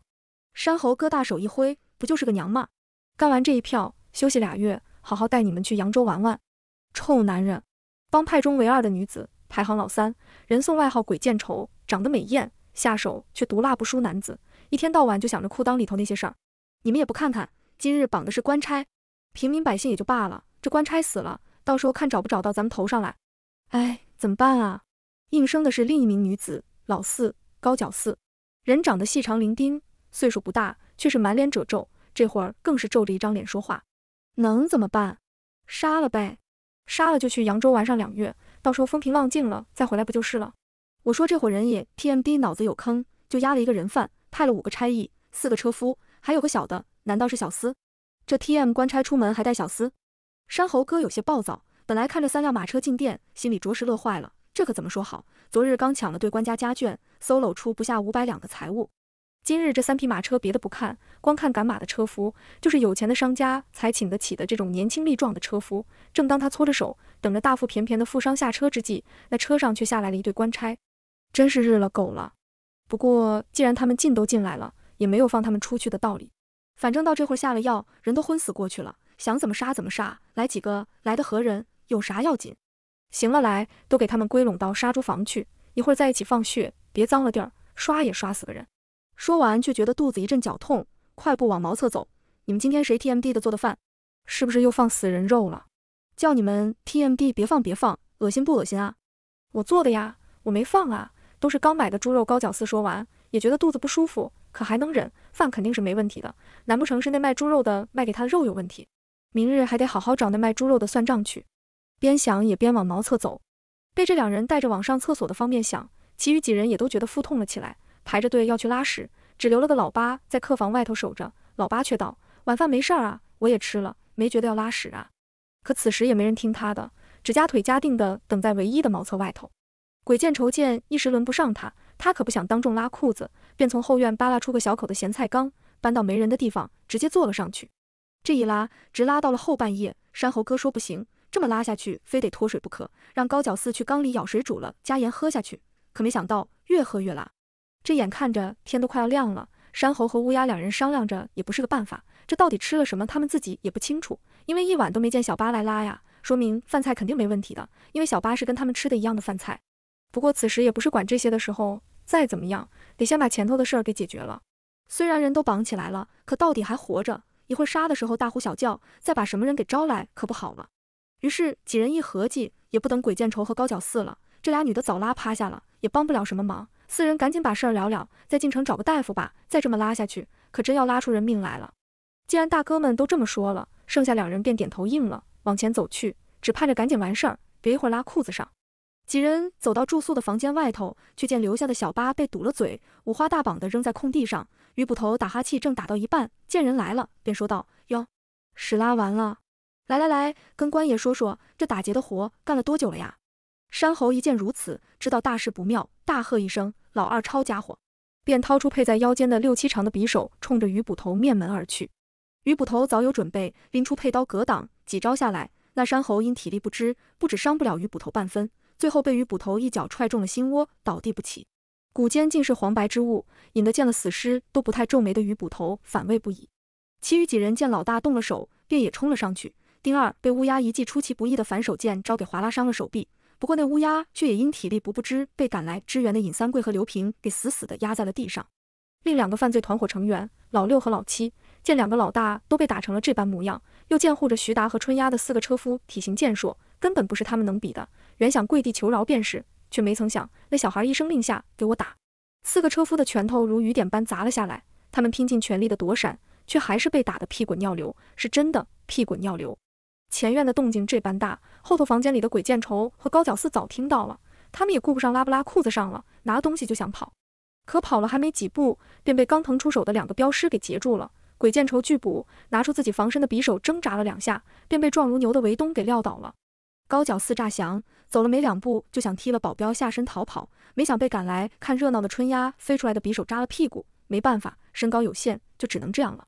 前后不过半个时辰，除了被围东用手刀劈晕。且被春丫灌了整整一桶吊白酒的老五之外，其余的人都被五花大绑，扔在了前厅和后院之间的空地上。空气里弥漫开了一股不可言传的味道。说说吧，杀了多少人，抢了多少钱？于捕头难得娘炮一回，拿了个客房里头的金子，过了两遍水，捂着口鼻问道：“你们欺负老实人？我们都是正经做生意的人家，怎会干杀人越货的勾当？”扮演掌柜的乌鸦大声喊完冤屈，必必放出两个屁。躺在他旁边的老八往旁边滚了一圈，干呕了起来，放屁蹦出屎，太 TMD 恶心了。那个徐家那小子，这人不说实话，再给他来点你那什么药？于捕头转头跟春丫如此说道。好嘞，春丫摸出一个小瓷瓶，倒出小拇指盖大小的一颗药丸，递给徐达。爹，你去，你咋不去？于捕头喊的你。徐达生理性拒绝。春丫理直气壮道，因为于捕头是您上官，他又不是我爷爷。我的上官只有我爷爷，徐老汉，我谢谢你呀。被父女俩无视的余捕头很想发火，可问题今日这事儿，要不是徐家这对宝货，也不可能这么顺利。这帮山贼很是凶恶，听他们之前说的，来的都被杀了干净。要是凭他们几个硬拼，鹿死谁手真还不好说。得亏徐家那坑爹的娃随身还带着泻药，趁着说去后头拉屎劈晕了盯梢的，趁机给他们通了通肠胃。不过要不是这俩宝货弄了三匹马车，他们也不会被盯上。妈的！说到底还是这俩货的问题。想通关窍的鱼捕头发话道：“徐达，去给那掌柜的喂药。”无法，徐达只能捏着鼻子上前，刚想把药丸往人嘴里塞，就听那山猴哭了出来：“求求你们给点解药吧，要不就把我砍了，死在这粪堆里，叫我怎么去见地下的兄弟们啊？”春丫好心提醒：“解药倒是没有，这药你知道吧？是我姐家里头荷塘里起出来的荷叶，整整一荷塘的荷叶，最后熬出了巴掌大的砂锅半锅浓浆，凉了之后加了蜂蜜和巴豆粉搓出来的。”只小半颗就能让便秘三天以上的人一整天不出家门。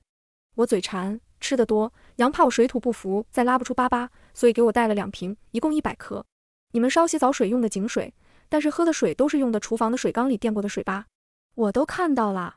你们看，我这一百颗粑粑药，如今只剩下十颗，药房可卖一百文一颗呢。这钱我便也不跟你们算了。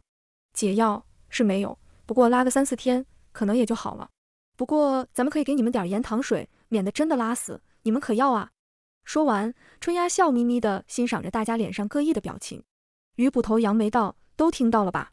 要不想死在屎堆里，就好好回话。”我说。鬼见愁开口道：“但是你们得把后院我方便的那个缸拿来给我，让我坐着说。”他觉得反正都是一死，第一个开口还能捞个干净。M D 跟这群臭老爷们堆一块儿，他茶喝的少，倒是忍住了。可旁边这几个艾玛，不能想，不能听，不能看，不能闻。此刻这一群人里，他只羡慕从不喝茶的小八和不知是醉晕了还是被敲晕了的老五。等于捕头点头，让丁二去给找来了那缸，松了绑，让他自己做好。鬼见愁这才说出了他们干的那一堆好事儿。开业两三月，打劫了近二十来组过往的商人，杀的人都埋在了后头的荒山上，抢来的东西都在山猴住的地下室。另外，昨天抢的一对母女还没杀，因为老五看中了那女的，也不直说要睡她，反正就三番五次的不给杀，此时也在地下室关着。待鬼见愁说完这些，山猴和乌鸦沉默半晌，还是山猴忍不住开口问道：“你们桌上饭菜都吃了个干净，怎的没见你们？你们这些把戏也早十几年前就遇到过了，玩来玩去还是这些招数，有意思没意思？叫你们掌柜吃酒倒是爽气，说吃口菜却支支吾吾的跑了。我再不知道这菜有问题，我就白当这几十年的捕快了。今日我就让你们死个明白，这菜是都吃了，不过就是你们插刀的那货一个人吃的。”于捕头转头问春丫。那薛青山给他包扎好了不？别真给流血流死了。放心，早包好了，就不知道他们下了多少药。要是还活着，醒就不知道啥时候能醒了。春丫说完，心中默默的同情了一番薛青山。早知道就不点沙酱鸭了，四盆面一斤饭，外加四个菜，几人打着掩护，全到薛青山盆里了，让他吃了还不准他嚷，不然就威胁他给他扔这儿了。好家伙，差点没给人吃吐。听于捕头这么一说，山猴和乌鸦彻底沉默了。最后还是小八问了一句：“官爷，能麻烦您给我挪远点吗？”最后于捕头带队去搜查，留了四个镖师看好前院的人。前院之人皆谩骂鬼见愁个不停，鬼见愁却说：“你们 TMD 闭嘴吧，一说话就崩屁，还让不让人活了？”定里不干不净就算了，嘴比定还脏，是我 T M 想招吗？是被你们活活恶心死了好吗？且不提前头如何吵骂不断，于捕头带队搜了一遍山猴的房间，在房间角落堆放的箱子下头，果然找到个暗门，打开就听有人呼救。他赶忙想下去救人，却被春丫拦了下来。于捕头稍等，下头是女的，我年纪小，我先下去看看。于捕头愣了下，又点头道：“行，小心些。”春丫打好，下了地下室。这地下室挖的仓促，小得很，里头昏暗的，啥都看不出来。唯一透气的地方就是顶上那封盖的木板留的两条缝。春丫下去之后，洞口被徐达照亮了。他见到地下室角落里蜷缩着一大一小两名女子，皆已是衣衫不整，看着他瑟瑟发抖。那年纪大的女子颤颤巍巍的出声问道：“你是谁？”夫人莫怕，我们是沛丰县的捕快，由于捕头带队准备押送人犯去广州，途经此地，觉得蹊跷，便留了下来，想要一探究竟。如今那些杀人越货的匪徒皆已经被咱们绑起来了，你们别怕，此时没人能再伤你们分毫了。春丫说完，缓缓向母女俩走去。那妇人把衣衫被撕烂的女儿往身后藏了藏，说道：“谢谢这位小英雄，你们的大恩大德，我必永生不忘。只是能不能让人先给我件衣服，好让我女儿先换上？”春丫走过去，轻声说道：“夫人莫怕，我是女的，只是为着出门方便才换的这身男装。您稍等，我让他们去给你们找衣服。”那妇人终于松了心理防备，带着哭腔说道：“谢谢了，谢谢。”后头的姑娘却已经大哭出声。等到徐达他们扔下衣服，母女俩匆忙把衣服套上了。春丫突然问道：“小姐，要个蜜梨吗？”那小姐才怯生生的开口问道：“有吗？”爹，你去鬼见愁那儿找个蜜梨来。说完，回头对那小姐微笑道：“应该有，我看他们也是一副见不得人的样子。”谢谢你呀，你真的太勇敢了。你叫什么名字啊？那夫人这才问道：“春丫在夫人耳边轻声回道：‘回夫人，我姓徐，名春晓，我爹娘都叫我春丫。我爹叫徐达，是沛丰县民壮班甲班的班头，出生三元村，如今暂住在沛丰县的文苑街。’那问话的夫人一愣，显然没料到这女娃会回答的如此详细，不过还是客气的说道：‘呵呵，小姑娘口齿倒是清楚的很。行，我记下了。做好事不留名，不存在的。做好事是顺便，留不留名的。’”反正他选择留名。等徐达找来蜜梨，春丫先爬上上去，把那小姐和妇人一一给拉了上来。那妇人留了于捕头说话，让其他人等都退了出去。没过多久，于捕头出来了，激动的手都在抖，指着丁二半日，深呼吸了几口气，才说道：“丁二，你跟徐达还有那个韦东，你们三个拿着这个帖子去趟府衙，就说就说司徒夫人有事儿耽搁了，让人来接应一番。”然后拉徐达到一边，叮嘱了几句。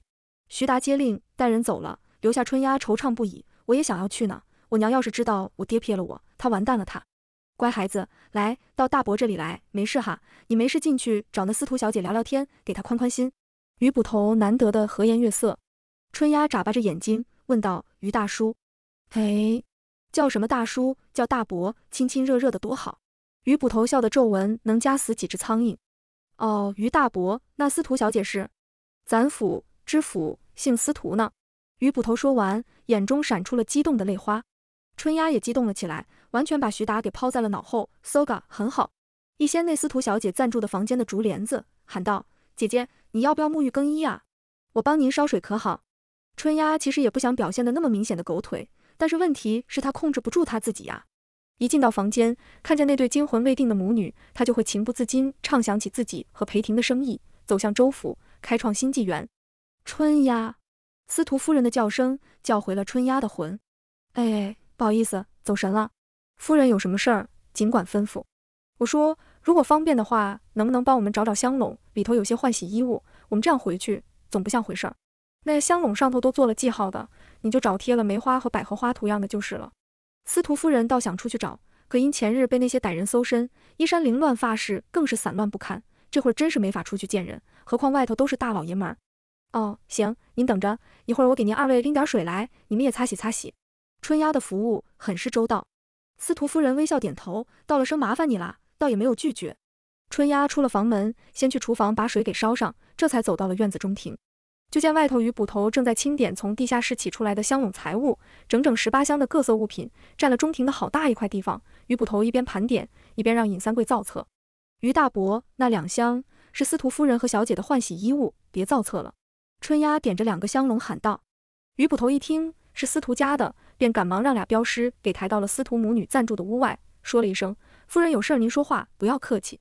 劳烦于捕头了，一会儿我整理好了自会来找您，您且先忙。”司徒夫人说话很是有关太太的样子，跟裴婷的确不太一样。见人都走了，春丫在门口说了声“都走了啦”，司徒母女两人才走出门，跟春丫一起把两个香笼给拿了进去。春丫让两人先挑衣服，自己赶紧去把热水和干净的脸盆给端了来。端了一个盆不算，又去找了两个干净的脸盆，一并送了过去。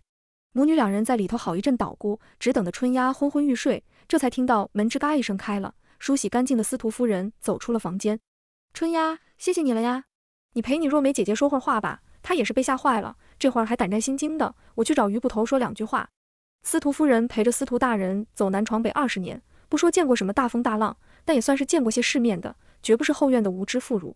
这次的情况有多凶险，她现在想想就觉得后背发凉。也别怪女儿如此胆怯，她一个还未及笄的小女孩，没被当场吓晕，就算是胆子大的了。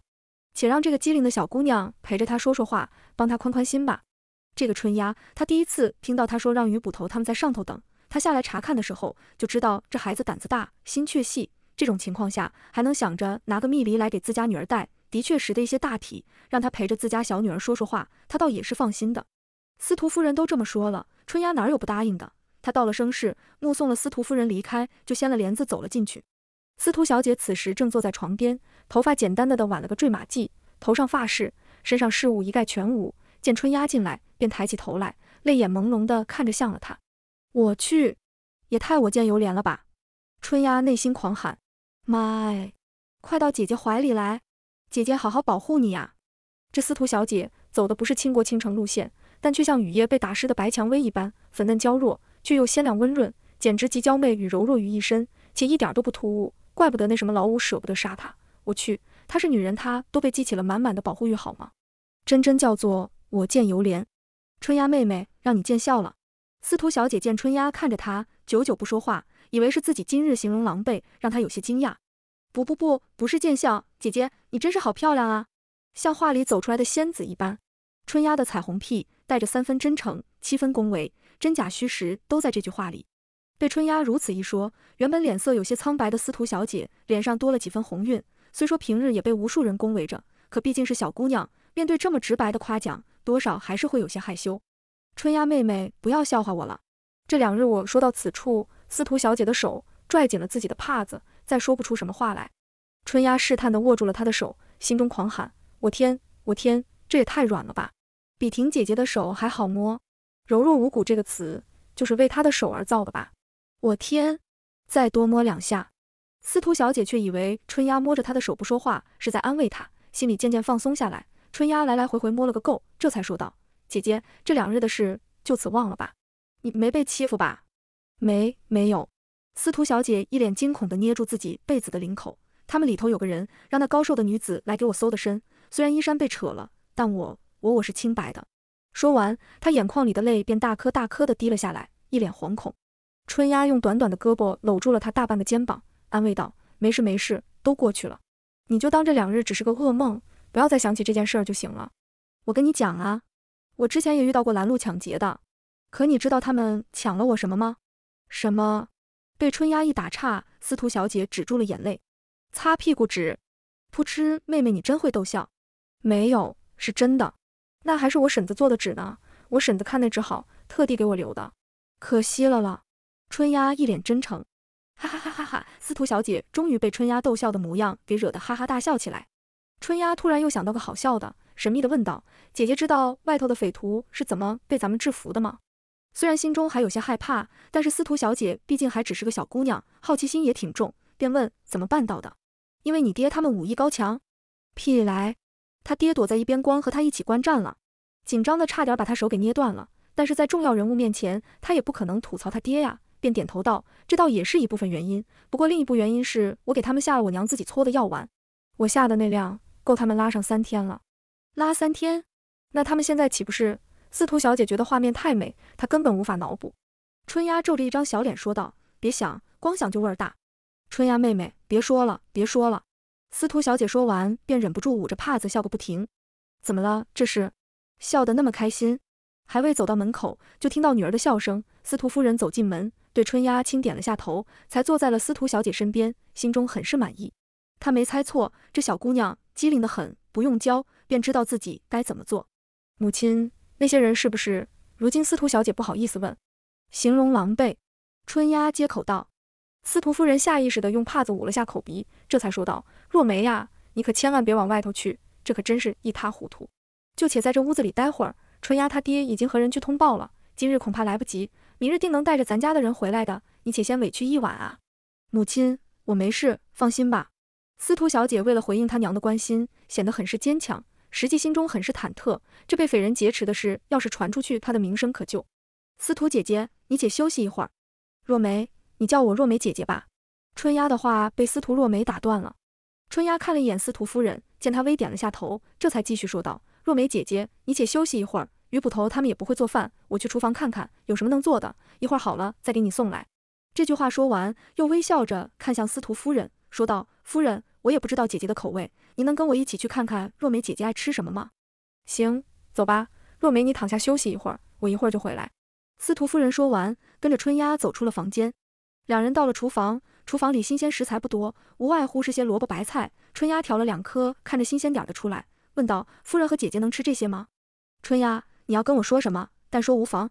司徒夫人在夫人小姐堆里摸爬滚打了这些年岁，春丫只是想要出来跟他单独说两句话，这点他还是看得出来的。春丫放下手里的萝卜，这才说道：“司徒夫人，我这么说可能有些唐突，但是作为一个女孩子，我虽然年岁小，但也常听娘说，这世上做人不易，做女人更不易。我今日说这些，绝对不是想要插手夫人家的家务事，只是都是女孩子。”我希望多少能帮到姐姐一点点。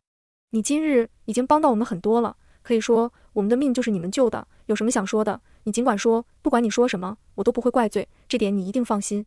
司徒夫人说完，神色严肃地看着春丫，她不知道这个小女孩想说什么，但是既然承蒙了人家的救命之恩，那哪怕今日的话她再不爱听，这些话也只会烂在这个厨房里而已。这个度量她还是有的。夫人，我有一个姑父，是个老秀才，他是一个非常遵守礼制之人。春丫说完这句。看了看司徒夫人，继续说。司徒夫人点头道：“他家有两个女儿，向来与我们有些不同。咱们农家女为了劳作方便，从不用蜜梨之类。但是我家姑父却不同，他认为女孩子出门不管做什么，就必不能让人看去了容貌。某次我表姐出去采买些针头线脑，路上不小心被人碰落了蜜梨，回家被我姑父知道了此事，他狠狠地责罚了我表姐，不仅打了她，还规定她出嫁之前再不能出门。您说？”这是我表姐的错吗？显然不是，她已经遵守了我姑父的规定，出门带了蜜梨，被人不小心碰落，并不是她的问题。但是我姑父却认为被人看去了容貌，就是我表姐的错。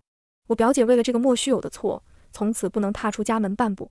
但这事儿要说是我姑父不对，那我姑父也绝不会这么认为。他觉得他信的是圣人圣言，何错之有？我的故事讲完了，我要讲的就只是这些。于夫人觉得有意思，全当是听个故事。觉得没意思就忘了吧。司徒夫人站在昏暗的、充满着油腻味道的厨房中央，神色漠然，一言不发。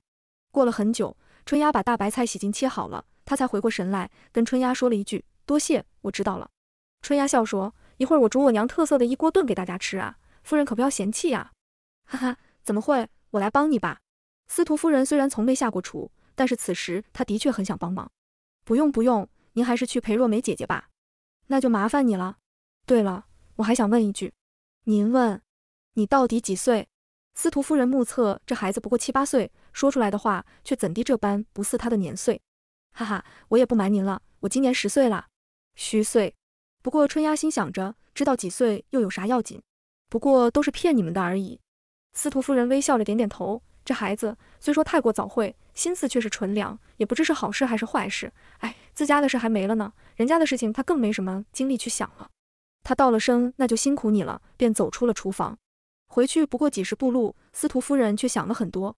他家老爷算不上是什么青天在世，却也能算是个耿直的正派官员，但也因为耿直，也非常的讲究礼数体统。家中妻妾嫡庶男女都是按照礼教严格执行该有的礼法的。所以虽说老爷有两个小妾，但是他的主母地位是绝对无可撼动的，因为在他们家，妻就是妻，妾就是妾。如今女儿虽说没有受辱，可被匪人劫持了，这会引来多少口舌？对外，他定是不会跟任何人说的。可对内，到底要不要跟老爷说，他一直在犹豫。刚才听了春丫的那个亲戚家的故事，不知为何，他居然惊出了一身汗。春丫的姑父只是个酸秀才，尚且如此，要是自家老爷知道了真相，女儿这该如何在父亲面前为自己辩驳？若没到十月才刚到及笄之时，连人家都还没相看。如果老爷以此为由，再不准女儿踏出家门半步，亦或有更偏激的惩罚，那若梅又该向谁去讨个公道？那春丫姑娘说的没错，这世上女子本就活得艰难，自己的女儿也只有她能帮了。真是当局者迷，旁观者清。她一心想着，老爷是若梅的亲爹，若梅是家中最小的女儿，一家人都对她疼爱有加，她却没曾跳出去想过，老爷不仅仅是一个爹，还是深受程朱理学影响的一个所谓的名士。她不能冒这个险，为了女儿，这事儿只能当没发生过。这么想着，司徒夫人直接去了中庭，找到了余捕头，两人又说了好一番话，这才匆匆回到若梅房中，对若梅又是好一番叮嘱。这事儿不管是面上还是心里，若梅必须当时没发生过一般。徐达几人赶回来的时候，已经是第二天日中午，被扔在中庭一边的几人中间，被喂了两次盐糖水，免得他们真的拉死。而昏睡了一天一夜的老五也已经醒来，唾骂声不绝于耳，被于捕头直接挑了舌筋，扔在了那堆人一起。薛青山依旧昏迷不醒。于捕头准备了了这事儿，还得带他去看看大夫。这人好歹也要抢救一下。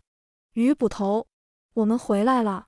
徐达的喊声引得春丫和于捕头都跑了出去。妈呀，到底是回来了，再不回来，他们就快被那些恶心玩意儿给熏死了。徐达进到前院，看到闺女没事，心中高喊一声：万事大吉！走的时候急，没有想那么多，但是到了昨日夜里，他才想起媳妇的叮嘱，这才忐忑起来。要是春丫有个三长两短，他肯定玩完了。跟着徐达一起进院子的，还另有两匹马车、两辆囚车，另有官差数二十名，丫鬟婆子七八人。徐达牵线给于捕头介绍了带队的府衙刑房京城裴京城。裴京城可是苏州裴家？春丫惊讶地问道。正是，我和贵县的县令夫人是本家。那裴京城抱拳施礼。徐达也笑说：“你说这巧不巧？我们进了府衙，说明来意，接待我们的就是这位裴京城。一说咱们是沛丰县的。”居然还真是卢夫人家的远房堂兄，真是巧啊！几人说着话进了中庭，于捕头把事情的来龙去脉这么一说，裴京城皱眉问道：“您是说知府夫人和小姐是你们之前就遇到了，然后跟你们一起来这儿投诉，才遇到了这群匪徒的？”于捕头斩钉截铁地点头道：“是，没错。咱们在那边小路上遇到的知府夫人和小姐，当时他们的马车陷入了路边的深坑里，咱们见他们求助，便搭了把手。之后咱们便结伴出了树林，来到此地投诉。”这才掀了这帮歹人的老巢。可知府夫人不是从娘家往咱们这儿来吗？你们这个方向，裴京城觉察出了一丝不对劲。可不是说巧吗？咱们出林子，知府夫人进林子，咱们就在这林子口遇上的。然后就说天黑路难走，要不就一起借宿一晚，有咱那么多差人站岗放哨的，不是更安全吗？于捕头的反应还算是有些快的，倒也有些道理。裴京城见知府夫人端坐在搬出来的椅子上，周围站了四个面色凝重的仆妇。没有说话，他只能硬着头皮认了这个漏洞百出的说法。但是有些事他却不得不问：那家丁和仆妇死了，跟他们械斗的时候一心护主都死了，尸体在后山埋着呢。回去后，这些家丁和仆妇的家人都有赏。司徒夫人淡淡的开口道：“那边一堆人之前就被威胁过，反正总归是要死的。要是敢乱说话，就挑了手筋脚筋，凌迟上一个月再让他们死。要是把司徒夫人和小姐两人从记忆里抹去。”那就死前请他们吃顿好酒，找个手最准的刽子手，一刀毙命，保证没有一丁点痛苦。反正总归是死，谁会选择被凌迟上一个月？头掉了碗大个疤，再投胎还是英雄好汉。那几人也只能这么认了。他们可是见识过这帮差人叫人要死死不了，要活活不好的本事的。裴京城眼前承受着于捕头诚挚的目光，后背哪怕没长眼睛，也能感受到司徒夫人的眼神，真是如芒在背。他艰难的点了点头，行，这事儿。我知道了，您受累，这是他们的口供，已经签字画押。那边是搜出来的赃款赃物，他们也皆已供认不讳。册子在这里，另外还有后头野山上搜出三十六具尸体，其中八具尸体夫人已经认为是司徒家家仆，另外一些就由裴京城来处理了。咱们这儿还有公务没办完，也不宜久留了。于捕头说完，把自己整理好的口供账册都递给了裴京城。裴京城略略翻看了一下，除了司徒夫人的事儿上有些奇怪，别的地方倒也没什么瑕疵，且人赃俱获，而且是如此大案。自己这会儿还有些头晕目眩，原来这两三个月来接连接到的走失案都是被这一伙人给杀了，这就破案了。管他娘的，知府夫人都点头了，那他还怕个屁呀！来人，把这些人统统给我押到囚车上去。裴京城横下了心，这案子唯一的一点就是知府夫人他们这事儿，但是这苦主都认了于捕头的说法了，那他还在意个什么劲儿啊？再说这沛丰县出来的衙役，听徐达说跟他族妹关系还颇好。那他就更不用追究这些不重要的细节了。只是这什么味儿啊？裴京城不禁嘟囔道：“别把我和他们关在一起，你们要不然就此杀了我吧。我不怕死，我就不想跟他们关一起。”鬼见愁被从缸上给拔了起来，胡乱的自己扒拉着裤子，挣扎着死也不跟那几个货关在一起。这是他死前最后的尊严。可谁管他说什么呢？直接一块破抹布往嘴里一塞，他就只剩下了呜呜呜呜之声。头戴蜜梨的司徒若梅被两个大丫头、两个仆妇簇拥着出了房门。春丫没有上前，也不知道她看不看得清她的脸，只远远站着朝他挥手。被搀扶着的司徒若梅停下了脚步，伸手向春丫挥了挥，说道：“沛丰县文苑街徐家，我记下了，一路保重，再见。”春丫更卖力地摇起了手。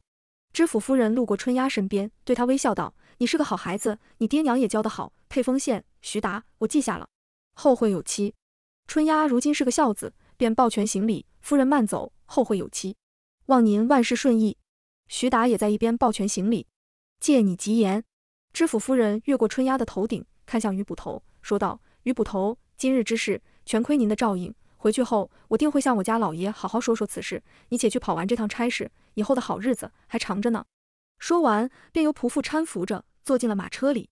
徐达他们已经耽搁两日，此时也不再多停留。这龙门客栈留了四个府衙的差役看守，裴京城要先带着犯人护送司徒家母女回去。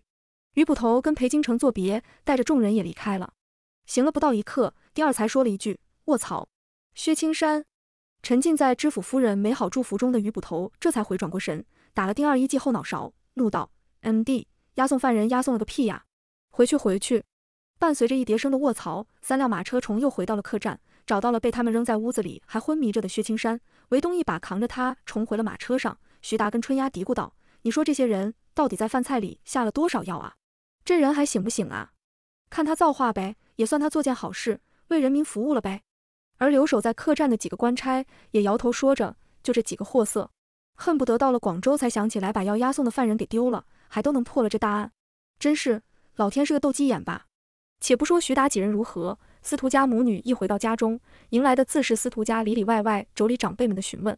司徒夫人只说自己都不知道发生了什么，于捕头只叫女儿和自己待在房中，不要出去。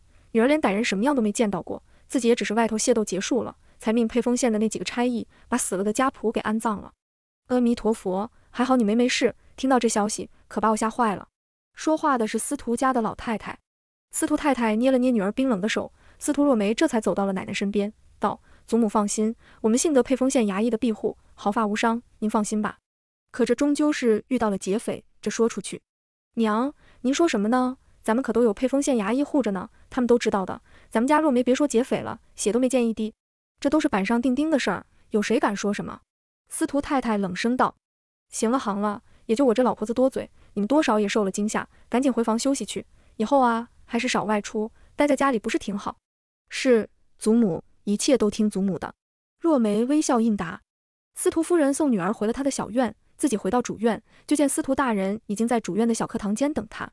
她深吸一口气，跨步进了课堂间，说道：“老爷今日怎地这般早就下衙了？我就是回来看看你们怎么样。听说那些匪徒很是毒辣，你们没事吧？”司徒大人询问道：“能有什么事儿？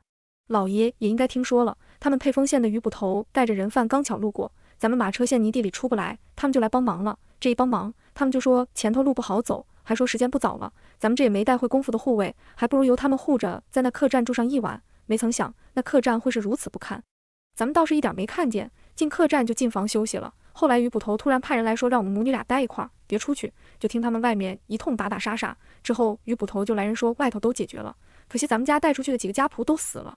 于捕头他们也有几人受伤，不过到底是官差，都有些功夫，倒也没出什么人命。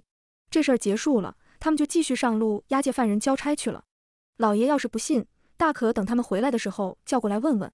你这人，我也没说不信，就回来看看，你们没事就好。若没没事吧？吓坏了吧？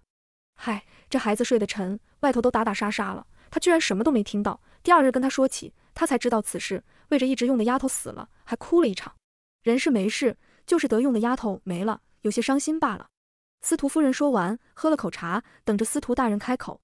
司徒大人这才松了口气，缓缓开口道：“没事就好。昨日来的那姓徐的捕快也说得不清不楚，只说他们抓到了贼人，又说恰巧小姐夫人也在客栈中，再问就说不清了。只让我们带着人跟他走，我还以为还以为你们被他们劫持了，一夜忐忑。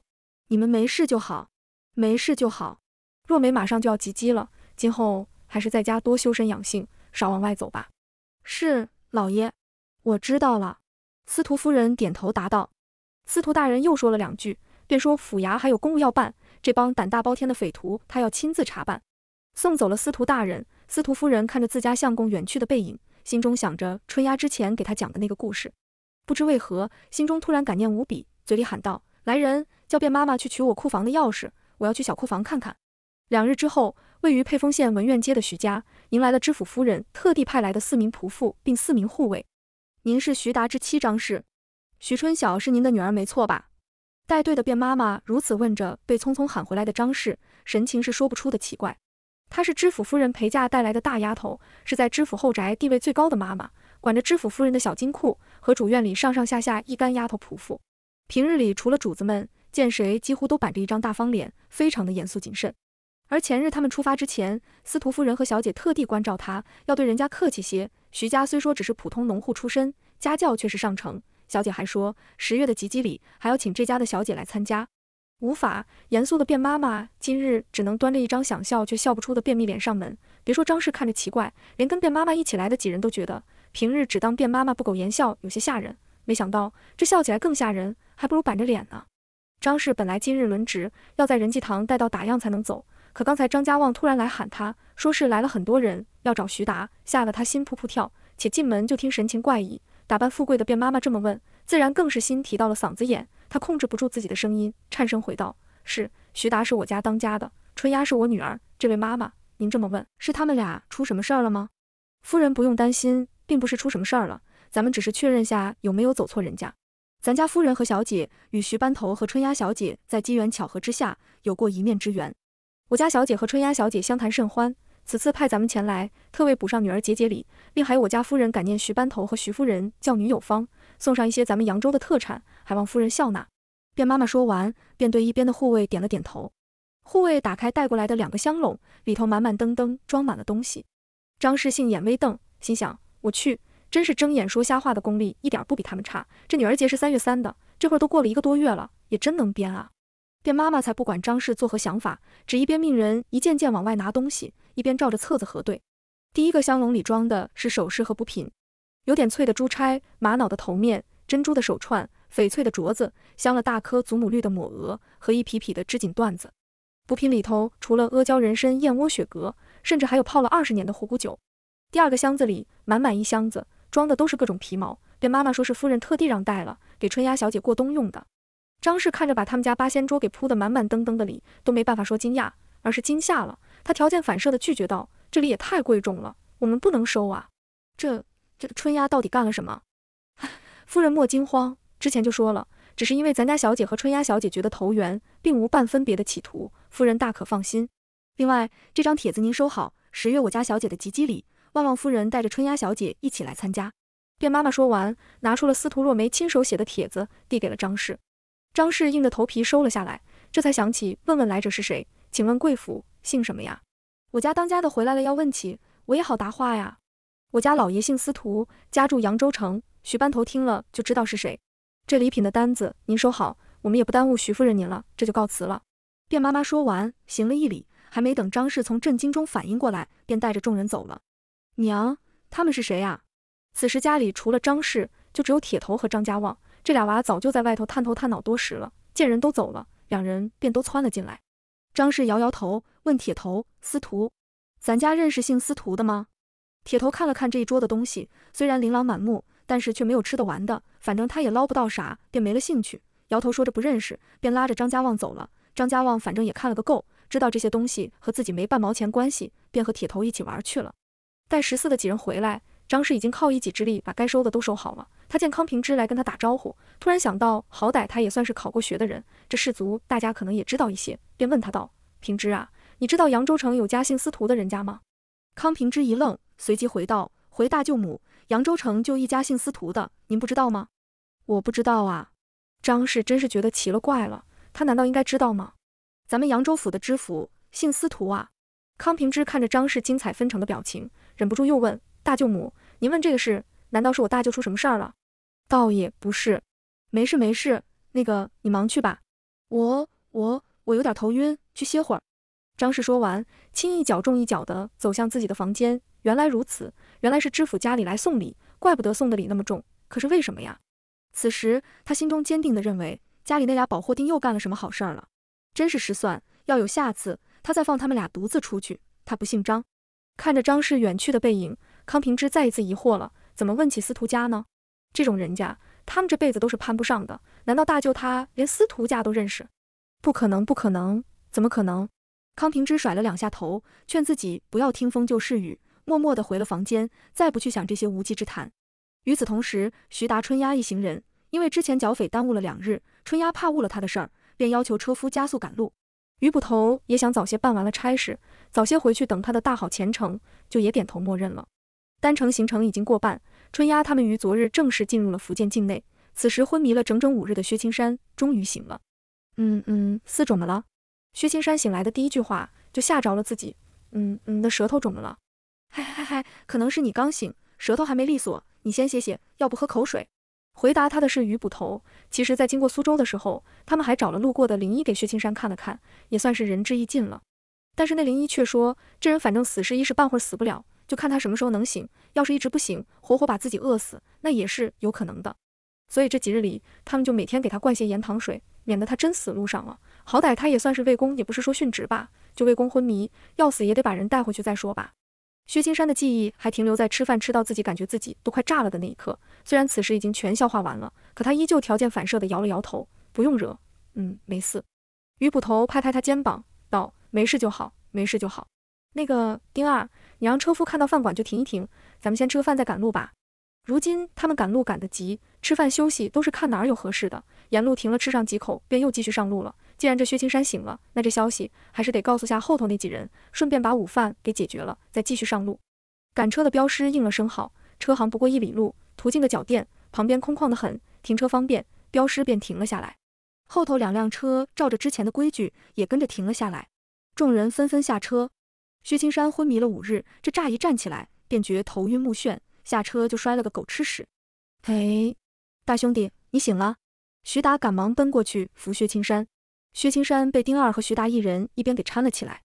哎，是啊，子个腿突然就木有力气了。薛青山点头说道。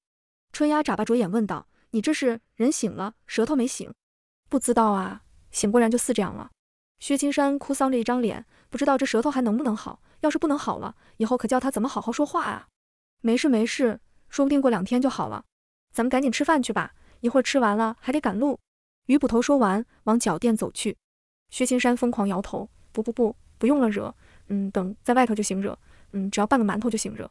哈哈，那你等着吧，一会儿我给你拿。春丫说完，也跟了进去。进到店里，于捕头简单要了几碗面，加了三斤羊肉。可小二一脸茫然地看着他们，说道。at 人民币井号百分号人民币 at 井号人民币 at 百分号 at 好了，这回换春丫他们一脸茫然的看着小二了。我说我们要十碗面，十碗，听得懂吗？十碗。于捕头暴躁的用手指头比了个十。井号 at 百分号井号人民币 at 百分号人民币 at 人民币井号百分号小二的嗓门也不小。PMD 这货说的是什么？你们谁听得懂？于捕头只想掏刀子。他们之前一直在吴语地区赶路，哪怕街边小店，基本也能听懂个七七八八。昨日进入福建境内，他们住的是驿站，里头掌柜会讲官话，所以也没多考虑这个问题。他们现在在的这个地方靠近福州，讲的多是福州土话，跟吴语完全不同。任凭春丫听得懂闽南话、广东话，那也是没有任何卵用的。别的几个更是摇头如蒲扇，这谁听得懂啊？别说福州话了，说点官话都够呛，还福州话呢？完了，春丫想说是要来福建找番薯，可种地的都是老农，他们却连句福州土话都听不懂，这还怎么找啊？井号哎，人民币百分号，井号人民币百分号，人民币井号百分号。小二又说了一句什么？惹得鱼捕头直说不吃了不吃了，到了下个驿站再说。站起身就要走。那人，四问你们今日面有米换了，次面行不行？薛青山从外头伸了个脑袋进来，如此说道：“你会说福州土话？”春丫惊奇地问道。子费缩一点点，但似可以听得懂。薛青山说完，下意识地用舌头舔了舔嘴唇。你跟他说说说，你跟他说，就要十碗面，三斤羊肉。鱼捕头听薛青山说话，听得舌头也直打架。哦，薛青山伸出半个身子，跟那小二叽里哇啦好一阵讲。小二眉头皱了又松，松了又皱，好容易做成了这笔买卖。点完餐，累得他直擦脑门上的汗。点餐半小时，吃饭三分钟，几人风卷残云的吃完饭，买单侠徐达买了单，各自去放了个水，又准备继续赶路。春丫让薛青山自己问店小二要了个白面馒头，见薛青山细嚼慢咽的吃着，他眼珠子一转，搭话道。薛大哥，你是广州人，怎的会说福州土话呀？嗯，娘子是福州闽县人，她在家就说土话，嗯，听久了就废了。薛青山说完，又低头撕了一小块馒头皮，塞进自己嘴里，细嚼慢咽起来。妈哎妈哎妈哎，这甘蜀知府陈振龙当年没出海之前，就是在那福州闽县做官的，真是，你说巧不巧？女主光环不是盖的，没错没错了。春丫想，大哥我就是拿的女主剧本没跑了。这薛青山到时候会不会被收监，他倒是吃不准。不过他这事儿犯得轻，估计要关的话也关不了多久。虽说卢县令这人又抠搜，人品又差，又是个老白脸，可把薛青山给押送回广州这事儿办的，春丫不得不给他竖个大拇指。等他们到了广州，只要问清了薛青山家的住址，到时候去再去找他老婆给带路就行了。这事儿板上钉钉，妥了。春丫一时心情大好，忙问薛青山：“薛大哥，你肉包子要不要？要的话你自己喊，一会儿我来结账。不用惹，不用惹，够惹够惹。”薛青山疯狂地摇起了头。等到众人方便回来，于捕头也不多耽搁，带着众人又赶起了路。虽说春丫急着要往家送番薯，本来他的计划是路过福建，先把东西给找到，先让两个镖师把东西给带回去。可如今计划赶不上变化，这福州土话不会说，要找任何东西也定是难办，还是得先把薛青山的事儿了了，找了他老婆再见机行事了。这会儿春丫一心想着他的番薯，连跟徐达抽乌龟都觉得没了兴致。嘿。闺女，你说董夫人家的荔枝园如今会有荔枝吗？徐达为了转移一下女儿的注意力，也是绞尽脑汁。对哦，荔枝园，把这事儿给忘了。春丫一拍脑门，赚钱项目太多，脑子转不过来了。不过可惜，荔枝不都得到夏天才吃得到吗？这会儿去，恐怕还不能吃吧。可惜，如果能吃，你准备干嘛？徐达旁敲侧击地问道。春丫歪着脖子想了想，才说道。其实我也没想好，又想酿荔枝酒，又想做荔枝罐头。爹，您说咱做啥好？酒不是不能随便酿的吗？再说酿了你怎么卖？这也不能私酿私卖呀。徐达觉得荔枝酒这事儿不行，还不如想想荔枝罐头的事儿呢。咱又不卖，送啊！您四八四啥？再说酿也不是咱们自己酿，这个到时候再说吧。好好说话，别学薛青山。徐达忍不住拍了春丫一下。哎，爹。您说这薛青山这舌头还能回去吗？他这是麻药吃多了，有后遗症了吧？我看是回不去了。以前你娘做护士的时候有个事儿。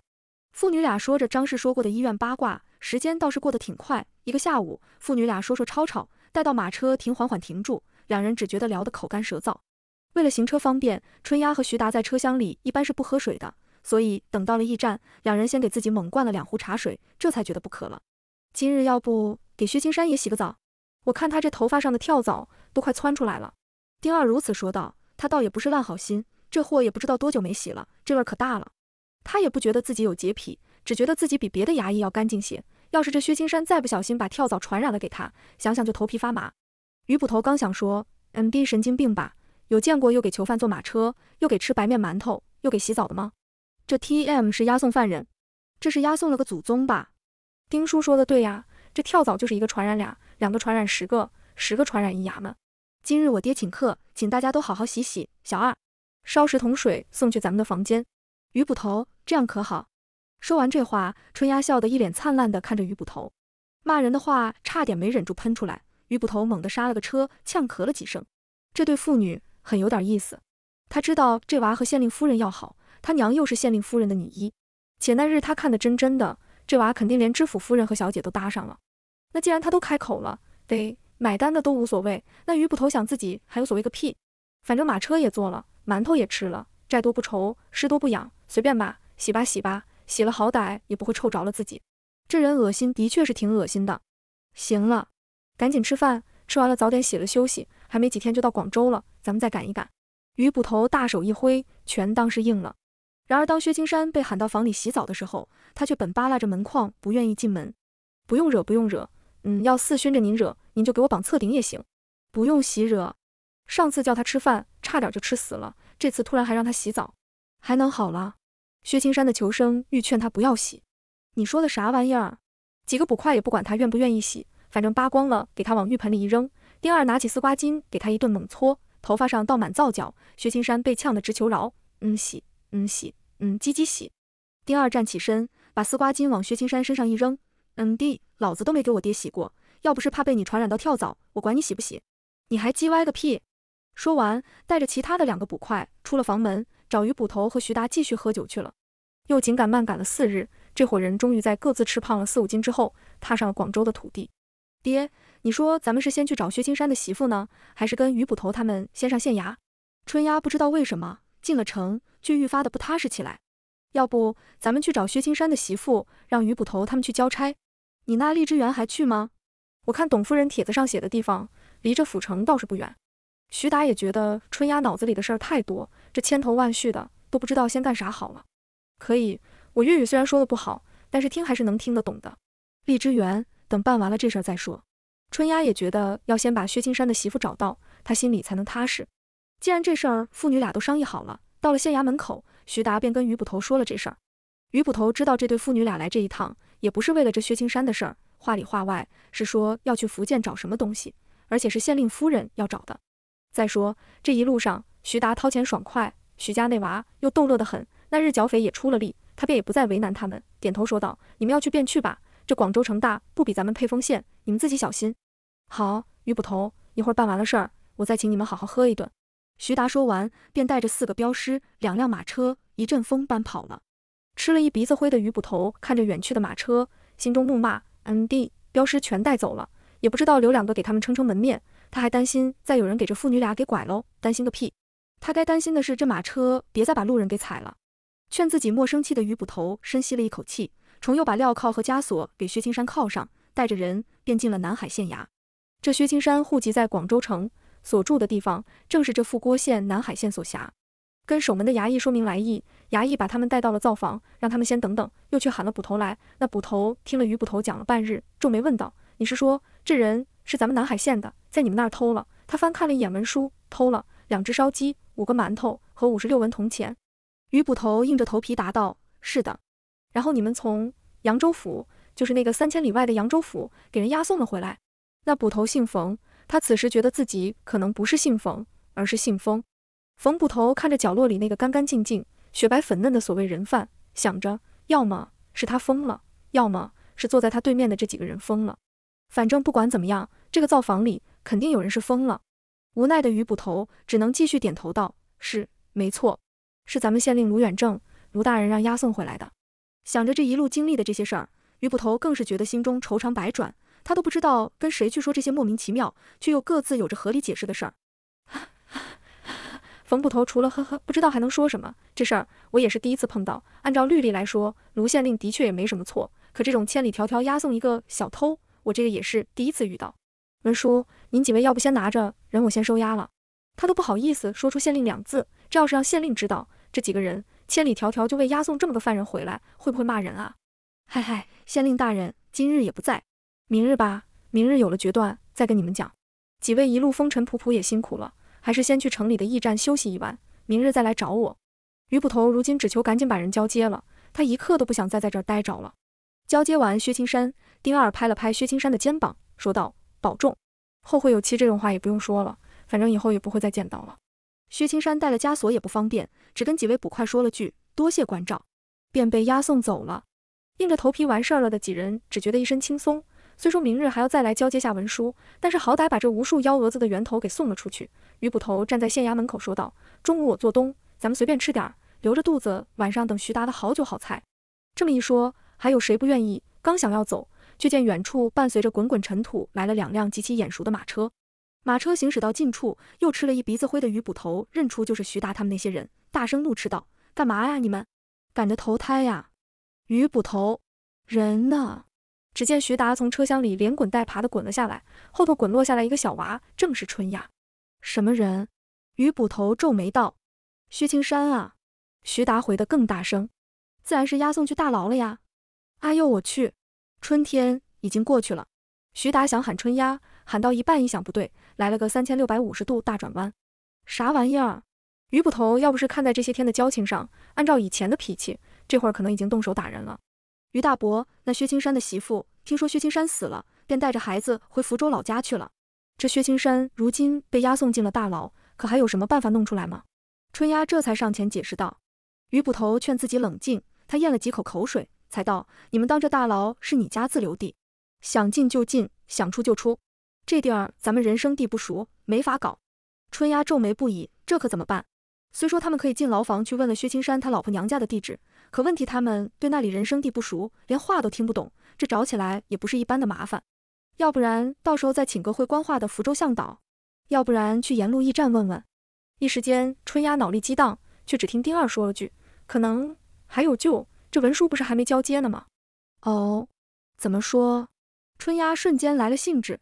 于捕头看了眼丁二，丁二往后缩了缩，于捕头叹了口气，这才无奈说道：“犯人交接得盖章换文。”这文书上得写明犯人得了什么惩戒，或打几十大板，或关押几日。这换得的文书，咱们得回去交给卢县令。南海县令今日不在，他们还未给薛青山定罪。那太好了，咱们把薛青山捞出来吧。春丫想着，这听着就好操作，关三个月还是打五十大板，这不都是县衙里说了算的吗？既然如此，操作空间就很大了。所以，我们千里迢迢把他押送回广州，就是为了把他捞出来，是吗？于捕头劝自己千万别气。你又话道。也不是这么说。徐达接口道：“你说怎么说？啊？你说？”于捕头大喝一声，头也不回的走了。于捕头，你听我说，你别走啊！等等我，听我说。一行人带着三辆马车，呼哧呵哧的离开了南海县衙。于捕头带着一肚子的气，到了城中驿站，暂时落脚。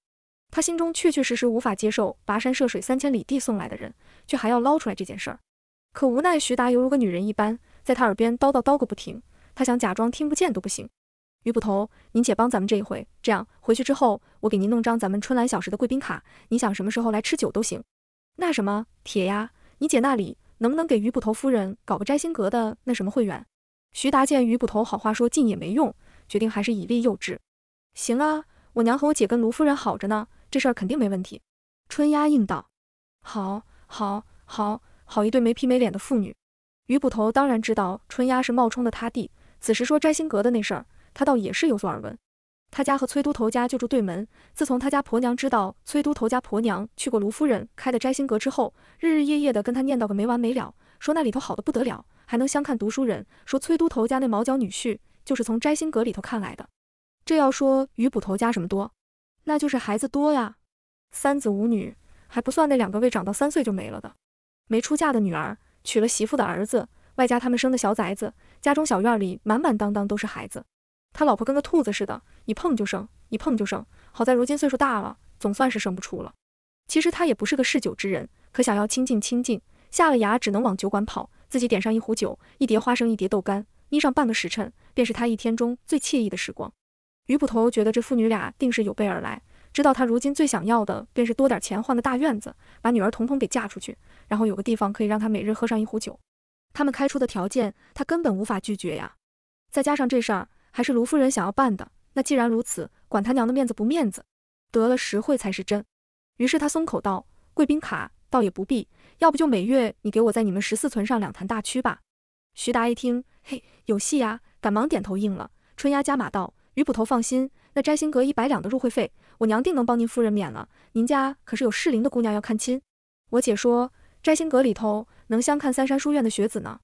哎，这个我知道了，你姐不要往外说。我家姑娘不似你姐那般活泼。于捕头说完，瞄了两眼春丫，就见春丫毫无异色，只笑着点头说：“行行行，我知道了，这事儿一定给您办妥。”他心中暗叹，不愧是徐达的种，说起鬼话来，鬼都能被骗光裤衩。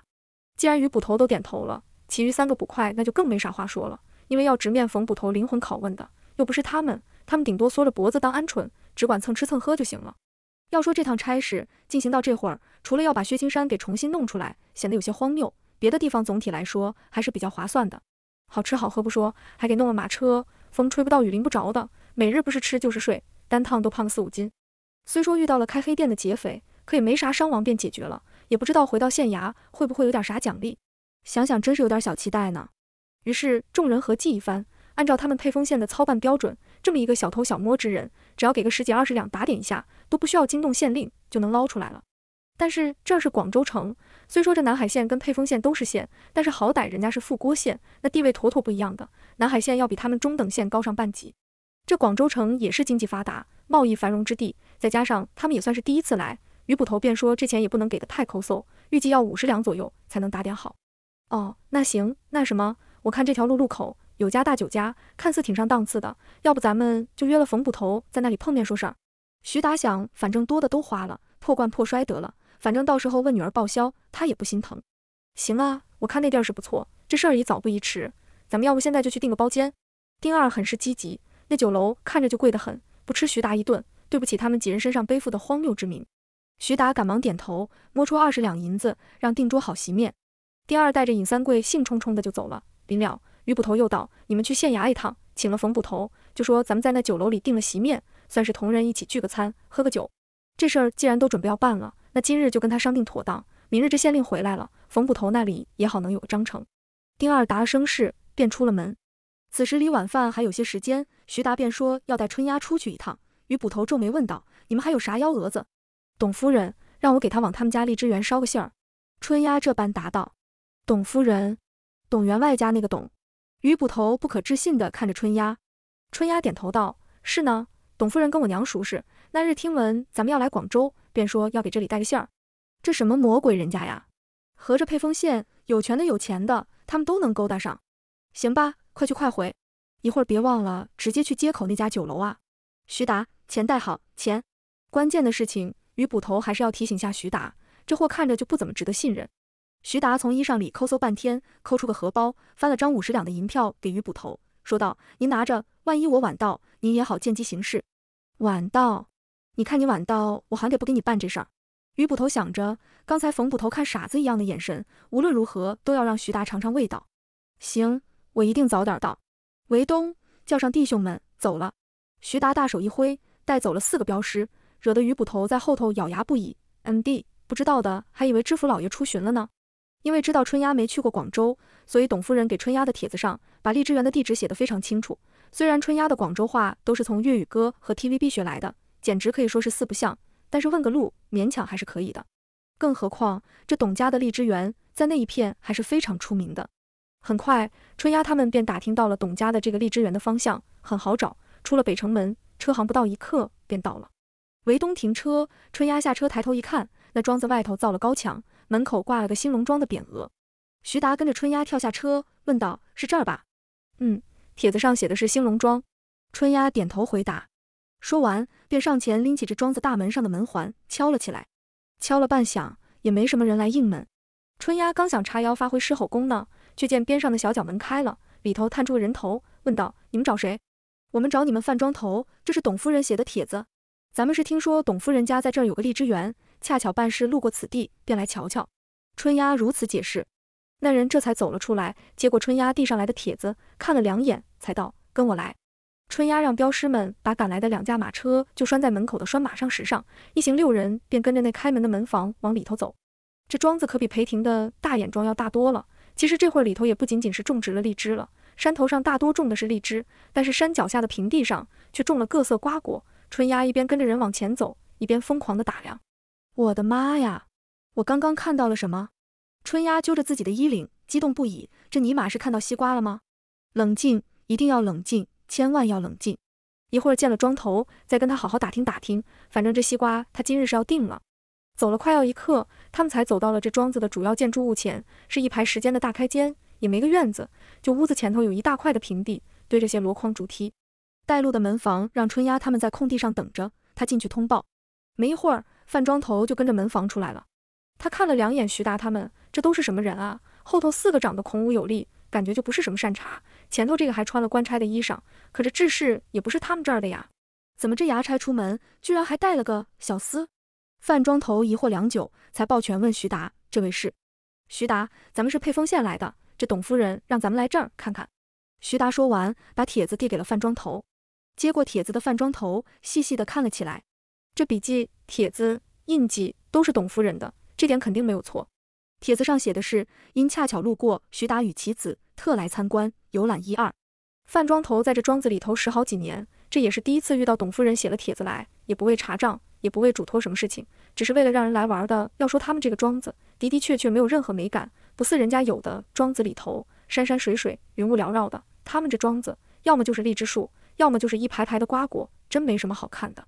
但是既然夫人都写了帖子要让人来游览了。且如今夫人就住在沛丰县，他想着，万一他们遇到夫人说点什么，他这没招待好也不合适。于是喊了两个农夫，让前头带路，自己陪着徐达、春丫他们，在落日余晖中介绍起了他们这个庄子。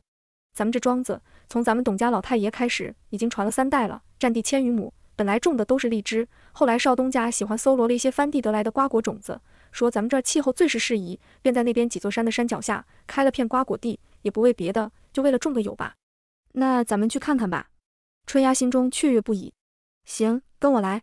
范庄头带头，春丫、徐达紧随其后。到了那瓜果园，春丫便假意问道：“庄头，那边那些是什么呀？”“寒瓜呀，你们那边没有吗？”“也是，这东西种的人家本也不多。”范庄头自问自答：“为什么呀？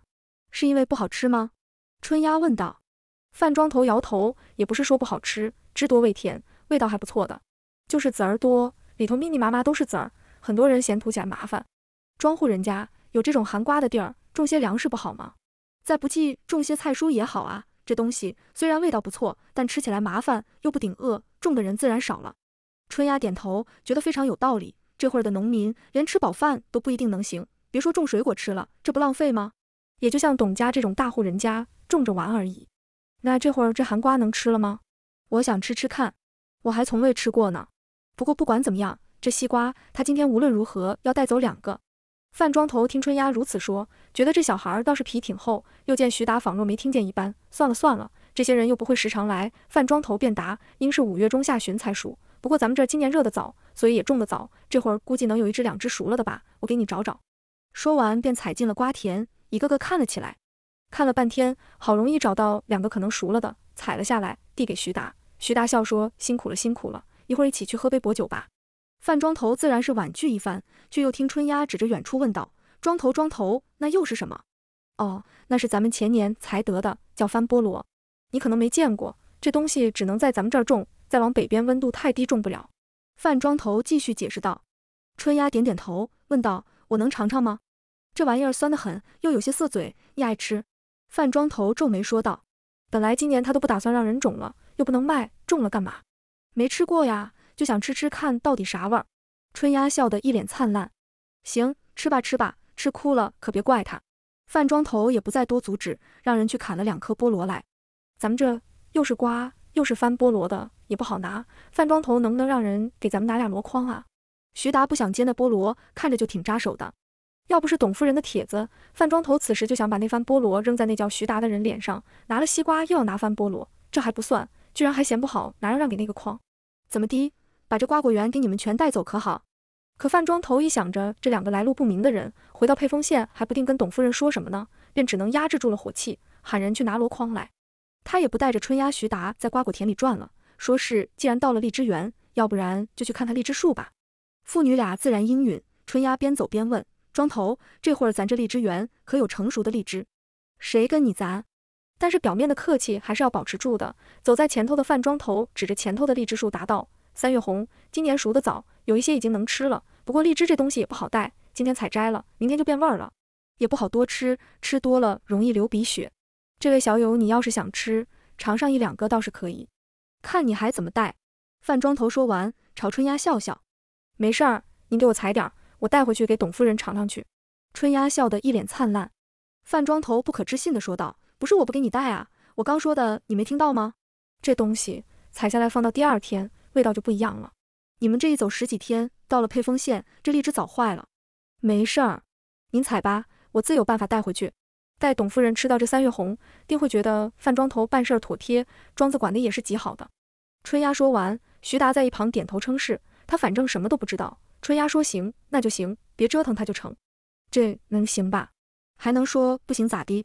春丫都把董夫人搬出来了，范庄头只能屈服，喊人给春丫他们摘了大半筐荔枝。范庄头好奇地问道：“徐家小兄弟，你说的自有办法是啥办法呀？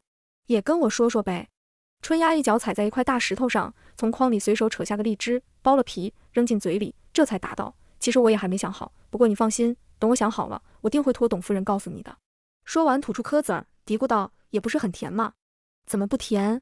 咱们家的三月红便是这广州城最甜的，这品种熟得早，自然没有晚熟品种那么甜啊。说别的饭庄头还能忍，可说他种的荔枝不甜，他是绝对忍不了的。春丫忙道歉道：“对不住，对不住，我不是说您种的不好，这微酸也是好的，我很喜欢，真心的。您放心，等我想出办法来了，一定第一时间告诉您。今日多谢款待，改日咱们再相见。爹，时间不早了，咱们要不就此告辞？对对对，咱们还有事儿呢。饭庄头，您真的不跟咱们去喝一杯吗？”徐达再次邀请范庄头，不必客气。范庄头跟徐达略寒暄了几句，便命人把徐达父女两人送出了庄子。四个镖师拎了两个大箩筐，跟在徐达他们后头一起走了。等到镖师把箩筐装上马车，兴隆庄的角门砰的一声便关上了。春丫朝徐达耸了耸肩，做了个怪脸。这范庄头脾气可不太好。徐达一边爬上车，一边跟春丫如此说道：“那是啊，庄头嘛，主子家天高皇帝远的。”做惯了老大，今日被咱们俩刘姥姥一通扫货，他怎么可能高兴得起来？春丫反正拿到了自己想要的，根本无所谓人家态度咋样。徐达这才点头道：“也是，定是以为我们是来打秋风的。”闺女，赶紧的，想想这荔枝咋弄，酿酒也好，做罐头也罢，赶紧闪瞎他们的钛合金狗眼。嘿嘿，您出息了哈，钛合金狗眼都知道了。则，咱如今也是年轻人。父女俩一路说说笑笑，往驿站赶去。到了驿站，春丫说她不去吃饭了，让徐达一会儿给她带点回来就行。您重新给我点啊，别给我带剩菜。好嘞，徐达应了一声，把四个镖师全留在了驿站，自己晃晃悠悠往酒楼而去。春丫让人把两筐水果给抬进了房间，写了个单子递给韦东。东哥，我这儿你们只要留一人就行，你带另两人去给我采买这些东西，一会儿我要用的。韦东接过单子，挠了挠脑袋，那个我不识字啊。妹的，春芽想，等他要是哪天发财了。他就开个学校，给这些人全部扫个盲。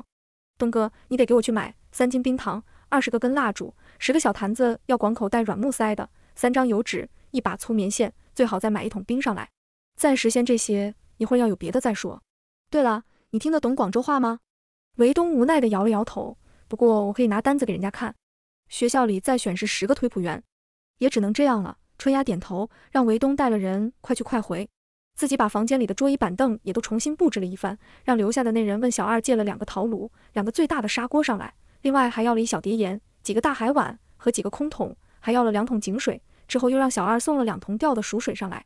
春丫这里刚七七八八的准备好，韦东便带着东西回来了。春丫也不需要他们帮忙，就让他们在外头待着，一会儿需要帮忙他会喊的。要用的小坛子、抹布全部事先全部用沸水煮了，消毒好，待一切准备就绪。春丫便开始做她的荔枝罐头了。这荔枝处理起来要尽量少的跟空气接触。春丫先剥了一部分荔枝，果肉用晾凉的熟水洗干净，然后去核，放入盐水里泡十分钟，然后再把处理好的荔枝放进烧开的冰糖水里，等荔枝浮起来，马上把荔枝糖水灌装进消毒好的小坛子，统共灌了四坛子。灌好之后，立马把四个小坛子放入另一个烧着开水的砂锅里，隔水煮上两炷香的时间，塞上软木塞，用融化好的蜡油封口。做好这些，坛子要马上投入冰桶降温，温度降得太慢，荔枝容易出铁锈红，到时候就没卖相了。被扔进冰桶的小坛子密封很成功，没有冒泡，妥了。菠萝罐头也是差不多的做法，不过盐水里浸泡的时间更久一些，为了去掉涩味。他以前没事做，就爱在家倒腾这些玩意儿，什么荔枝罐头、黄桃罐头、草莓酱、蓝莓酱，边听济公传边在厨房里忙活，是他最爱的解压方式之一。西式餐点他没啥天赋。但是折腾这些水果，他还是可以的。六坛水果罐头，忙了春丫整整一个晚上。当他终于做完，伸着腰开门，想要喊小二来帮忙收拾一下的时候，就看见门口齐齐坐了一排镖师，外加他爹。爹，你回来了？怎么睡在外头了呀？春丫推醒了已经睡得流口水的徐达。徐达醒来撸了把脸，才答道：“哎，早回来了。这不看你在里头捣鼓，怕影响你吗？怎么样啊？捣鼓好了没啊？”春丫挠头道：“现在还不知道，我是觉得没啥问题了，但是至于能不能成，还得回去再看。这糖水罐头只有做到彻底的杀菌密封，才能放得久不腐败。到底有没有做到彻底杀菌，那还得用时间来检验，一天两天是看不出来的。行吧。”徐达往房间里头走，我去。这还能睡吗？不过香倒是挺香的。那什么，还有这么些荔枝，要不给大家分分？好啊，给我留几颗。春丫也是懒得剥，就剥了不到三分之一。另外剩下的，明日也不好吃了，给大家分了算了。等分好荔枝，徐达喊了小二来整理房间。春丫给那小二塞了一把铜钱，小二笑眯眯的走了。春丫这才有空问徐达：薛青山那事儿妥了吗？妥了。你没看到冯捕头那眼神？看我们就像看二傻子似的，他还问了你们这千里迢迢的图啥呀？你们怎么回答的？嗨，全当出来玩一圈呗，哈哈哈，挺好挺好，公费旅游不是挺好吗？哪儿公费？我今天还费了八十两银子呢，报销啊，不然你妈那里我过不去呀。徐达想想就蛋疼，要不是这闺女，自己能在这出现吗？春丫只当没听到，又问那冯捕头没问干嘛把薛青山弄出去？问了呀，怎么没问？徐达想想那冯捕头调戏他和于捕头的眼神，他就觉得还得再来两杯，好让自己赶紧遗忘这一幕。自己讲，别老让我问。春丫剥了个荔枝往他爹嘴里一塞。徐达口齿不清地说道：“嗨，别提了，我就说这不看他老婆也跑了，老娘也死了，那个剿匪他不也有功吗？就全当帮他一把，日行一善呗。这他都能信？”春丫睁大眼睛问道。吐出一颗荔枝核，徐达嘬着牙花子道：“傻子才信。”可他信钱呢，五十两雪花银一出，你说薛青山是于捕头他爹，他都信。也是，春丫点点头。这县令一年不过五十两银子，他一个捕头一月才多少钱？金钱的诱惑还是无人能够抗拒的。而收了钱的冯捕头动作也相当迅速，当晚就花了二十两银子，直接买通了主簿。这么小的案子，主簿这边待审也没什么问题。趁着县令不在，他们俩就把这事儿给偷偷平了。到时候哪怕县令知道了，也不会过问这么小的事情。文书一换，大家各取所需。第二日一早，当除了镣铐的薛青山站在县衙门口，看到于捕头一伙人，他不可置信地揉了揉自己的眼睛。啧啧，是怎么惹？薛青山内心非常的惶恐，就怕这群神经病又要把他送回沛丰县。徐达上前说了一句：“大兄弟，你老婆带着孩子跑了。”这话成了压倒薛青山心理防线的最后一根稻草。他终于被这些日子以来的刺激给打到了，嗷唠一嗓子，晕了过去。爹，你有什么毛病？这人要是嗝了。那我不是白折腾了吗？说话怎么能只说半拉呢？春丫怒道：“我还半拉没来得及说，他自己昏过去了呀，这也能怪我吗？”徐达觉得自己无比冤枉。于捕头忍不住说道：“行了行了，他就是急的，我看也没啥事儿，给人带驿站去吧，咱们也回去整理整理，一会儿等他醒了就走。他是一刻都不想在广州多待了，看谁对他笑，他都觉得是在嘲笑他们。”冯捕头昨日的笑容让于捕头产生了巨大的心理阴影，于是，一行人回到驿站。留了韦东在马车上看好薛青山，等他们整理好东西出来，薛青山已经醒了。薛大哥，你不要急，这事儿不是你想的那样。你媳妇是以为你死了，才带着孩子回的娘家，你别听我爹瞎说。春丫见人醒了，赶忙上去解释，生怕他又急出个好歹。薛青山有气无力的点点头，嗯，知道惹，为兄弟跟我说过惹。那你看你还要回去拿什么吗？不回去的话，咱们这就找你媳妇去。春丫如此提议。不，不用惹。走吧，莫名得了自由身的薛青山，此时也急着去找自己的媳妇儿子。既然都达成共识了，那春丫也就不再跟薛青山客气。不过他还是在路过布店的时候，出钱给薛青山买了两身换洗的粗布衣衫，当时给他的一点点心理补偿。不知如何形容的这队人马重新出发，赶往福州闽县。这次他们赶得急，不消三日，马车便到了福州城，找了驿站稍事休息。春丫想着，关于去找番薯这事儿，本来也不在于捕头他们的职责范围。而且目前他还没把这东西弄到手。虽说于捕头他们这一路相处下来也算是很熟悉了，但是再熟悉，这于捕头也是卢县令手下干了那么多年的捕头。虽说不能妄加猜测这于捕头和卢县令之间的关系，但是留一手总归不会错的。于是春丫便让徐达提议，让于捕头他们在福州城休息两日，他们自己去闽县找人。这会儿才中午，他们准备现在就走，快的话也许明天就能回来，慢的话后天也肯定能回来了。如果后天晚上还不回来，那肯定是出了神妖事儿了。徐达请于捕头到时候带人去找他们。于捕头也根本不想掺和这父女俩的事儿，这荒唐的行程早已让这位干了二十多年捕快的人身心俱疲了。他现在只想找个小酒馆，独自喝上两杯。于是于捕头挥挥手道：“去吧，早去早回。这是薛青山的路引，你们带好，到时候你们得了要的东西，就让他自己回去吧。他再也不想看到这倒霉蛋了。”哎，行，那于捕头，咱们走了。说完这话，徐达一行就往闽县赶去。闽县离福州城不远。但是路却不怎么好走，等几人到达闽县的县城，这天都要黑了。薛青山急着去找老婆孩子，而春丫和徐达则觉得这会儿赶路太过危险，因为薛青山说他老婆娘家离这县城非常远，还有三路。没办法，再怎么着急，薛青山倒是想自己腿着先去，可以想自己腿上一夜，说不定还没人家马车赶上两三个时辰走得远。没办法，只能作罢。徐达找了家这县城最大的客栈入住，这出门在外啊，钱就不是钱了，反正怎么能造怎么造。闺女连昨日的八十两银子都没给他报，反正到时候也免不了张氏的一顿胖揍，还不如用光拉倒，神清气爽。店家小二见徐达几人赶了三辆马车，虽然这个车夫比马壮，官差带小厮的组合他也不是很看得懂，但是这不重要，有钱才重要。喊人帮徐达他们安顿好了马车，引着徐达他们进店。小二问道：“哎，人民币？哎，井号百分号？井号人民币百分号？”徐达一旁的薛青山说道：“次问，嗯们，次换还四租店？次换也租店。”开一间上房，一间通铺。我要自炒面。春丫故意使坏，学着薛青山说话。徐达拍了一下春丫，好好说话，别逗薛兄弟。他也是为咱们才落下的这残疾。残疾人薛青山本来只觉得小娃调皮，可一听残疾二字，险些都要哭了。那个薛大兄弟，你别难过哈，你老婆孩子定不会嫌弃你的。看咱们都没嫌弃你，是不是？徐达安慰人起来，简直不给留活路。最后，在薛青山哭出来之前，徐达和春丫总算想起来还得靠他点菜，便言归正传，点了满满一桌，招呼薛青山来吃。薛青山摇头不说话，从桌子上拿个肉包子，坐在门槛上揪着吃。吃饱喝足，天色也黑了。春丫让薛青山告诉小二，给他们送点洗澡水上楼，自己则鼓足勇气去客栈后头的茅厕解决下生理问题。一鼓作气，再而臭，三而晕。春丫不消一分钟，就能完成在家十分钟才能完成的任务。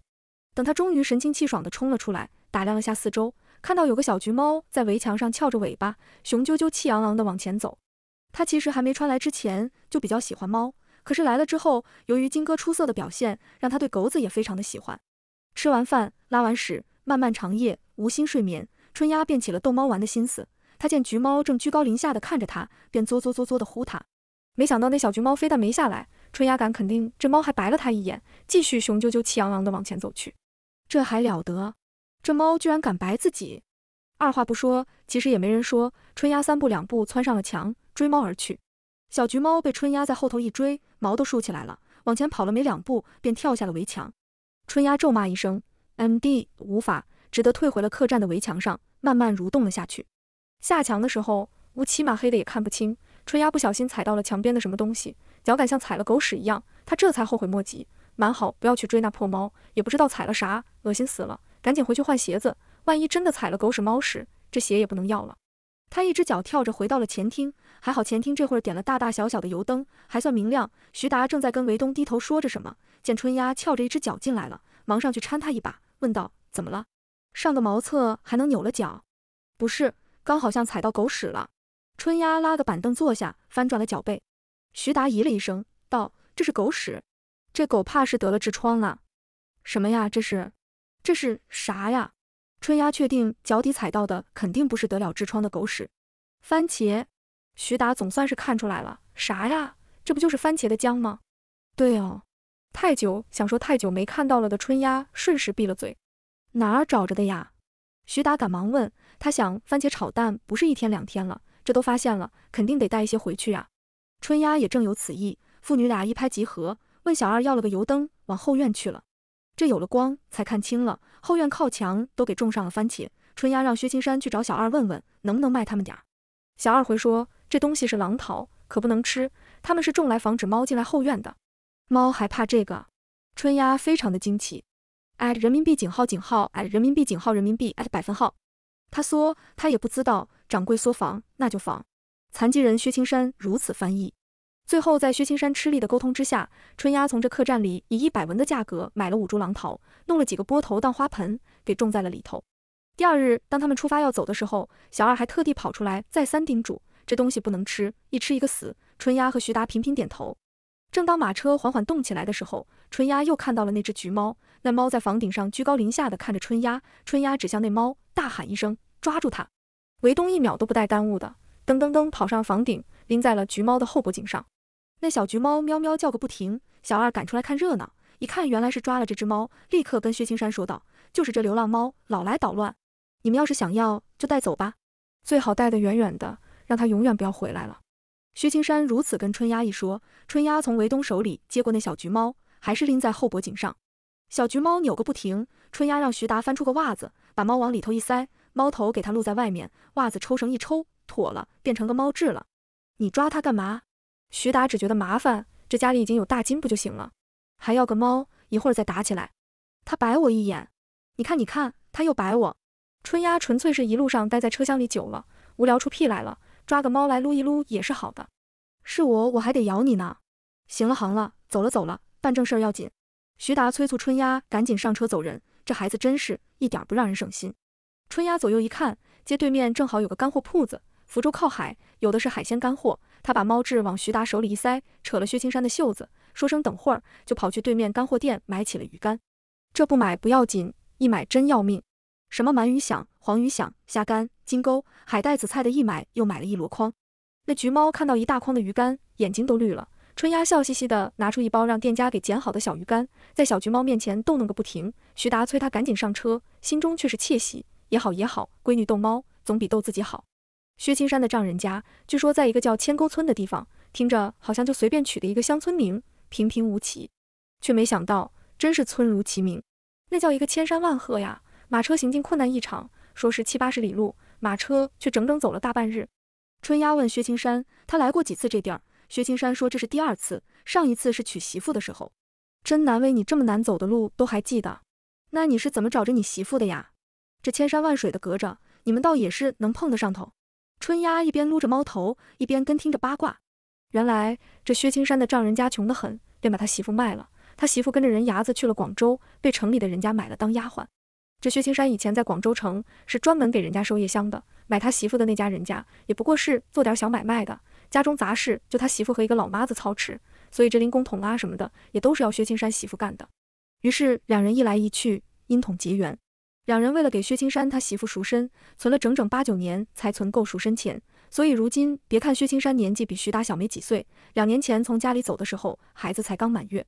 说话间，几人跟着薛青山的指引，到了他老丈人家。这地方要说穷，是真的穷，满眼望去全是土房子，要么就是木头随便搭的窝棚，歪歪扭扭，感觉碰一下就要倒。所以说，要致富先修路。他们这儿的路难走，也难怪穷了。薛青山他丈人家也算是这村里穷的别墅一致的了，拢共三间土房子，前头也没个围栏围墙的，直勾勾的就这么挺在那里，一目了然，很有辨识度。所以当春丫他们的三驾马车停在薛青山丈人家门口的时候，引来了周围一群人的围观。艾特美元井号百分号，艾特井号美元百分号，艾特井号美元。春丫就见一个三寸钉跑到薛青山脚边，不用说，肯定是那薛青山的儿子。为啥呢？因为这娃额头发际线处有颗超级大的痦子，跟个小龙人似的，跟薛青山额头上的痦子地方长得一模一样。就是薛青山头大，头发多，就显得不那么明显。只见薛青山慢慢蹲下身，抱着那三寸钉，呜呜呜的哭了起来。的确哈，薛青山这两年也不容易，这会儿峰回路转，看到自己亲儿子，那肯定激动啊。但是没激动多久，屋里头就走出两个老人，一个女的。那女的看到薛青山，喊一句：“井号人民币，百分号井号，爱着人民币。”便晕了过去，不愧是夫妻。众人手忙脚乱地安顿好了那女的，薛青山这才有空跟春丫他们介绍道：“这就是我媳妇云娘，这名是当初她做丫头的时候起的，后来叫得顺口了，便一直这么叫着。这两位是我丈人和丈母娘。我媳妇家姓林，家里还有个大哥。我丈人说大哥一家都去地里干活去了。”徐达点点头，跟那林老伯做了一揖，让薛青山说明来意，问问此地有没有姓陈的人家，有没有种番薯这种东西的。林老伯听着翻译，明显露出了惊讶的神情。两人叽里咕噜一阵说，薛青山才说，他们这几年前的确有官差来让种过番薯，那官差姓什么就不知道了。说是不止他们这儿，这十里八乡都让种了。不过他们也怕种多了占土地，也没多种，每家人家种个一起两起就是了。春丫忍不住惊喜出声，有就行了。咱们稍等。徐达转头对春丫说：“你怎么那么咋呼呢？”他拉了薛青山和春丫到房间外头，说道：“薛大兄弟，你说咱这一路照顾你照顾的怎么样？”薛青山有些不明所以，但是略一思虑，还是答道：“徐大哥对人似极好的。虽然他在剿匪的时候吃了些苦头，可这一路上也的确比别的犯人过得要好多了。徐达他们还花了那么多银子，免了自己的牢狱之灾，此刻与妻子团聚。虽然他有点怕徐达他们，但是内心还是很感激徐达他们的。那你就得帮帮咱们。”虽然我不了解你丈人家这民风如何，但是出门在外，咱们也不能不给自己留后路。万一咱们一会儿喊了说来收番薯，人家要是坐地起价怎么办？这儿离县里那么远，要是万一不小心漏财了，那什么，对不对？虽然徐达这么说，有点以小人之心夺君子之腹，但是这事儿还是得谨慎着些，以防万一。虽说他平日不怎么靠谱，在家靠媳妇，出门靠闺女，但是好歹以前没穿来之前，他也做过采购，什么大大小小的城镇乡村都去过。深知人性这事儿考验不得，爹还是你有见识。春丫不得不为徐达的社会经验竖起大拇指。那那嗯，要怎么帮你们？薛青山其实一点都不了解这儿的民风如何，但是徐达说的还是有几分道理的。徐达自己去薛青山老丈人旁边搬了把椅子往外走，跟后头的薛青山说：“你让你老丈人去把这儿的话事人找来，我来跟他说。你只要不拆穿咱们就行了。这一家一户的上门收，收到后天都收不完。”这事儿还是得找个统筹领导的人来统一说才成。这事儿薛青山觉得倒是简单，便应了一声好，找人去了。等到林老伯把村里的族长给找来之后，徐达和春丫才知道，他们整个村全部是姓林的，也没有村长，只有个里长，还在隔了两座山的隔壁村，所以这里族长就是话事人。还好那族长考过功名，会说一些官话，徐达跟他的交流还算顺畅。那个林族长，我们呢是县衙派下来收番薯的，之前让你们种的番薯。如果有多余的，都可以拿来，咱们以五文钱一斤的价格收走。他们南方目前还没受到旱情影响，粮价比较稳定。春丫先前去买干货的时候问了，在售的大米差不多是十三文一升，跟他们沛丰县没涨价钱的粮价差不多。按照这个价格，那大米收购价差不多在十文钱左右一升。以大米价格的一半来收购番薯，徐达和春丫都觉得这肯定是有一定诱惑力的。关键也不算坑人家老农吧？您是说您是县衙派来收购的？可有文书？那林组长倒也挺保险的。徐达拿出他们沛丰县的录引，上面写了他的官职相貌。所谓何事？所谓何事？那肯定不能给那林组长看啊！徐达把录引折着给林组长看了看，林组长看了看，又问：为何沛丰县的差人来咱们这闽县收番薯啊？这事儿您有所不知，北边如今旱灾，咱们县令就派了咱们一组人马出来收粮，做些储备。咱们也不是为了单收番薯来的。只是机缘巧合认识了这薛青山，他说这儿有番薯这东西，能吃还便宜，咱们就来了。徐达一番话，听得薛青山眼角直抽抽，是这样吗？是吗？这事儿我知道了。那差爷想收多少啊？林组长看着徐达带来的三匹马车，这匹马车能驮四五百斤，一辆还得坐人，差不多能收个一千来斤。春丫扯了扯徐达的袖子，徐达跟林组长说了句稍等，跟春丫走到一边，这才问道：怎么了，爹？有个问题，你有没有考虑过？咱们来收番薯是为了带回沛丰县给婷姐姐做生事的。我的计划是，这万一要是旱灾，大家日子过不下去了，咱们得拿着番薯煮了去城门口舍番薯汤。您看这儿没有里长，说明百户人家都没有，全收能收多少？咱们这番薯拿回去主要还是得种。您说，咱们这番薯如今带回去还来得及种吗？徐达咂巴了下嘴，说道：“估计来不及。这要是过了芒种再种，收不上来啊。更何况……”现在连苗都还没发，这茬肯定是来不及的。以前徐达也算是插过队，农业的基本常识还是有的。这番薯最好是三月种，过了芒种再种，那大概率只能收上苗来了。苗，要不咱们直接收苗，连土带苗一起起，运回去再移植，这样行不行？春丫也是突发奇想，这我不知道啊。徐达本来对这活也不是特别熟，何况又过了那么多年，实在是不确定。春丫看向薛青山，跟他挥了挥手。薛青山走过去问什么事儿，春丫便问。薛大哥，你问问你老丈人，他会不会种番薯？哎，行。薛青山点了点头，转头就问他老丈人去了。得到的答案是他不是很擅长，但是薛青山媳妇种番薯种得好，家里头番薯都是他种的，好多妇人见他种得好，都来问他讨教。徐达和春丫便又是一阵嘀嘀咕咕。最终，徐达跟林组长说好，番薯他们收，番薯苗也收，也是五文钱一株，还得请个会木匠活的，帮他们把马车车厢给改一改。林组长虽然觉得这人做事儿有点没头没脑，但是既然是为村里的人谋福利的，何况村里人赚点钱也不容易，家里但凡要卖点什么，都得走上大半天的山路才能到，这送上门来的买卖，不做他也怕村里人对他有意见。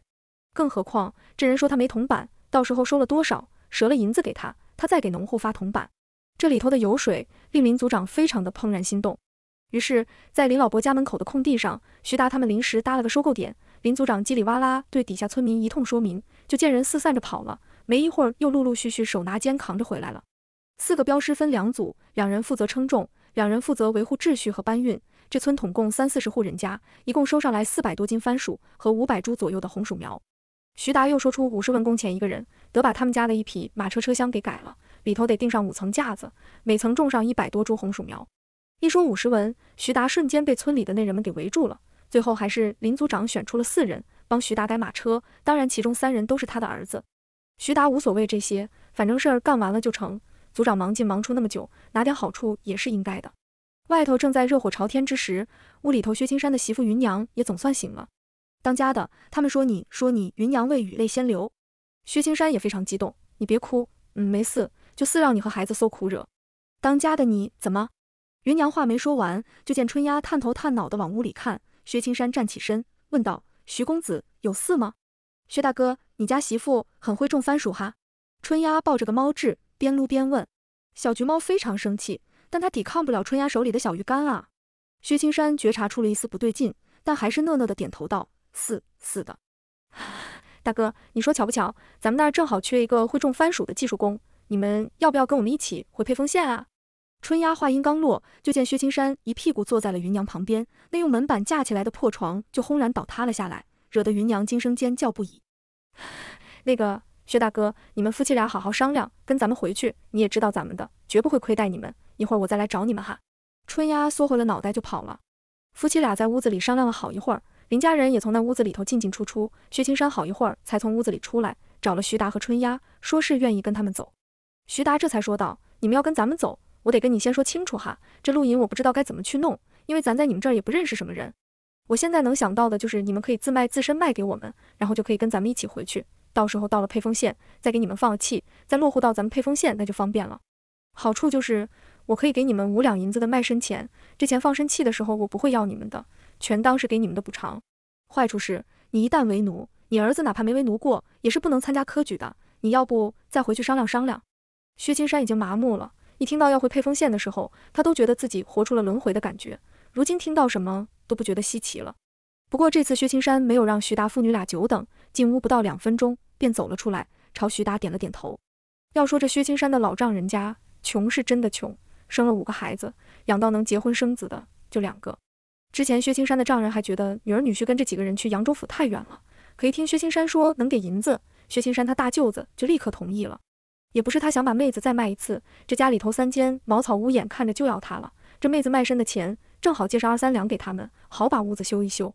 云娘虽觉得此去山高水长，不知何时才能再见爹娘兄嫂，可想着自此之后能跟相公长久在一起，不用再为生计所烦恼，何况还能帮上爹娘兄嫂一把，反正卖一次也是卖，卖两次也是卖，便也点头应了。他牵着孩子跟在薛青山身后，不知跟薛青山说了什么。薛青山带着他和孩子走到了春丫和徐达面前。徐头好，徐少爷好。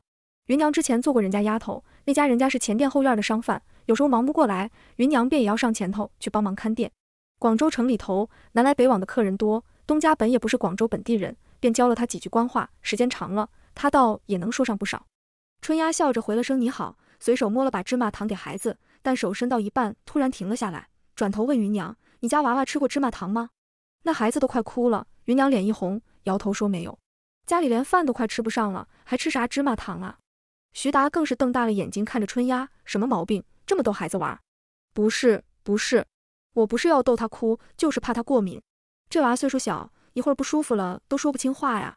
春丫突然觉得自己没事儿就爱给人塞芝麻糖的习惯是得好好改改，万一吃个啥过敏出来，她可就罪过大了。可孩子都看到糖在半路上了，还给他收回去，怎么可能不闹？无法，春丫只能掰了小小小小一块给他，让他慢慢含在嘴里吃。娃娃才点点头，挂着泪珠子，郑重其事地把糖塞进了嘴里。芸娘此时看着一脸无欲无求的薛青山，她很想问问这家人到底是怎么个品性，可她男人却望着远山，明显是走神了。此时也不好多问。如果他此时问了薛青山，那薛青山也只会回答四个字：习惯就好。徐达只交代了几句，明日天一亮就要走，让薛青山他们打包好要带的东西，便让他们夫妻俩早些去歇息。虽说云娘对春丫有点疑虑，但是见他们买来的那些番薯苗还摆在地上，便主动说先把番薯苗处理好了再去理东西。这一干就干到了后半夜，铲土、掺肥、种苗、浇水，再把种好的四板种苗都给固定在车厢里。一米多高的车厢分四层摆放，倒也差不多。这苗能不能活到沛丰县，就全靠芸娘的运气了。忙完这些，说到要休息了，众人才犯了难。薛青山丈人家统共就三间屋子，这么多人，哪怕叠起来住也不够住。虽说林组长客气的邀请徐达几人上他们家睡去，可徐达却婉拒了。多一事不如少一事，除了春丫被领进了芸娘他们暂住的屋子里，徐达睡在了马车里，四个镖师轮流守夜。于是第二日早起的村民便看到了三间土坯房，一车番薯，一车苗，居然还派了四个镖师值守的奇景。陈会完，陈会完，乡下人是真的看不懂。待到天色微亮，一行人也没早食吃，主要还是薛青山丈人家供不起那么多人吃早食。薛青山的丈母娘说，要不吃点番薯汤再走吧。但是春丫婉拒了，她包袱里还有些干粮，就别浪费人家的粮食了。一行人乘着晨光微露，匆匆离开了。这一走又是千山万壑的走了大半日，才到了闽县的县城。匆匆吃了点东西，去县衙办妥了卖身契和出行需要的文书。他们也不敢多耽误时间，就怕晚上赶不到福州城，误了跟余捕头说好的时间。因为另两辆马车都载了东西，所以春丫之前买的一箩筐的鱼干、几盆狼桃，还有薛青山一家三口，全跟春丫他们挤在一辆马车上。薛青山一路上已经适应了颠簸，可他媳妇儿却是吐了个昏天黑地。而春丫也被那一箩筐的鱼干熏得没了脾气，小橘猫却暴躁到不行，明明唾手可得的小鱼干，此时却吃不上一口，喵喵喵个不停。车厢里充斥着猫叫、小娃烦躁的吵闹声、呕吐声，还有咸鱼味儿。春丫只觉得自己快疯了，恨自己为什么非要去抓猫买咸鱼。她想走出车厢坐前头去，一开门却被路上的滚滚尘土又给赶了回来。转头看到藏在车座底下的几盆小番茄，也不管是不是要拿回家种了。随手掐了两个，往身上蹭了蹭，就要往嘴里塞。此时他就想吃点清清爽爽、酸酸甜甜的，来一解胸口闷的一口郁气。说时迟，那时快，这小番茄还没塞进嘴里，就被薛青山眼疾手快的给拍在了地上。那小番茄正巧滚在他躺在车厢地上的儿子手边。那孩子想也不想，捡起来就往嘴里一塞，嚼吧嚼吧咽了下去。肯定得快点吃啊，不然一会儿那小哥哥又该给他收回去了。薛青山震惊了，呆滞了两秒，大喊一声：“我的娃啊！”抱起孩子就痛哭起来，正把脑袋伸在外头吐个不停的芸娘赶紧把头缩了回来，急问怎么了。薛青山叽里哇啦一顿说，芸娘也大哭出声，两人抱着猛圈了娃，哭个不停。怎么办啊，徐大哥，我儿这是怎么了？这狼桃有毒，你看他都无法呼吸了。薛青山向徐达求救，薛大哥，你儿快被你勒死了，你松手。春丫掰开了薛青山的手臂，芸娘也是泪流满面，求春丫他们赶紧帮忙去找个医馆。救救孩子！这狼桃没有毒的，不信我吃一个给你们看看。春丫又想伸手去掐番茄，却被芸娘拉住了。徐公子，这可不能开玩笑，还请你赶紧找个医馆救救我吧。芸娘说完，便趴在地上磕起了头。春丫很无奈呀，他们这儿的人就是根深蒂固的相信狼桃有剧毒，再怎么说也是白费口舌。这古人相信，越是鲜艳的东西，越是不能吃，但其实都只是误解而已。这狼桃真的没有？徐达还想继续解释。春丫打断了他，说道：“这样，我娘给我带了他们药房配的解毒丸，说是能解百毒的，卖的可贵了，十两银子一丸呢。我娘怕我到了新的地方乱吃东西，特地给我带了两丸，要不让娃试试。”说完，他便掏出个小木盒，从里头拿出一个大药丸，递给芸娘。芸娘这会儿早慌了神，一说有解毒丸，立刻伸手接了过来，道声谢，便往娃娃嘴里塞。那娃本不要吃，抗拒的很，可嚼巴了两下，觉得味道还不错，吃了一丸，伸手还想要。春丫笑说：“这就行了，定不会有事了。”芸娘这才放下心来，薛青山也才有空把鼻涕眼泪给抹在了衣袖上。这药丸是个啥呢？其实就是山楂陈皮鸡内金加了蜂蜜搓成的丸子。张氏怕春丫吃多了不消化，就特地给她带上，让她吃成了泡水喝的，酸酸甜甜，还挺好吃。那娃自然吃得下去。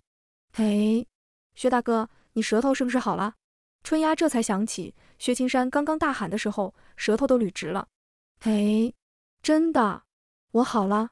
芸娘，我是不是好了？嗯，当家的好了。芸娘激动的猛点头。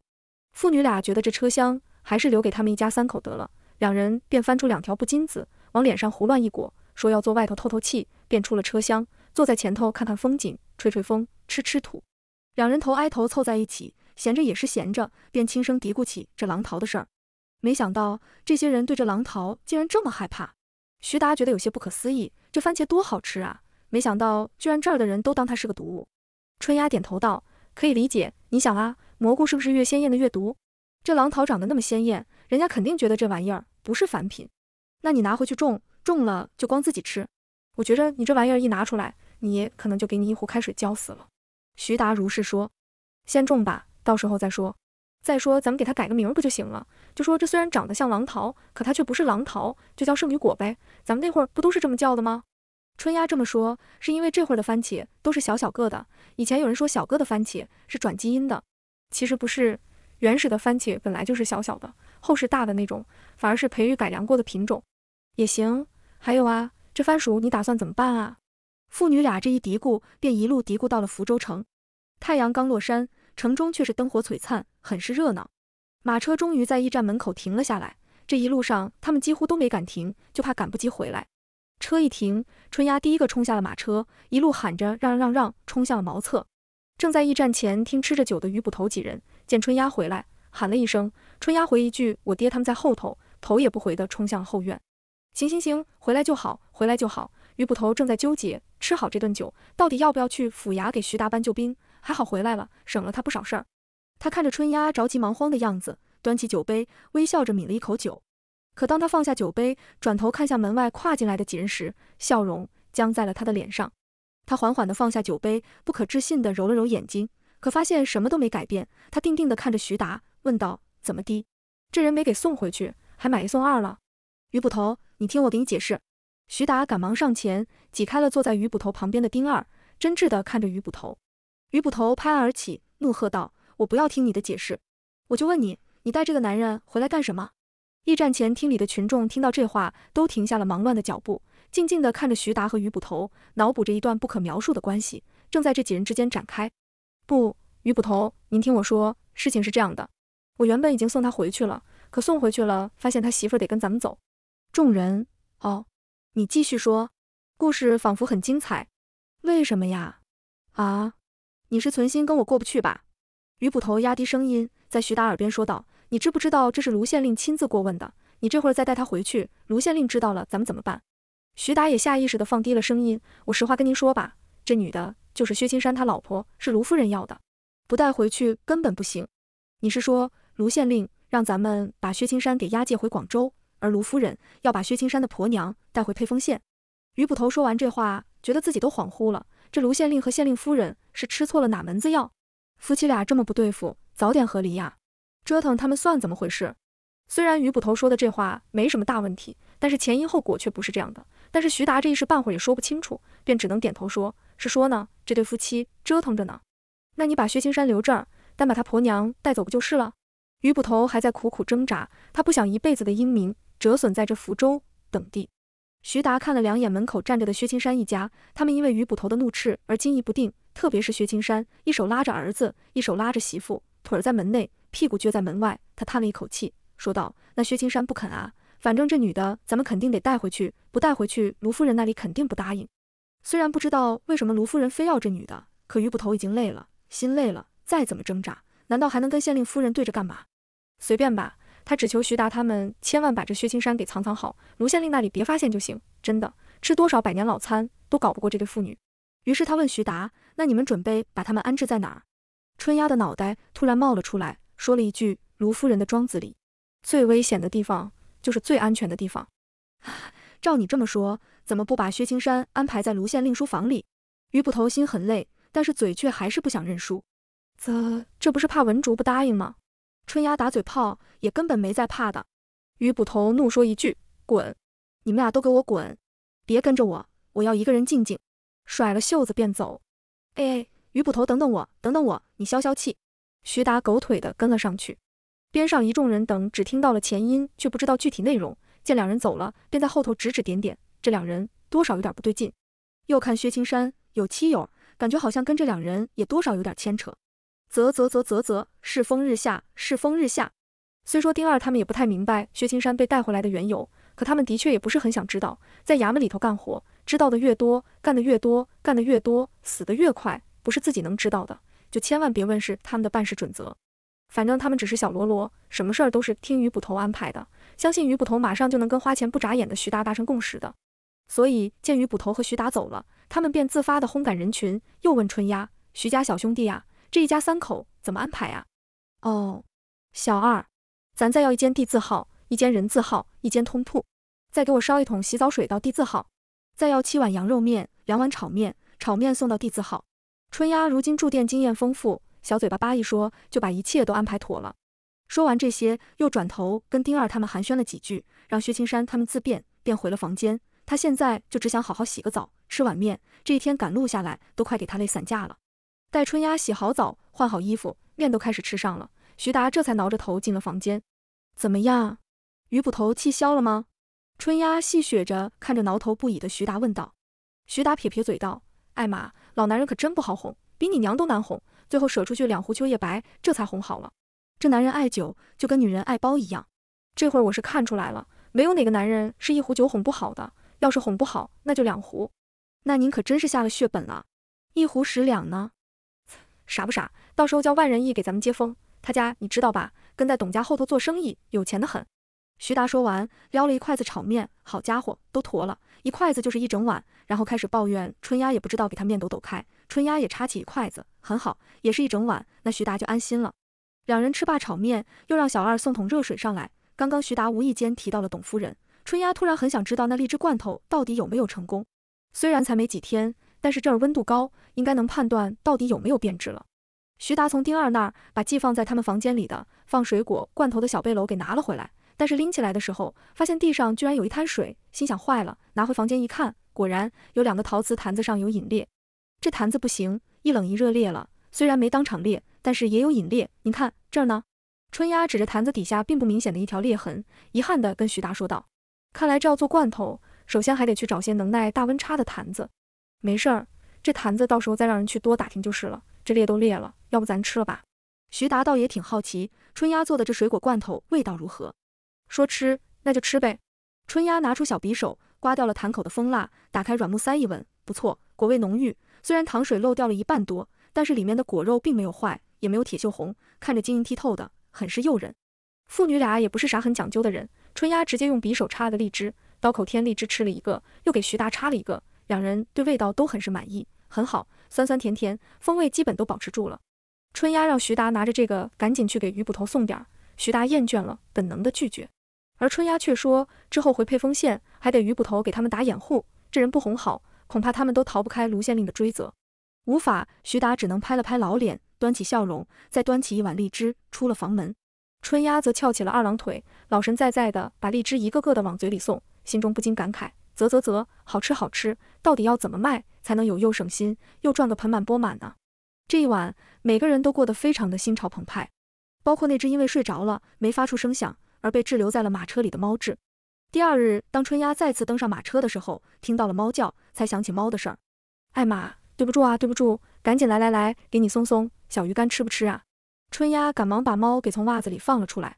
小橘猫想马上走，可眼看着春丫手里的小鱼干却迈不动爪子，最后还是接了鱼干，趴在春丫脚边嚼巴了起来。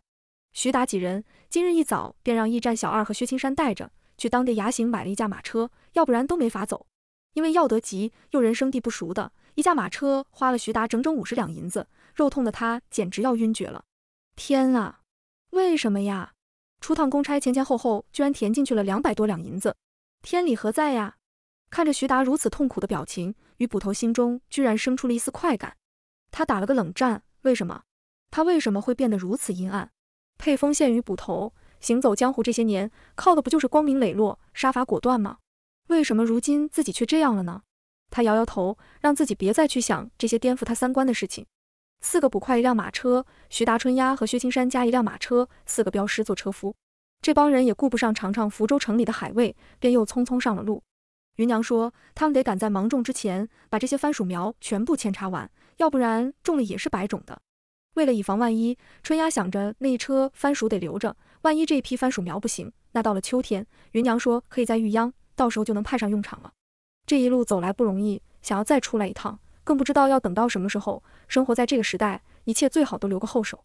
一行人日夜兼程，芸娘虽说每日也是吐到眼泪鼻涕一大把，但是从未叫一声苦。照看番薯苗也是尽心尽力。虽说平日坐在车上也不太说话，可春丫对他的印象却很是不错，能看眼色，话又不多。这样的人推荐给婷姐姐，她也放心。小橘猫一路上逃跑了三次，可每次逃了不到一晚，便又乖乖回来啃鱼干。最后，她也接受了命运的安排，一只福州猫不远千里朝沛丰县而去。终于，在赶了九天路之后，他们看到了沛丰县的城门。我回来啦！在进入城门的那一刹那，春丫抑制不住内心的激动，伸出头去喊了一嗓子。正在送外卖的小四听到声音，瞪大了眼睛，喊了一声：“春丫姐！”春丫连忙把脑袋缩进了车厢，被徐达拍了一巴掌，叫你别嘚瑟，叫你别嘚瑟。这是怕人卢县令不知道薛青山又回来了是不是？坐在一边的薛青山偷偷的撩起了车窗帘子，叹了口气，才跟芸娘说道：“媳妇，沛丰县又到了。进城之前的最后一站，徐达他们就说好了，一会儿到了城里，徐达上于捕头他们的马车，镖师们把另三架马车直接拉到文苑街就行。四架马车进了城门便停了，三架直奔文苑街，而于捕头则赶着最后买的那架马车，带着差人们回了县衙。时隔一月。”当于捕头再次站在沛丰县县衙大门口时，只觉得恍如隔世。这一个月来，真是鬼知道他经历了什么。此刻，他只想回到自己熟悉的灶房，闻闻那熟悉的汗骚味，再次感受一下什么叫人间真实。门口衙役见于捕头站在门口，神色又是惊奇又是尴尬，也不知道怎么上前招呼。见于捕头眼神扫到了他们身上，才急忙开口道：“那个，呵呵呵，于捕头回来了呀。”后头的徐达、丁二他们互看了一眼，这衙役说话的神色很是奇怪。他们不在的这段时间是出了什么事儿了？难道县令换人了？正当几人要迈步进衙门之时，就见崔都头从里头出来了。见到几人，明显一愣。徐达快步上前跟崔都头打了个招呼。崔都头把徐达拉到一边，问道：“怎么这么快就回来了？”我买了个马车。徐达如实回答。崔都头点点头，这行事风格他颇为熟悉，的确是徐达的平日做派，没错了。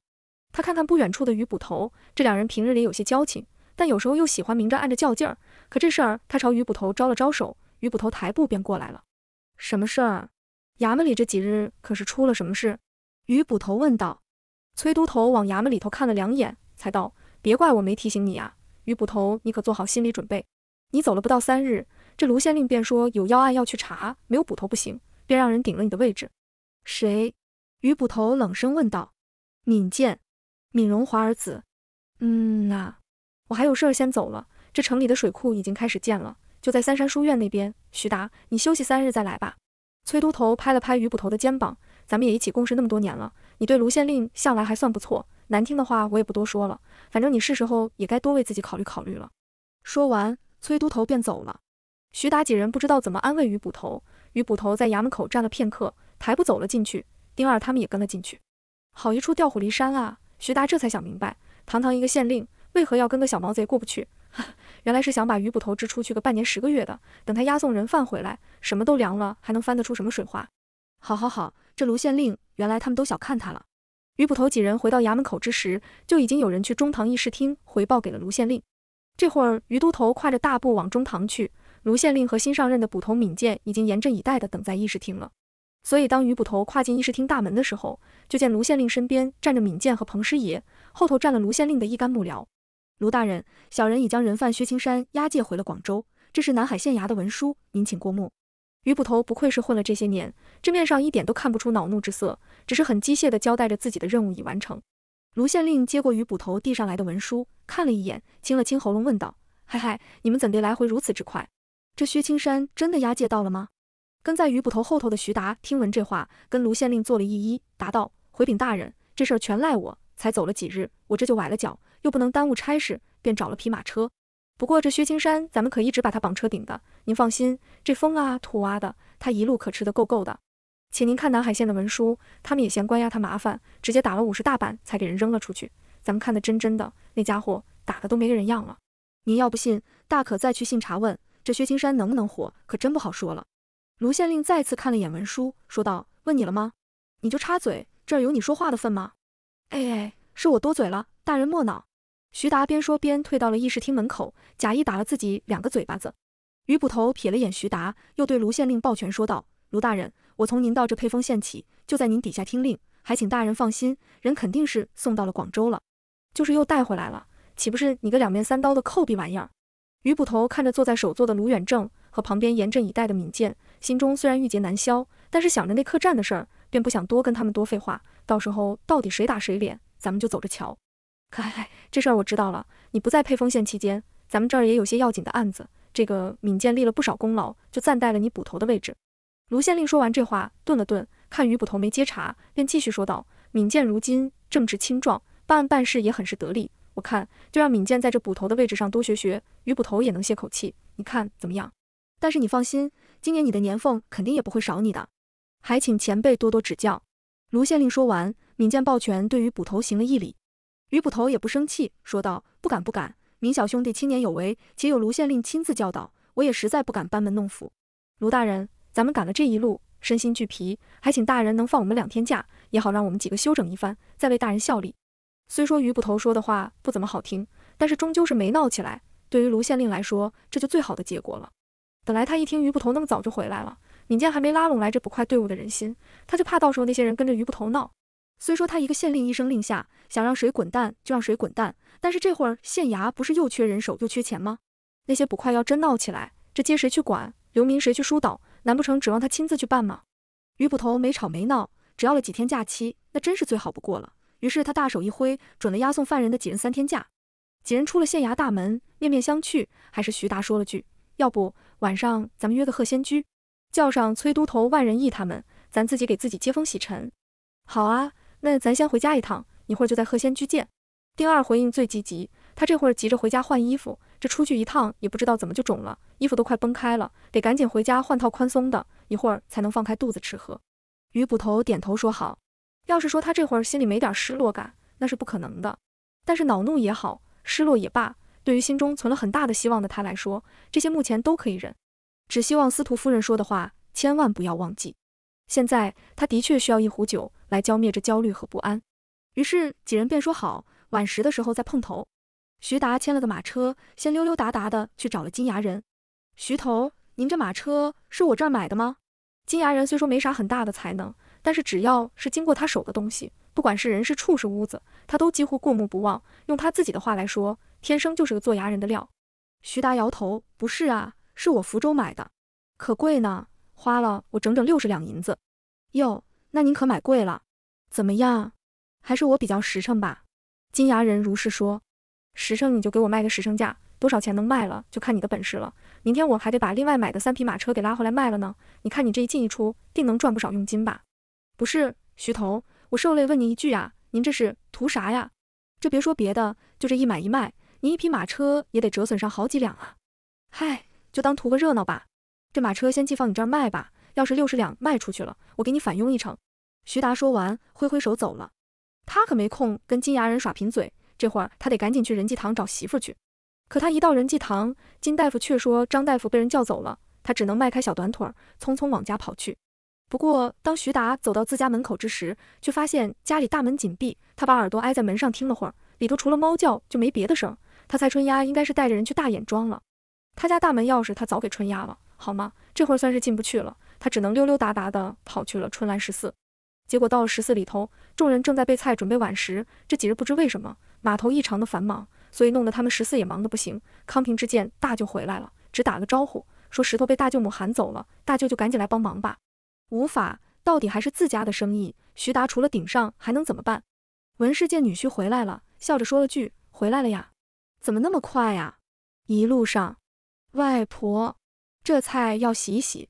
厨房里头探出个盖头的脑袋，他如今随着石头他们叫外婆叫的可顺溜了。他一看徐达回来了，赶忙喊：“大伯呀，回来了呀，有空没？赶紧来帮忙把那五花肉过个油，不然晚上来不及蒸了，好吗？”家里人热情倒是很热情，不过就是热情的让他做帮工，今天依旧是个工具人。可他还能怎么办？只能回了一声：“来了。”就屁颠屁颠的跑去帮忙了。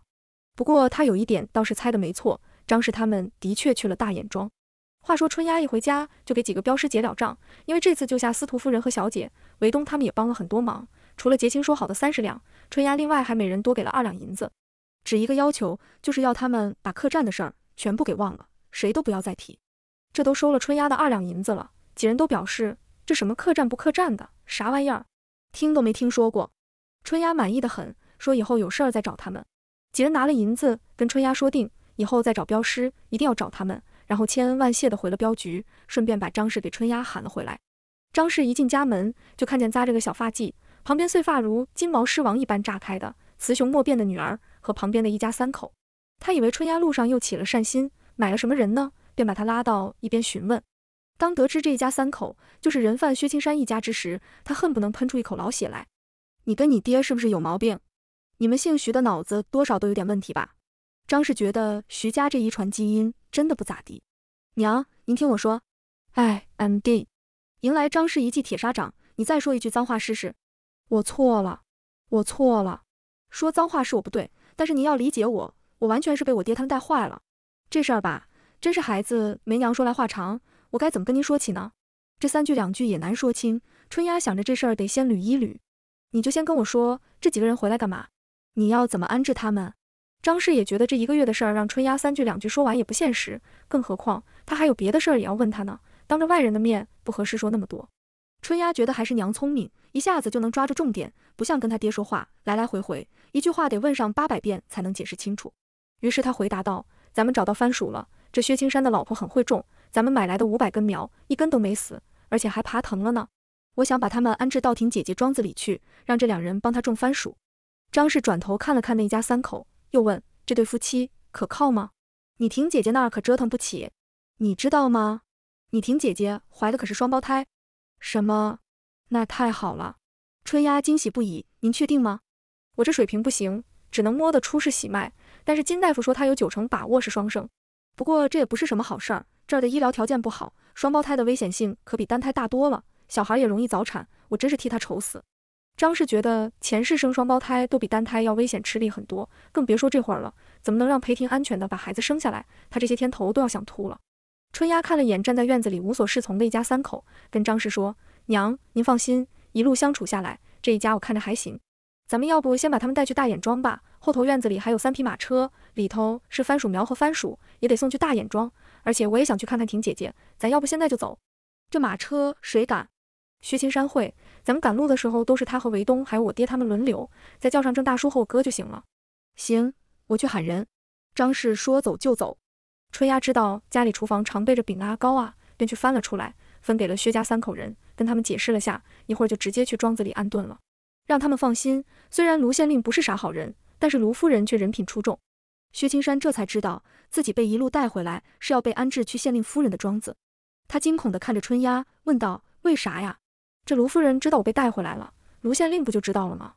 那我还活不活得了啊？放心，卢夫人不会告诉卢县令的。这世界上的夫妻千千万，又不是个个都像你跟你媳妇那么恩爱的。再说，真要弄死你，咱们还千辛万苦把你带来干嘛？让你在广州自生自灭不就好了？听了春丫的解释，薛青山丝毫没觉得轻松，反而更加忐忑了。这一路上妖怪事儿他见的难道还不够多吗？等张氏带着郑山富和石头回来。春丫匆匆和他们打个招呼，让他们各自选了马车，这会儿得赶紧走了。石头见着妹妹很是高兴，说是要赶载人的马车，好跟妹妹说说话。别，不用大哥，这车让薛青山赶吧，他不认识路，咱们也好给他指路。你赶那个番薯的车，慢慢来，不用急。说完，便把马车的鞭子硬塞给了一脸震惊的薛青山。当然，一脸震惊的不仅仅只有薛青山，还有芸娘，因为刚刚石头喊了几声妹妹，他们才知道这位小兄弟居然是个女娃。谁家女娃这样婶啊？吃饭翘脚，睡觉磨牙，挖鼻屎，抠屁眼，真是什么都干得出来。跟他爹更是摸头摸脸摸耳朵，一点都没有忌讳的。谁家女儿这样啊？疯了！薛青山疯了！他哈哈哈哈哈哈的笑声迎着风飘散在了南城门外的官道上。等到了大眼庄门口。薛青山终于因为吃了太多饭而打起了嗝，癫狂的笑声也戛然而止。春丫，这人真的没问题吗？张氏低声问了句。春丫，春丫点点头，说道：“娘，放心，没问题。主要您不知道他这一路都经历了什么，可能情绪需要释放，释放完了就好了。您看他不是不笑了吗？张氏狐疑地看了两眼薛青山，总归觉得这个人精神状态不太稳定，一会儿还是得跟胡庄头说一声，得多关注关注这个人。石头的马车还没到，春丫让郑山富在门房处等等石头，一会儿让他们一起回去。另两辆马车则交给了赶来牵马的下人。众人随着春丫走进了大眼庄。郑山富这一等就等了小半个时辰。大眼庄里头种的辣椒只成熟了一部分，原本想着这些辣椒到时候都得拔了，可如今带回来的秧苗，哪怕扦插了，大概也只够一亩用的。当初想的太简单，真正做起来才发现，这种番薯的确也不是想怎么种就能怎么种的。春丫几人还未到裴婷的院子门口，就见陈妈妈已经迎了出来。春丫小姐，你可回来了，咱们夫人天天念叨你呢。哈哈，我也想着姐姐呢。姐姐这几日可好？春丫边问边往里头走。这头春丫话音刚落，裴婷就一手托着腰，一手摸着才两多月的肚子，迎了出来。春丫，你可算回来了。两人见面，自是一番嘘寒问暖。春丫把薛青山的事儿跟裴婷一说，裴婷憋不住笑出了声，哈哈哈哈！你是说我家老爷千里迢迢给打回原籍的人，你这千里迢迢又给我弄回来了？哈哈哈哈！陈妈妈，快快给我倒杯水，我笑得上不来气儿了。哈哈哈哈哈！陈妈妈赶紧让观音奴倒杯温水来。张氏给裴婷拍着后背顺气。裴婷喝了两口水，终于停住了笑，擦了擦笑出来的眼泪，道：“这也太荒唐了！这要是老爷知道了，可不得气出个好歹来！”哈哈哈哈！好，办得好！裴婷说完，看向一脸莫名的薛青山夫妇和明显被今日这些精神不正常的大人给吓着薛家小子。他朝薛家小子招了招手，随手拿块桌上摆放的蝴蝶酥递给他。那小孩想拿又不敢拿。春丫接过蝴蝶酥，蹲下来塞给了他。这位是卢夫人，人好着呢，你不用害怕。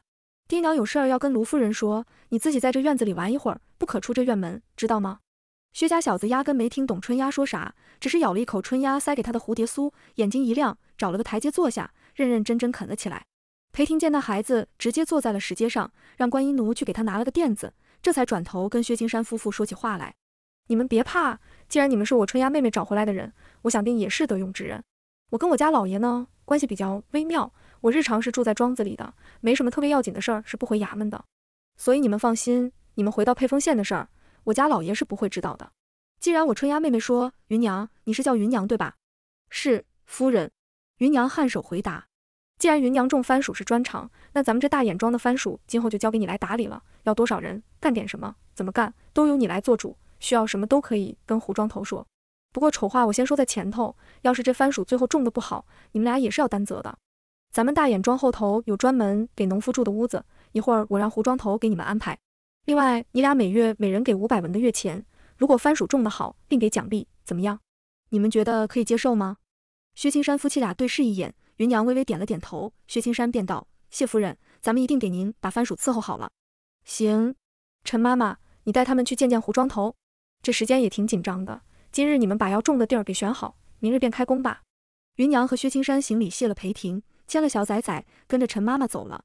待三人走后，春丫才连连恭喜裴婷怀了双胞胎。裴婷脸上的笑怎么都藏不住，只有张氏在一旁不停叮嘱着这个那个的注意事项。婷姐姐，你这怀孕的事儿，卢县令知道了吗？春丫突然问道。裴婷一愣，拿了帕子擦了下鼻尖，才道：“我家老爷最近不是忙吗？我也不太好去打扰他，还没说呢。那姐姐这是准备肚子大了，让卢县令自己发现？”春丫觉得裴婷这点上挺拧巴的。孩子要生，相公却不想搭理，但是也算可以理解，毕竟一直接触的大环境不同，想法肯定也不会一样的。过了三个月吧，稳当了再说也行，也不差这十天半个月的。一旁的张氏如是说，他是在婚姻里摸爬滚打过几十年的人，看过太多的夫妻，每家人家都有每家人家的相处之道。总之，裴婷觉得这样能过，那就这样吧。作为外人，他们只有善意的建议，不能强行让他怎样。嗯，我听兰姐的。裴婷低下头摸了下肚子。突然想起什么，说道：“春丫，这次跟你去的鱼捕头被那曹帮姓闵的儿子给顶掉了位置，你知道吗？”啊，为什么呀？春丫惊讶地问道。“你们走之前不是下了一场雨吗？那会儿别的镇子纷纷都说不修水库了，但是据说上头派下来的任务是每个县必须修建满足四分之一人口用水的水库。本来我家老爷那头算下来，四个镇加县城五个库加起来，差不多能满足四分之一人口的用水。”但是其余三个镇一下子都说不修了，人家乡绅都不愿意掏钱了，那咱们县城这头的水库就必须修大一些。但是他又不愿意把朝廷的拨款都拿出来，实话实说，本来拨款也没多少，他又想这里扣一点，那里坑一把，这笔拨款早就被他弄完了。没办法，他只能重新筹款。反正最后姓闵的出了一千两，但是前提是闵建德去县衙里头做上一官半职。这事儿其实早就有了，只是等闵健突然被提拔了捕头，文竹来说，我才知道。如今咱们县城里头的漕运码头的泊位，不管是官家的还是私家的，可都是他们曹帮说了算了。其余不够的钱，陈家出了一千两，我这里又拿了五百两，还有董家本来就出了一千两，后来被他三番五次的找上门，又多拿了八百两出来。别的富户乡绅这里要点，那里要点，最后多筹了大概近四千两，这才开始动工修起了大水库。不过我出那五百两的时候就跟他说好的，选址就选靠近城南，不然我也不出这个钱。陈家那头估计也是这么说的，不然我看他们一向来不太操心这些事儿，这次居然也拿出了一千两。后来水部的人来看了看，说三山园那边正好有配合的支流流过，修建水库倒是也行。所以你们上摘星阁去看看，那水库正好修在咱们庄子和三山书院之间，要是真旱了，咱们庄子取水也挺方便。听裴婷这么一说完，春丫突然就笑了起来。张氏和裴婷被春丫笑得莫名其妙。张氏问他：“你魔怔了呀？笑个什么劲儿啊？今天这一个个的怎么都跟吃错了药一样，一会儿一个哈哈哈，一会儿一个哈哈哈，这空气是有什么问题吗？”婷姐姐。天助你也！春丫激动地摸着裴婷的手，虽没有司徒若梅的那么仿若无骨，但却胜在肉嘟嘟、粉嫩嫩，也好摸。多摸两下，怎么说？裴婷不自觉地把身子探向春丫，因为于捕头要高升了，你们等着，不出一个月，他去府衙的调令定会下来。卢县令如今得罪了于捕头，婷姐姐，你正好可以把他拉到你这边来。春丫摩挲着裴婷的手，这般说道。张氏皱眉道。你把话说说完整，到底怎么回事？你怎么知道于捕头要高升了？于是春丫便这般那般的把在那龙门客栈的事情跟张氏和裴婷说了大概。这两人听完，皆是一脸错愕的看着春丫，怎么还会有这样巧合的事情？我说呢，怎么会有司徒家的人送什么小姐的帖子过来，让你去什么集集宴？原来是这么回事。张氏这才恍然大悟，我这会儿脑子有些乱，你们让我捋一捋。这司徒夫人暗示要提拔于捕头。这事儿听着跟我关系好像也不是很大呀，更何况我如今还是名义上的卢夫人。这裴婷其实心里也是一团乱麻，一时理不清这里头的关系。春丫笑道：“姐姐，你不用想这些，这些你就交给我爹。到时候于捕头要调任府衙，您送上宜城就行了。于捕头去了府衙，那上面的消息，咱们比卢县令可要知道的早不少。现在虽说看不出有什么好处，但是多层关系多条路，这个关系维系着，以后说不定就用上了。”对了，您再去打听打听，你们家有位族亲在府衙做刑房京城，这次咱们也遇上了，他说不定这次也能升一升，您可以跟他家逢年过节的走动一下，问个好，送个礼什么的。裴婷这才仿佛松了口气般说道：“出钱就行是吧？那就好，我除了出钱，别的事儿可真不是很在行。”说完，自己便又笑了起来。多好啊，出钱就能办妥各种事儿，比以前在府里跟老太太和小妾斗天斗地可简单多了。裴婷表示很满意。安排好了薛青山的事儿，又说了会儿话，天色也不早了。春丫说三辆马车就拜托裴廷帮找牙人来卖了，自己便和张氏坐着大眼庄的马车走了。母女俩坐在马车里，张氏这才有空问问春丫这一路的经历。春丫挑不会被骂的说了，顺便还告诉了张氏，他爹出个差，花了二百多两呢。你跟你爹两个就少在我这里互相揭短了。张氏拍了拍裙子上的灰，一脸了然地看着春丫，继续说道：“不过话说回来，你这番薯也弄回来了，府衙的关系也攀上了。”我总觉得你好像有一种想要征服这个朝代的感觉，我就想问问你到底打了什么算盘？你先告诉我，到时候改朝换代了，我心里也好有个准备。哈哈，娘你也太会开玩笑了，我哪儿有那本事啊？这不是正好是赶事的赶上了吗？改朝换代那是不能够的。但是娘，我跟您说，我又想出来个赚钱的法子。闭嘴，我不要听。不是，这事儿很简单，您听我说。不听不听，王八念经。我不要听。你不要跟我说，你去找你爷爷说，娘，您听我一句，就一句。